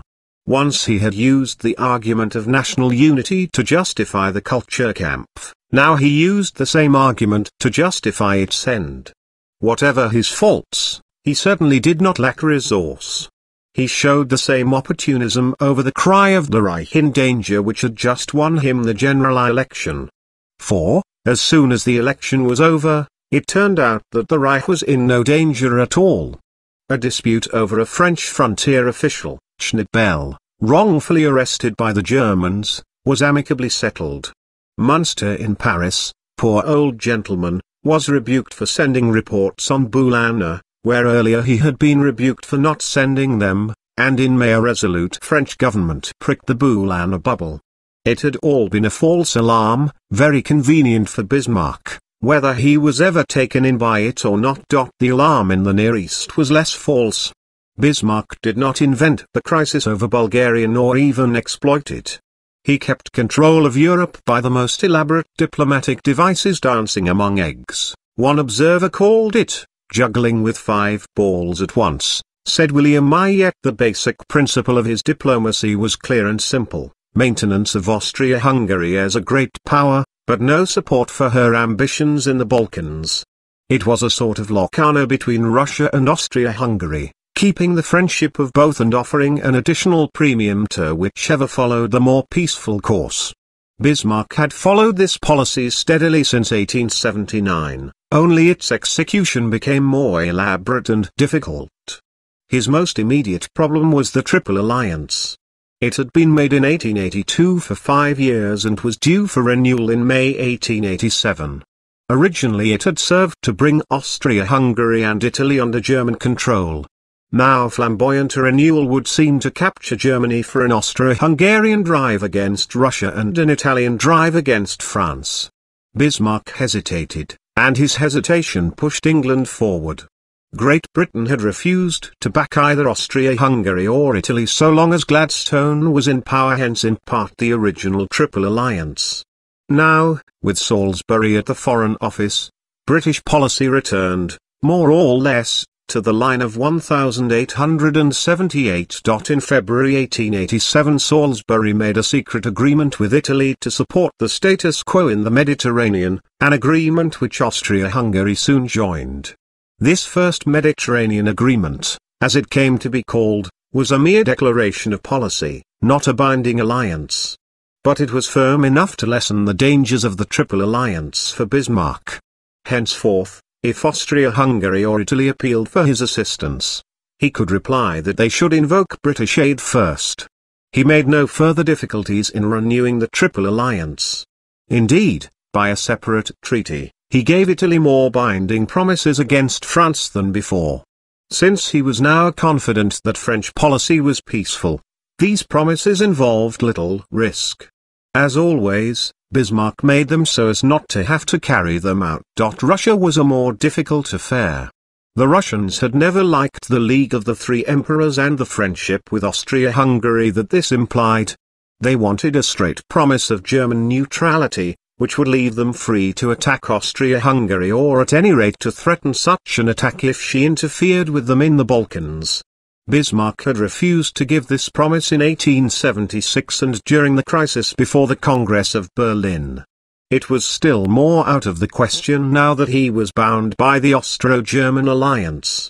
Always frank when it suited him, he showed the text of this alliance to the Russian ambassador. But he offered mutual neutrality of a limited kind. Germany would remain neutral unless Russia attacked Austria-Hungary, Russia, to make things equal, would remain neutral unless Germany attacked France. This was the basis of the reinsurance treaty, which Bismarck concluded with Russia on the 18th of June 1887. In theory Germany was still exposed to the risk of war on two fronts, and Bismarck was wrong when he claimed later to have warded off this risk. Indeed the Franco-Russian alliance, as made in 1894, was strictly compatible with the reinsurance treaty for by it the Russians did no more than promise to aid France against a German attack. But war on two fronts was not the pressing danger in 1887. The danger which Bismarck feared was of a Balkan war between Russia and Austria-Hungary, and the reinsurance treaty did something to lessen it. A secret protocol promised Germany's diplomatic aid to Russia in Bulgaria and at the Straits. Bismarck could not prevent Russia's going to war, but the temptation for her to do so was less if the Tsar believed that he could get his way by diplomacy. The reinsurance treaty was Bismarck's last great stroke. It has often been described as dishonest and immoral. Dishonest against whom? Whom did it deceive? Bismarck had told the Austrians from the beginning that he would not support them in the Balkans, he had always told the British that, in his view, the status quo implied the closing of the straits even against their fleet, and he had always told the Russians that he would not allow Austria-Hungary to be destroyed. The reinsurance treaty did no more than repeat these statements. When two powers or groups of powers are contending, it always seems immoral to them that another power should try to remain friendly with both sides. Prussia had come in for the same accusations of shiftiness and unreliability during the Crimean War, Bismarck had been condemned both by the Russians and by the Austrians and the British for acting as honest broker in 1878. It all depends on the point of view. Germany was in the middle of Europe. She had to keep in with both sides unless indeed she took the lead one way or the other and became after a great war, if she won it, the dominating power in Europe. This had perhaps appealed to Bismarck in his young revolutionary days at Frankfurt. Now he was elderly, resigned, without ambitions for the future except to keep things as they were. His only object was to maintain the peace of Europe. Those who admire this call it operating the balance of power, those who do not, condemn it as dishonest jugglery. This is not to say that Bismarck's diplomacy alone preserved peace. Like all successful diplomacy it contained a double bluff. He made the Austrians believe that he would not support them, he made the Russians fear that he would. dot, But suppose either side called his bluff, what could he do then?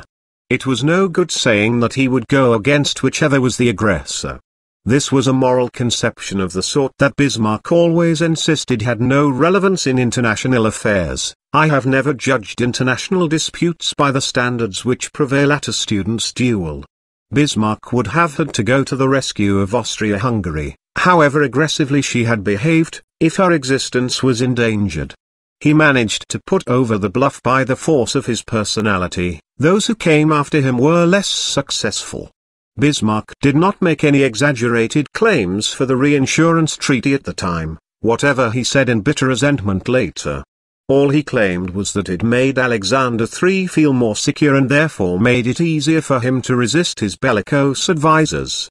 This is the most that diplomacy can ever do. It cannot prevent war, it can merely make peace more attractive. So events worked out now. Most Russians were weary of the Near East and were only anxious to leave it alone if it would leave them alone. In the summer of 1887 the Bulgarians elected a new prince in defiance of Russia, and she did nothing. It was the sign that there would be no war in the Balkans. But men took some time to read it. The Russians were angry at their humiliation in Bulgaria, even though they would do nothing to remedy it, and on the other side the Austrians wanted to launch a preventive war against Russia in Galicia. Bismarck repeated his diplomacy of the spring in more elaborate form. He conjured up for the Austrians a tighter, more extensive Mediterranean agreement with Great Britain and Italy, and he explained frankly to Salisbury the principles of his policy. We shall avoid a Russian war so long as that is compatible with our interest and security. But German policy will always be obliged to enter the struggle if the independence of Austria-Hungary is menaced by a Russian aggression. On the other hand, he brushed the Austrians off with a sharp rebuke when they tried to lure German generals into staff talks preparatory to a Russian war, and he did his best to keep on good terms with the Russians, even coming out of his retirement at Friedrichsruh to meet Alexander III at Berlin in November. The interview was not very successful. Alexander III was sulky and resentful, using friendly phrases only to the French ambassador, and Bismarck talked to his intimates of a war against Russia for the resurrection of Poland only to add that Russo-German friendship would be restored by a new partition of Poland afterwards. This was a desperate remedy, and not much more than thinking aloud. His actual remedies were desperate enough. On the 3rd of February 1888 he published the text of the Austro-German treaty without waiting for permission from Vienna. This is often described as a gesture against Russia. On the contrary it was a stroke against Austria-Hungary. The Russians had already learned the terms of the alliance from Bismarck the previous year. Publishing them stressed the defensive nature of the treaty, it was a warning that German strength would not be used, as Bismarck put it, for Hungarian or Catholic ambitions in the Balkans. He made one concession. He suppressed the final clause which limited the alliance to five years, though with automatic annul, and thus unwillingly admitted its permanence. Three days later, on the 6th of February, he introduced a new army law in the Reichstag, raising the age limit of the reserve from 32 to 39 years, and spoke on foreign policy for the last time. Germany, he insisted, would defend her interests, she would not follow a policy of power or of prestige. Though she did not fear Russia, she would not be dragged by Austria-Hungary into a policy of Balkan adventure. Implicitly he repudiated the value of all alliances, and declared that Germany must rely on her own strength. The pike in the European carp bond prevent us from becoming carp. His last sentence rounded off a career that had begun with blood and iron, we Germans fear God and nothing else in the world. It was a strange peroration for a lifetime of apprehensions, where God had often seemed to be the only thing that Bismarck did not fear. Less than a month later, on the 3rd of March, he appeared at the Tribune to announce the death of William tears choked his voice. He wept not only for a beloved master whom he had always claimed to serve though rarely obeyed, he wept still more for the end of his own mastery in Germany. Ix fall from power Bismarck made one of his rare public appearances at the funeral of William I. Afterwards in the evening he sat with his family, lost in thought, speaking softly and almost to himself of the ruler whom he had served for so long. An occasional tear ran down his cheek. Suddenly he pulled himself up, straightened his back and exclaimed in a rough, harsh voice, and now forward. Forward to what? To further struggle which became more and more personal. Contemptuous of the new emperor, careless of public opinion, Bismarck meant to remain in power till he died. He believed that only he could rule Germany, indeed that he alone was Germany. Everyone else was factious, particularist, or a Reichsfeind. For more than twenty years he had played off Reichstag and Emperor against each other.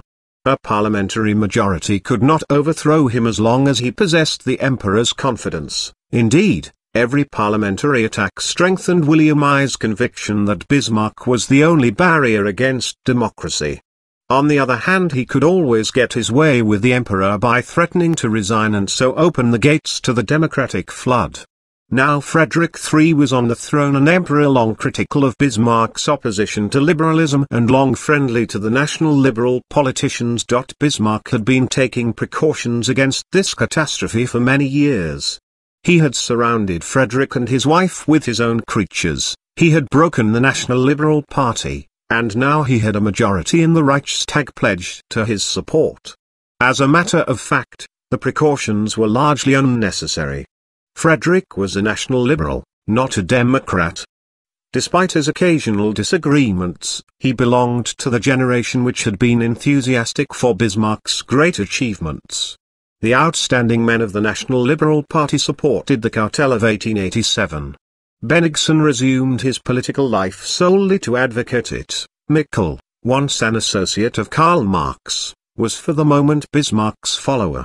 The new emperor, too, would stand with the cartel and with Bismarck's policy.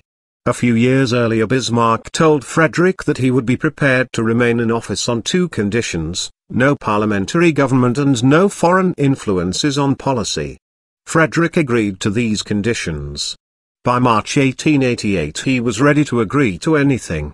He was a dying man, cancer of the throat far advanced. He had already lost his voice and had only three months to live. Bismarck remained master of the situation. There was no change of policy. But he wanted a public demonstration of his power. He had been ready enough to invoke Russian influence on William I when this suited him. Now he was determined to show that English influence counted for nothing, even though the new empress was a daughter of Queen Victoria. He soon found an excuse for conflict. Frederick's daughter had been in love for some time with Alexander of Battenberg, formerly Prince of Bulgaria.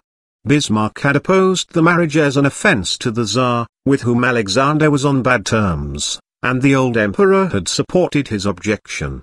Now Alexander had abdicated the Bulgarian throne and was living a retired life in Germany. The political difficulties seemed to have disappeared, and Frederick wanted to do something for his daughter in the remaining few weeks of his life. He gave his consent to the marriage. Bismarck was up in arms. He made out that the marriage remained offensive to the Tsar and would therefore ruin his foreign policy. Perhaps he himself still had some genuine resentment against one whom he had detected years ago as head of a Gladstone ministry. Most of the fuss was pretense or imagination. Tsar cared nothing about the marriage one way or the other, Alexander of Battenberg had neither talent nor ambition for politics. Bismarck merely wished to show that his will was law.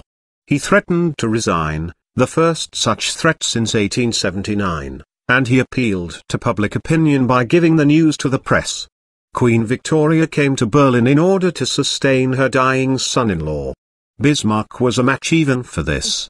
He bewitched Victoria as he had once bewitched Napoleon III. She found him very charming, very reasonable and joined his urgings against Sandro. The wretched emperor gave way. Alexander was repudiated, the marriage forbidden. Bismarck was radiant with success. He became more jovial and irresponsible as the shadow emperor sank into the grave. His last act in Frederick's reign was little more than a schoolboy prank. The cartel majority had just prolonged the life of future Reichstags from three to five years. This did not need imperial assent. One the Prussian Diet followed suit with a similar law. Frederick assented unwillingly. At the last minute Bismarck went to him and said, Show for once that you are king and care neither for ministry nor for chamber. If you'd rather, forbid the publication of the law. Was he mocking the dying man? Teasing his Prussian colleagues? Or merely rejoicing in his power? At any rate, Frederick did not respond to the prompting.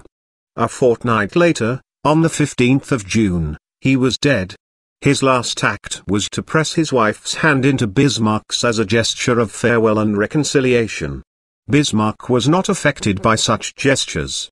He carried his battles beyond the grave. Three months after Frederick's death a German periodical published excerpts from the diary which he had kept during the war against France. The passages, though harmless enough, revealed something of Bismarck's maneuvers with the German princes and his rejection of the Crown Prince's advice to appeal to the German people. Bismarck was enraged. First he denounced the diary as a forgery, then he tried in vain to prosecute the editor for treason. Only Bismarck, it seemed, was allowed to reveal secrets of state. An observer commented, Bismarck regards the glory of creating the German Empire as an enormous cheese which is his sole property. Anyone who cuts off a slice is a thief. With the death of Frederick III, Bismarck seemed to have come into undisputed possession of this property. He had had to allow William I some grudging share of historical glory, if only as his assistant, handlanger, and despite his intellectual superiority he had always been a little afraid of the old emperor. Though he got his way in the end, he had to fight for it, and William I expected everything to be explained to him. Perhaps there would have been harder fights if Frederick III had reigned longer and been in good health. But Bismarck did not foresee any trouble with Frederick's son, William II. The new emperor was not yet thirty impulsive, vain, untrained. Bismarck supposed that he would be happy playing a emperor dressing up in fine uniforms, inspecting troops, making a speech on some formal occasion. It did not occur to him that a mere boy born when Bismarck was already ambassador at St. Petersburg might have ideas on policy, still less want his own way. When Bismarck first became prime minister, he never left William I's side until he had established his personal ascendancy. He went to the palace every afternoon or wrote long letters every day when William I was absent from Berlin. He took no such trouble with William II. He spoke to him casually at Frederick III's funeral, then left Berlin and did not return for eight months. He conducted foreign policy without reference to the emperor, never explaining what he was doing. If William II made a suggestion, Bismarck would write back a few contemptuous lines, pointing out how dangerous and silly his suggestions were. Then he would go back to serious business. Bismarck did not neglect William II altogether. He assumed that Herbert Bismarck, who was running foreign affairs as Secretary of State, would keep an eye on him. Bismarck adored Herbert, and it did not cross his mind that others might not share this emotion. William II certainly feared the elder Bismarck when he came to the throne, and he was perhaps impressed by Herbert's arrogance and knowledge. But there was never a tie of affection between them, and William too soon found other confidential advisers. Herbert was ill-suited to the part for which his father had cast him. He was forceful, assertive, even rude, and he had the technical training to run an office.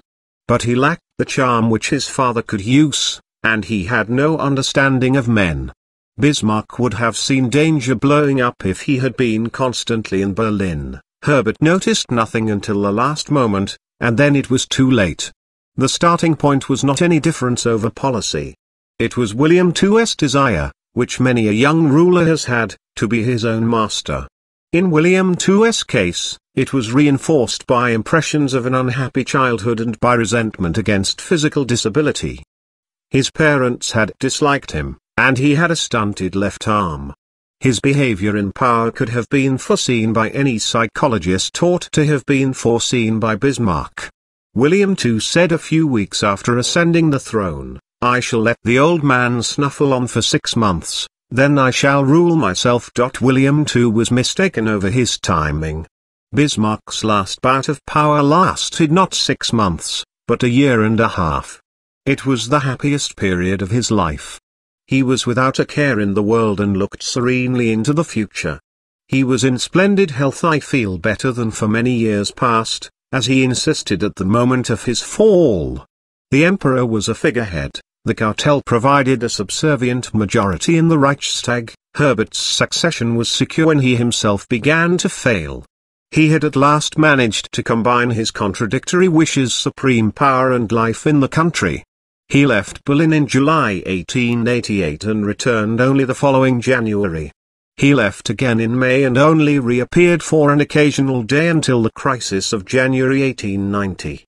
English people complained of Queen Victoria's long absences at Osborne or Balmoral. What would they have said if it had been the Prime Minister, not the Queen, who lived like this?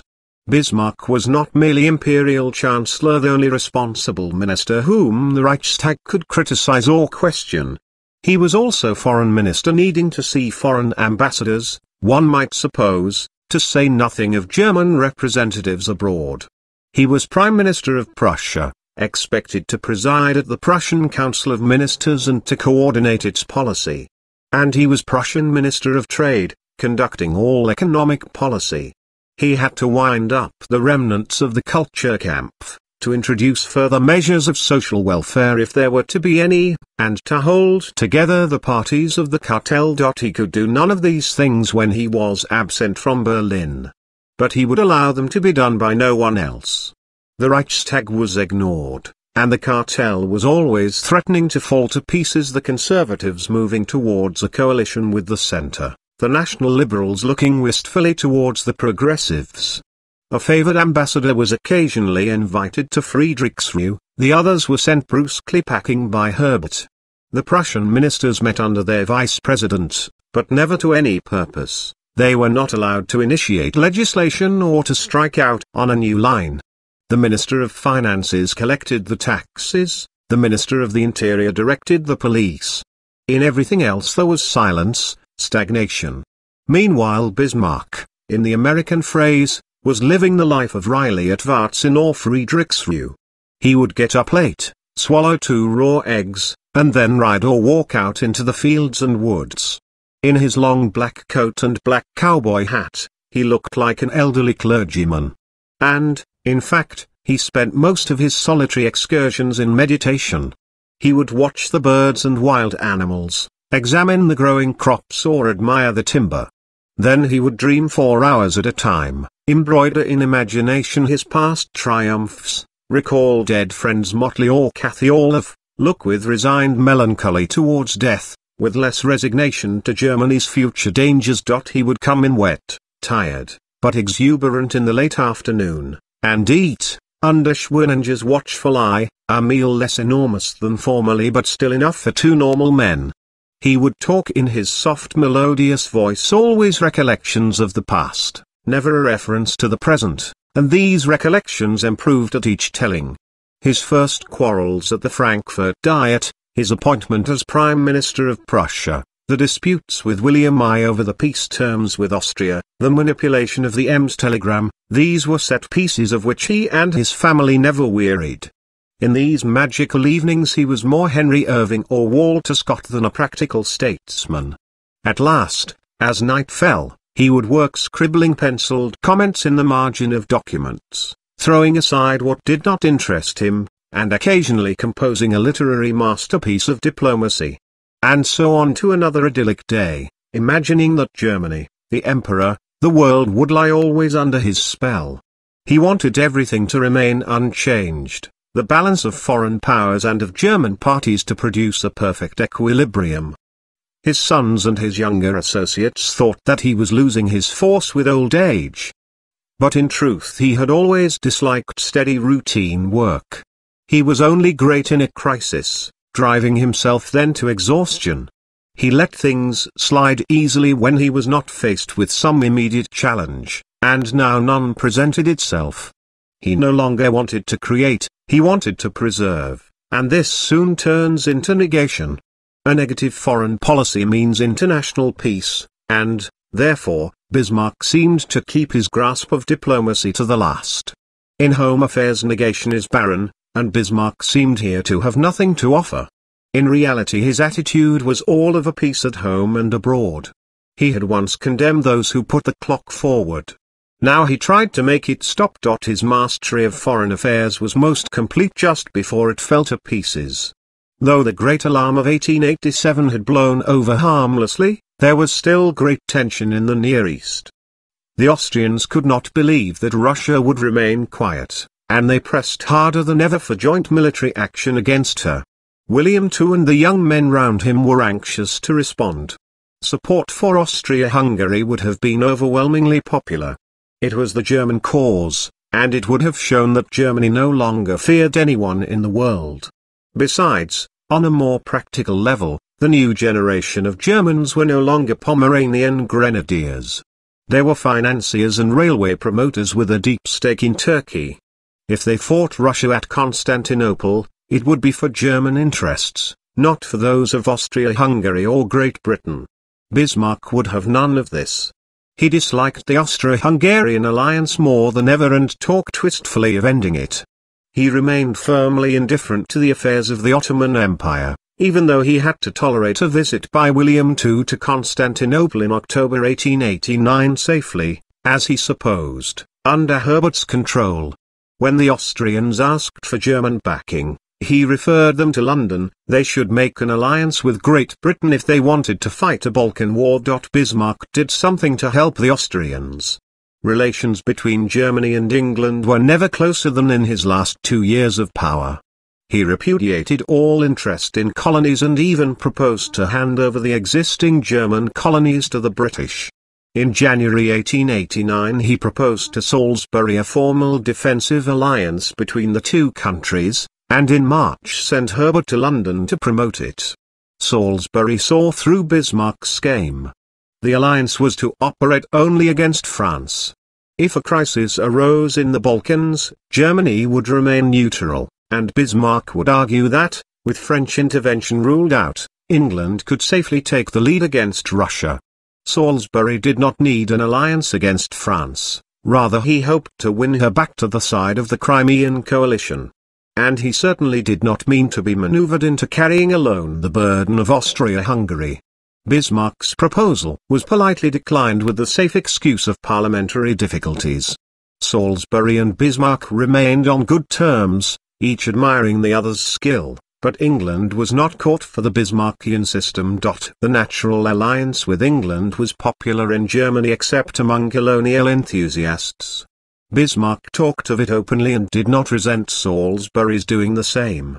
But he never intended to commit himself wholly to the British side even against France and still less against Russia. If the written alliance had come off, he would have insisted on its defensive nature and treated Anglo-French quarrels much as he treated the disputes between Russia and Austria-Hungary remote luxuries which were not Germany's affair. His essential object was to keep all these quarrels under control so that Germany should not be involved in a general war, from which in his belief she could gain nothing. He kept on good terms with France and what was more important, with Russia. This was the most difficult part of his policy not from technical reasons of diplomacy, but from the current of German opinion. The Germans had no strong feelings against France, they were ready to be friendly so long as this did not involve any concession over Alsace and Lorraine. But German estrangement from Russia mounted apace, and William too reflected it. Bismarck alone adhered to the line of the reinsurance treaty, and he had to do it in deep secrecy. Our Alexander III was no fool.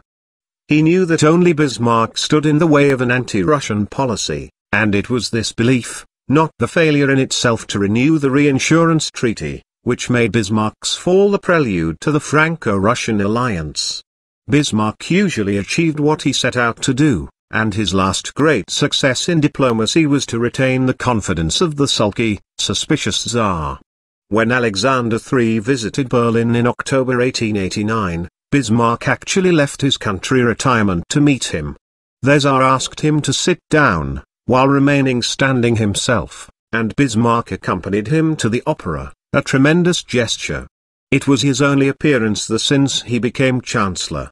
He saw old, but made no comment, it cannot have been much to his taste, which stopped with Chopin. The meeting raised one cloud.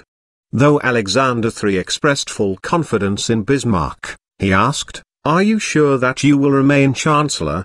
Bismarck was taken aback. He muttered that he hoped to enjoy many years of good health and that he would remain Chancellor as long as he lived. It had not yet occurred to him that William too might have different ideas. The Tsar's instinct was sound. Bismarck was not worrying about William too.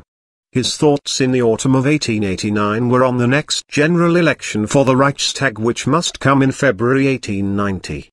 One he had made poor use of the cartel which he had successfully manufactured three years before. He had carried the army law in 1887 and the increase of the reserve in 1888. Otherwise there had been nothing. Previously he had complained that the opposition parties in the Reichstag prevented his legislative activity, now he did no better in the Reichstag almost of his own choosing. The session of 1888 was made entirely barren by the deaths of the two emperors, William I and Frederick III. Bismarck did a little better in 1889.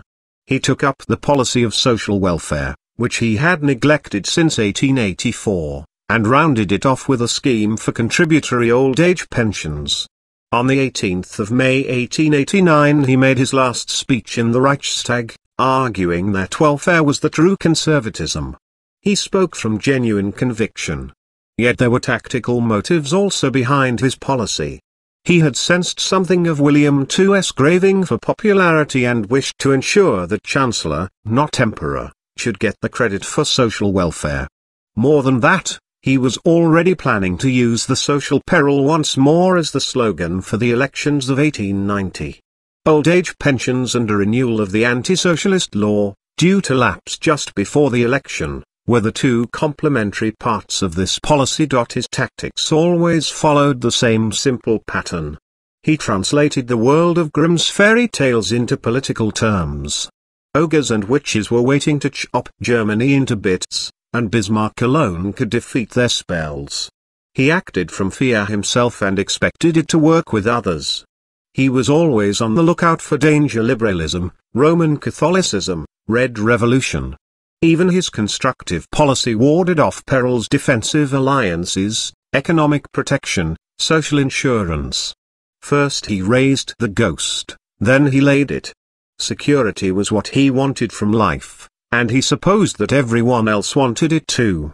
He was often right, particularly with the Germans an apprehensive, spook-ridden people. The danger of liberalism made William I. Bismarck's prisoner from 1862 until the day of his death. Similarly, with the electorate, Bismarck always played on the alternative perils of revolution at home and enemies abroad. Foreign danger had the more effective appeal. It gave Bismarck the leadership of Germany in 1870 and again, more artificially, in 1887. But it was a clumsy weapon, causing too much stir in the world and reflecting adversely on Bismarck's diplomatic skill. It could certainly not be used two elections running. Revolution was the other, though less decisive, card. The Roman Catholics had once provided an effective alarm in 1874. Now the Kulturkampf was over, and Bismarck was planning to recruit the centre for his coalition. Only the socialist peril remained. The danger from them had worked in 1878, though it miscarried in 1881 and 1884. Bismarck still took it seriously. For him the Social Democrats remained the barricade fighters of 1848.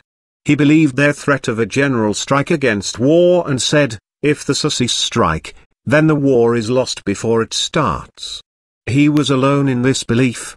Most Germans knew that the Social Democrats had become respectable conservative trade unionists. Bismarck had cut down his own flag. He had made the Germans feel secure and they swung round from apprehension to an opposite extreme of confident arrogance. It was clear before the election of 1890 that the socialist danger would not give Bismarck a majority in the Reichstag. This did not perturb him. He had talked often enough of tearing up the constitution and abolishing universal suffrage.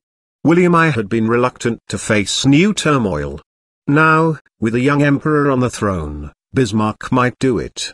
This would not only be a stroke against democracy and revolution, it would also be a stroke against the emperor. William II would become his prisoner as William I had been, Bismarck would be again the indispensable man, the chancellor of conflict. Just at this time he hummed to the French ambassador the old song Et l'on revient toujours à ses premiers amours, and added, perhaps that will happen with me. The great days of 1862 would come again. Maybe he would revenge the humiliations of 1848. Alternatively, he might switch the blame for repressive measures on the emperor and become again the Republican and Democrat that he had been at the beginning. William II would be accused of seeking to destroy universal suffrage, and Bismarck would save it. At any rate, he would provoke a crisis of some sort. Then St. George would again slay a dragon. Bismarck was in a gay mood when he left Friedrichsruh for Berlin on 24 January 1890. He had skillfully arranged to wreck the renewal of the anti-socialist law, much as he wrecked the renewal of the army law in 1886. The National Liberals would support the law only if the clause were left out which allowed the police to expel Social Democrats from their hometowns, the Conservatives would accept this weakening only if Bismarck told them to. He remained silent. The National Liberals insisted on their amendment, and the bill was then defeated, only the National Liberals voting in its favor. Bismarck rubbed his hands, the waves will mount ever higher. He looked forward confidently to industrial disturbances, strikes, civil war. Then blood and iron would rule again. But when the Prussian Council of Ministers met, he discovered that his calculations had gone wrong. He had assumed that William II would be content to echo the policy of William I in 1862. The emperor would be the advocate of repression, Bismarck of conciliation. William II refused to play the part for which Bismarck had cast him. He refused to start his reign by shooting on Germans. Stealing Bismarck's own phrase, he said that he wanted to be Roi des Gueux, protector of the poor. Instead of fighting the socialists, he would win them over by factory inspection, limitation of hours, guaranteed wages all things which Bismarck had been resisting for 20 years. Worse still, the Prussian ministers backed William too, not Bismarck. He glowered at them silently, and they avoided his gaze. William II drafted his own program of social reforms, and it appeared on the 4th of February without Bismarck's signature the first imperial act since the founding of the empire not to be countersigned by the chancellor. On the other side, the Social Democrats, too, refused to play Bismarck's game. They had nothing to gain from violence. They were going to win the election. As Engels pointed out from his exile in London, The socialists now had the law on their side, it was the reactionaries who appealed to force. Bismarck's family expected him to strike back at once. When he remained passive, his son Bill complained, my father can no longer wield the sledgehammer. But this had never been Bismarck's way. He was far more a diplomat than a fighter, despite his fierce appearance. He cajoled men, played on them, and gave a sharp bark only when he had got them safely into the pen. Now he appeared to retreat. He said of William II's social program, I think we must go along with it, he resigned the Prussian Ministry of Commerce, and he even talked of giving up everything except control of foreign affairs. He was really waiting for the results of the election on the 20th of February. These, he calculated, would be so disastrous that William II and every respectable German would be driven back into his arms. The election certainly came up to his expectations. The National Liberals and the Bismarckian Conservatives each lost more than half their seats. The Social Democrats polled more than any other single party. One the three anti-Bismarckian parties taken together Social Democrats, Centre, Progressives held nearly two-thirds of the seats in the Reichstag. Now surely the time had come for a coup d'état. Bismarck assured William II that there could be no renewal of the anti-socialist law and no new army law with the existing Reichstag, or indeed with any other returned by universal suffrage. The princes who had made the German Reich in 1871 should now come together and dissolve it. This was a piece of constitutional nonsense, on a level with the famous hole in the Prussian constitution which Bismarck had discovered in 1862. The Reich had been made by agreement between the German states, not by the arbitrary act of absolute princes, and Bismarck, who drew up the treaties of union, knew this perfectly well. But the theory served his turn. It would give him a fighting cause. William too was swept away for a moment. He grasped Bismarck's hand and exclaimed, No surrender. The emperor's mood soon changed. He was not by nature a man of violence, despite the theatrical utterances which subsequently made him a byword in Europe. As Bismarck said, he was more Coburg than Hohenzollern conciliatory, anxious for popularity, and above all, high-minded. Unlike his grandfather, he had read the imperial constitution and understood it. He would not start his reign with illegality and bloodshed. Rather he would abandon the anti-socialist law, postpone even the increase of the armed forces, and seek to conciliate the working classes by labor legislation. On the 4th of March Bismarck learnt that the emperor had again changed his mind and was opposing a repressive policy. According to the imperial constitution, the chancellor should resign if he lost the emperor's confidence. But Bismarck had threatened to resign only when he knew that his resignation would not be accepted. Even now, he was misled by the memories of his old successes against William I. He did not understand that there was an essential difference. William I always retained confidence in Bismarck, even when he opposed his policy. William II had no confidence in Bismarck and wished to be rid of him. Bismarck would not believe that a mere boy could overthrow him. He tried to mobilize the forces which he had resisted and despised for nearly 30 years public opinion, Prussian ministers, the parties, the news soon leaked out that Bismarck was threatening to resign. It made no stir. National feeling had been behind Bismarck in the Kulturkampf. It had responded to the cry of foreign dangers. It had even agreed with him over such a family affair as the Battenberg marriage in 1888. The social peril failed to work in March 1890, just as it had failed to work in the elections three weeks earlier. How could Bismarck claim to have public opinion behind him when the majority of the electorate had voted for the parties hostile to him? Even the propertied classes the conservatives and the national liberals did not really believe in the socialist danger.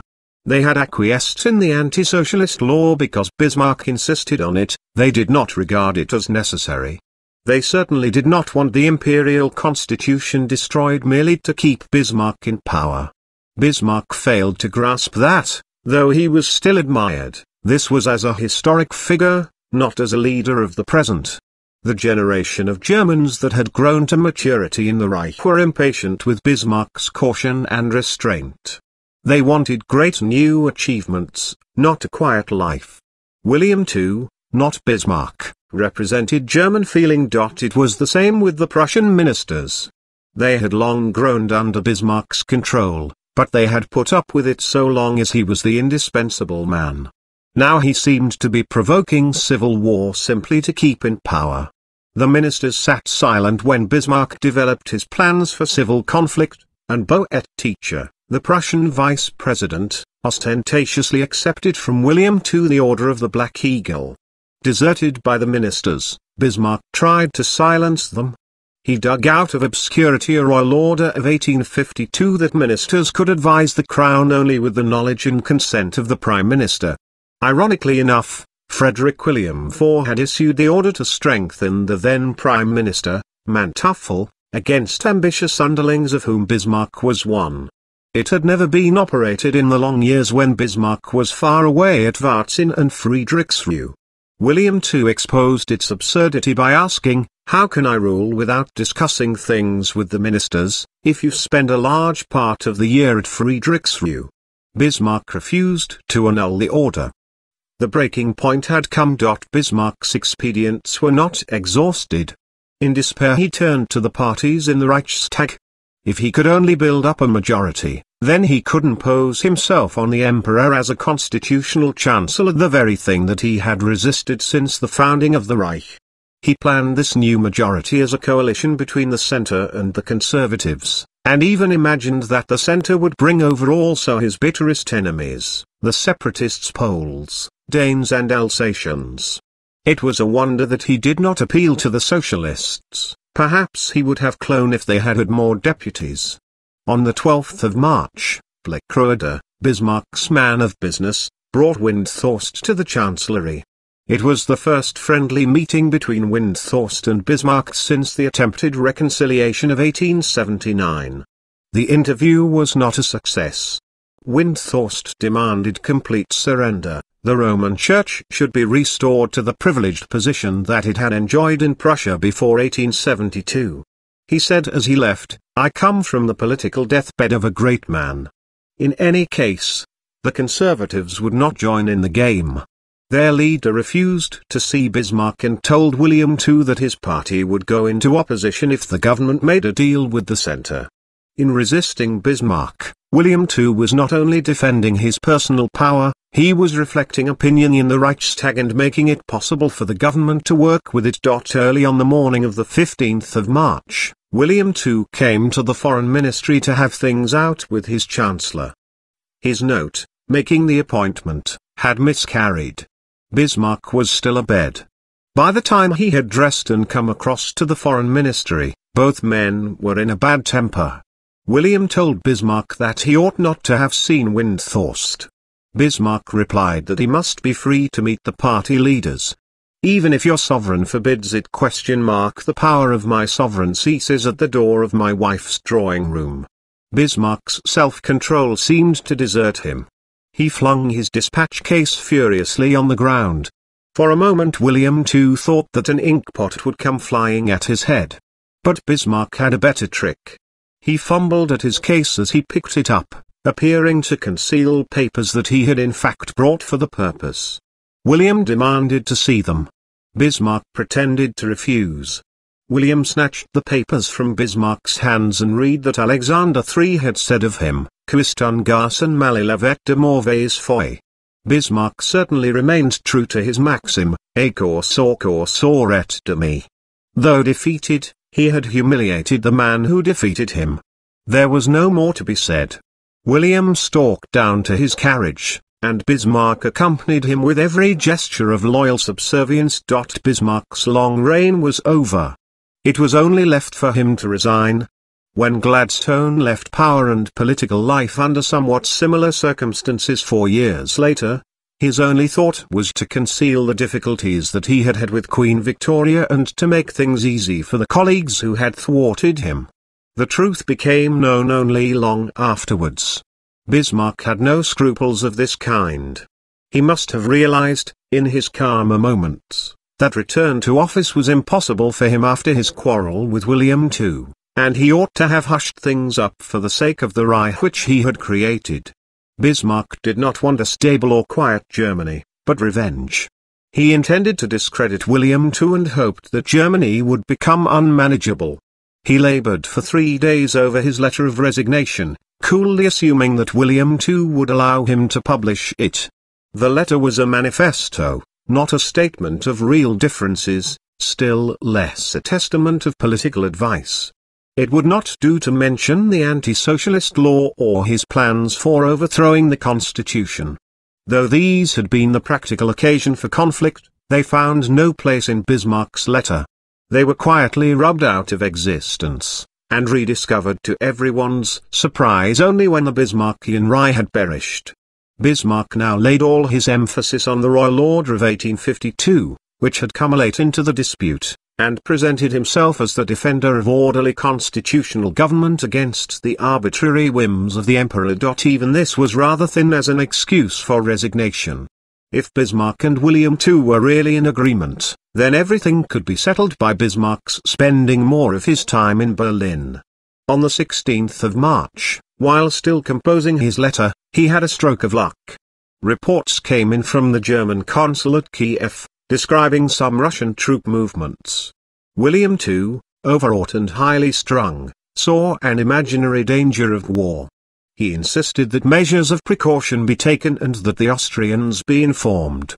At the very same moment, the Russian ambassador called on Bismarck to propose the renewal of the reinsurance treaty which was due to expire in June. Bismarck redrafted his letter of resignation and added a new climax, in which he appeared as the peacemaker of Europe, William II as the firebrand who would lead Germany into a disastrous war. In reality foreign affairs had played no part in the immediate conflict between Bismarck and the Emperor. Domestic questions, and in particular policy towards the Reichstag, had been the only issue. Even now, Though Bismarck's fall proved a turning point in relations between Germany and Russia, this was accidental.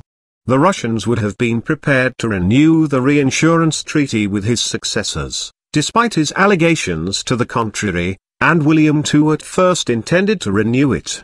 The new office holders seized on the reinsurance treaty as an excuse for marking their breach with Bismarck's system. Its rejection gave them some better ground for a quarrel than if they had stood on merely personal jealousy. But this was unpremeditated and certainly far from being the motive behind Bismarck's overthrow. Bismarck's letter of resignation gave a false picture of what happened in March 1890. But it represented, in however perverted a form, the underlying issues at stake. Bismarck wanted to stand still, William II and the men round him wanted to go forward. The appeal to the Royal Order of 1852 was not merely a bid by Bismarck for personal authority, it implied essentially that the emperor should be kept under control. If Bismarck had wanted to act, he would still have had to get the emperor's approval. It was because he wanted not to do things, and to prevent others from doing them, that he brought out the royal order. Nor was the dispute settled by Bismarck's fall. Later chancellors went on trying to control William II, and in 1908 Bülow succeeded. During the Daily Telegraph affair William II promised to respect constitutional responsibilities whatever that might mean, and Bülow imagined for a few months that he had won the battle where Bismarck had been defeated. He was soon disappointed and his fall again showed what Bismarck had realized in his last fumbling negotiations with Windthorst that the Chancellor could control the Emperor only if he had a majority in the Reichstag behind him. The Order of 1852 was a poor substitute for genuine constitutional government. In the same way, the course of German foreign policy was not settled once and for all by Bismarck's overthrow. Bismarck's and William II's foreign policy, or to speak more truly, a cautious and a forward policy, went on contending until the outbreak of war in 1914.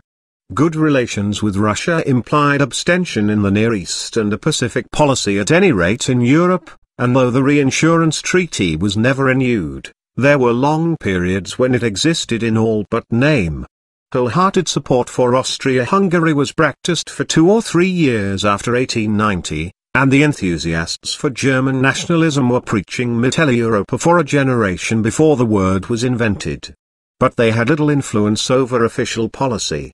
The statesmen in Vienna got firm German backing only at the time of the Bosnian crisis in 1909, and this was an aberration. The decision to break with Bismarck's policy of restraint was effectively taken only on 6 July 1914, when William II and then Chancellor, Bethmann Hollweg, committed themselves and Germany to Austria-Hungary's attack on Serbia.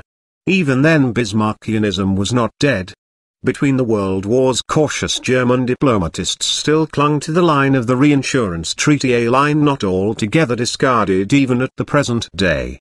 Bismarck in short dramatized in personal terms a conflict of wider meaning, and even in his letter of resignation asserted that he was the only conservative, the one indispensable man. His letter was ready on the 18th of March. He refused to deliver it personally, alleging that he was too unwell to leave the house. No sooner was it gone than he called for his horse and rode leisurely through the streets and the neighboring park. It was a last futile attempt to provoke a demonstration in his favor. The passers-by hardly acknowledged him. After his rare visits to Berlin, he seemed like a ghost from a great epoch of history that was already past. William too tried to keep up appearances once he had won the struggle. Not surprisingly, he refused to allow Bismarck's letter of resignation to be published, and gave out that Bismarck was resigning for reasons of health. Bismarck was implacable, I am better than I have been for years past. William II created him Duke of Lauenburg and offered him a grant of money. Bismarck refused the money, comparing it to a Christmas box given to the postman.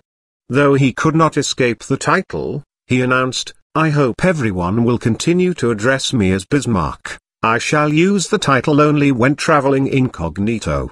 His last official dealing with the state which he had served so long was to receive a demand for the repayment of his salary for the period between 20 March and the 31st of March, when he was already drawing his pension.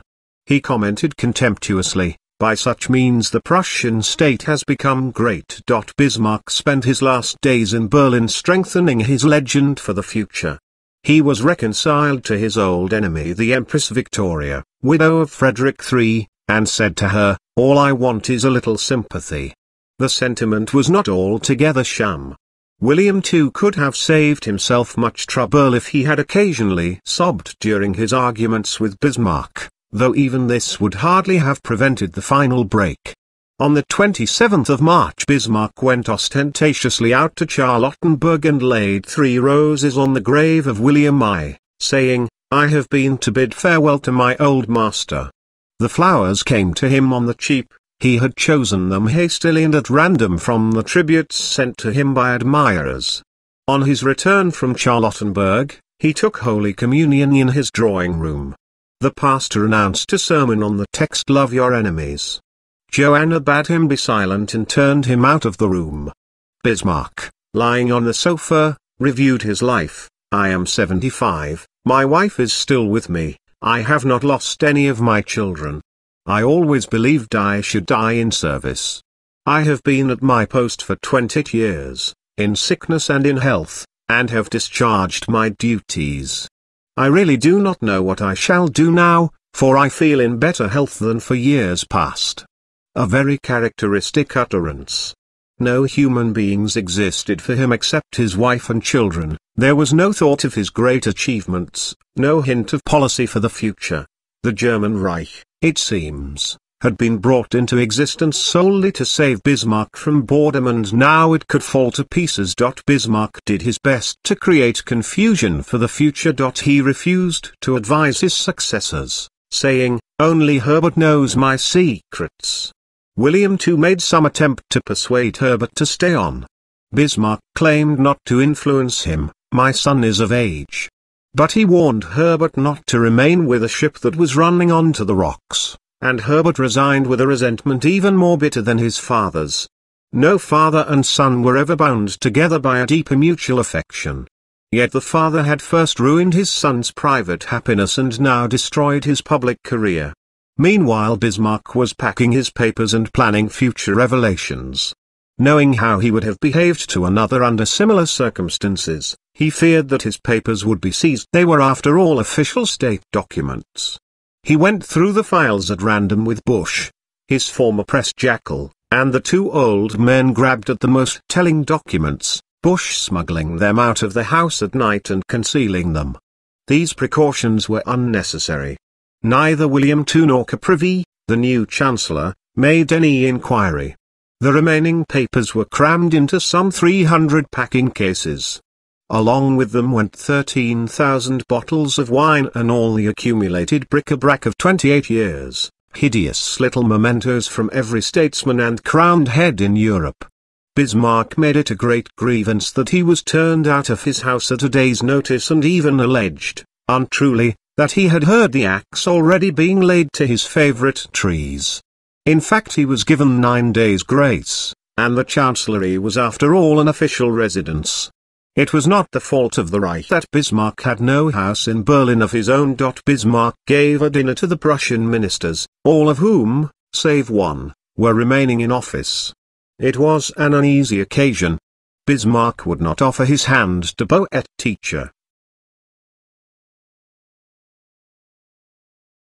And burst out towards the end of dinner, I see only smiling faces among you, it is your fault that I am no longer Chancellor. The ministers invited him to a dinner in return, but he refused to go. He did not exchange a single word of affection or regret either with his colleagues or with officials. The only man to whom he gave a parting present, extracted from one of the packing cases, was the old messenger who had carried dispatches for 20 years between Chancellery and Palace. On the 29th of March Bismarck left Berlin.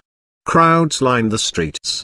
A guard of honor, and all the great dignitaries of the empire but not the emperor were at the station. As the train drew out, the military band struck up a slow march. Bismarck leaned back in the carriage and said, a state funeral with full honors. Dot into the grave and beyond it and each returned home on the 13th of March 1848. After being dismissed, he said to his wife, Ut nu somst morts. One Bismarck would not give up so easily. He was free to lead the life of an independent country gentleman. But 40 years in the service of the state, 28 years in supreme power, had spoilt him for retirement. He had always been easily bored, now he was bored all the time. I was turned out at 75, but I feel young, far too young to do nothing. I was used to politics, now I miss them. He dreamt at first of an early recall, and said before leaving Berlin, Lo I mi rivera. When the public and the politicians ignored him, he came to feel that he was already dead, and he aimed instead at a revenge from beyond the grave. He would appeal from the present to the future. What the newspapers write about me is so much dust which I brush off. I only care what history will say about me later. Herbert dashed off a bitter, spiteful account of his father's dismissal, which Bismarck approved, too and took as his example. He would write a grandiose survey of his entire career in the same spirit, exalting his achievements and scoring off all his enemies past and present. Schweninger encouraged the project in order to give Bismarck something to do. Cotta, the publisher, agreed to take six volumes and to pay the fabulous sum of £5,000 a volume. Here was work which would last Bismarck's lifetime. Bucher settled at Varzin to organize the material and to write at Bismarck's dictation. The work made slow progress. Bismarck had never been a systematic worker. Now he was more erratic than ever. He would dictate the dramatic episodes of his career to Bucher again and again, adding new and less likely details at every sitting but he could not put his thoughts into order, and he was impatient when reminded of the facts. Bucher was shocked at his disregard for the truth. For instance, he denied all initiative in the affair of the candidature for the Spanish throne, though Bucher had been to Spain on his instruction and now showed him a letter to Prim, the Spanish dictator, in his own handwriting. He lost interest once he had dictated his favorite stories, and he would lie for hours on a sofa, flicking over the newspapers that he claimed not to care about, while Bucher sat silent and disapproving, waiting in vain for the dictation to begin. Bucher got down a good deal, which he arranged in some sort of chronological system and padded out with documents from Bismarck's vast store. After a few months he fell ill, and in 1892 he died. There was no one else to keep the work going. Cotta set up the fragments, and Bismarck made a few verbal changes in the proof. He dictated no more, and the presses were still standing when he died. Bucher had done enough to fill two volumes instead of the six originally projected. The great set pieces showed Bismarck's literary genius in all its grandeur, though he had often told the same stories better at the dinner table. But there was little sense of history or of philosophic detachment. Men and women long dead were pursued with the same relentless hatred. Judgments were inserted not for their historic truth, but for their effect on the present jibes against the parties, attacks on Austria-Hungary, hits at William II. There was little explanation of Bismarck's motives. This was not surprising. He had never understood the secret of his career, and had been driven on by unconscious forces which mastered him before he mastered others. He was not interested in winning over posterity, but even if he had been, he would have found it beyond him. Bismarck soon neglected the idea of a posthumous victory. He resolved to rise from the grave and to achieve victory even now. Like John Gabriel Borkman, he still expected to be recalled to life, and talked of those whom he would dismiss when he returned to power. No one associated with court or government was admitted to Varzin. The emperor's health was drunk on his birthday in disapproving silence and laudatory references were allowed only to William I. Bismarck carried his dislike so far that he always laid out the coins from his pocket with the imperial eagle uppermost, in order as he told Herbert not to see that false face.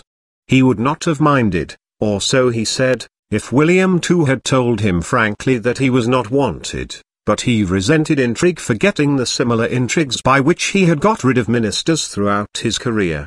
Sometimes he emphasized his own moderation in contrast to that of his wife and sons, I am the only monarchist in this house. All the rest are republicans. Occasionally he spoke with less restraint. He said to Sir Charles Dilke, were it all to come over again I would be Republican and Democrat. The rule of kings is the rule of women, the bad women are bad and the good are worse. A strange saying, no woman had a hand in his fall. But Bismarck did not forget his feud with Augusta even in his stronger dislike of William II the war was not kept within the family circle or carried on only for the benefit of visitors.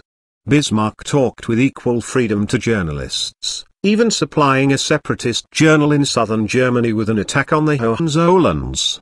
Soon he established a regular connection with a daily newspaper in Hamburg, for which he dictated leading articles, unsigned but recognizable in every line.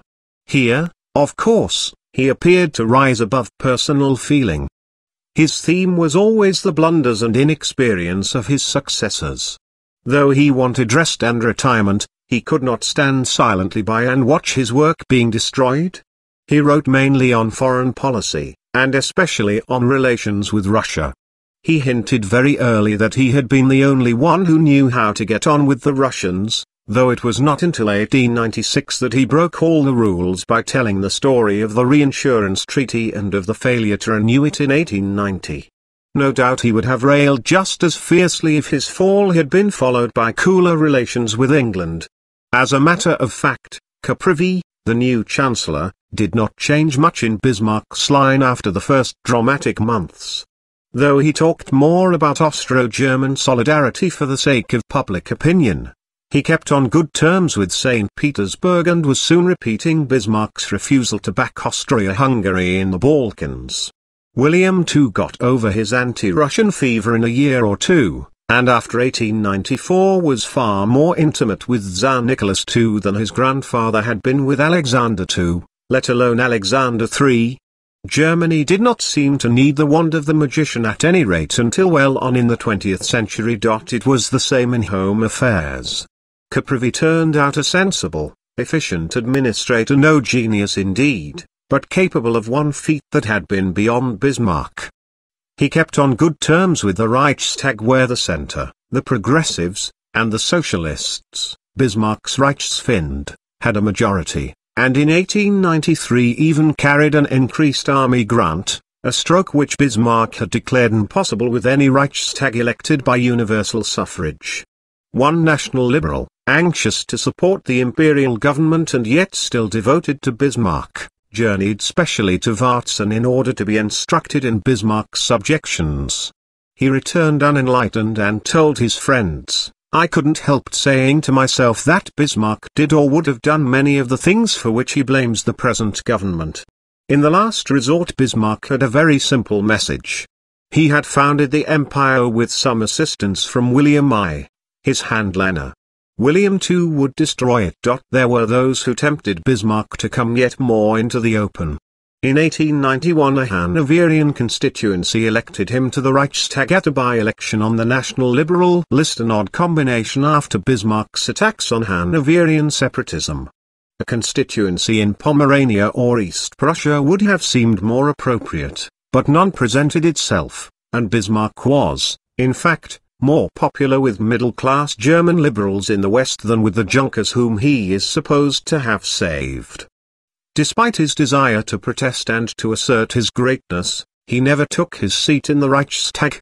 He explained that he had no house in Berlin and was too old to go to an hotel. Again, it would be improper for him to criticize his successor over details. He would wait for some great crisis, and none came. In earlier years, he had never found it difficult to create a crisis when it suited him. Now he had lost the gift, or perhaps, after all, feared to exercise it. Despite his railings against the seclusion of Varzin, he shrank from the harsh world outside. The Reichstag had not been a docile audience even when he spoke with the prestige of a chancellor. Would it listen to him at all as a detached individual? Or would he be humiliated by some despised orator Bebel or Richter? Though Bismarck enjoyed the reputation of a fighter and looked like one, he never fought on equal terms. He always insisted on being in a unique position the only Junker with brains, the only politician with noble blood, the only imperial minister, in short the indispensable man. His greatest gift was in packing the cards, not in playing the hand. He confessed this frankly to Dilke, Cavour, Crispi, even Kruger, were greater than myself. I had the state and the army behind me, these men had nothing. Open debate in the Reichstag had no attraction for him. He dreamt of returning to power, not by winning over public opinion, but as the result of an appeal from the emperor. There would be a dramatic reconciliation, then Bismarck and William II would once more defy the world. Hence his exasperation when William II remained coldly aloof. He was indignant with the emperor, yet would not burn his boats by openly denouncing him. He had gained power by court intrigue, and never learned a better trick. Nevertheless he made some approach to public opinion if only from force of circumstances. Crowds collected when he went on his yearly visit to Kissingen. Universities presented him with addresses. Societies elected him to honorary membership. He had to make some formal reply and, once begun, he could rarely break off without an attack on the present rulers of Germany. He developed, too, an affecting passage where he would look to the past and break into sobs before he could pronounce the words, my old master. Emperor William the First apostrophe. In 1892 he went to Vienna to attend Herbert's wedding. He had meant it as a purely private visit, for, after all, his family was always more important to him than any political affair. Caprivi foolishly instructed the German ambassador to ignore Bismarck. William II, even more foolishly, followed suit with a private letter to Francis Joseph. Excluded from official circles, Bismarck had to play the popular hero whether he would or no. He stopped on the return journey at a number of German towns, ending with a speech in the marketplace of Jena. William II's coldness brought Bismarck out as a liberal. Perhaps my dutiful behavior has been the cause of the deplorable lack of backbone in Germany. He urged his hearers to be more critical of the government, more independent in their views. Absolutism was bad bureaucracy worse. It is a dangerous experiment to strive for absolutism nowadays. I was never an absolutist and shall certainly not become one in my old age. The Reichstag was not powerful enough. I want a stable majority in parliament. I am anxious for the future of our national institutions unless the Reichstag can effectively criticize, check, warn, under certain circumstances direct the government. This was not new doctrine for Bismarck. Though he had always opposed parliamentary sovereignty, he had often, in his more restrained moments, preached the virtues of a balanced constitution, just as he had always upheld the balance of power in foreign affairs. He knew his own love of power too well to trust unchecked power to anyone else. He did not invent constitutional principles merely because he was out of office, but he had failed to apply his own principles when he was in. He confessed as much in his speech at Jena, perhaps I myself contributed unconsciously to depressing the influence of Parliament to its present level a sentence in which only the word unconsciously stirs a query. There was a deeper flaw in Bismarck's argument. Even now the stable majority that he desired was to be composed only of the parties that upheld the state the old cartel of conservatives and national liberals. This cartel had perished. Even if it were restored, it could not win a majority under universal suffrage. A German statesman who wanted to make the constitution a reality would have to win the parties of the masses for constructive ends the center and the social democrats. Bismarck had always treated them as Reichsfeinde, and he established a tradition which made it impossible for these two parties to become supporters of the government until after the fall of the empire. In private Bismarck often foretold the victory of his old enemies. Perhaps God will send Germany a second era of decay, followed by a new period of glory that will certainly be upon a republican basis. The class war, he insisted, must be fought to a finish. When the final victory comes, it will be the victory of labor. He was not the sort of conservative who admires existing institutions for their own sake and defends them for their intrinsic value. He was a despairing conservative, staving off a dreaded, though inevitable, future, clinging to the present for fear of something worse. Real conservatism is rooted in pride of class. Bismarck had no feeling for the Junkers from whom he sprung. In taste and outlook he was nearest to the rich merchants of Hamburg. It was no accident that he wrote for a Hamburg newspaper and died virtually in a Hamburg suburb. Here was his spiritual home. Merchant princes are civilized, restrained, balanced, but essentially uncreative and without hope for the future. Bismarck resembled them. A gifted young observer, Harry Kessler, visited Bismarck with a party of students in 1891. He was impressed with Bismarck as a historic character, his white cravat in the style of 1848, but he was disappointed that the creator of the Reich had no vision for the new generation. He offered us young Germans as object in life the political existence of a rentier, the defense and enjoyment of what had been won, our creative urge was ignored. He was no beginning, but an end, a grandiose final chord fulfiller, not a prophet. We might be at home with the Buddenbrooks.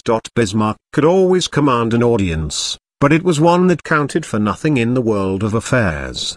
No German politician visited him until Tirpitz came in 1897. Even when a foreigner appeared, it was still a man excluded from political life in his own country. The enthusiasts for Bismarck were either those for whom life had not begun or those for whom it had ended students or fellow visitors at a watering place. The university students were always ready to put on their corps uniform, while Bismarck, also absurdly decked in a corps cap, harangued in their midst. But they forgot his words when they became state servants, just as English students forget the rhetoric which delighted them at their university union. The old gentleman at Kissingen would cheer Bismarck as he walked across for his daily glass of thermal water, but rheumatism, not the future of Germany, was their real concern. Despite his explosions of rage and impatience, Bismarck could not step out of his grave. Dot for most of the time. He did not even attempt it. He was alone at Varzin for months on end alone and bored. Johanna could offer him no real companionship. She had never had any intellectual or political interests, and was now failing fast. Herbert made his home at Varzin and continued to do so after his marriage. But Bismarck could only train him for a revenge that would never come. Bismarck needed friends. Where were they to be found? He had none in his own class. Motley had died in 1877. Keyserling had not met him since 1868. On Johanna's promptings, Keyserling left his Baltic home in 1891, and the two old men spent some happy weeks together. When Keyserling left, Johanna implored him to return, and he did so. But apart from friendship, Keyserling had little to offer Bismarck. He advised Bismarck to cultivate a harmonious personality. Bismarck replied fiercely, What have I to be harmonious about? The two talked about religion. Bismarck confessed that during the struggles of the last decades he had moved further from God. Some have seen in this a doubt as to the morality of his political actions. Nothing could be more mistaken. Bismarck's religion was pietistic, not ethical. It was active life in itself not particular acts, which had taken him further from God. He gave Keyserling a more curious explanation. He had moved away from God, he said, as his erotic passions declined. That has the true Bismarckian ring. He had called in God to keep him away from pretty girls and to make him a respectable married man. When his desires faded perhaps when Kathy Orloff died he needed God no longer and had dismissed him. On another occasion he expressed doubt of an omnipotent God directly controlling the universe.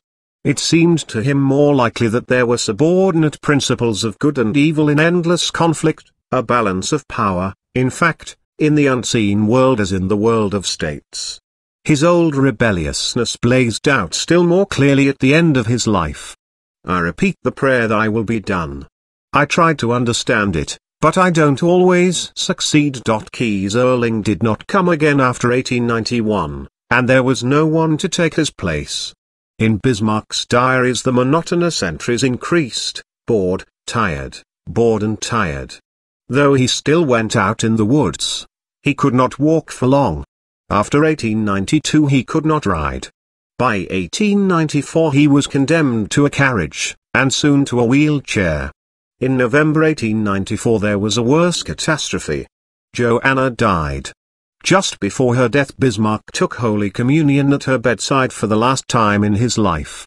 He turned even his wife's death into an excuse for resentment. If I were still in office, I should now work hard. That would be the best help, but this comfort is denied me.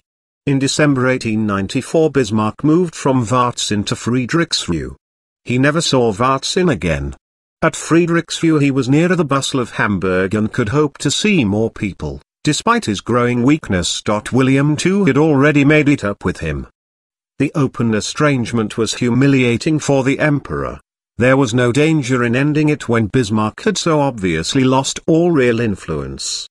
In January 1894, after much diplomacy, Bismarck was invited to visit William II in Berlin. He went still hoping to be consulted on great affairs, and some of the men in office expected to be turned out. Yet at the same time he felt that he was venturing into the enemy camp, and he did not go unattended. He leant on Herbert's arm as he mounted the steps of the imperial palace.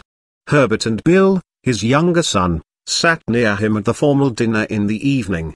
But nothing dramatic happened one way or the other. William too kept the talk firmly to polite trivialities.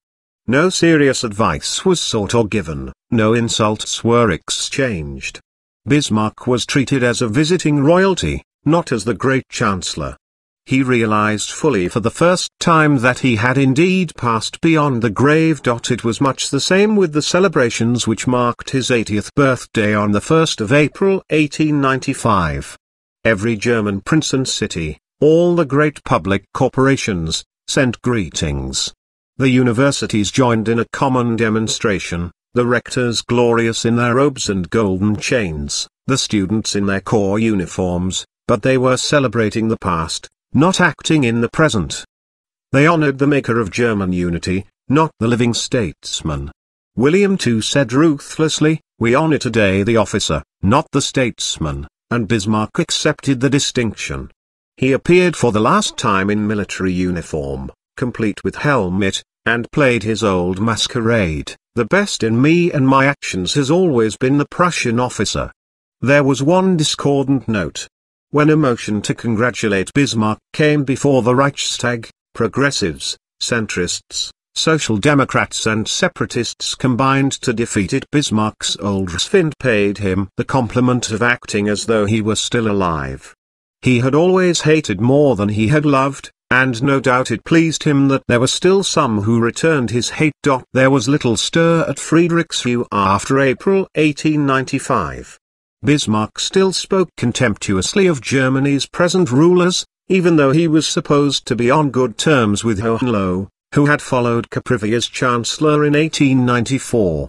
True to his rural affectation, he urged the Farmers' League against the drones who govern us in June 1895. But the deputations, and even the individual visitors, dwindled. Bismarck's energy dwindled on the other side. In December 1897 William II came to Friedrichsruh for the last time, to see how long the old man will last. Bismarck was by now confined to a wheelchair, yet he played the host with the formal graces of the society that had perished in 1848. He tried to lead the conversation to serious themes. William too kept to the tone of worldly frivolity which he had learned from his uncle Edward VII. Bismarck got in a last stroke. He told how he had advised Napoleon III to stick to personal government so long as he could count on the Imperial Guard, otherwise ministerial responsibility was the safer course. Then, speaking directly to William II, he concluded, Your Majesty, so long as you have your present corps of officers, you can do what you like, but if not, things will be very different. He accompanied William II to the door in his wheelchair. Later he said, Jena came 20 years after the death of Frederick the Great, the crash will come 20 years after my departure if things go on like this a prophecy fulfilled almost to the month. Bismarck's last political visitor was Tirpitz, drumming round for a great German navy. Bismarck was enthusiastic for naval power, applauded torpedo boats and coastal defenses, but he could not be caught for an aggressive battle fleet. Germany should keep within her frontiers. It was his last political judgment, and an appropriate one. He had been as ruthless and unscrupulous as any other politician. What had distinguished him had been his moderation. In Goethe's words, which everyone quotes, in der Begrenzung zeigt sich der Meister.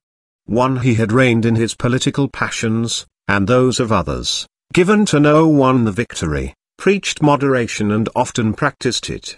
He wanted Germany to remain content with the frontiers that he had drawn for her. Perhaps then she would have kept them. As it is, only Germany's frontier with Austria remains as Bismarck made it, and few would give much for its permanence. In 1898 Bismarck fell into his last decline. He still harbored resentment, but now against his own weakness, there will be only one happy day for me, that is the day when I wake no more. His mind remained fresh and alert, following political events even on his deathbed. Towards the end he lay sometimes talking, sometimes singing softly to himself. The only book by his bedside was a volume of Schiller's poems. Once, opening his eyes, he asked his daughter why she was so sad. Because you are so ill, Papa. Bismarck smiled and whistled quite clearly, La Donna e mobile touching, though inappropriate. Six hours before his death, he raised his hand sharply and called out, that is impossible on grounds of general public policy. Raison d'etat. The great artist knew his lines to the last. It was not, however, his final word. Just before he died, he was offered refreshment from a spoon. He pushed the spoon aside, exclaimed forward, grasped the glass, and drank its contents unaided, this was even better than his prepared speech. He died on the 30th of July 1898, shortly before 11 o'clock in the evening. William II was cruising in the North Sea when the news of Bismarck's death reached him. He hurried back for the funeral. It was an uneasy occasion. Bismarck had refused a state funeral. He was buried at Friedrichsruh, separated from his house by a railway line a modern note such as had often appeared incongruously in his career. William II and his glittering courtiers stood on one side of the grave, Herbert and the family, glowering with renewed hate, on the other. There was no gesture of reconciliation. William did not even enter the house. This was hardly surprising. The first shots in Bismarck's posthumous campaign had already been fired. On the day after Bismarck's death Busch released to the press the letter of resignation which had been drafted with such care in March 1890. Cotta was eager to publish the fragmentary recollections which Bismarck had left. Herbert jibbed at the narrative of Bismarck's fall which, in fact, he had drafted. The Bismarck family, he insisted unctuously, could do nothing to weaken the emperor's prestige, and it must wait until William II's death. Perhaps he feared prosecution, and with some reason. Perhaps he feared that William II would make a telling reply. Here, too, he was justified.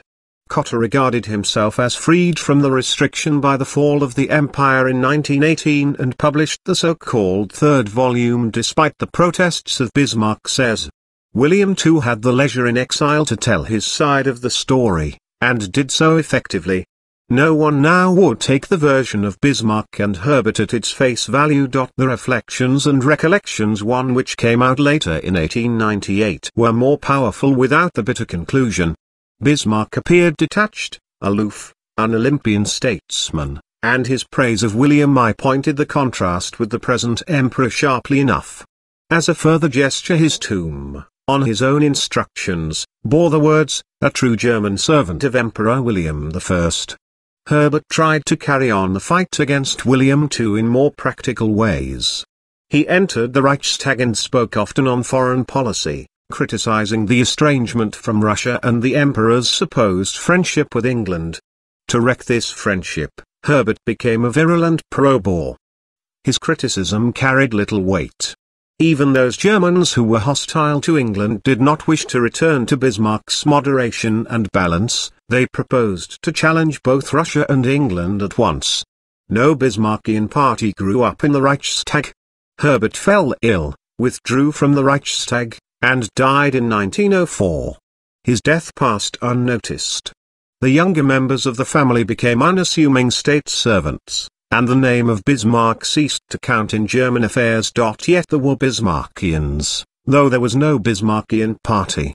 Bismarck became the hero of all those for whom the unification of 1871 was a great, but also final, step. The Junkers cared nothing for Bismarck. They disliked German nationalism and were now concerned only to defend their agrarian interests. The new generation of diplomatists ignored Bismarck's tradition, they had to make a world policy, and his caution seemed irrelevant to them. The German masses wanted social reform and a greater Germany which would bring in the Germans of Austria-Hungary. The only Bismarckians were the former national liberals, few in numbers but strong in intellectual influence.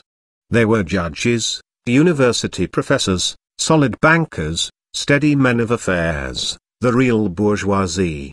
In France this class had followed Thiers, one of the few statesmen whom Bismarck admired, and the France of Louis-Philippe was their true ideal, as it was Bismarck's. They wanted a national state, constitutional monarchy, and the rule of law, and they admired Bismarck because he had given them these things without revolution or without forcing them into an alliance with the radicals. One of their number, Meinecke, who survived until after the Second World War, confessed their error in extreme old age. They believed that they could have the rule of law without democracy. In Germany no Gambetta need follow Thiers, Gladstone, the follower of Peel, need not become the people's William. The monarchy, the army, established authority, could go unchallenged, yet all that was meant by liberal civilization would be secured. This was the theme for all the work on Bismarck between his death and the outbreak of the First World War. The great historians who wrote about him Erich Marcks, Max Lenz, Erich Brandenburg all concentrated on the period of unification.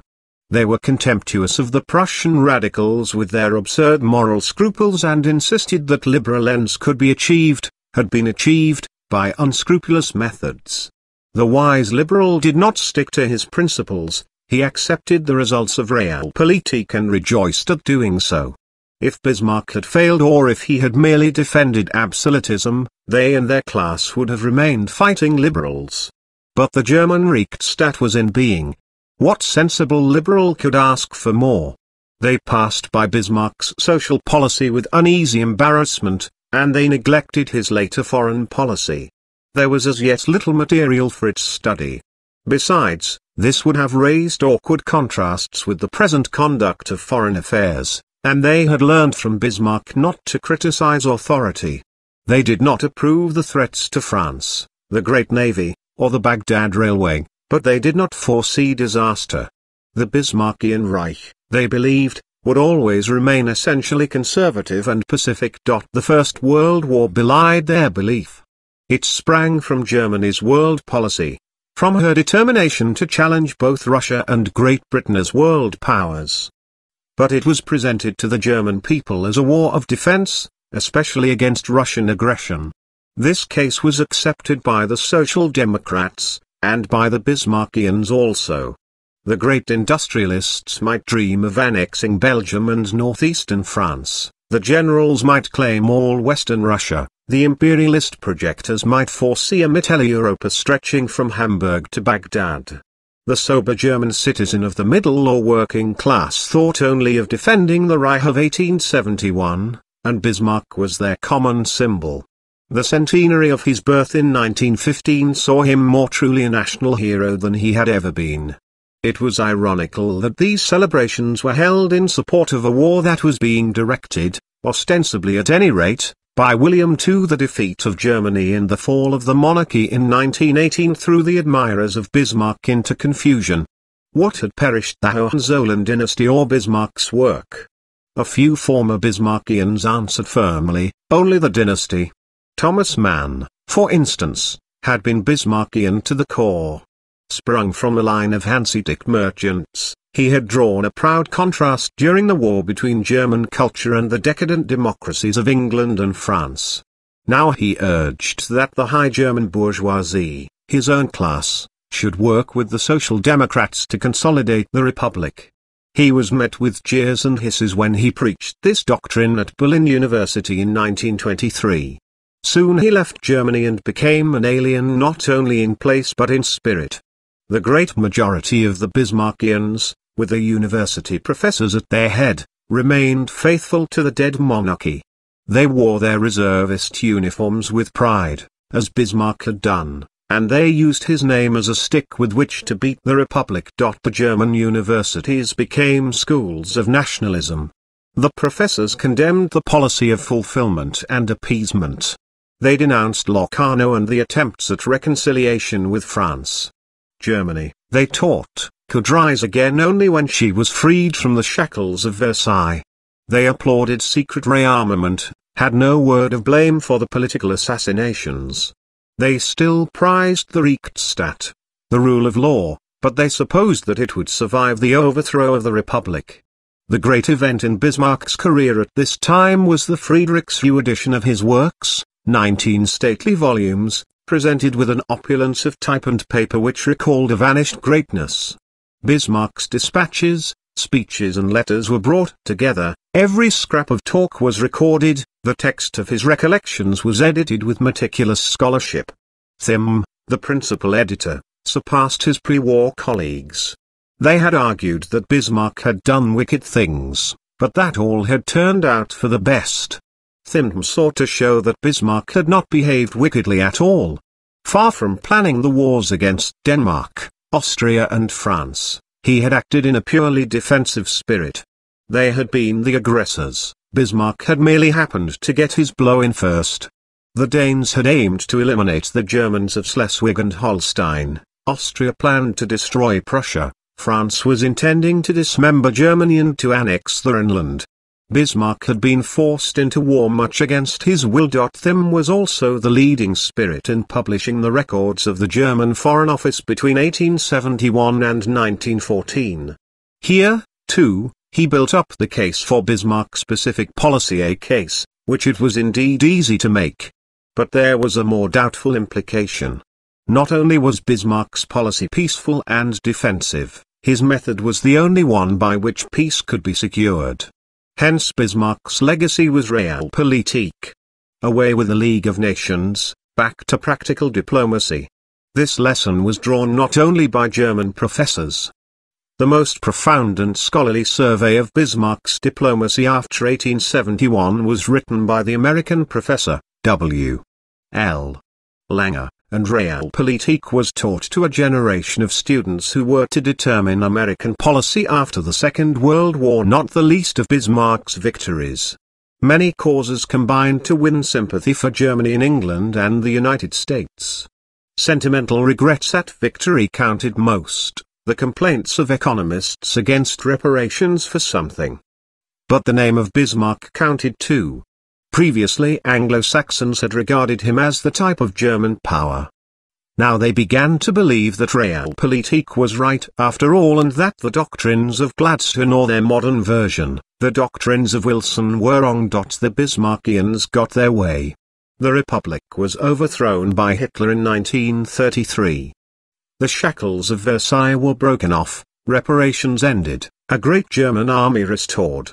Then the Bismarckians discovered to their horror that, while they had got everything they wanted, they had also lost everything that they prized. The Rechtsstaat, the rule of law, had vanished.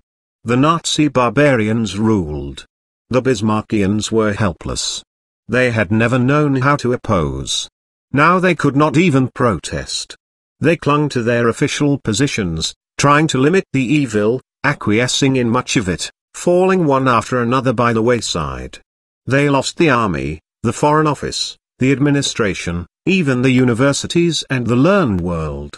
Meinecke, for instance, was turned out of the editorship of the Historische Zeitschrift in 1936 for refusing to include a section of anti-Semitic history.